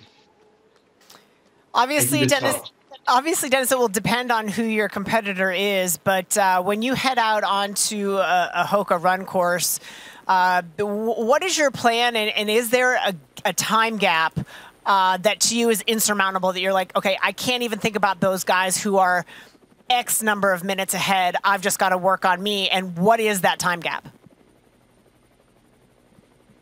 I don't understand the question. Sorry. Yeah, when you get on the run, and if you're if you're behind uh, athletes in front, what's that, that time that makes you think it's possible to catch? And at what point is that too much time? Is it five minutes or six minutes? It depends of who is Yeah. at the front. And When it's- when- before, when it's- before Hamburg, I was uh, thinking I should be under three minutes with Jan and uh, under seven minutes with Kristian Høgenhaug. So you, you know before the me, I know before the race uh, my gap, and it was three minutes with Jan. So when I heard in T2 I was just 120, I said, okay, I can do it. And then I just focus on my run, on my nutrition, on drink, eat, and stay relaxed, doing my thing at my pace. That's awesome. And, and what is it? What does it give to you, uh, confidence-wise, going into World Championship season uh, when you are able to overcome, you know, someone that we refer to as the goat, uh, you know, in, in, a marathon and, and have a run split like you did there in Hamburg? Um, I didn't think it was Jan Frodeno when I overtook him. It was an athlete I want to I want yeah. to finish before him because if you start to think he's the goat, maybe you can uh, you can lose your mind and uh, not be focused anymore on on your race and on, on your pace. Uh, Denis, uh, you you you have qualified uh, for the VinFast Ironman World Championship in Nice. Obviously, Kona has been a special part of our history in Ironman triathlon. But talk to us a little bit about uh, why you're excited to go uh, to Nice and what you think will be different about that venue as compared to where we've raced in, in the past. And do you think that's a better course for you for the World Championship? Uh, I'm happy that the World Championship is in France because my friends, my family will come, and uh, it's easier for us, of course, than traveling to Hawaii, Kona, which is very far, 25 hours trip. Uh, the bike course is not good for me because um, I'm heavy. Uh, I say heavy, not fat. Uh, I'm 76k when I'm fit, and uh, the bike course is 2,400 uh, D plus, so it's not for me. Um, I can't fight against the gravity, but the run course is very fast. It's very fast. Um, it is on the Promenade des Anglais four loops, no turn point except at the two opposite on the Promenade des Anglais. So it will be a first run and uh, a fast run, sorry. And I expect to to do a, a good and strong run to to run fast and uh, try to overtake some guys. I love it. I love it. Well, good news for you is that uh, what goes up must come down. So I bet you go downhill pretty quick. And I don't think anybody would ever think someone who could run a 231 is fat. So I wouldn't, I wouldn't worry too much about that. But um, back to the race that we've got on screen, just a few kilometers to go. Uh, Sarah True has gotten in the lead. Skye Moench is not far behind. What advice, if you were out on course, would you give to both of these two athletes with just over five kilometers to go? I would say it's not over.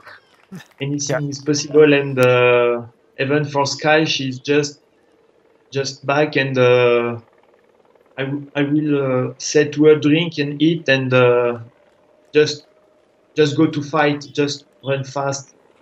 And uh, to Sarah, um, I would say you have to charge. Don't let her hope she can uh, she can come back. But uh, I think we have 20 seconds now because we we saw the, the turn point and um, yep. 20 seconds is going it's good for sarah i guess.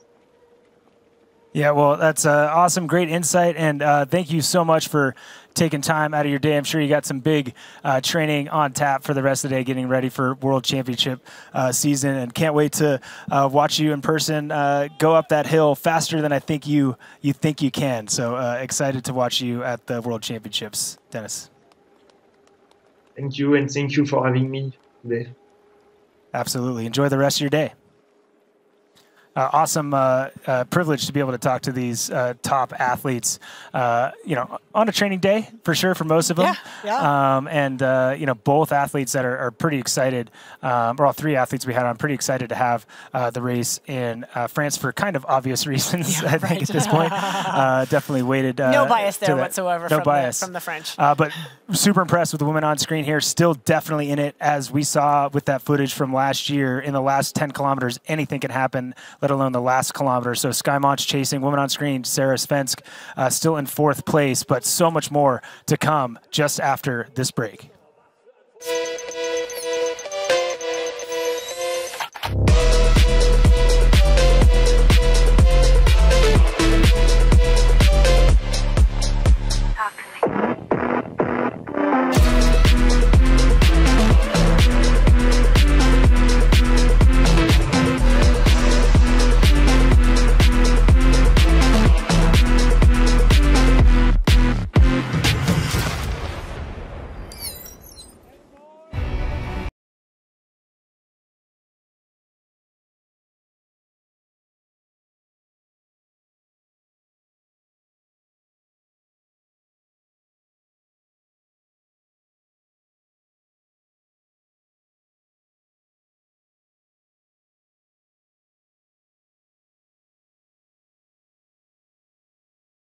Be the best and I'm willing to work as hard as possible to get there.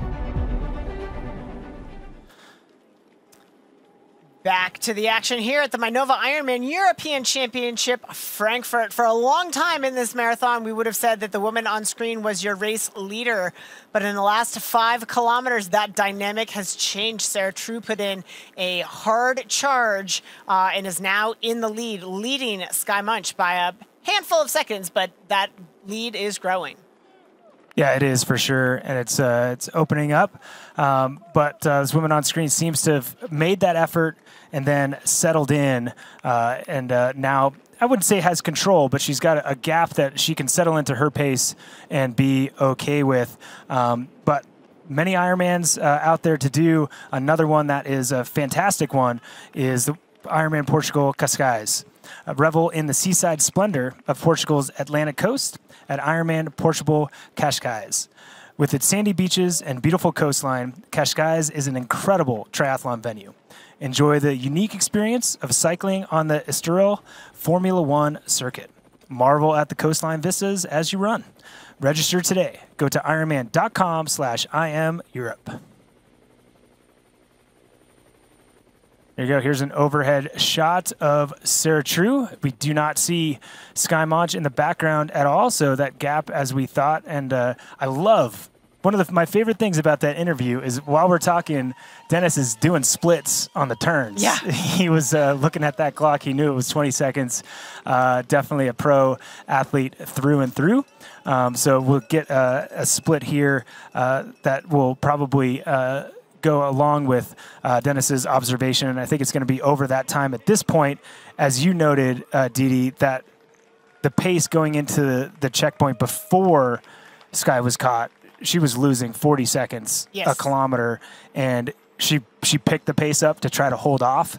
Um, but I, I kind of think that was probably her effort and her move. And I think that gap is going to be a little bit bigger. And, and she will have to manage because Jerzyk is not, she's not fading. And she's only No. lost uh, five minutes uh, to Sarah True and two minutes to Skye Moench throughout this race at this point. Uh, so certainly the ability for her to sneak up if Skye really comes apart. Yeah, Skye's going to have to really come Yeah. apart, which isn't something we're used No. to seeing from Skye. It's so that is eh, pretty far from our Not level of expectation. But the uh, but she is the one to capitalize. She is there, and and she's kept this a. Uh, an honest race. Uh, she's held that sort of distance to these two sort of icons in long course racing, and has every reason to be to be thrilled with her performance so far today. For sure, and kind of as we said earlier, the sometimes to beat the superior athlete, you hang out in a spot to sweep up if they do something, and there's no doubt Skye is all in for the win, and and maybe the fact that she has that rev limiter probably kept her from going too deep because she just can't pick them up and turn them over quick enough to go that deep, but she's definitely going to still have to manage. Um, but Sarah True seems like she's settled in. She's comfortable, uh, having a great uh, run after that closing of that pace, and, and certainly increased. They both kind of kind of slowed though. So at this point, 256 marathon. If Sarah True continues to hold this pace, where uh, Skye if she holds the pace that she's on, is going to be around a three-hour marathon. And Dede Sara Svensk still crossing in fourth place. Yeah, again, Sarah has, uh, well, although she is less than, she's about eight seconds ahead of Maja Stage Nielsen in fifth. So Right a battle going on right now in fourth place. Those two quite a bit back uh, from podium potential at this stage of the race, but certainly a battle for fourth between Sara Svensk uh, and Maja Stage Nielsen, with Maja breathing down the neck of Sarah uh, to move into fourth place. But uh, yeah, Jerzyk just holding absolutely steady. Um, in her mind, if I'm her, I'm not thinking about Sarah True or Skye at any point during the marathon. She is racing her own race and has has done a fantastic job and will post an amazing result uh, as a result. You you know who these people need to start thinking about is Laura Jansen. Yeah. 12:43 down, 30 seconds behind Maja Stage Nielsen, Yep. and 40 seconds behind Sara Svensk, and running significantly faster. 20 to 30 seconds than- per I mean, 10 minutes to Yeah. this point faster than Sara Svensk. So she's putting in a bid pretty solidly for fourth place, uh, and kudos to Jerzyk uh, for holding and holding as much gap as she has to make it unattainable for Jansen to bridge up to her. She has been, Jerzyk has been absolutely just bulletproof Yeah. throughout this entire race. Um, she hasn't put herself in a position to get into trouble, and um, she's capitalized on some pacing errors from others on the bike and just has stayed safe and is running her race. She didn't run out of transition trying to match the pace of those around her. She she set out to run what is my best marathon pace that I can hold, and she's been super consistent. Totally, and and I'll, I use words like courage that can be maybe a little dramatic because you know it's just racing, but for a rookie on the bike Yeah. to be around athletes like Bleymehl and to bridge up to them and then to drop them and then to try to bridge up to these other athletes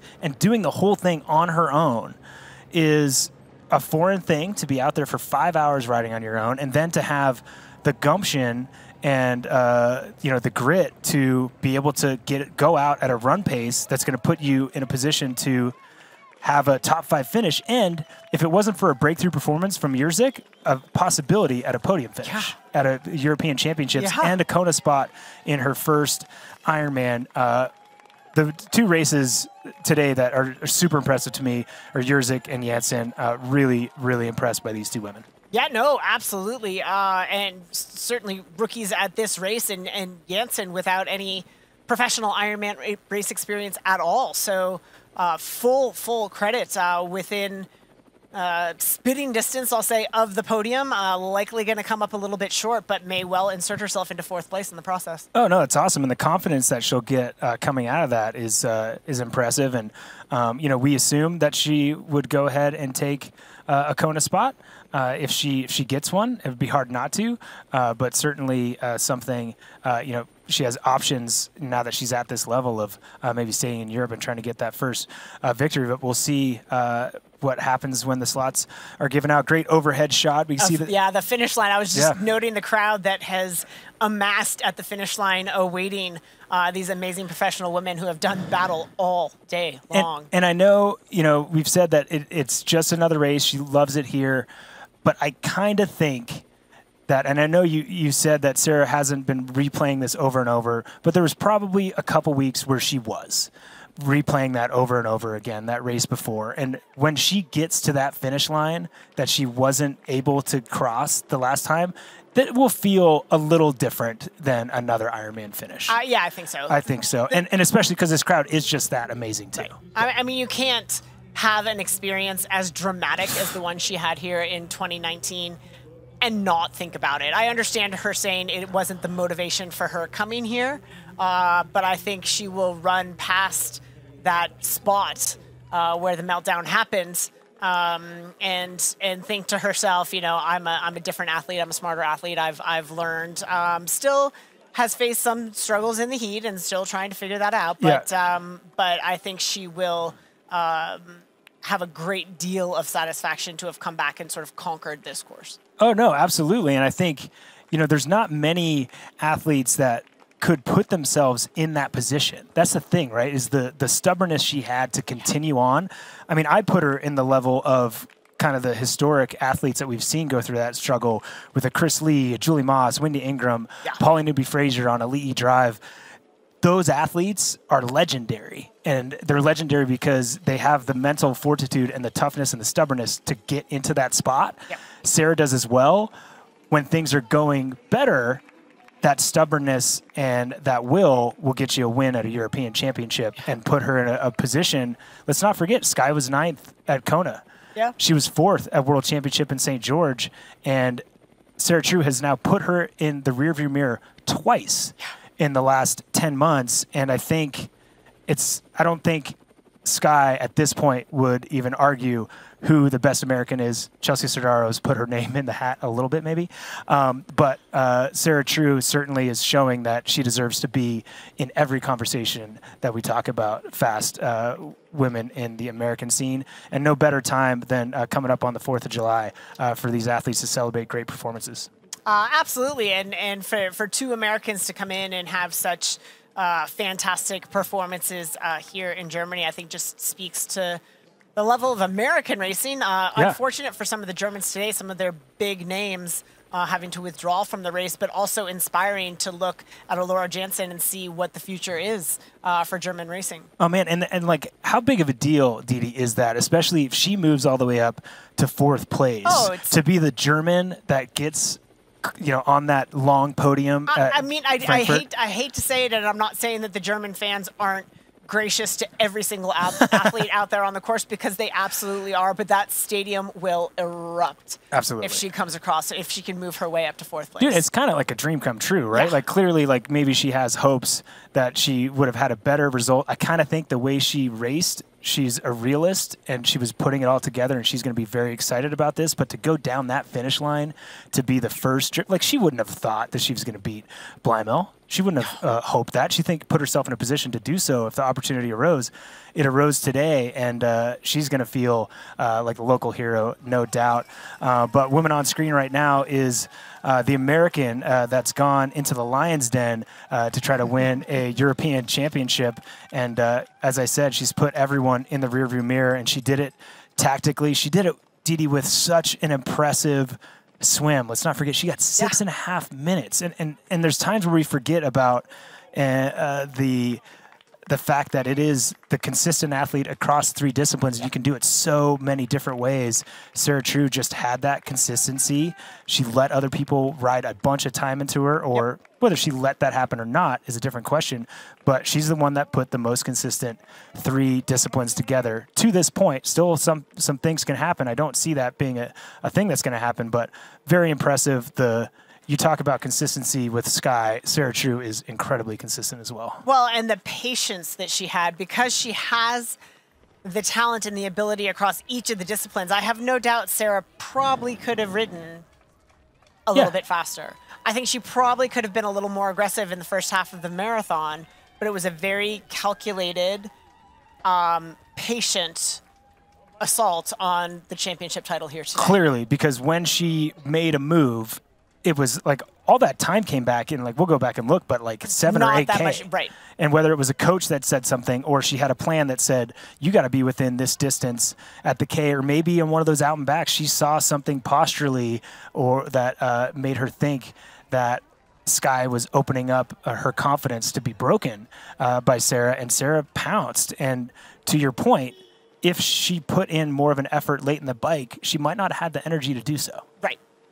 Uh, just a tactician, and it's uh, impressive to to watch her to watch her race. And I will note, Dede, she hasn't waved or joked around since No. about mile 70 of that bike ride. So Yeah. she's uh, she's pretty serious, and, and we'll see. I'm hoping she opens up a little bit with some Ks to go to maybe especially enjoy that last kilometer and a half that she didn't get to before. I was going to say she she deserved that win uh, in 2019. She had such a commanding lead uh, at this stage of the bike, or sorry, this stage of the race. Um, so much more than she does now, and. Uh, due to the circumstances, obviously she didn't get the job done because there were nutritional shortcomings that put her in that position Yeah. anyway. Uh, but it was an unfortunate set of circumstances that took the title from her. Um, she has righted a lot of those wrongs, uh, and I think come back here a smarter athlete. That's one thing. I think if I think of Sarah True and the the adjective that comes to mind, she's incredibly smart, very Oh my gosh. articulate, very thoughtful, and I think she has put together a very thoughtful race here today. Uh, I think that's uh, very well said. Uh, she is very, very smart. and Yes. very calculated. As we noticed, people overlook the fact that you know just her choices on the calendar. Yeah. It, it takes a smart and patient and calculated athlete to be like, no, I'm not going to race seven times before July. I'm going to race once. I'm going to go to a race I know I've done well at. I've maybe got some things to prove, maybe not. And then she's probably going to do maybe one more race and then world championships or whatever she has on her schedule. But, and I'll tell you what, she's not going to the world championships to participate. Oh no! I mean, she said that outward. Uh, She's not going to participate. She will only go if she feels she can be competitive, and if she doesn't feel that way, and that might happen after this race. It may happen leading into the World Championship. I guarantee she will not go. But we're going to see her uh, at the finish line shortly. Don't go away.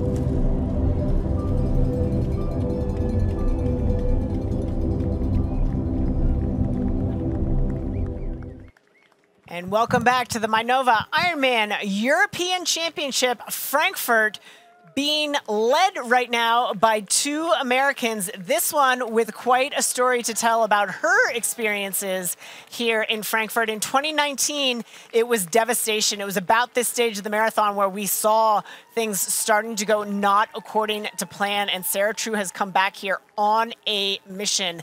Had a fantastic swim holding the feet uh, of Beck Clark and Lauren Brandon uh, did a majority of the bike on her own, particularly on that first lap. Uh, got into a group Yeah. on the second loop, but protected herself, didn't do anything reckless, let some people get away, came into transition with work to do on the marathon, but she waited. She was patient and calculated, and she is reaping the benefits of that right now. and confident. Yes. You can't let that like we thought there might have been a mechanical. You can't let that gap Yes. open early on the bike. And both of those women that did that might not have seemed aggressive early, but they're both outside of the top eight. Or Rebecca Clark is in eighth place at the moment. Uh, they've faded uh, greatly. Sarah True let that go. She did put an effort in that probably cost her some on the swim, and maybe that's why she made that choice. Okay, I'm kind of gassed. I got to take my time here. And, and that takes confidence, right? And she had all that time kind of in no woman's land and still backed herself and then made all these decisions that you've talked about tactically. And she's gone through Dede 39.3 kilometers, uh, so just three uh, K to go. And Sarah Trues goes through at 20 or sorry, 244.28 for her run split. So if she holds on, it's going to be a 256 run split, which is about what we thought she would do if she has a good day, 255, 256. And the conditions made it probably easier around 256. I think this is a, a pretty challenging 256 for her, right? And again, this overhead of the out and back, still no sign of Skye headed towards that turnaround. So she has opened up quite a gap here in the closing kilometers. Oh, she certainly has, and uh, you know we're going to see uh, here soon if if Skye's within a minute, uh, her coming into the picture. But I do think uh, we'll probably get that split uh, and maybe not see that visual because I think Skye's. There she is. We got her. Yep. Okay, so she's she's holding pretty well, you know, and I and, and she's got that. She went to the old shuffle form, and that she still looks maybe like she's smiling a little bit. She's got a little bit of that hunch, uh, but she's she's hanging in there, and you know she put herself in a position to try to win the race. And when you do that, things get hard afterwards. Yeah. But then she's coming back a little bit, right? And uh, and again, I think that shows the champion she is. So she's gone through one minute and 24 seconds back that she's lost in the last uh, five 5K. 5K. Um, no doubt that the That's a, race that's a decent chunk. it's a lot. It's a lot, and uh, and that's because Sarah True is just that good of a runner and was able to open the pace and then settle back in. And and yeah, opened up the pace to close down the deficit, Yeah. and then has gone right back to. I mean, she's still running four 15 minute Ks, and, and Skye has slowed. I mean, th- that was her slowest pace. Yeah. I, I think she had one really bad spot where she was upwards of almost five minutes per K in, in Yeah. one segment. Uh, but her new level set is at, at four and a half. And so Sarah has just been able to, to hold true to that pace. Yeah. Um, it, having done the surge to, to shut her down and then gone right back to what has been her metronome like pace since the start. You said Sarah holds true. uh, Yeah, I know. Um, No, but I yeah. meant to do that. you I did. You definitely did. She, uh, amazing performance, and and to me, in hindsight, maybe one of my favorite parts of this battle was the fact that if we've hyped up this rivalry or contention, uh, we need to for drama to a certain extent. But Sarah True giving the thumbs up, giving encouragement in a genuine manner to uh, Skye Moench, who was out there because she knows it takes courage to sit in three minutes in front of somebody that's chasing you down for a marathon with all these out and backs. Uh, love to see that camaraderie uh, by the two American athletes. Uh, no bias there at all, but uh, Sarah True true, true champion. Again, going uh, to the European Championships and taking it to them. Um, we, we thought maybe it was going to be these two athletes, uh, but surprised that there aren't a couple other names that were in that battle a little bit later. And surprised at the names that are still there, right? Like so much credit to uh, to Jerzyk and uh, Nielsen and Jansen still battling it out out there, and names that we might not have thought would be in that top three, top Oh, five. certainly Jerzyk and Jansen are names that I hadn't anticipated. I was optimistic for Sarah Svensk. Yeah. Um, and optimistic for Maja Stage. So I don't want to I don't want to pat myself on the back, but a lot of the contenders that we thought would be there are absolutely there, um, with the addition of some some new and exciting names that we didn't know about. For those uh, that can't see the studio, she's literally patted herself on the I, back right now. I, I'm just a little a little tricep stretch. Uh, it's awesome, but uh, no, such a great performance. And, and again, Dede, the names maybe that we didn't think we'd see, and then the fact that the race. I mean, we had seven athletes within 30 seconds, or eight athletes within 30 seconds.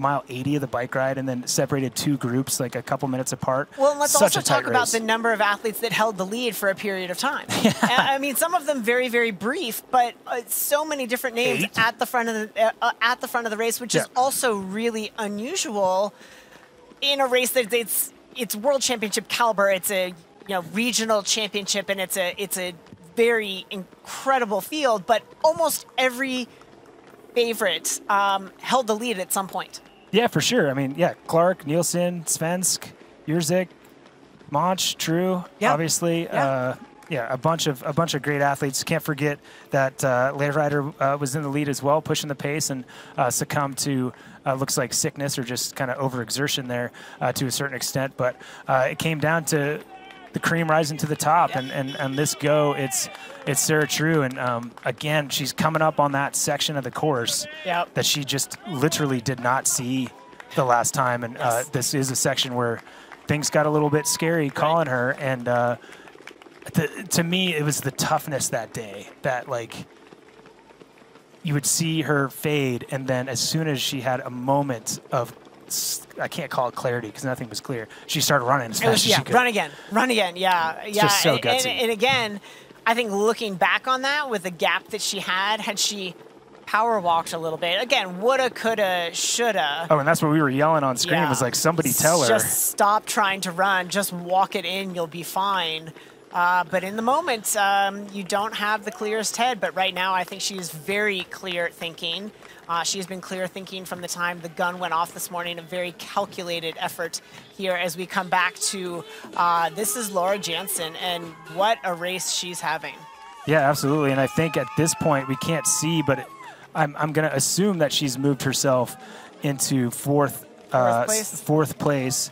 Uh, most likely, it's possible just uh, fifth at this point, but she was pretty close to Sarah Svensk and uh, Maja Stage Nielsen. Uh, so I believe that's probably where she's at at this point, but having a fantastic race. Um, but Dede, thinking about Sarah True for a little bit, I'm looking back and in the last 12 months, Ironman 70.3 Eagleman win. Ironman Lake Placid win. Didn't finish Kona sickness. Ironman Arizona win. Ironman European Championships win. There are not a lot of athletes, and certainly no North American athletes of any gender that have won that many Ironmans in the last 12 months. And yet somehow Underrated every time. she sails below the radar. And maybe it's because she doesn't have an enormous social media presence, right? She doesn't have time for it. She lets the racing talk. for her. Yeah, I mean, she she literally is an athlete that people, when she's not racing, people aren't necessarily talking about her, and she's 100% fine with She it. She loves it. She has way more important things to be doing in her life than than things like that. I don't think she cares whether or not she's underrated um, going into a race, as as long as her racing speaks the way that it does. I think it gives her a tiny bit of motivation Yeah. in the end. And Dede, so calling this race, she was still running off and on at this point. And where, and she's going to get the jersey up uh, so she can enjoy this last period. But to me, where it started to get scary was coming off of this bridge and you could like she almost like hit a pole on the way down and she was just sending it as much as she could so very different experience she's in the lead uh, less of a gap than she had that time physically able to put her kit back up. physically able to put her kit back up. She is going to probably have some smiles, give some high fives, is aware. There's no way she could have put a kit up No. in that in that case, right? No. So very different experience. So delighted to be able to uh, have the pleasure of uh, calling her kind of retake uh, the win that um, you know could have been hers. It was this woman on screens because she did everything right and was able to capitalize. And again, we've talked about that. That's what you do when there's an athlete maybe that's better than you. You put yourself in a position to, if they mess up royally, you you come in and take the win, and that's what Skye did, and it bolstered her career to where it is today. But woman on screen right now, so impressive, and I can't get past the amount of Ironman wins that this woman has had in the last less than 12 months. Three Ironman wins, all with great fields. Uh, I mean, again, I think the motivation comes from the fact that she's got so many other great things going on uh, with her young family, uh, with her schooling. Um, that she is saying, if I'm gonna, if I'm gonna race, I'm gonna absolutely make it count. I'm not just going to, to your point, participate. I'm going to to make a statement about where I'm at, and she chooses her races very carefully that they fit in to all the other things that Yeah. she has going Yeah. on, and she comes to perform, and then goes right back to, to, to, to life, which is so full in very many other ways. Totally, but what she doesn't avoid is competition because we're talking about this top American. Yeah. Who'd she beat at Lake Placid? Heather Heather Jackson. Jackson. Who'd she beat at Arizona?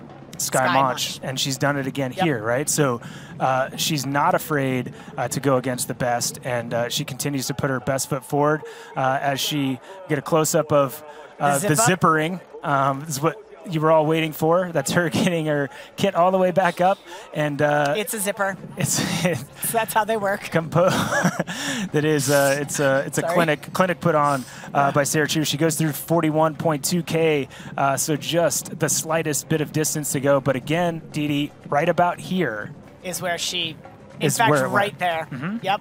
within within a k to go, uh, she she just couldn't go anymore, and uh, the concern of those athletes and uh, staff around her, uh, you know. Kept her off course and uh, you know kept her safe, and it was so hot that day. It was unbelievable. So, uh, anyways, excited to see her move past that point. Uh, I kind of think I would say she probably would get emotional passing that point, but she doesn't remember it. Yeah. She doesn't remember the last five kilometers. No way she remembers that. Uh, so, yeah, I, I can't be happier to see an athlete, let alone Sarah, any athlete overcome that to me is inspirational uh, as she goes through, or sorry, Skye goes through that checkpoint. Two, Two minutes 10. Two minutes ten down. At that point, not surprising. She's just she's just getting to the finish line. Yeah. She knows she's not catching Sarah True, so uh, she's going to get herself to that finish line and um, you know be proud. I hope of uh, the effort she put in today. And again, with all those changes, I I could not be more impressed by Skye Moench than I was today. Uh, uh, again, Skye also very calculated in her application of effort across this race. She was very patient through the first half of the bike.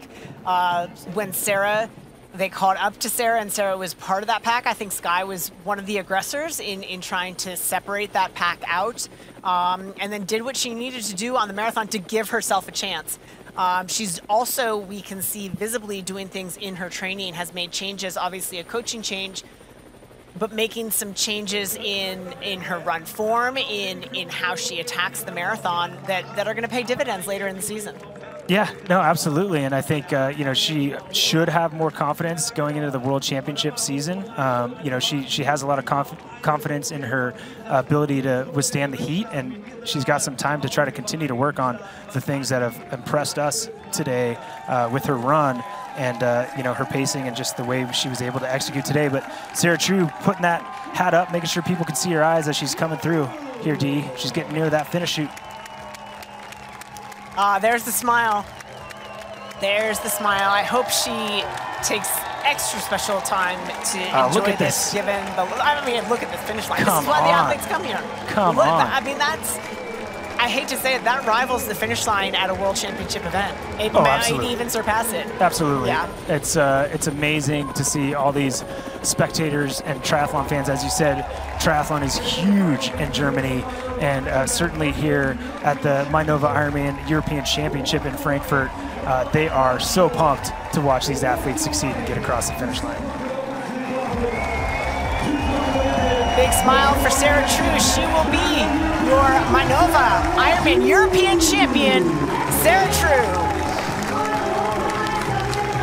There's that smile.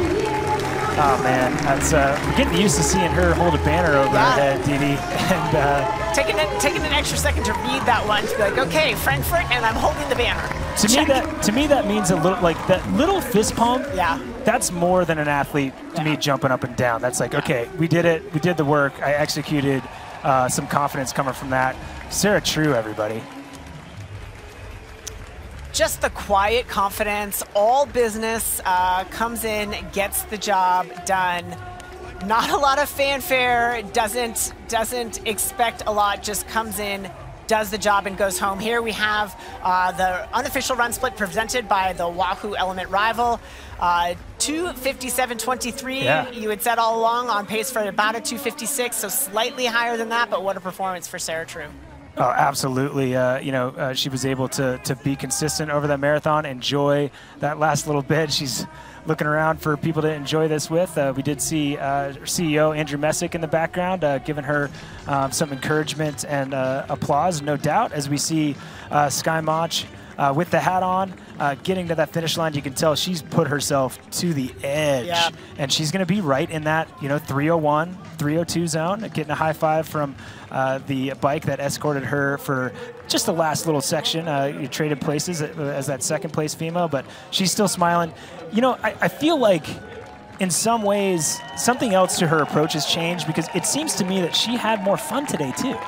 It did seem like she was sort of taking it all in, engaging with the crowd a little bit, uh, having a bit more fun as she makes her way uh, towards the right uh, column there, make her way to the finish line uh, around an age group athlete who's heading out for another lap, but engaging with the crowd, high fiving. She she made Sarah True win, and you know Yeah. ultimately Sarah did, but She she she forced it. She you know she put herself out there and gave herself the chance, and and made Sarah beat her, and and Sarah was able to rise to the challenge. She certainly did. And in that interview, she said she was doing it for the experience and wanted to enjoy it. And often athletes are kind of shining it on a little bit when they say that. We now know watching her through this race, she was genuine. And look, do you, do you think she's enjoying this Yeah. experience? As she's going to take something away, even though she didn't get that win, she's going to learn a lot from this race here. And uh, amazing, amazing performance today, and so impressed uh, by your second place finisher at the Mainova Ironman European Championships in Frankfurt, Skye Moench.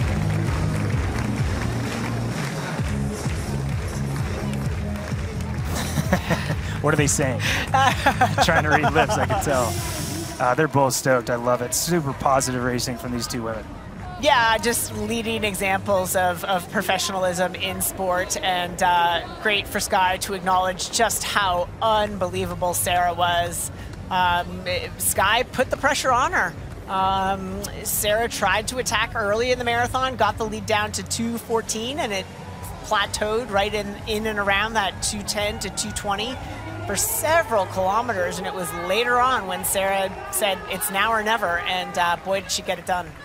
Oh, she absolutely did. And uh, in the end, winning by two and a half minutes after trailing for about two and a half minutes for a majority of that marathon. And it looks like it stalled. And, and more, you know, credit to Skye for she's the reason that gap stayed the same. She, she was trying to play that poker match early and have Sarah maybe give up. And then I think it was almost a death rattle where Sarah really push that effort and said, okay, I got to see if I can close this. And um, you can see definitely took some effort for Sarah to do that today. She's definitely a, a little bit tired as we see she's starting to get a smile on her face. Our third place athlete, one of the races of the day, and that is Jerzyk coming in, and she's 749 back at 41.2K, and she has to be pumped with this result. I would imagine that this was not what she had imagined her day would end up being.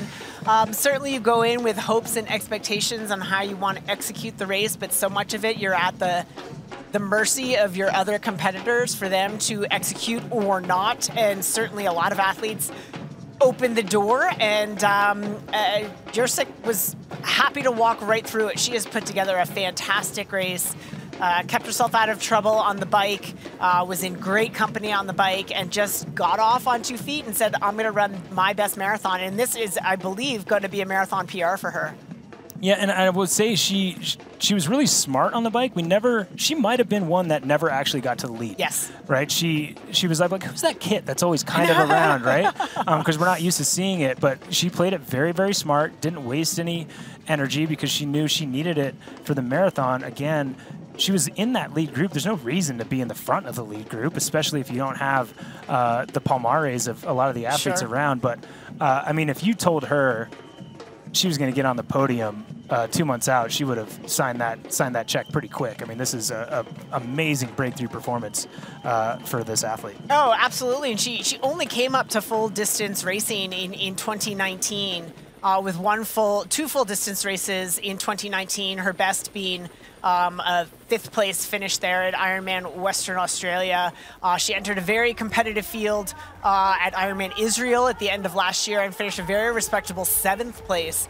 Uh, but to catapult yourself onto the podium uh, at a regional championship, I think is absolutely extraordinary. Oh, absolutely. Uh, amazing, amazing performance from her. And the woman on screen there, uh, you can tell it means something uh, to Sarah True. Uh, definitely a special finish for her after not being able to cross that finish line a few years ago. Uh, again, I think that little fist pump uh, says a lot as a competitor. I think we all know what where that comes from. And amazing, amazing performance from our champion, Sarah True. I would say a, a very understated celebration for the magnitude of that win and what she overcame to, to be here and, and to, to be your winner here today. Totally, but that's an exuberant Sarah True. Yeah.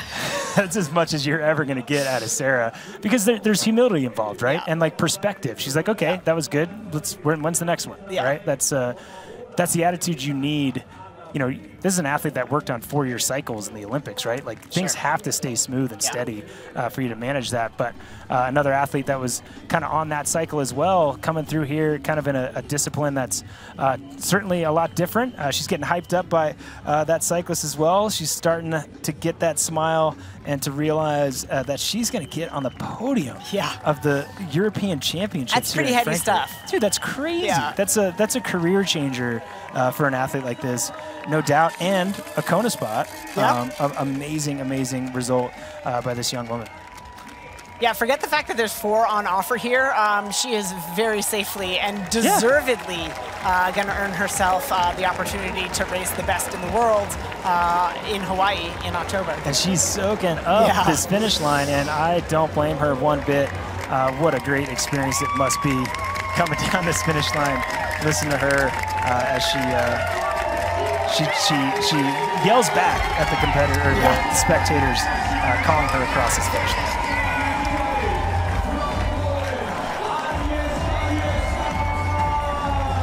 Go. You got the pom poms out too. Yep, it was a name we did not know well at the start of the day, but certainly a name we will not forget and look for in races to come. What a performance. Man, and, man, these women are so awesome. They're so supportive of each other, and uh, everybody is uh, impressed with each other's performances. Look at that, Sarah, uh, congratulating her on a podium at a championship race. Let's listen in. Yeah, I heard so happy and oh my God.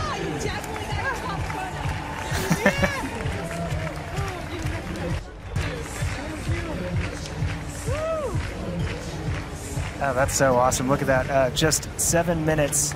And that is an absolute thousand watt smile. Yeah. The third place finisher, but the biggest smile we've seen so far. eight minutes between that podium uh, when all is said and done. Those run splits 257.23, 303.02 for Skye, and a 305.14 uh, for Jerzyk. That is a very, very impressive run from her. And then just a few minutes to go, we're going to have uh, some interviews with these three athletes, uh, then a podium performance, but also we're going to see Laura Jansen coming Yeah. across that finish line. Uh, she's going to be just over three hours uh, with her run performance, but as that first German, uh, that's going to be something to see. Yeah, sure. that stadium they're gonna they're gonna bring down the house uh, when they welcome the first uh, professional female German into the stadium, and uh, our podium ladies uh, showing the same respect uh, to their host country and waiting to welcome in uh, young Laura Jansen as well.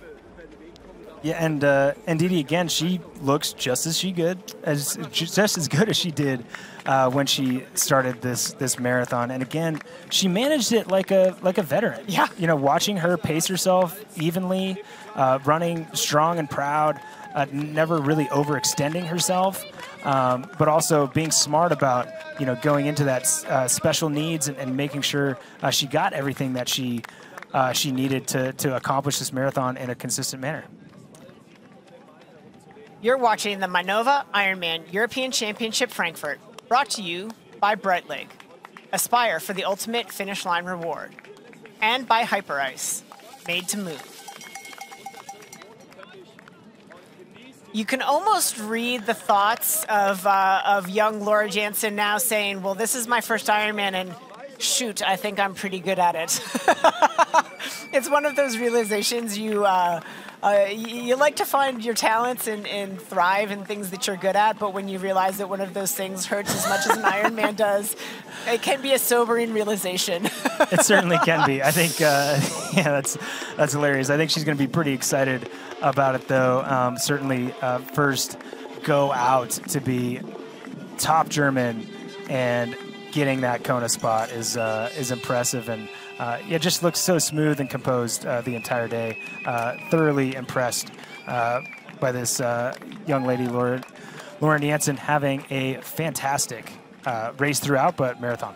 Again, and to, to have said to her when you're lining up against names like Daniela Bleymehl, um, certainly that you will be the top German at the end of this day, I think she would be like, nah, no, no, that's not right. no. Yeah, she would have. Uh, she would have signed up for that, uh, no doubt, no hesitation whatsoever. And uh, just as we said for uh, Jerzyk, uh, a, a, career a changer for sure yes. for this athlete. Even if it's just off of self confidence, but I do think uh, the sponsors will pay attention. She'll get a little bit uh, more excitement going into that world championship, and you know certainly an athlete that has a strong, strong future in the sport of Ironman triathlon. What a moment for her as she leans to the left to try to get past some of those age group athletes and move herself into position uh, to take that left-hand turn into the finish line stadium. What a celebration. This crowd's going to go nuts. Oh, they absolutely are. Again, that first German, super, super important. Uh, absolutely. And, uh, you know, someone that actually, you know, is a rookie performance um, and uh, a young athlete uh, trying to do uh, her best to make a name for herself in the sport.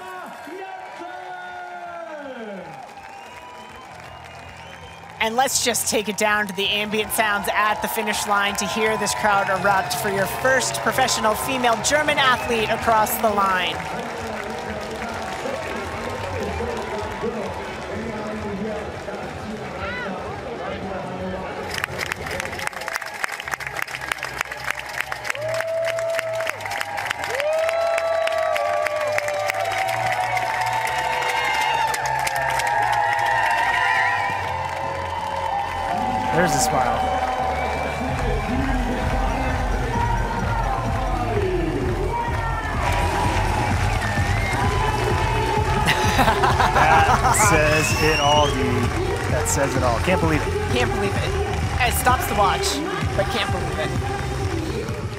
That just happen? I know. That's what she's. She's thinking. looking around. She's like, did, did I do that right? Is that is that is that it? Uh, unbelievable performance uh, by this rookie. Uh, certainly, no doubt she has a, a, strong future in the sport. And uh, what a marathon performance. 303.56 uh, for Laura Jansen uh, puts her into fourth place at this Ironman European Championship. She looks shocked. She really does. What do I do now? I know. She's like, now I gotta, I gotta uh, book tickets to Kona. I wasn't really thinking about that. Right? right? there, there goes your second qualifying slot, right? To, to Laura Jansen. Amazing work, and it looks like we'll probably have uh, Maja Stage Nielsen uh, coming through in fifth place, and uh, Maja and Sarah Svensk holding strong, holding on to those two positions, uh, fifth and sixth place. Uh, some of our uh, athletes that were pushing that pace early on the bike ride, um, and actually, sorry, late on the bike ride and early on the run. Yeah, Maja Stage all, uh, already has the Kona qualifying slot, but uh, Sarah Svensk uh, will pick one up. Uh, so she was in need, and our third qualifying slot on offer will likely, uh, barring catastrophe in the closing kilometer, uh, go to Sarah Svensk. Too awesome, too awesome. Great performances. And, and you know, surprised to. I was surprised by so many athletes in this top six, right? Not that I ever doubted any, but again, many different names. We think when there's different names and they look a certain way at the start of the run, maybe they're not going to hold on, but uh, some impressive performances. The woman on screen on the right hand side of the screen, uh, you know, was able to, to hold on for that podium. Impressed by that. Skye Moench obviously making changes. Uh, here's her coming across the finish line. So impressed uh, by this woman today in how she raced uh, tactically uh, overcame a swim that maybe had a gap bigger than she wanted. Um, her attitude, having fun, uh, Yeah. smiling, enjoying the process, and then clearly showing the work that she's done in the off season to kind of put everything we said to rest about the fact that she's got a rev limiter. She's like, no, I'm, I took that thing off this off season. It wasn't And- helping me. yeah, it wasn't helping me, and uh, you know I'm going to do my best to get there. She ended up running uh, what we thought she might, but um, man, she's she's put in the work, and uh, so impressed uh, by Skye Moench.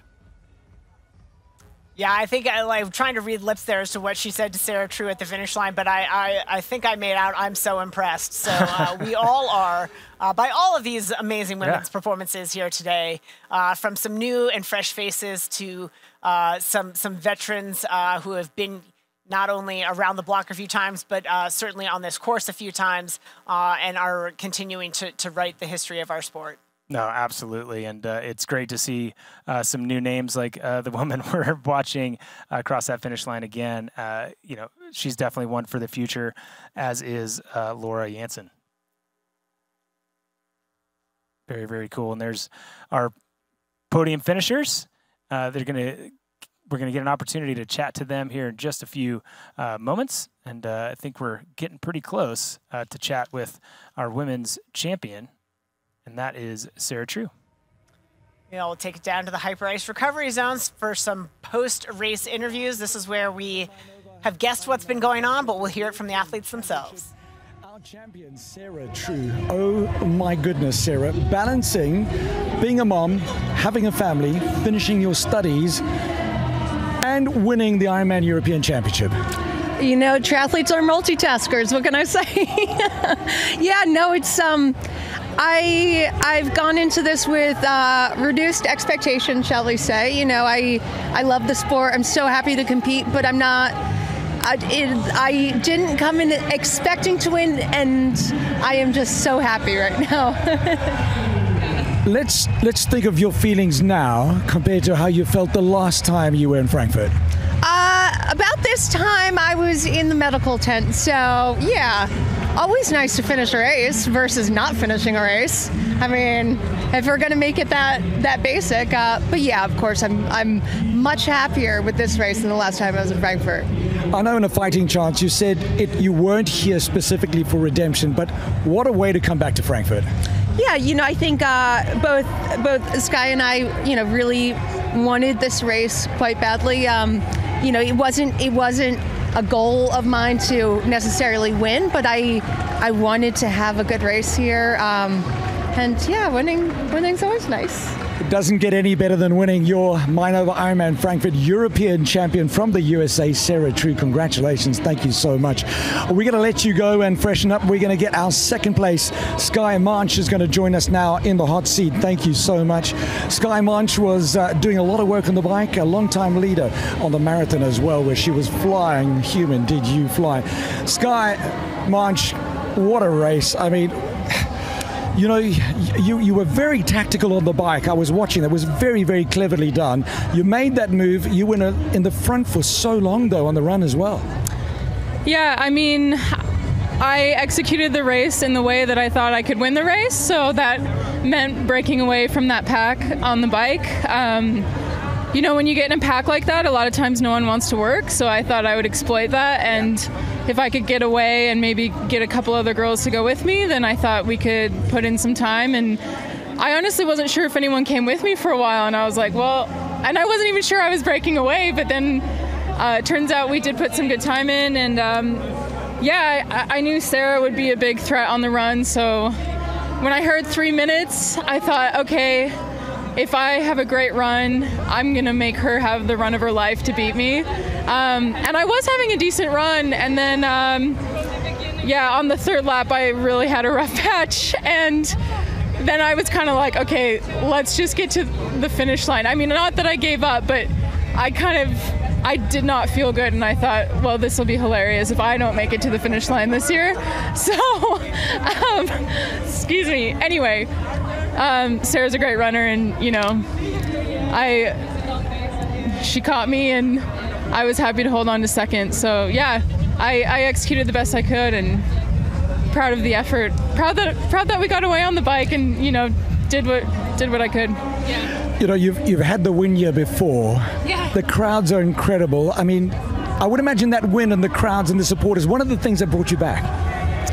Yeah, absolutely. I mean, Frankfurt and Europe, kind of in general, they love triathlon. Uh, it's just way bigger over here compared to the US. So it's a great experience to come over and man, that run, like you're never alone. You're never not being cheered for. Um, it's just so engaging and so fun. And I certainly felt the boost, especially coming down here and you, you commentating, hearing my name. Uh, yeah, got a huge boost and definitely ran like my fastest Ks on that section, I think. So, yeah. Well, thank you so much. Congratulations. Second place in the Mainova Ironman Frankfurt European Championship for the USA.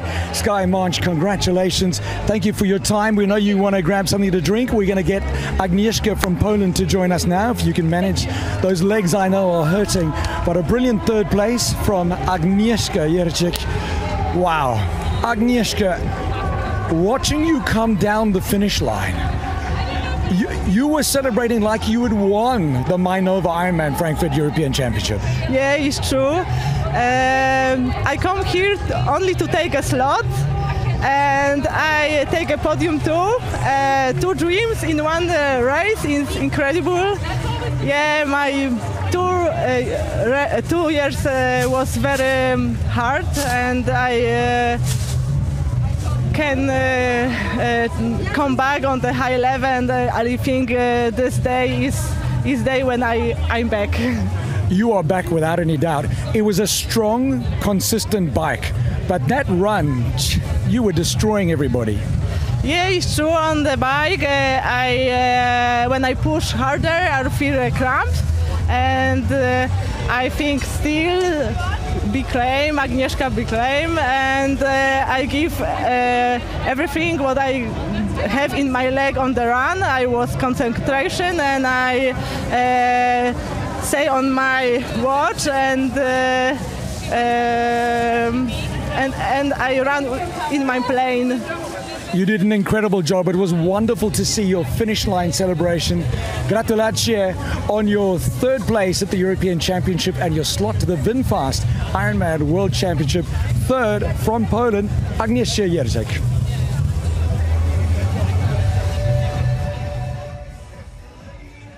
You're watching the Mainova Ironman European Championship, Frankfurt, brought to you by VinFast, Boundless Together, and by Athletic Brewing, brew without compromise.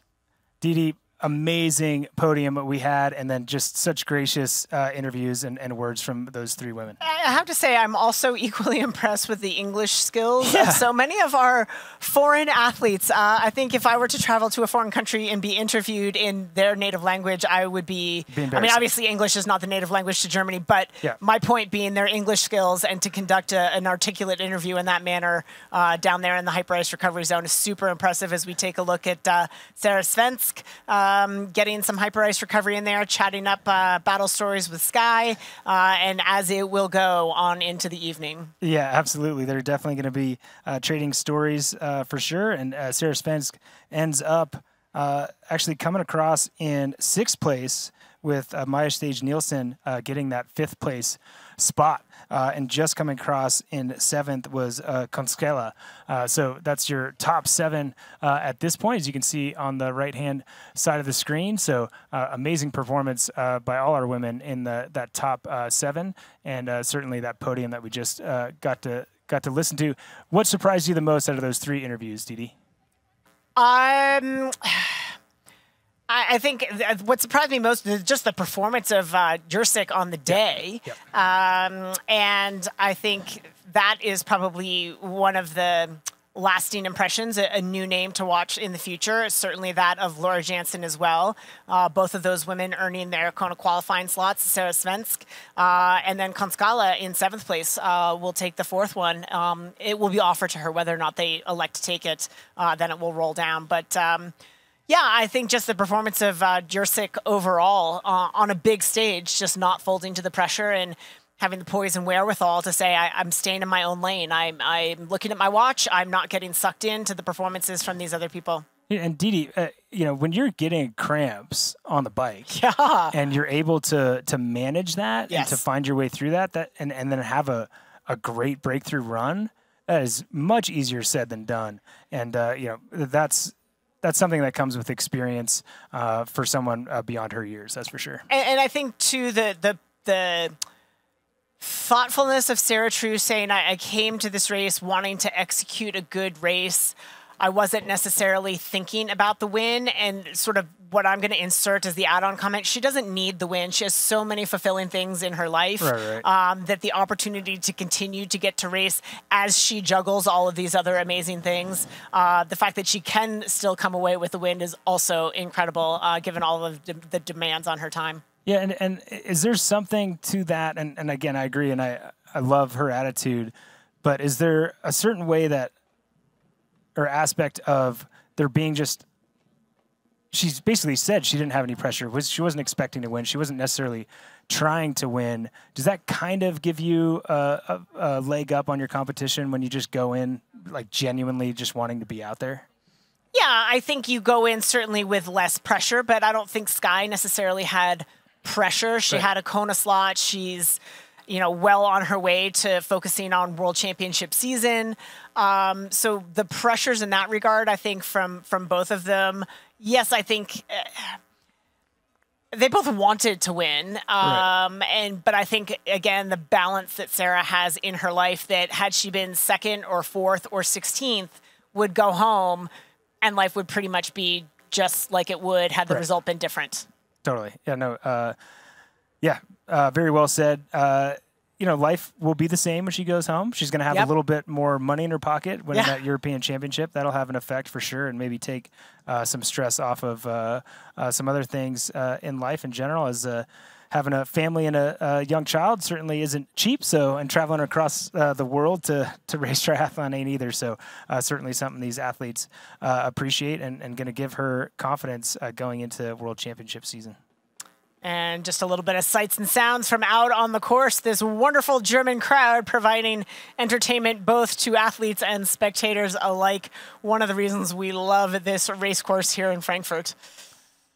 yeah, uh, so much uh, you know joy and personality in, in these fans and uh, volunteers and uh, yeah spectators out here and uh, you know it's it's hard to argue whether or not they love their triathlon here seeing that finish line and the support that's out here. Absolutely. And as we wait for our podium celebration and the presentation of the flowers, we have Rebecca Clark uh, across the line in eighth place now, 25 minutes and 50 seconds back. Uh, great performance from her today. Faded a little bit in the marathon, didn't have that marathon uh, performance certainly she was hoping for, uh, but a learning lesson nevertheless. I think anytime you have a race that didn't go according to plan, uh, you learn more from it, and certainly Right. not a, a performance to be disappointed with. What a great swim from Rebecca Clark, which we're used to seeing, and um, uh, really hung in there on the bike. Just faded a little bit on the marathon, and she will take some uh, experience from that and apply it uh, towards her World Championship pur- pursuits in October. We will see her out in Hawaii as well. Absolutely, yeah. No, she she put herself out there, and I think that's that's part of what these athletes are, uh, you know, looking looking for, right? And, and they're trying to see how deep they can go in case they need to in a world championship, you know, against the best in the sport. And Dede, I'm just kind of looking through to see where our early leader went, and I don't see her. She's not in any of uh, Yep. the results through, uh, you know, 20k of the marathon. So uh, she's either out there on a long walk or uh, did not uh, finish the race today. Yep. Unfortunately. As we welcome uh, De Boer across the line from the Netherlands, she will be a part of your top 10, finishing in ninth place. So congratulations to her. Busy, uh, busy finish line there all of a sudden. Yep. Uh, they're all kind of and here comes out. Grohmann. Yeah, uh, Katharina Grohmann across, uh, rounding out your top 10. So pretty competitive uh, there Yeah. for uh, eighth, ninth, and, and 10th place. All of those women stacked up uh, pretty tightly as well. And we did end up with three Germans in the top 10, so definitely representing uh, the home country race. Two Americans on top, but three Germans in the top 10. I think they'll they'll take that one. Yeah, absolutely, absolutely, uh, and might might have thoughts of what might have been had some of their giants not Yep. stumbled uh, earlier in the race, but uh, will be a lot of pride nevertheless. And this party down at the finish line, I'm telling you, is just getting started. As as impressive as those crowds look, um, it's only going to get better from here as we welcome finishers across the finish line into the night. Yeah, indeed, it's such a perfect day uh, for the racers and the spectators. Uh, they're able to be out there, not suffering uh, in that scorching heat that we've seen out here before, and uh, certainly enjoying as we see uh, some of our male uh, amateur competitors coming across uh, the finish line, enjoying uh, that that crowd and that finish line just as much uh, as our female pros that had, had crossed earlier. And no doubt these men coming across this early are going to get spots uh, to the World Championship in Nice, which I'm sure Yes. they're pretty excited about just down the road. So uh, easy access uh, for them and to try a different course for a World Championship. I was going to say, I think for a lot of particularly the European athletes Oh, yeah. are extremely excited. Uh, a lot closer uh, trip family that might not have gone to Hawaii otherwise will be able to come and support in Nice. So um, it's going to be an exciting race there. So a lot of our age group male competitors in pursuits of those slots. We're going to come back for our podium celebration in just a minute. Don't go away. We'll be.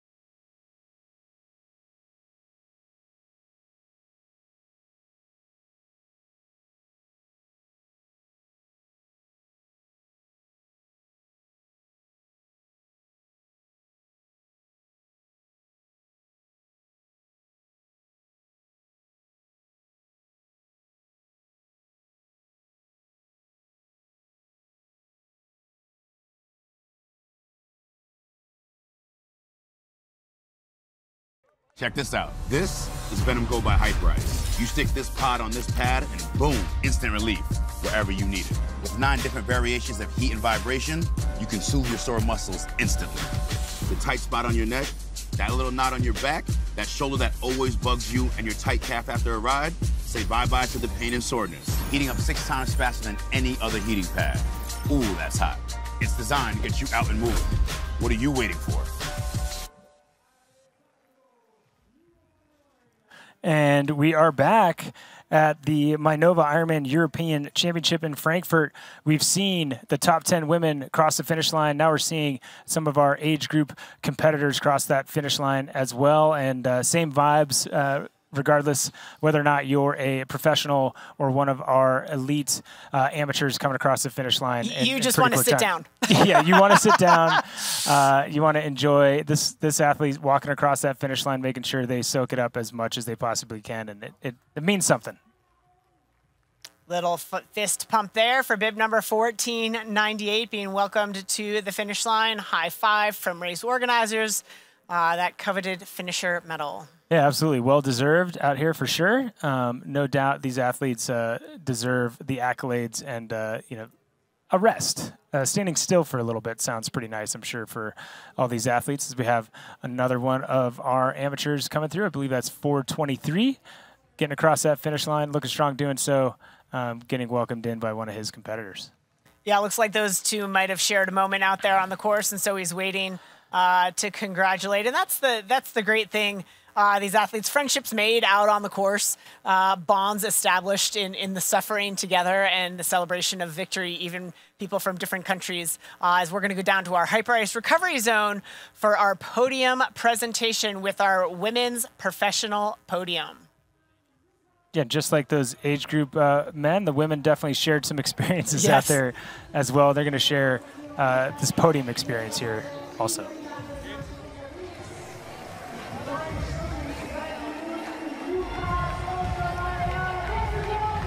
And uh, just here in a few moments, we'll get down to the Athletic Brewing podium presentation. Uh, we're going to see Sarah True. She's got her energy back. She's got Yeah. that head bob, the sass that we're uh, used to seeing uh, from Sarah True. Uh, Skye Moench still giving her a little pat on the back uh, as the athletes are getting ready uh, to get their athletic brewing on and uh, get up on those steps. Uh, you know, we'll see how much help they need. That was a long day. Uh, some of those steps can feel a little, a little taller after uh, an Ironman finish, but we will see them uh, get on them soon enough. Absolutely. Organizers just getting things settled down there and uh, athletes getting ready. The longer they sit, uh, I want to encourage Skye to stand up. The longer you sit, the harder that step is up onto that podium. So, um, all of our athletes here uh, sharing some war stories from the day on how things all went down. And we are getting ready to celebrate our top three female finishers. Uh, some familiar names and some new faces of the future. Yeah, absolutely. Uh, and we see, uh, you know, the athlete on the right hand side of the screen, definitely one of our newcomers. And uh, Jerzyk having a breakthrough performance, no doubt. And as she said, she feels like she's back uh, after a few years of struggle. Um, a lot of athletes go through this. She gets that uh, blanket off. So I think that means we're going to head down to the athletic brewing podium presentation here with Jerzyk.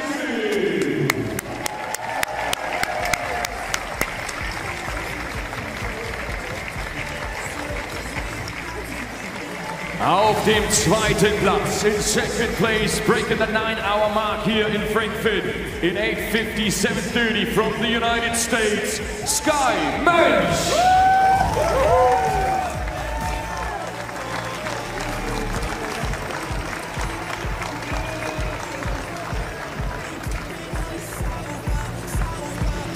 And what a Frankfurt comeback. You might want to call it a Cinderella story after collapsing two years ago, 700 meters from the finish line. She's bringing it home in style. Your 2023 Mainova Ironman European champion in 8 hour, hours 54.53 from the United States, Sarah True.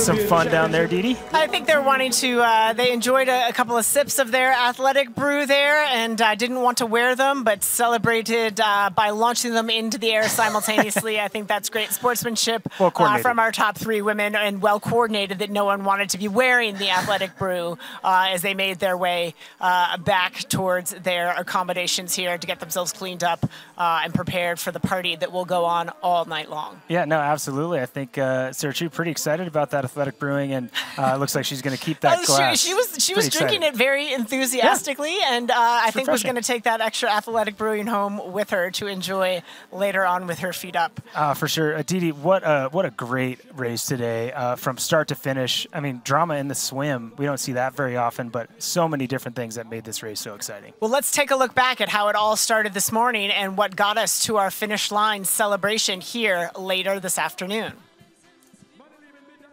Yeah, Dede, it started a long, long time ago on that uh, little entrance. We saw Lauren Brandon on the far right side of the screen, and uh, she started with some fast strokes, never looked back, uh, maybe once uh, after that Australian exit, but uh, she got a gap early, uh, taking uh, with her uh, Beck Clark and uh, our eventual winner, Sarah True.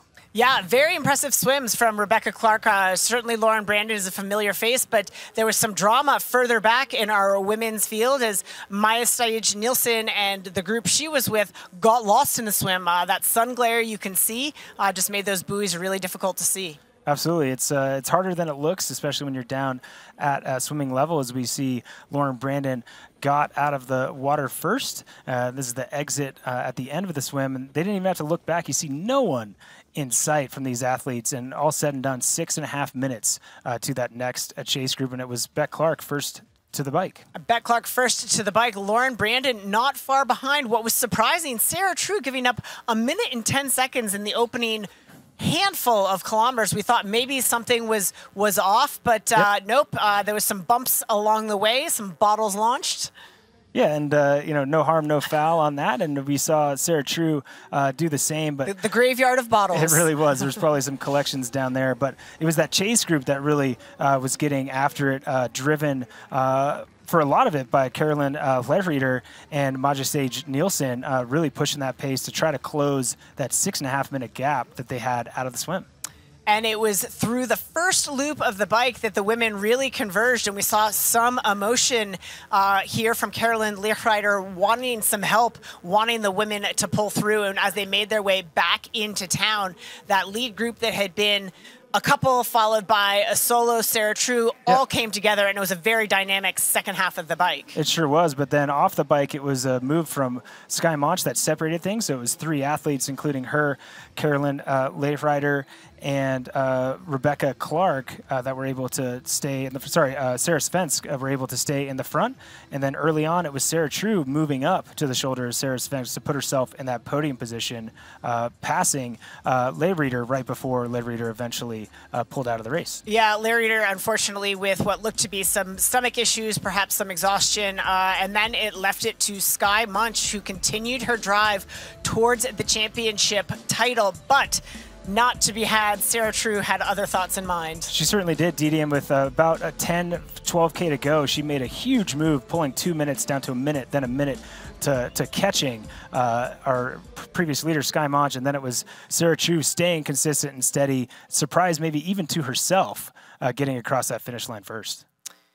And a long delayed celebration that might have happened several years ago, but better late than never for Sarah True and Skye Moench holding on valiantly for a very strong second place finish. Yeah, absolutely. And again, it was uh, it was clear that she made some changes and some improvements, uh, but it was uh, this athlete on screen that was maybe one of uh, the most impressive athletes of the day, having a consistent race and a great run to finish it out. Yeah, absolutely rounding out our podium and earning herself a trip to the Ironman World Championship in October.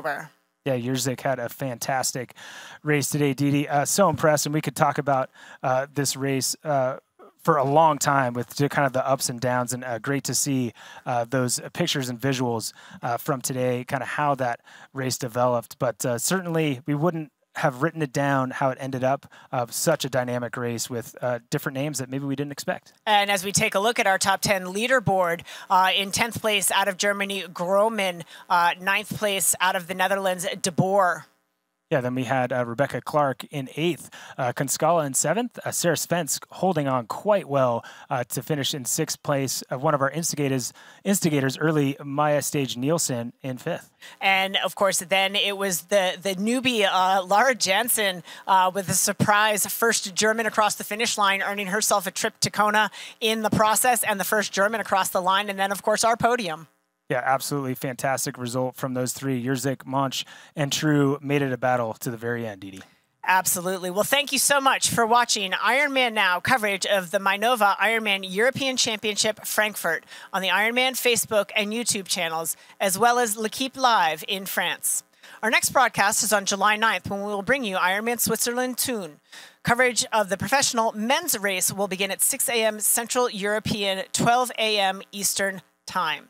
The broadcast will stream live on Ironman Facebook and YouTube channels and on L'Equipe Live. For Matt Lieto, I'm Dede Griesbauer. Thanks for tuning in. Enjoy the moments and images from today's race.